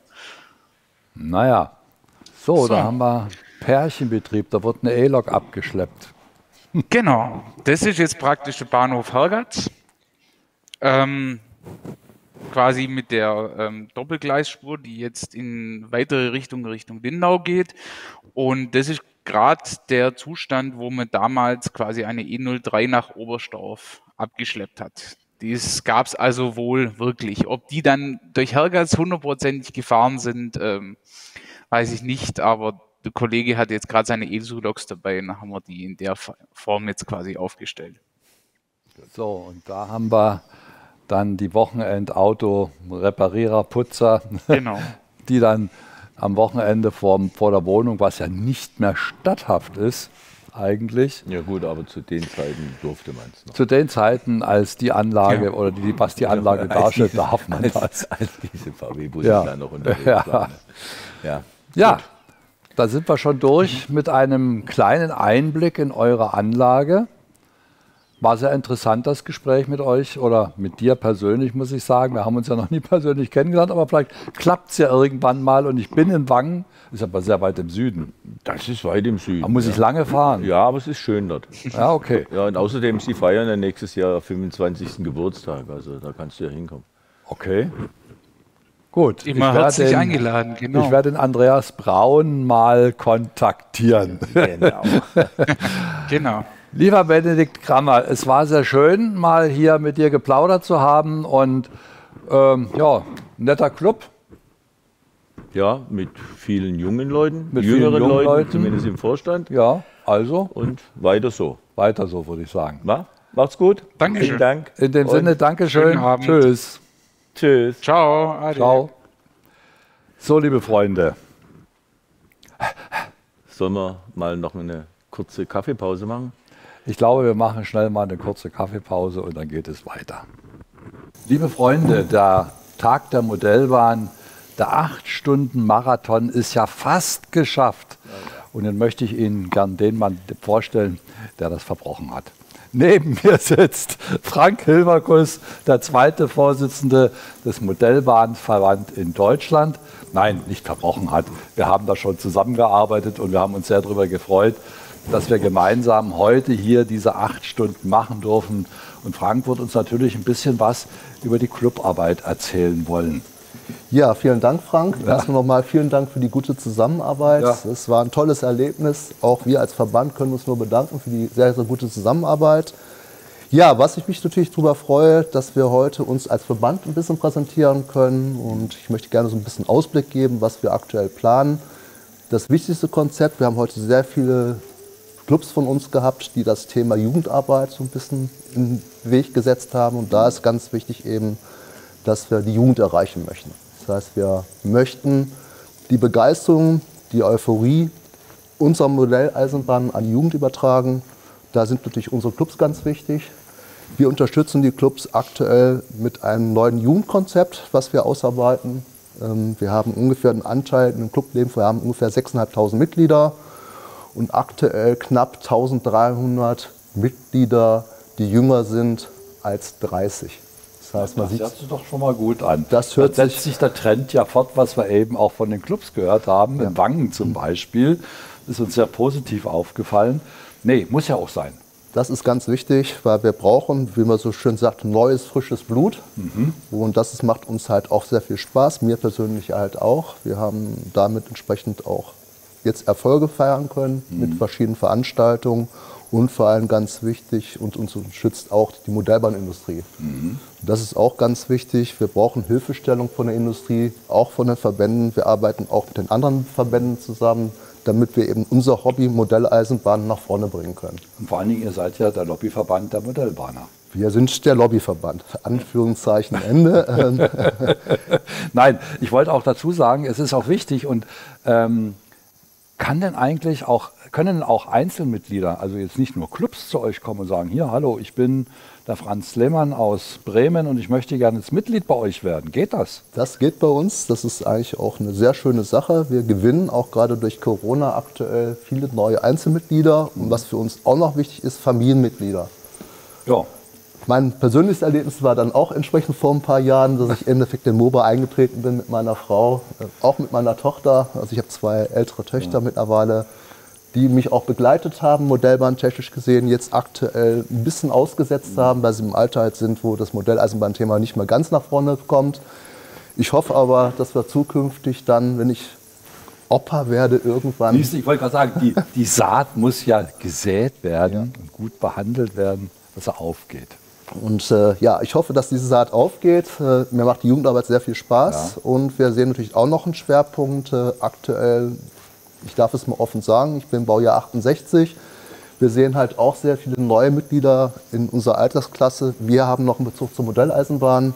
Bei mir war der Bezug vor allem durch meinen Großvater infiziert worden. Ich bin ihm vieles zu verdanken. Macht mir unheimlich viel Spaß. Er war Enthusiasmus halt pur für mich. Immer so ein bisschen Vorbild für mich gewesen. Bautechnisch, muss ich ehrlich sagen, war er besser als ich. Aber wie gesagt, es hat mir richtig viel Spaß gemacht und das ist was, braucht man halt. So muss es auch sein. Und damit wollen wir gleich auch überleiten äh, zu einem Club, dem du angehörst. Ja, das sind. Man muss, man muss ja dazu sagen, liebe Freunde, äh, erwarten Sie jetzt nicht eine V200 oder irgend sowas. Ja? Also das ist, glaube ich, in dem Club nicht so angesehen, Nein. sondern er heißt, ich lese mal vor, IGM, sagt man das so, Wiens US-Modell Railroad. Ja, Interessengemeinschaft, das ist halt auch ein Modell, was der MOBA-Verband mit unterstützt, dass wir Interessensgemeinschaften aufnehmen bei uns in dem Vereinsleben des MOBA. Und das war auch für mich einer der Gründe, auch beim MOBA reinzugehen und genau. dass wir da unterstützt werden. Jetzt hätte ich fast IGM gesagt, aber wenn es Interessengemeinschaft heißt, ist es ja wieder ein deutscher Begriff. Gut, haben wir die Schalte dahin? Frage an die Regie. Da sitzen zwei Herren, die lachen schon. Schön, dass Sie da sind. Ja, hallo zusammen. Der Frank sitzt neben uns, ja. hat ja, auch ja. schon einiges erzählt. Und jetzt wollen wir natürlich auch ein bisschen was vom Clubleben wissen. Und da kann der Frank doch einfach mal in die Vorlage gehen, denn das ist so speziell, was ihr macht. Ähm, da würde ich sagen, Frank, da bist du der Bessere. Ja, vielen Dank, Frank. Ja, ähm, ja, Frank. Wie man halt sieht, äh, hinten steht eine ganz große Flagge typisch nordamerikanisch-amerikanisch. Ja. ja, ich habe die beiden und natürlich auch meine anderen Mitglieder der IGM Beans kennengelernt über das Vereinsleben. Und mein Schwerpunkt dort ist im Endeffekt ein bisschen Chaos zu verbreiten in diesem Club halt. Und äh, ja, das macht mir halt viel Spaß. Äh, links darf ich vorstellen, ist aktuell ist Andreas Wölfel, Mitinitiator, ja. Mitbegründer, CAO sozusagen, Founder der IGM Beans. Mhm. Rechts unser gutes Herz, unser guter Mittelpunkt, unser Wunderknabe sozusagen für modellbautechnische Sachen, der Harald Günther, genannt Harry. Und äh, ja, ich freue mich, dass ihr dabei seid und würde dann gerne mal an euch beide überleiten, dann gerne. So, aber da habe ich trotzdem erst noch eine Frage. Wie kommt man denn dazu, in äh, Lokomotiven, die Übersee sind, so herrlich toll zu finden? Ja, eigentlich ähm, muss man sagen, war ich so der Hauptinitiator. Vor etlichen Jahren bin ich halt bei unserem äh, Hauptladen in Düsseldorf mal vorbeigeschlendert und äh, da fing das so an mit dieser amerikanischen Welle und habe dann Big Boy im Schaufenster gesehen in H0 und war direkt hin und weg. Mhm. Und ähm, ja, das war dann der Startbeginn, äh, um die ganze Sache hier ins Rollen zu bringen. Und ja, bin eigentlich dann auch im äh, MECR-Grad, da sind, daher kennen wir uns eigentlich alle damals eingetreten und der Bernd Lotz, der der zweite Namensgeber von Beans ist quasi, ähm, hatte mich dann mal gefragt, was wir denn so machen wollen und was ich für Träume hätte. Und äh, da habe ich halt gesagt, ja, mal so eine riesen, also eine große äh, amerikanische Anlage zu bauen, wo man halt auch lange Züge so mit 50, 60 Wagen fahren lassen kann. Und ähm, ja, das war erst so ein bisschen Träumerei und dann sagte er irgendwann mal, ja, soll man nicht einfach mal bauen. Und da nahm das Ganze dann seinen Lauf leider. Ne? Und kann ich mir aber auch vorstellen, dass das Ganze ein bisschen schwierig ist. Ähm, übersee die Lokomotiven und die Wagen und die Landschaft und dann hier äh, sowas aufzubauen. Aber es gibt hier Internet, ich würde sagen, äh, Top die Wette gilt. Schauen wir uns mal die ersten Bilder an, die ihr uns geschickt habt dazu und vielleicht könnt ihr auch was dazu sagen. Ja, das ist, äh, jetzt muss ich gucken müsste ja. in jetzt äh, in Cast, ne? Ja, ja. Cast, ja. Da waren wir äh, auf einer Modellbauausstellung in Cast gewesen und ähm, da war eigentlich ja gemischt, Deutsch, Holländisch und alles andere. Aber der Caster Club hat halt auch äh, eine kleine Abteilung, die amerikanisch machen. Und ähm, ja, da sind wir mit unserer Anlage eingeladen worden. Und äh, in der Ausstellungsvariante hat sie äh, 17,5 Meter Länge. Und das ist schon ganz ordentlich weil da haben wir dann auch ungefähr so elf Meter Abstellgleise da. Und das kann, glaube ich, kaum ein anderer Club machen, äh, in der Größenordnung, da halt auch so lange Züge nicht nur fahren zu lassen, sondern auch zu parken halt. Ne? Und da Gibt es denn eigentlich bei euch auch Epochen, die gefahren werden oder so wie in Deutschland oder wie ist das? Wir haben natürlich auch Epochen. Ja, äh, wir machen Epochen meistens, wenn wir auf Ausstellungen sind, die so zwei Tage oder drei Tage sind, ist der erste Tag und der zweite Tag dann dem, den älteren Epochen Dampfloks, die ersten Dieselloks äh, vorgesehen. Und am letzten Tag fahren wir dann äh, sehr modernes Zeug. Hm? So, da sehen wir wieder eine große Ausstellungsanlage. Ja. ja, das ist jetzt ein Blick von der anderen Seite. Vorne ist unsere äh, Stadt Dakota City mit dem Bahnhof rechts im Bild zu sehen. Ja. Und äh, Blick dann auf den Yard, also auf den Güterbahnhof von Dakota City zur rechten Seite. Links ist über dieses, diese Kulisse äh, praktisch abgedeckt die Lotsburg-Seite. Das ist so eine ländliche Seite. Da sieht man auch noch den Turm der Grain-Verladung, der äh, Getreideverladung. Okay. Mhm. So, Ah, da kommen die Loks, die wir so lieben. Ich habe da mal Videos gesehen, wenn die starten, brennen die halb ab, oder? Ja, vor, vor allem die machen mordsmäßigen Lärm. Also da gibt es zum Beispiel den Big Blow. Ja. Ähm, einer der größten, lautesten UP-Loks im Bereich äh, wird mit einer Turbine von Boeing betrieben, in den 60er Jahren betrieben worden. Gibt es leider nicht mehr, beziehungsweise es gibt das aktuell im UP-Museum in Cheyenne, ist die aktuell ausgestellt wird auch wieder aufgearbeitet. Ja.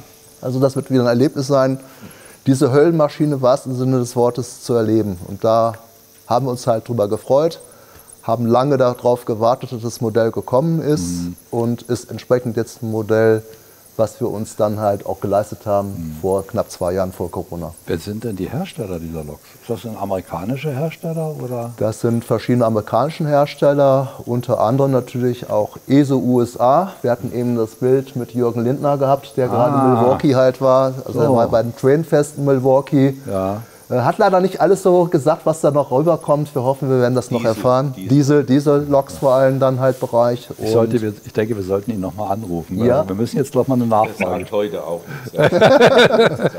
so, eine Diesellok-Parade. Ja, ähm, ganz einfach. Wir haben ein großes Station aufgebaut, ein sogenanntes Depot. Wir haben hier verschiedene Modelle, äh, aktuell von General Electric, von GE, GP-Bereich dann GP9. Wir haben Hersteller, mal sagen darf, es ist Esan dabei, es ist dabei Scale Trains, die auch mit ESO zusammenarbeiten. Wir haben BLI, Boppel Limited International mit dabei, verschiedene Hersteller, auch verschiedene Epochen, wie man sieht. Es gibt verschiedene Epochen dort. Wir haben moderne Maschinen laufen, wie auch ältere Maschinen.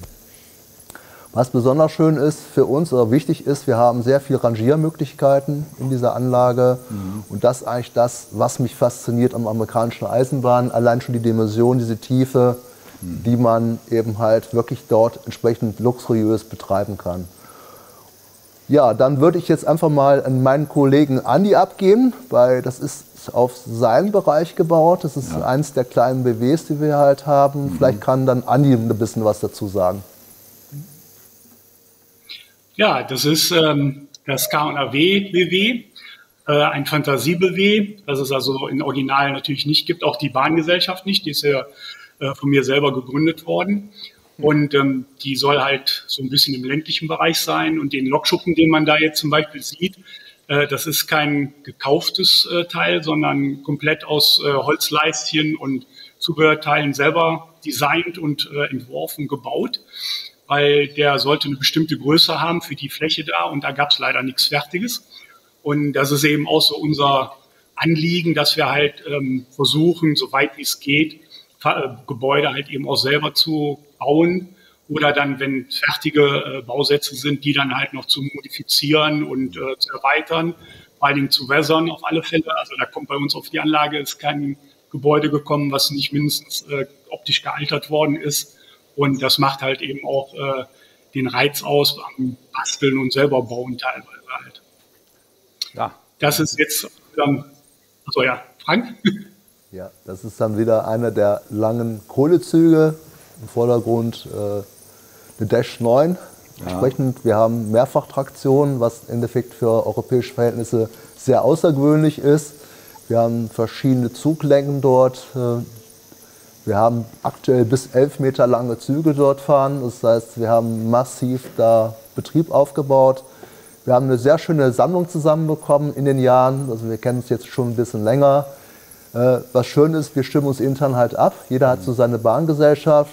Ja, da ich drüben halt war, Schüleraustausch im UP-Land in Fort Worth, äh, habe ich meine Liebe zu UP bekommen. Wir haben aber auch viele Nebenbahnen, mhm. die wir entsprechend dort laufen haben. Mhm. Und das macht halt viel aus, viel Abwechslung halt. Ja, ja. Sieht schon gigantisch aus. Das Bild äh, war auch so ein bisschen die Erinnerung für mich, dass es ja auch irgendwo noch Noah-Lokomotiven sind. So eine gewisse Ähnlichkeit hat das Teil ja. Ja, nicht ganz, aber ich sag mal so, im Endeffekt hat das schon eine gewisse Bewandtnis. Deswegen ist auch meine Liebe für Nohab so ein bisschen geweckt worden. Mhm. Ähm, ist ein anderer Hersteller. Wir haben hier einen der ganz berühmten nordamerikanischen Züge, Southern, äh, Southern Pacific ja. Gesellschaft, eine der größten Gesellschaften drüben und dort entsprechend dann den City of Los Angeles, der ist gefahren in zwei Zugbereichen. Dahinter haben wir auch noch einen berühmten Zug, ist eigentlich sogar angesiedelt aktuell in Iowa. Wir haben unsere Anlage bis in den Bundesstaat Iowa angesiedelt und im Hintergrund sehen wir eben halt den Hockeyzug. Ja. Vielleicht kann da auch zu unser Harry dazu mehr sagen. Da hinten der Zug, das ist äh, von Burlington Northern wir wissen nicht genau, ob er wirklich äh, komplett grün-weiß gefahren ist, denn die Burlington Northern wurde 1970 gegründet und äh, das war die Zeit, als die anderen Bahngesellschaften alle ihren Personenverkehr eingeschränkt haben und dann 1971 alles von Amtrak übernommen wurde. Die Burlington Northern hat aber ihre Wagen noch umlackiert. Ob ein kompletter Zug gefahren ist, ist nicht überliefert, aber wir fahren ihn einfach, weil er einfach auch klasse aussieht. Und da mal eine Länge zu nennen, der vordere Zug hat eine Länge aktuell von 18 Waggons. Also das zu sehen, das ist Originallänge. Der andere, lass mich jetzt nicht lügen, Andi und Harry, ich meine, das wären so 8 bis 9. Also wir haben gewisse ja, Zuglängen. Und äh, das ist eben das Schöne dran, dass wir wirklich so diese Faszination, dieses Layout und auch diese Faszination so bringen können für nordamerikanische Sachen. Ja, dann das Bild habe ich mich ein bisschen gewundert. Was soll mir das sagen? Ja, ja, das konnte ich nicht Nein sagen bei diesem Bild. Äh, wir haben natürlich auch gewisse Szenen, die auch für uns wichtig sind. So kleine Gimmicks. Unter anderem ist natürlich auch unser Hagen von Ortloff mit dabei. Der ist woanders noch im Hintergrund noch zu sehen. Kamerabilder. Aber hier ist die Besonderheit, wir haben das Thema eben halt Straßenbau. Und wir haben natürlich auch unsere Tierliebe dort gezeigt. Also sprich ein kleiner Hund, der ein bisschen, ja, bisschen die Farbstufen halt gesetzt haben. Neue Farbermarkierung. Das haben wir ein bisschen Zähne gesetzt und das. Und dann äh, trampelt der, Lum, der Lümmel auf das frisch gestrichene rum und. Ja. Unglaublich. Ja. Einsperren, sofort einsperren. Ja. ja, dann kommen wir noch zu einer ganz tollen Besonderheit. Ähm, ja, wir haben eine gigantisch nette Kollegin, Ehefrau von Bernd, äh, genannt Manu, sie heißt auch Manu. Äh, sie hat uns immer beköstigt, also in allen Stufen. Wir haben früher eigentlich so ein Treffen gehabt, bevor wir Räumlichkeiten gefunden haben, in verschiedenen Standorten, haben uns getroffen bei Convention, was auch noch ganz wichtig ist. Die amerikanische Szene in Deutschland und Europa ist sehr stark verwoben. Äh, wir halten auch ortsmäßig zusammen, wir helfen uns gegenseitig und das finde ich eine tolle Besonderheit. Finden damit aber auch junge Leute. Das heißt, wir haben verhältnismäßig viele junge Leute dort, die dieses Hobby halt starten und machen. Das finde ich einfach toll. Und da wieder zurückzukommen bei Manus Dinner, ja, wir haben sie da ein bisschen verewigt für ihr gutes Essen. Es gibt da noch eine Besonderheit. Äh, die Familie Lotz war im Vorfeld oben an der Ostseeküste. Und dort gab es einen original amerikanischen Diner. Okay. Der ist rübergeholt worden aus den Staaten. Und der war immer unser Anlaufpunkt, ist auch jetzt noch mein Anlaufpunkt. Also wenn ich oben bin, dann geht es immer original amerikanische super Essen da, also super lecker da, kann man nur empfehlen. Ich sage dazu nur Fehmarnroute, die lohnt sich wirklich. Dann halt Lensan, um das mal direkt zu sagen halt. Dort okay. steht der Diner. Okay. Das werde ich mir mal merken. Wenn ich dann Zeit habe, fahre ich mal nach Amerika. Das kann ich nur empfehlen. Ja. Fahr lieber, wenn du keine Zeit hast. Ja, dann haben wir wieder ein Problem. So. Das Bild hatten wir, glaube ich, schon mal, ja, ähm, wenn mich nicht alles erinnert. Und ja, ja, typische Industrielandschaften. Fahrt ihr auch doppelstöckige Container? Wir fahren ja. auch doppelstöckige. Dann würde ich gerne mal auf Harry übergeben und auf Andi, weil das sind ihre Bauten hier. Ja, ja, wir fahren, wir fahren Double-Stack-Container-Züge, aber auch in der Länge so 10, 11 Meter. Also es kommt dem Original sehr nahe. Äh, im, Im Original fahren die bis zu zwei, drei, zweieinhalb Meilen lange Züge mit 200 Wagen. Da kommen wir nicht hin, das wäre zu lang, aber es kommt dem schon sehr nah.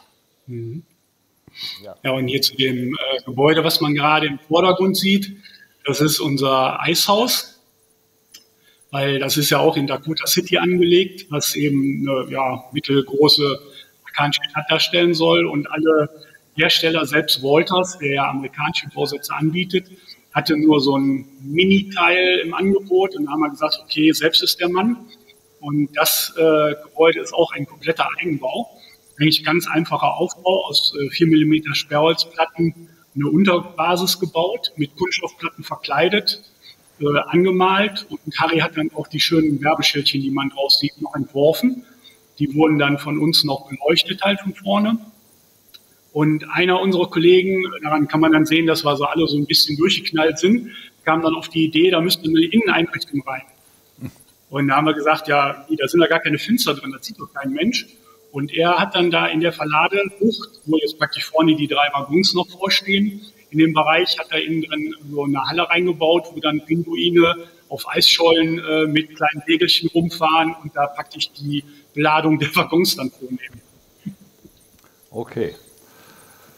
So, und dann sehen wir die ganze Mannschaft nochmal vollends im Blick als ja. Abschlussbild. Alles gewachsene, kräftige Männer. Wart ihr alle schon mal in den USA in diesem schönen Laden essen? Nein, nee, leider nicht. Ich ja. da wird es Zeit, das mal zu ändern. Okay. Vielen Dank für diese schönen Einblicke und äh, für diese doch etwas für unsere Augen etwas exotische Eisenbahn, aber es bleibt eine Eisenbahn. Und dass ihr euch damit auch befasst, das finde ich toll. Und das auch den Leuten draußen auf euren Ausstellungen präsentiert. Ja, vielen jo. Dank. Ja. Dann auch von meiner Seite aus schöne Grüße dann an meine Beans-Jungs dann. Ja. In dem Sinne, danke. Macht's gut. Danke. Vielen, vielen Dank. Danke. Oh, alles klar. Tschüss. So, wir machen weiter im Text. Da gibt es, glaube ich, gleich noch eine Schalte. Ja. Und ähm, am anderen Ende sitzt Ecki. Ecki, genau. Ich sag mal Ecki. Ich hoffe, er ist da. Wir hatten ja am Sonntag noch ein nettes, kurzes Telefongespräch vom MEC Wismar. Von der Küste. Von der Küste, die schönste Küste die, da oben. Die schönste Küste, das muss er mir erläutern. Gut, aber wo ist er? Da ist er. Da ist er. Hallo. Hallo. Hallo. Was gibt es da zu erläutern? Ja. Man muss eigentlich nur herkommen und schön an die Küste kommen. Da kann man den Strand erleben, man kann Kocke fahren, man kann mit Molly fahren. Es gibt genug zu erleben hier oben. Ja, oder man kann im Modelleisenbahnclub beitreten. Oder man kann im Modelleisenbahnclub beitreten und dann geht die Sache genauso gut. Bei euch zum Beispiel. Das geht genauso gut, ja. okay. Euer Club ist wie stark oder groß, sagen wir mal so. Wie viele Mitglieder seid ihr? Also wir sind derzeit, ich sag mal schmal auf der Brust, wir sind mit 13 Mitgliedern. Oh. Haben zurzeit einen Schüler mit dabei, Hm. weil der Rest ist uns leider in, der, in den letzten Jahren weggestorben. Das Muss heißt also, so sagen, ist. sozusagen ein Altersproblem. Wir haben ein absolutes Altersproblem, ja. weil ich sag mal, wir vom Prinzip her, wenn man so will, alle entweder in der Rente sind oder auf die Rente zugehen. Und junges Blut ist schlecht zu finden bei uns. Schwer, schwierig zu machen. Ja. Macht ihr denn auch regelmäßig Ausstellungen vielleicht, dass man sagt, wir machen mal eine Spezialkiste, dass wir vielleicht in die, oder in die Schulen gehen?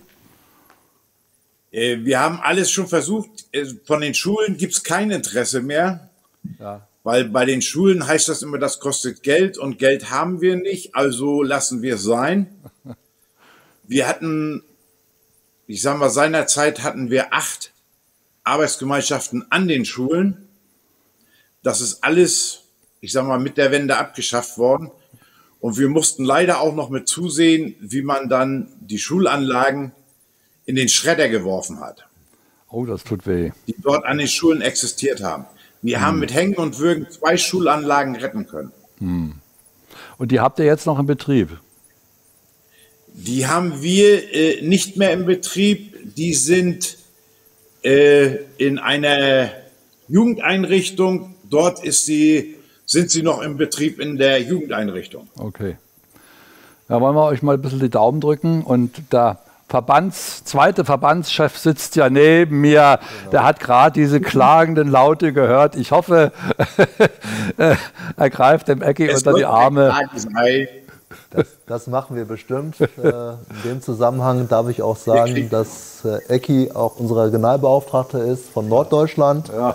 Also das Gebiet Mecklenburg-Vorpommern bis komplett Schleswig-Holstein bis Grenze Bremen ist unter seinen Fittichen, wie man so schön sagt. In äh, Ecki-Hand. In Ecki-Hand, ja. Und es ist auch toll, dass er bereit war, da entsprechend Initiative zu zeigen. Auch dann vom MOBA-Verband nochmal vielen Dank Ja. für deine Hilfestellung diesbezüglich. Natürlich wollen wir euch dann unterstützen, auch bei der Jugendarbeit, dass wir da entsprechend auch zukünftig weiterhin junge Mitglieder finden für den tollen Hobbybereich Modelleisenbahn. Und gerade auch der Tag der Modelleisenbahn dient da hervorragend dafür. Auch nochmal Danke an Hagen nochmal für die tolle Initiative. Wie ich gehört habe, habe ich jetzt auch erfahren, wie sie gegründet worden ist. Ich bin froh, äh, dass das nach dem 1.12. passiert ist dann halt. Und äh, ja, ich freue mich sehr irrsinnig drauf und äh, Ja. es war eine tolle Sache. Und natürlich die äh, Wismarer haben eine tolle Anlage. Ja, die werden wir uns auch gleich angucken. Ne? Ja. Und ich, ist ja auch wichtig äh, bei der Sache, wenn, wenn er dein Nordbeauftragter ist und fest bis Bremen alles in der Hand hat, es ist auch wichtig, die Modelleisenbahn mal draußen zu vertreten. Denn ich habe am Anfang zur Sendung gesagt, wenn die fertig ist, ist müssen, dürfen die Leute nur noch denken, um Gottes Willen, ich bin von Modelleisenbahn umzingelt. So muss es sein. Kann man fast sagen. Gut, Wenn wir- so, wenn lass uns, über, die- lass uns über die Anlage Wenn sprechen. wir eigentlich anfangen würden und alles aufbauen, dann ist vorbei. Alles klar. So, dann gucken wir uns mal deine, deine Anlage an. Und da hattest du ja auch schon, äh, wo wir die Vorgespräche hatten, ja ein bisschen was gesagt, was ihr danach bildet.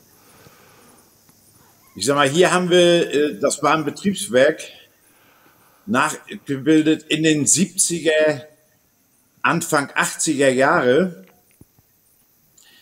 weil es gibt zum Beispiel das flache Gebäude rechts neben der Drehscheibe, das gibt es nicht mehr. Das ist einem Neubau gewichen, der dann aber jetzt, ich sag mal, auch nicht mehr im Betrieb ist, der Neubau,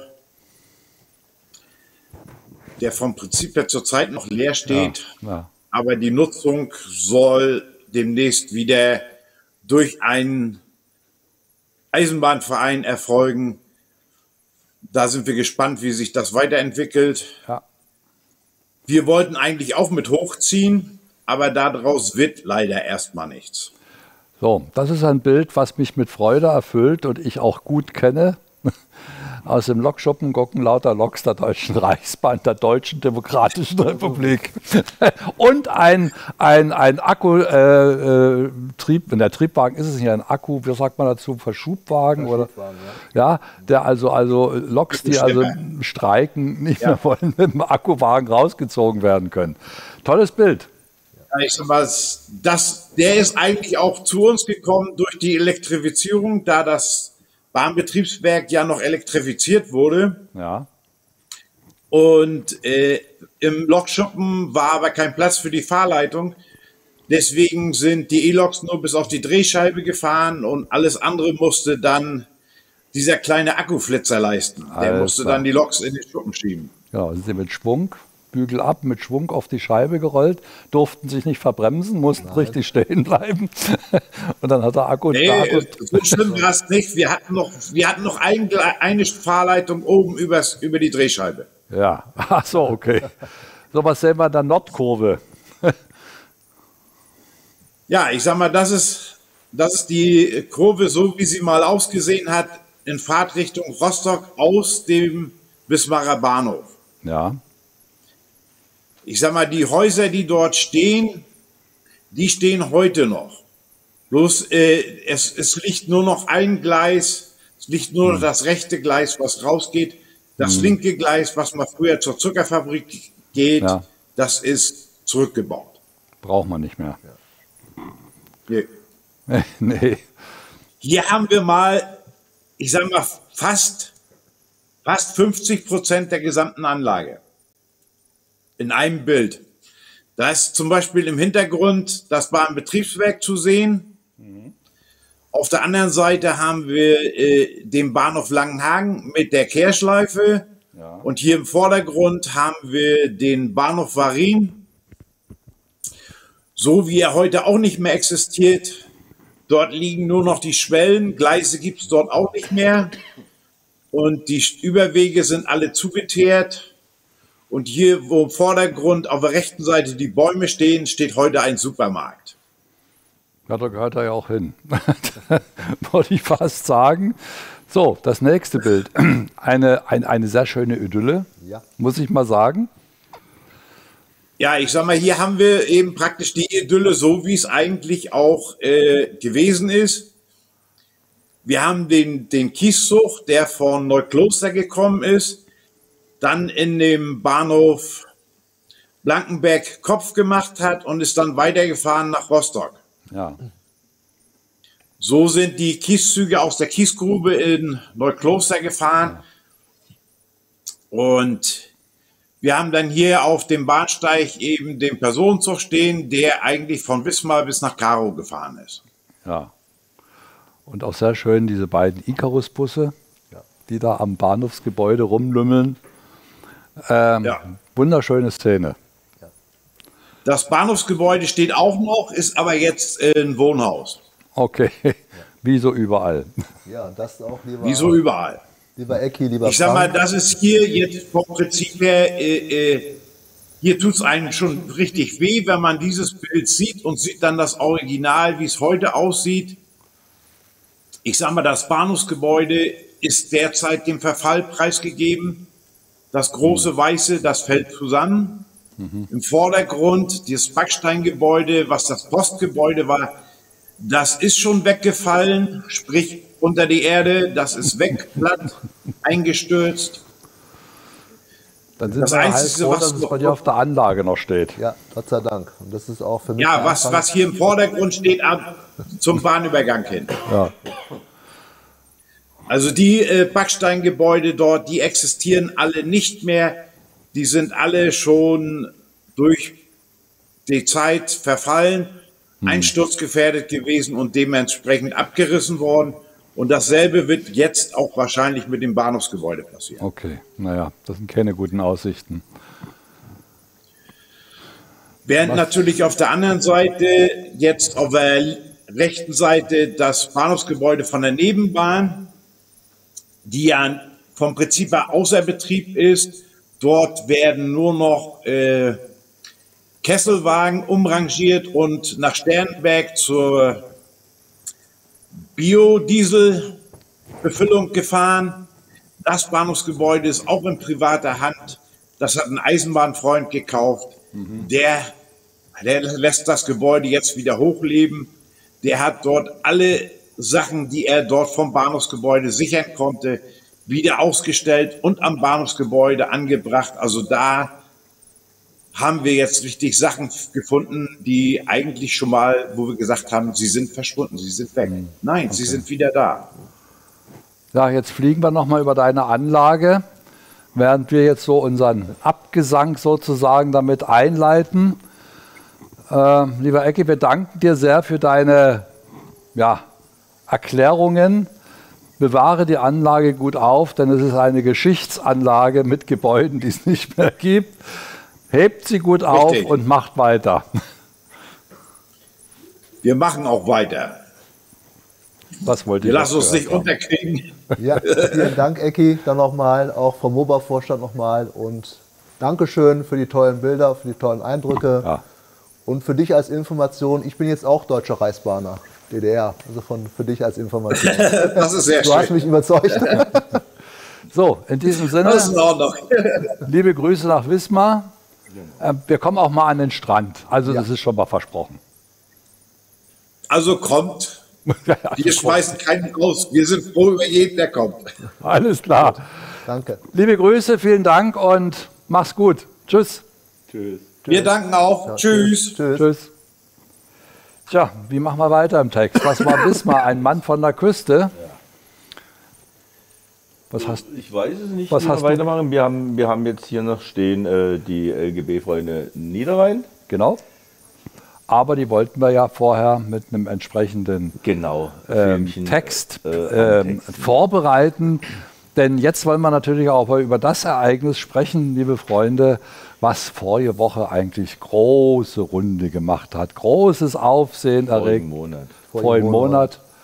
War das vorigen Monat? Vorigen Monat war es, ja. Könnt aber sehen, wie die Zeit vergeht. Also vorigen Monat, also im November war das noch, ähm, große Runde gemacht hat, diese, diese äh, Eine Weltrekordfahrt, äh, beziehungsweise ein Weltrekordversuch der Rätischen Bahn. Und du warst dabei.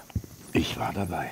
So, da haben wir natürlich zwei Filmchen vorbereitet, für Sie zur Unterhaltung mal, nochmal um das Revue, Revue passieren zu lassen. Dann würde ich sagen, den ersten Film mal. Ja, ich kann dazu vielleicht noch ein Sätzchen sagen. Äh, ich war ja einen Abend vor dem Weltrekordversuch schon dort und äh, ich habe einfach die Aktivitäten, äh, die zu diesem Zeitpunkt herrschten, aufgenommen und in ein Filmchen von gut zweieinhalb Minuten gegossen.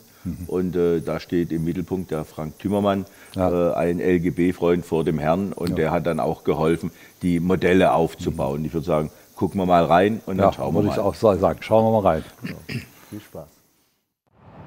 Noch 19 Stunden bis zum Weltrekordversuch. Am Abend zuvor herrscht in Bergün dennoch eine recht entspannte Stimmung. Liebe Freunde, ich bin in Bergün und hier gibt es morgen einen Weltrekord für Personenzüge auf schmaler Spur und eine Art Weltrekord im Maßstab 1 zu 22,5 kann man in Bergün schon heute bewundern und ich bin den ganz einfach mal abgelaufen. Wir haben den Weltrekord schon mal in 1 zu 22,5 durchgeführt und haben 25 Capricorn-Einheiten ausgepackt, auseinandergenommen, zusammengestellt und dann eben halt auf 75 Meter hier schon mal zusammengestellt. Also unser Weltrekord ist quasi schon mal fertig. Wie lange habt ihr dafür gebraucht? Wir sind jetzt schon seit äh, drei Tagen hier, aber haben jetzt natürlich nicht nur die Wagen gebraucht, aber wir waren mit äh, fünf Mann drei Stunden beschäftigt, hier, um die Züge hier mit Gleise und sowas alles hinzustellen. Und warum habt ihr das nicht abgedeckt? Ja, abgedeckt hatten wir schon mal, aber da kam so ein Hubschrauber und dann war das alles irgendwie kontraproduktiv. Die haben die Filmaufnahmen gemacht und dann ist der ganze Kram fliegen gegangen, haben wir gesagt, das LGB ist ja für draußen, deswegen ein bisschen Feuchtigkeit über Nacht macht nichts. 25 vierteilige Capricorns sind extra für diesen Weltrekordversuch fertiggestellt worden. Du rennst zu schnell, Frank. Wie viele, wie viele Einheiten sind das? 25. Und was sind das schon fertig hier oder sind das, was ist das zu sehen? Das sind also fertige Capricorns, sogenannte Vorseriemodelle, die also zur Auslieferung für die Schweizer Kunden, die sind teilweise alle schon verkauft. Die haben unten drunter eine Plakette, wo der Weltrekordversuch quasi dokumentiert ist mit Unterschrift von Märklin und mit Unterschrift vom Renato Fasciati. Kann ich hier euch an dem Gerät mal zeigen. Ganz wo ist so null Abspiegel. Quasi so. Zug Nummer 3. Die Modelle stehen schon einmal in Reihe und Glied, hier etwas beschleunigt, damit ihr euch nicht langweilt. Und jetzt hoffen wir, dass morgen aus dem Weltrekordversuch auch ein Weltrekord wird.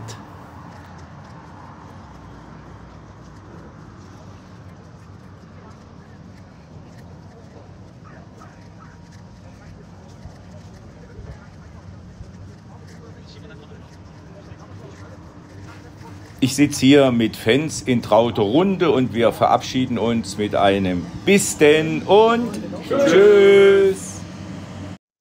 Das galt jetzt nicht für diese Sendung. Noch nicht, nein. Noch nicht. Noch müssen wir ein bisschen was tun. Ja. War, schon beeindruckend. Es war relativ beeindruckend, die Modelle schon. Und äh, am Tag danach war dann quasi die Weltrekordfahrt, die immer noch ein Versuch war, bis der Zug auf dem Landwasserviadukt war. Dann zählte es als Weltrekord. Und äh, ich hatte das Vergnügen mitzufahren. Mhm. Äh, und äh, da habe ich dann im Zug äh, auch gedreht. Das haben wir auch noch als, als Filmchen da. Und äh, da sieht man, wie voll der Zug war. Es waren 150 Leute eingeladen. Äh, einer von diesen 25 Zügen war dann gefüllt. Und das war ein, eine Reise, eine Fahrt, die wie im Flug vergangen ist. Also das ist Wahnsinn. Ja, das war der Anfang.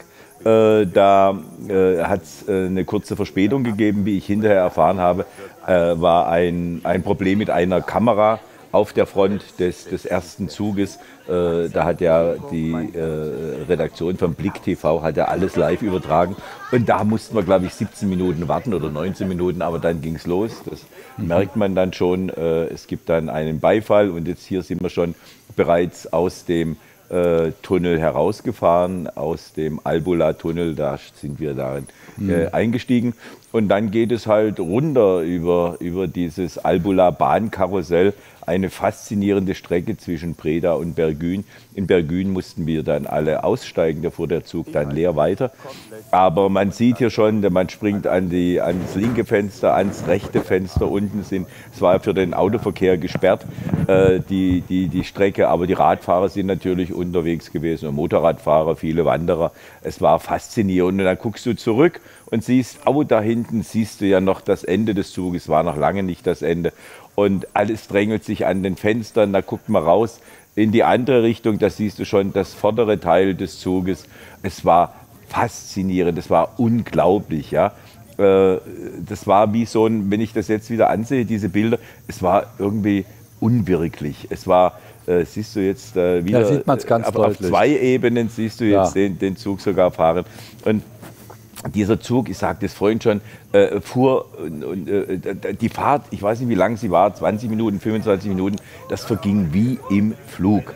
Und äh, ich habe halt dann versucht, äh, die einzelnen Stellen so zu filmen, dass man als Außenstehender oder als Nicht-Mitfahrender so ein bisschen einen Eindruck bekommt. Äh, es gab äh, ein Fenster, das man öffnen konnte, aber da waren dann drei junge Männer, die sich halb rausgelehnt hatten. Da kam man überhaupt nie dran. Aber äh, die einzelnen Sequenzen, die ich dann gefilmt habe und gekürzt aneinandergesetzt hatte, ergeben, glaube ich, einen ganz guten Eindruck, was da los war, wie das aussah. Und äh, ich, ich bin stolz ist jetzt ein, ein falscher Ausdruck, aber ich bin immer noch beeindruckt und ich freue mich, dass ich das Glück hatte, einer dieser 150 Mitfahrenden sein zu können, denn das ist ein Ereignis, das äh, kriegst du in deinem Leben nie wieder. Ja, das ist einfach etwas Einmaliges. Und hier äh, schlängeln wir uns schon Richtung Bergün herunter. Und in Bergün wurde auch ein äh, äh Zelt aufgebaut und da wurden auch Karten verkauft für 3000 bzw. 4000 Leute, die dann äh, da standen und gesehen haben, wie der Zug sich über drei Ebenen den Berg hinunterschlängelt. Also das war etwas, das war einmalig hier. Das ist der, der Blick unten auf die Zelte und auf die riesige Menge an Leuten, die da standen. Es war, Wahnsinn. es war Wahnsinn. Wahnsinn. Ja so naja, und dann äh, der Beifall äh, für, für diese Leistung von den, von den Mitreisenden. Da waren auch viele Mitarbeiter der Rätischen Bahn dabei. Und äh, alles jubelte, jeder Zweite hat gefilmt, das ist natürlich klar. In der Zeit des Handys ist so etwas einfach äh, wichtig.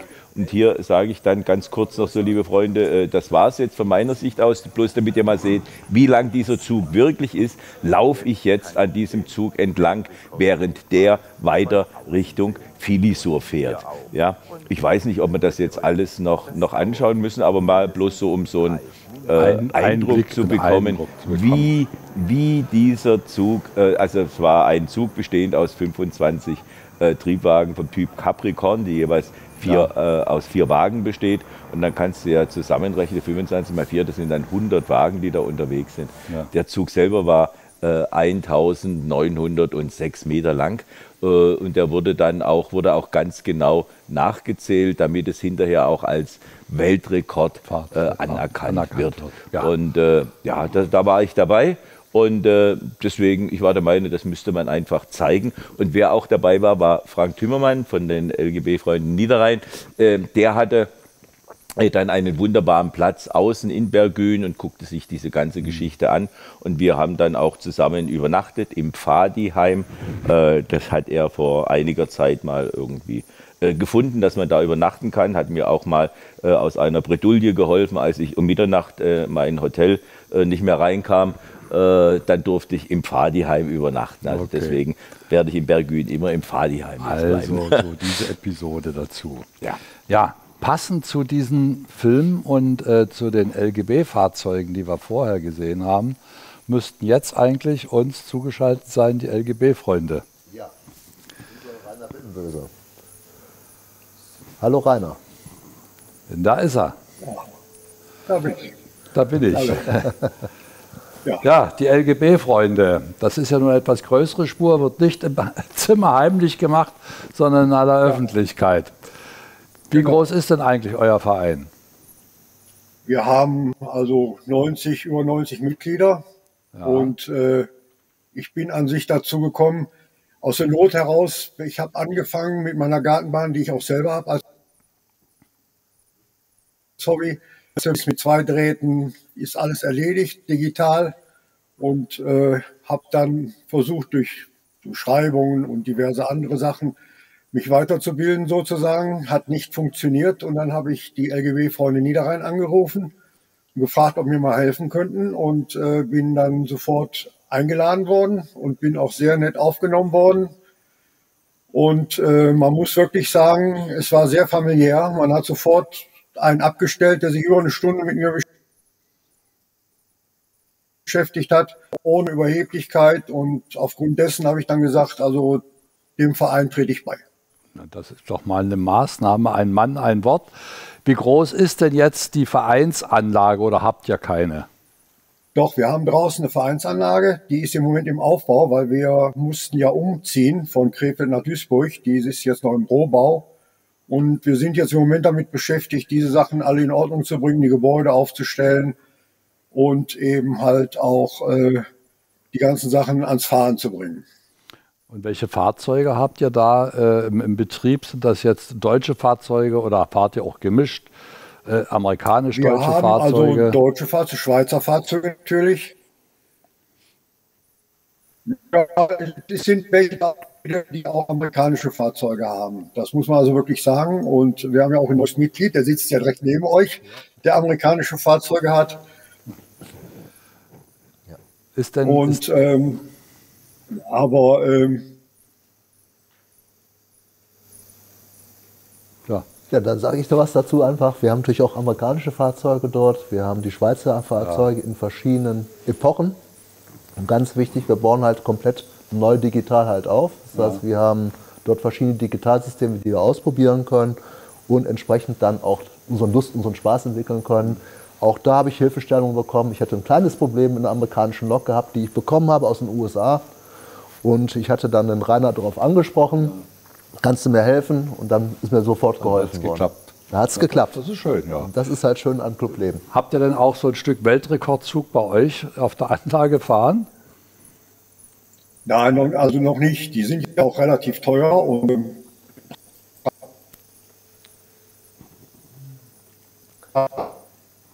Also die Loks selber sind ja aktuell in der Schweiz ausgestellt gewesen, sind auch zurückgegangen wieder nach Göppingen, in die Heimat von LGW und gehen von dort aus die große Reise wieder zurück in die Schweiz, wo sie dann verteilt werden. Und äh, das ist schon beachtlich, das zu sehen. Allein schon den Transport, schon die Kisten, die ich da gesehen habe.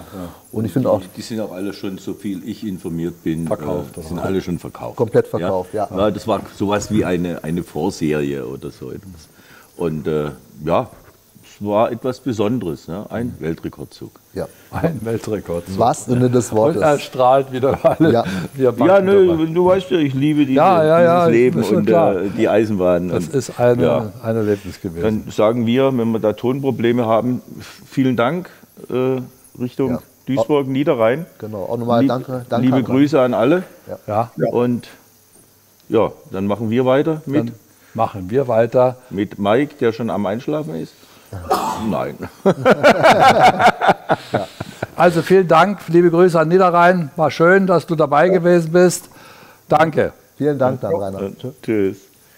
So, Mike am Einschlafen. Das halte ich für ein Gerücht. Denn Nein, das war jetzt böse von mir. Weil ich zieh's, ich das zieh's halte zurück. ich für ein Gerücht. Denn Nein, das geht überhaupt ein nicht. Mike schläft nie. Da hast du recht. Also, ihr Lieben, ganz im Gegenteil, ich schlafe zumindest nicht im Dienst. Und ich habe das kleine Diorama fertiggestellt. Ja, ich zeige es mal hier in die Kamera. Ähm, ich habe die Begrünung jetzt noch zweimal aufgedoppelt und man sieht, dass es jetzt eine schöne Sommerwiese geworden ist. So, und das, was ich dann nebenher noch gemacht habe, ich habe noch einen Traktor fertig gemacht. Ja, zeige ich mal hier in die Kamera. Den habe ich noch ein bisschen gealtert. So, und der passt nämlich genau auf das Diorama. Da habe ich nämlich hier im Acker vorher schon Spuren reingesetzt. So, also damit wäre dieser kleine Modellbauteil von mir auch abgeschlossen. Hast du toll gemacht. Wir haben, denke ich mal, heute wirklich einiges lernen können. Es sind ja viele Grundbegriffe dabei gewesen. Ja, also das ist ja immer wieder interessant und das werden wir ja auch immer wieder gefragt. Bringt doch mal dies und bringt doch mal jenes. Und meistens fängt es im Urschleim an. Und ähm, das hat Mike heute wunderbar hier demonstriert. Sogar wir haben hier eine wunderschöne Winterlandschaft im Hintergrund. Also es war toll. Gut, mir hat es auch Spaß gemacht erstmal. Dann haben wir das alles richtig gemacht heute. Ja, wir schalten jetzt eine Modellbahnerin zu. Das, ist, ja was, Besonderes. Das ist ja eigentlich was Besonderes. Nämlich, ähm, wir haben bisher immer männliche Modellbahner gehabt. Die weiblichen Mitglieder in den Clubs vielleicht haben wir nie kennengelernt. Aber Janine Deuscher hat sich gemeldet bei uns und sagt, ich will mitmachen, ich will meine Modellbahn ähm, vorstellen. Sie ist jetzt, jetzt live zugeschaltet. Da sitzt sie auch schon vor ihrer Modellbahnanlage und strahlt das schönste Lächeln der Welt um Ja, die Zeit. Das ist ganz wunderbar von Ihnen. Liebe Janine Deutscher, wie lange sind Sie denn schon Modellbahnerin? Also angefangen habe ich mit zehn Jahren. Und zwar hat mein Bruder damals eine Startpackung bekommen von Märklin. Und dann habe ich meinen Eltern gesagt, boah, das möchte ich auch haben. Dann hieß erstmal, nee, du bist ein Mädchen, du willst das nur, weil dein Bruder das hat. Und dann konnte ich mich aber doch durchsetzen und habe dann auch zum 10. Geburtstag eine Startpackung bekommen. Und seitdem bin ich eigentlich am Bauen. Und ja, dann einfach mal eine Anlage gehabt mit überall Häusern drauf und meine Eisenbahn fahren lassen. Und dann kam eine Zeit, wo dann halt der Auszug war. Dann hat es nicht mehr gepasst, dann war die Eisenbahn lange in Vitrine und jetzt seit 2018 habe ich wieder Platz im Keller eines schönen Hauses und bin da fleißig am Bauen. So muss das sein. Wir hatten heute schon mal das Gespräch, dass einer im Keller 52 Quadratmeter für sich hat. Wie viele Quadratmeter ist denn das bei Ihnen, den Platz, den Sie haben? Also das Zimmer ist 18 Quadratmeter groß, allerdings ist es ein Durchgangszimmer. Das macht aber nichts, deswegen kann man ja mit der Eisenbahn spielen, ne? Genau. Genau. Sie alleine oder ist Ihr Partner oder Ehemann auch mit von der Partie? Also mein Freund, der hat das Holztechnische gebaut, weil da bin ich nicht so begabt drin. Aber alles andere mache ich alleine. Ihn interessiert es mal, wenn ich eine neue Lok habe. Oh, zeig mal, wie die fährt. Aber danach ist dann auch wieder alles andere wichtiger. Und dann bin ich mehr alleine damit. Aber es gibt keinerlei Ärger oder so etwas.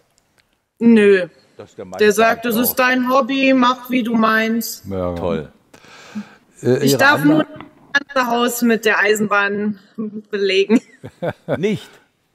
Nein.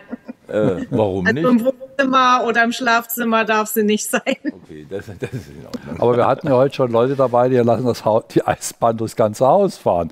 Aber okay. Ähm, fahren Sie digital, Frau Deutscher? Ja, Ja. Und dann nehme ich an, eine CS3 oder CS2 wird wahrscheinlich da als Fahrregler sein. leider noch nicht. Die ist in Aussicht, aber zurzeit noch mit der Mobile Station. Okay. Ja, das ist ja eigentlich auch okay. okay, ja. Macht Ihnen das Schwierigkeiten mit dem äh, Digitalisieren oder so, mit Logs einlesen? Nee, müssten Sie eigentlich können. Ja, Ist ja auch kinderleicht eigentlich. Ich meine, man muss ja nur noch die Lok draufsetzen und die macht alles alleine. Beziehungsweise der Regler letztendlich. Ja, die haben uns wunderschöne Bilder geschickt. Und die wollen wir uns jetzt mal anschauen und Sie können ja mal Ihre Anlage dabei vorstellen. H0 haben wir gesagt, Märklin-Anlage ist es und da ist das erste Bild. genau. Das ist noch die Bahn aus meiner Startpackung, die ich damals bekommen habe. Und deshalb auch das erste Bild. Damit habe ich alles, habe ich angefangen und hat alles begonnen. Und die existiert heute noch. Genau, die ist heute noch auf der Bahn und fährt auch digital. Hat natürlich nicht die Funktion wie die heutigen Loks mit Geräuschen und allem. Also man kann da nichts schalten außer fahren. Ja. So, dann haben wir das nächste Bild. Genau, da sieht man schon mein Dorf und da ist daneben ein Berg, weil da noch ein Gleiswende ist, wo es dann runter in den Schattenbahnhof geht.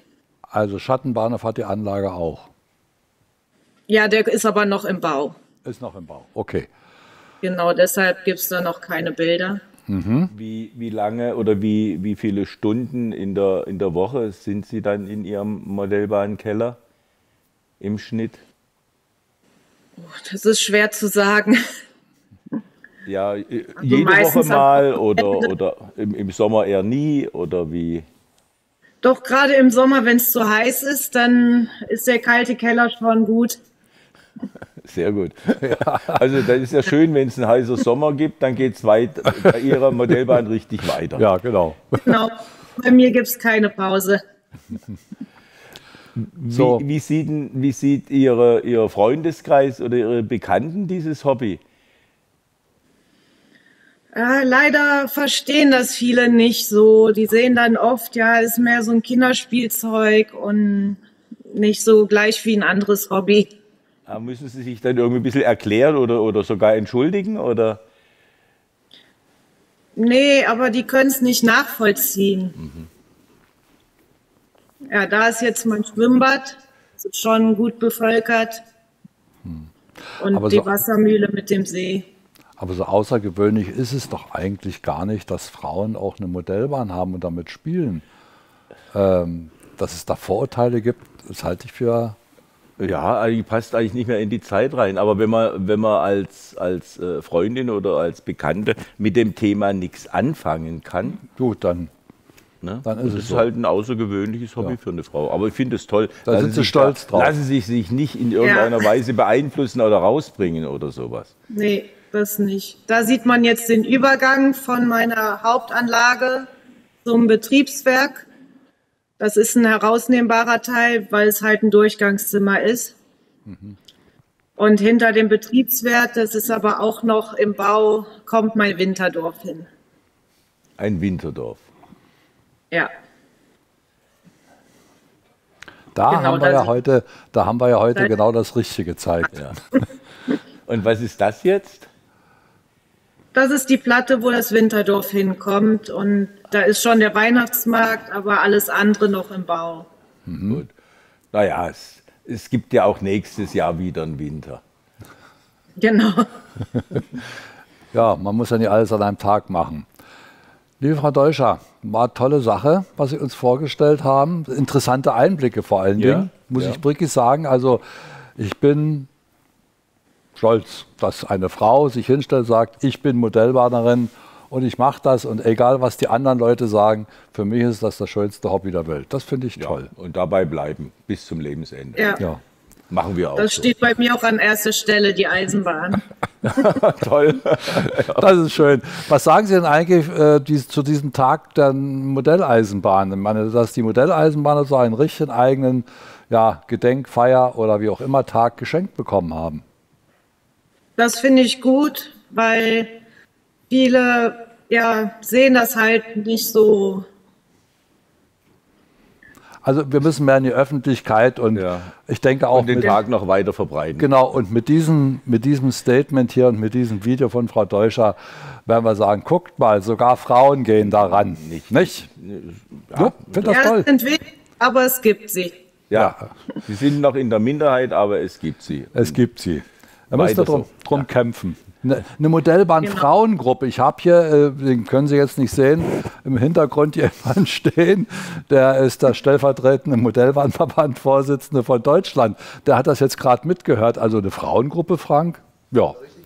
Also, Finde ich klasse, hat er gesagt. Also bitte, in dem Sinne, in dem Sinne, vielen Dank für Ihre Mühe und Geduld, die Sie mit uns bewiesen haben. Aber wir fanden das toll, dass Sie so lange gewartet haben, denn auf diese Anlage waren wir gespannt. Ja. Danke nochmal, alles Gute. Bis denn und, Und tschüss. Danke. Danke, tschüss. Tschüss. So. Tja, Frau Deutscher, junge Frau mit Modellbahn-Hobby finde ich ganz große Klasse. Weiter so kann ich das Weiter so. Ja. Weiter so heißt es auch noch jetzt. einmal. Noch ja, einmal. ein, noch ein Gesprächspartner haben wir. Ja, zwei haben wir Zwei- noch. zwei noch. Ähm, jetzt ist es mir eine Freude, ähm, einen Namensvetter von mir anzukündigen. Ähm, und zwar von der Modulgruppe Guben. Das sind TT-Bahner. Ähm, es ist ganz toll, dass wir also in der heutigen Sendung auch mal alle Spuren vertreten haben. Ja, wir haben von Z über Spur N, äh, H0 war das überwiegende Teil, aber die Spur der Mitte, das war das Wichtigste. Das muss jetzt noch kommen. Für dich. Muss jetzt kommen. So, und dazu muss ich auch sagen, er ist live zugeschaltet, da sind die beiden. Vielen Dank, vielen Dank, dass es also doch noch geklappt hat, dass ihr gewartet habt. Das finde ich toll. Und ich muss jetzt noch dazu sagen, ich weiß nicht, ob es Renato wusste. Warst du schon mal in Zittau? Jawohl, das Buttichhaus. Da, da, bitte. Das Buttichhaus. Gehört dir nicht und mir nicht, oder? Nein, aber müssen wir mal gründen in einer anderen Sendung. Okay, alles klar. Gut. Ja, ähm, Modulgruppe Guben, wie groß seid ihr denn eigentlich? Ja, wir sind eigentlich drei Mann, die sich dem Thema Boom-Gubiner Grenzbahnhof verschrieben haben und das eigentlich in der Spur TT dann dargestellt haben als Originalnachbau. Als Originalnachbau. Ja, dann habe ich mir ein paar Bilder rausgesucht, die also das auch wirklich zeigen und verdeutlichen. Ich fand die sehr schön. Es waren leider viel zu viele. Wir mussten etwas ähm, äh, Abstand nehmen davon, von den ganz vielen. Aber die, die ich mir ausgesucht habe, möchte ich also jetzt vorstellen, beziehungsweise solltet ihr eigentlich vorstellen. Modulgruppe Guben Gubin. Das ist also im Polnisch auch noch geschrieben. Warum? Ja, das Thema ist eigentlich den Grenzübergang zwischen Guben und Gubin und dem ehemaligen Reichswehrübergabe darstellen wollten, weil es von einer interessanten Seite ist, diese Geschichte auch mal zu zeigen, früher auch zu der damaligen Zeit, was es deutsches Gebiet war, auf den äh, Gleisen dort transportiert worden ist. Okay. Als Thema von dem Foto, was wir jetzt hier sehen, ist es die Neißebrücke, die es heute noch gibt und momentan auch im Güterverkehr aktuell aktiv genutzt wird. Das ist ein Foto von meiner eigentlichen privaten Anlage mit einem polnischen Flirtzug, den es als Kleinstserie käuflich zu erwerben gibt. Okay. Ja, aber wie gesagt, immer das Thema polnische Bahn. Hier auch wieder die Neißebrücke beim TT-Stammtisch in Guben mit der Seite im Vordergrund deutsche Seite, Neißebrücke polnische Seite. Okay, also immer wieder kehrt es auf. Hm. Wo kriegt ihr denn eigentlich die polnischen Fahrzeuge dafür?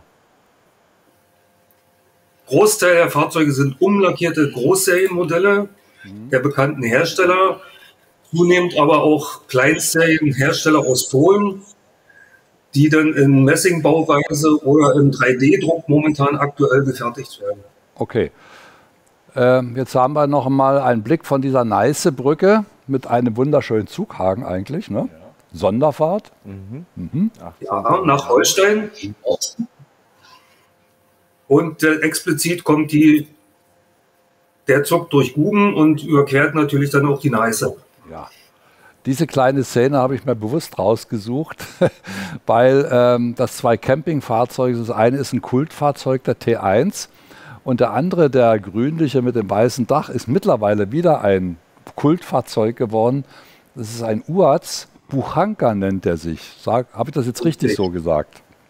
richtig gesagt und als Hintergrundinformation, ich habe im Original Kunden mit nagelneuen Fahrzeugen im Maßstab 1 zu 1 und haben mittlerweile auch stolze Preise in Deutschland. Ja, das glaube ich gerne. Aber es ist eben ein Kultauto.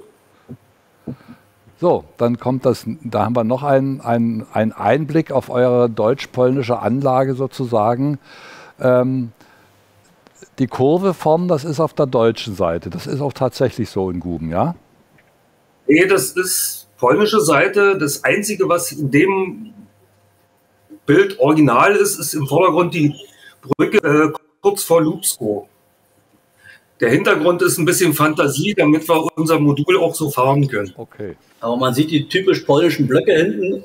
Das ist eine kleine Wohnsiedlung, polnische Blöcke, so wie sie eigentlich in Polen gebaut sind ja. und teilweise jetzt ja. saniert werden. Okay. So, dann das nächste Bild noch. Das ist also eine polnische Diesellok. Das ist diese ja. angedeutete Seite auf der polnischen Seite, ne? Wieder die deutsche Seite. Das ist Wieder die Überquerung. Ich sehe komplett falsch heute. Ist, äh, die Brücke gibt es im Original. Die ist auf der deutschen Seite in der Wilke-Straße Okay. Das ist die, die von Guben nach Cottbus. Alles klar. Ähnliche Brücke, nur aus einer anderen Perspektive. Von einer anderen Perspektive, ja. Die Lok dort oben, die M62, ist, gibt es im Original, aber nur in der Mongolei. Das war mal so eine technische Angebot zu sagen, ich baue das mal. So, dann haben wir eine HVLE. Ja, auf dem Weg ins Kieswerk nach Schlagsdorf. Okay. Also auch wieder Grenzszene. Ja. Äh, ist ein Kartonmodellbausatz aus Polen. Jetzt kann ich den Hersteller leider nicht ad sagen. Mhm. Aber diese Modelle gibt es mittlerweile häufig zu erwerben. Okay. Wie ist das mit diesem Kartonbausatz? Ist das jetzt so geändert worden, dass das Stellwerk dem im Guben dieser, an dieser Blockstelle dann äh, den tatsächlichen Aussehen hat? Oder? Das, das nicht. Aber Nein. auf dem anderen Modul ist es der Bahnhof Gubin original mit den Gebäuden nach, dargestellt. Okay. Mit den Speichern, mit den, da sind alle Gebäude original auf dem großen Gubin. Ja, ja. Weiß nicht, ob Bilder haben jetzt. Hier haben wir nochmal so einen weiten Blick auf das Stellwerk. Im Vordergrund eine Brücke, eine Straßenbrücke. Dann haben wir hier den Hof. Hier wird gerade eine Verkehrskontrolle durchgeführt. LKWs sind da im Spiel. Nein, da ist, das ist bei mir wieder auf der Heimanlage, da ist der Zoll. Der Zoll! Oh, die Schmuggler. Mit Unterstützung der Bundespolizei. Alles klar. Ja, die Szene gehört ja dazu auf so einer Grenzanlage, das ist ganz klar. Und dann haben wir, glaube ich, noch ein Bild rausgesucht gehabt. Das fand ich auch sehr interessant. Eine Ausstellung von Oldtimern-Fahrzeugen.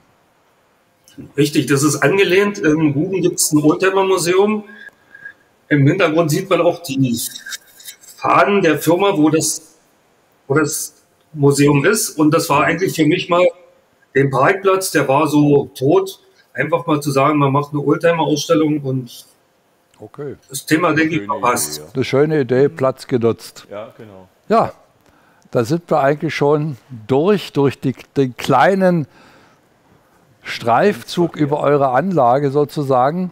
Hagen, was hast du, was sagst du dazu? Durch den kleinen Grenzverkehr. Ja, ist schön, es gefällt Ja, mir. Es gefällt dir. Ja, Du hast ja schon im Original etwas, gesehen, oder? etwas exotisch.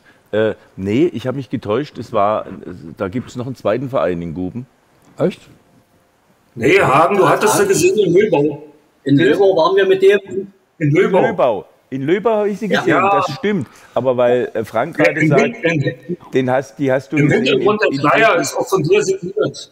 in Friedrichshafen. Äh, da habe ich sie gesehen, aber da war noch eine andere, äh, andere Verein aus Guben. Ich, den Genau, Namen fällt mir jetzt gerade nicht ein. Auch eine TT-Anlage. Ja. Äh, Nee, nee. Genau, mit der TT. Die haben wir ja äh, wesentlich auch mitgebaut damals. Hm? Ah ja, okay. Und dann habt ihr euch getrennt oder so. Na, wir sind dann unserem eigenen Thema nachgegangen. Ja, und drei Mann und machen es ein bisschen privat selber. Hm? Ja, ja, klar. Schön. Ja, dann würde ich sagen, vielen, vielen Dank, dass ihr euch die Zeit genommen habt, eure Modulgruppe vorzustellen. Dass also auch die anderen Modellbahner, die vor den Bildschirmen zu Hause sitzen, mal einen Einblick kriegen. Wir sind also kreuz und quer durch die Republik gewandert. Guben gehörte noch dazu, das war mir wichtig. Bedanke mich ganz euch ganz herzlich für die Teilnahme und wünsche euch alles Gute und viele gute Ausstellungen natürlich noch, ganz klar. Ja. Macht's gut. Ciao. So, last but not least. Okay. Okay, sagt er. Ja, jetzt musst du sagen, was Jetzt noch kommt. kreuzen wir von der einen Seite des Landes fast parallel auf die andere Seite, also von der Oder-Neiße gerade rüber in den Harz. Mhm. So, und im Harz haben wir natürlich ähm, jemanden sitzen, der ist, glaube ich, ähm, Mitglied äh, im Modellbahnverband der Nord, nee, Quatsch, der Mitte Deutschland Beauftragte. Auch er hat sich die Zeit genommen und ähm, uns seine Anlage und etwas über den Club zu sagen im Harz. Und dann können wir uns ja schon vorstellen, was das Thema ist. Hagen. Nein. Nein? Nein. Ich stelle jetzt mich ganz dumm. mir- ja, Gut, fragen wir mal, welches Thema er sich ausgesucht Vielleicht hat, ein beziehungsweise welche, welche Anlagenthemen sind. Willkommen bei uns in der Runde. Und ähm, würde ich erstmal die Frage zum Club stellen wollen, wie stark, wie groß seid ihr denn eigentlich? Unser Club hat äh, zurzeit äh, 25 Mitglieder, davon äh, sieben Jugendliche. Und wir wurden 1954 gegründet. Und was fahrt ihr für, für eine Baugröße? Wir fahren äh, äh, H0M und E. H0E. Das heißt also schmalspurig, meterspurig durch den Harz und durch Sachsen oder Durch Mecklenburg-Vorpommern. Mecklenburg-Vorpommern. Es ist genau Ja, entgegen. genau entgegen- du hattest es schon gerochen. Ich war der Meinung, Norbert Jakobasch entführt uns ins, in den Harz und zeigt uns die Schönheiten der Anlage. Nö, jetzt wird er nach, nach Mecklenburg-Vorpommern mit uns. Ja, gut. Den Harzer, Harz haben wir auch. ja, ist ja klar, H0M kann ja nichts anderes sein. Alles Ne? klar, gut. Und Hagen, Hagen kennt die Anlage schon, der war schon bei uns. Ja. aber ist schon auch schon ein paar Tage her, ne? Ja. Ja. Aber sie hat mich damals beeindruckt. Das kann ich sagen. Und Ja. Es wird sich wahrscheinlich nichts geändert haben. Ne? Das ist immer noch unheimlich schön. Ich weiß nur, dass es damals sehr eng war. Da waren ganz viele Leute von unserer Reisegruppe, die alle gleichzeitig rein wollten zu euch. Gell? Ja, genau. Das war so, ne? ne? Sehr schöne Anlage, richtig. Ja. So, weil die Anlage so schön ist, haben wir auch Bilder bekommen, die uns Norbert Jakobasch geschickt hat. Was sehen wir denn hier? Das ist also ein, ein, eine Art Diorama-Anlage. Das, das ist vom Prinzip äh, der Teil von der Harz-Querbahn-Anlage, die transportabel ist, die auf Ausstellung gehen kann. Wir haben äh, die Harz-Querbahn nachgebaut vom Wernigeröder Hauptbahnhof bis äh, zum Brocken hoch. Der einzigste Bahnhof, der fehlt auf der Strecke, ist der Bahnhof Schirke. Und äh, das ist vom Prinzip die Brockenkuppe aus, also im Darstellungszeitraum 1944, 45, bis äh, äh, er äh, äh, zerstört wurde durch die Kriegswirren. Und äh, die doppelstöckige Anlage kommt dadurch zustande, als wir den Brocken gebaut haben, haben wir gesagt, eine Brockenkuppe bauen und dann auf den Berg draufschauen, wirkt nicht. Also müssen wir das Ganze höher setzen. Und das untere Niveau von dem unteren Teil, wo da der Wald zu sehen ist, das ist vom Prinzip das Niveau, auf dem die sonstigen Anlagenteile in unseren Räumen fest eingebaut sind. Und so hat sich dann diese Sache ergeben. Also habt ihr euch sozusagen auch so ein bisschen der Geschichte verschrieben, äh, was nachzubauen, was mal war, so ungefähr. Ja, also die Brockenkuppe ist äh, Darstellungszeitraum bis 1944 Ja. und die sonstige Anlage ist im Darstellungszeitraum 1979, 80 rum. Okay. So, dann wollen wir uns mal auf das nächste Bild stürzen. Ja, typisch. Ja, das ist äh, von dem fest eingebauten Teil, das ist der Bahnhof Dreienhohne. Hinten ist das Bahnhofsgebäude zu sehen. Bahnhofsgebäude ist alles Eigenbauten. Der Triebwagen ist von Weinert, der T3. Ja, Der Wagen, die Wagen dahinter, das ist äh, von Kehi, einem Hersteller, den es nicht mehr gibt. Und im Hintergrund die Neubaumaschine mit äh, Waggons von Tillich dahinter. okay. Da ist der Brocken. Ja, unübersehbar. Unübersehbar. Das ist die Brockenkuppe. Vom Prinzip sieht man im Vordergrund das Gebäude, das ist die Wetterwarte, die gibt es heutzutage auch noch. Dahinter, was so ein bisschen mit Zäunen ist, das ist der Brockengarten, den es auch heutzutage noch gibt. Und im Hintergrund das flache, langgestreckte Gebäude, das ist das alte Brockenhotel. Das ist damals zerstört worden. Auch der kleine Aussichtsturm, der davon äh, rechts steht. Was man im Hintergrund sieht, das ganz große Gebäude, das ist der eigentliche Fernsehturm. Früher sah der so aus, hatte oben eine Holzverkleidung. Und äh, nach dem Krieg hat man die Holzverkleidung abgemacht, eine Antenne oben drauf gebaut. Und äh, heutzutage hat man die Antenne runtergenommen, weil man daneben einen neuen, modernen Mast gebaut hatte. Und da ist vom Prinzip jetzt die Brockenherberge drinne Und oben ist jetzt eine Aussichtsplattform, die aber zu ist, die äh, komplett mit Fenstern also aus Glas ist. So, da haben wir ein ganz, ganz langes Diorama. Ja, das ist unsere zweite Ausstellungsanlage. Das ist äh, die Warendorfer Kleinbahn, benannt nach ihrem Erbauer. Das war unser ehemaliger Vorsitzender, der etwas zu früh von uns gegangen ist. Und wir konnten dann die Anlage äh, übernehmen. Und äh, das war eigentlich eine Halbanlage. Die stand immer nur bei ihm zu Hause im Keller. Und dann sind wir mit dieser großen Anlage, die ist insgesamt 17,5 Meter lang, sind wir dann auf Ausstellungen gefahren. Und hier ist die Darstellung äh, Mecklenburg-Vorpommern, viel Kiefernwald, Sägewerk. Auf dem anderen Ende ist dann auch noch ein Hafen zu sehen. Also alle Achtung, die scheint mir Ausstellung wert zu sein. Das, die muss gezeigt Die werden. muss gezeigt werden. Das ist Ja, super. natürlich. Ja. Da sind wir Ja, dann. das ist der, der zweite Teil, also das andere Ende von den 17 Metern. Und im, im Vordergrund ist da ein Fährschiff nachgebaut. Das ist äh, so ein bisschen nach dem Vorbild Alte Fähr. Nicht das Architekt-Modell, sondern damals gab es diese Modelle noch nicht. Und die Anlage, wir haben das gerade jetzt erst festgestellt, weil wir vor zwei Wochen in Gera da mit der Anlage waren, dass die Anlage schon mittlerweile 22 Jahre alt ist und immer noch läuft. Toi, toi, toi. Und dass viele Sachen, die da drauf zu sehen sind, wie riedgedeckte Häuser, Kiefern und auch dieses Fährschiff, erst nachdem diese Anlage äh, äh, fertig war, irgendwo von der Industrie übernommen wurde. Also tut auch der Modellbahner oder Bauer denn vom Prinzip die Industrie etwas anstacheln, was man alles noch so herstellen könnte. So, dann äh, haben wir das Bild nochmal näher von dem Hafen. Ist eigentlich eine sehr schöne Abbildung ja. von dem Hafen. Mhm. Ich finde das einfach fantastisch, wie das aussieht.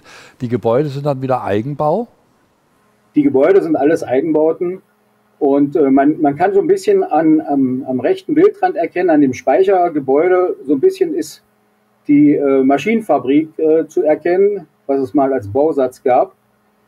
Das ist natürlich dann in abgewandelter Form und so weiter. Also die meisten Sachen sind aus äh, äh, entsprechenden Plastikplatten von Auhagen oder anderen Herstellern.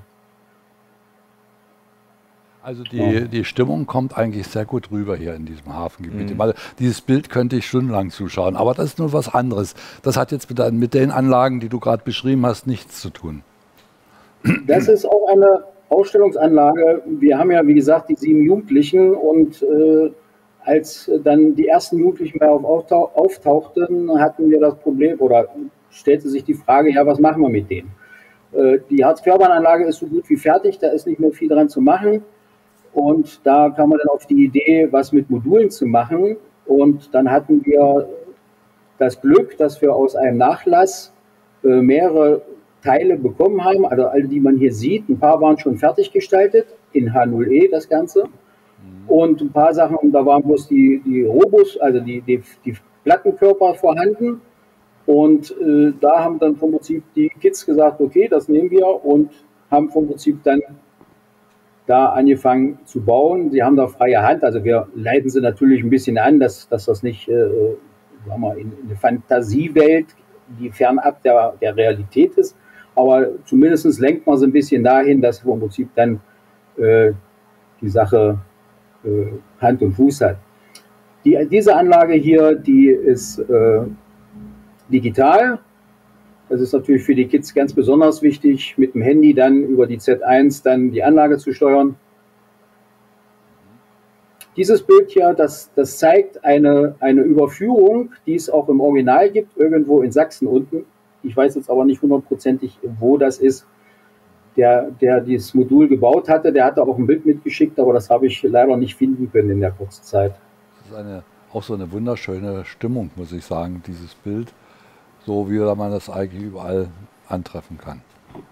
Mhm. Super. Mensch, das sind ja tolle Anlagen. Vielen Dank. Es lohnt sich, bei euch vorbeizugucken, wenn man in der Nähe ist. Kann ich von der Stelle. Auf alle Fälle. Immer jeden Freitag jeden Freitag habt ihr auf? Jeden Freitag ab 17 Uhr. Okay. Okay. Also das ist wirklich eine sehr schöne Anlage. Also das muss man sich, glaube ich, mal reinziehen, ja, in aller Ruhe. Ist eine Reise wert auf jeden Fall. Und wenn nicht viele Leute da sind, genau. wenn sich alle drängeln. Genau. okay, liebe Freunde. Ja, vielen Dank erstmal für deine Darstellung für eu von eurer Anlage, von eurem Club. Ich würde sagen, es waren wieder eine völlig andere Art zu bauen. Wir haben ja heute schon sehr viel kennengelernt. Mhm. Ich fand das sehr angenehm. Also wenn ich wieder am Harz bin, mal komme ich vorbei. Auf jeden Fall. Und das okay. muss Freitag sein, hast du gesagt, 17 Uhr. Ja. Ab 17 Uhr. Na also. Also, habe ich mir gemerkt. In dem Sinne, Dankeschön und wie gesagt, viel Spaß. Schönen Gruß überall, allen, die du kennst von uns. Jo, Marek. Marek. Und äh, bis zum nächsten Mal, würde ich sagen. Danke. Ja, alles Gute. Ja, okay. Alles, alles Gute. Gute. Tschüss. Tschüss. Tschüss. So, liebe Freunde, jetzt sitzen wir zu dritt hier und jetzt guckt wieder jeder ganz gespannt, was jetzt passiert. Ich sage einfach nichts mehr. Jetzt sind wir durch. Jetzt sind wir durch. Der Hagen hat seine Eisenbahn schon ausgeschaltet. Ja, der Inspektor guckt immer noch, mal, äh, immer noch mal. Er wird immer noch mal fahren lassen wollen. Will, der Inspektor guckt immer noch so wie heute früh, wo wir angefangen haben. Ja, und der dritte Mann sitzt auch im Bunde hier wieder. Und das bedeutet nichts anderes als Feierabend. Ja, Feierabend. Das hat sehr viel Spaß gemacht. Ja, ich freue mich jetzt aufs Weihnachtsfest, wünsche den Zuschauern auch ein gesegnetes, schönes Weihnachtsfest und natürlich mit der schönsten Hobby der Welt, Modelleisenbahn. Und dass ganz viel Modelleisenbahn unterm Weihnachtsbaum liegt, das ist ganz wichtig. Ja, ja. Ja, ja sagt ja. er. In dem Sinne, vielen Dank fürs Zuschauen, vielen Dank, dass Sie dabei waren, den Tag der Modellbahn äh, mit zu gestalten, liebe Freunde, die alle eingeladen waren, hier an der Sendung teilzunehmen. Wir haben interessante Sachen kennengelernt. Wir haben den Mike im Studio gehabt. Der Vielen also, Dank, Mike. Vielen Dank, Mike. Vielen Dank, Mike, dass du uns, dass du uns äh, wieder an die Hand genommen hast mit Modellbau. Man kann davon, glaube ich, nie genug kriegen. Nie. Und was ich also jetzt an der Stelle wirklich loswerden muss, an den Leuten, die hinter den Kameras standen und am Regler saßen, Stefan, David und Fred. Vielen Dank auch für eure Geduld heute, auch wenn es nicht ganz einfach war, aber es hat uns allen Spaß gemacht und äh, das kann ich, glaube ich, so weitergeben. Das können wir gerne so ja. sagen. Vielen Dank. In dem Sinne, machen Sie es gut alle zu Hause, schönes Weihnachtsfest. Tschüss, bis zum nächsten Mal. Bis denn und tschüss. tschüss. Und was sage ich immer? Hände hoch, Wochenende ran an die Modellbahn. Tschüss.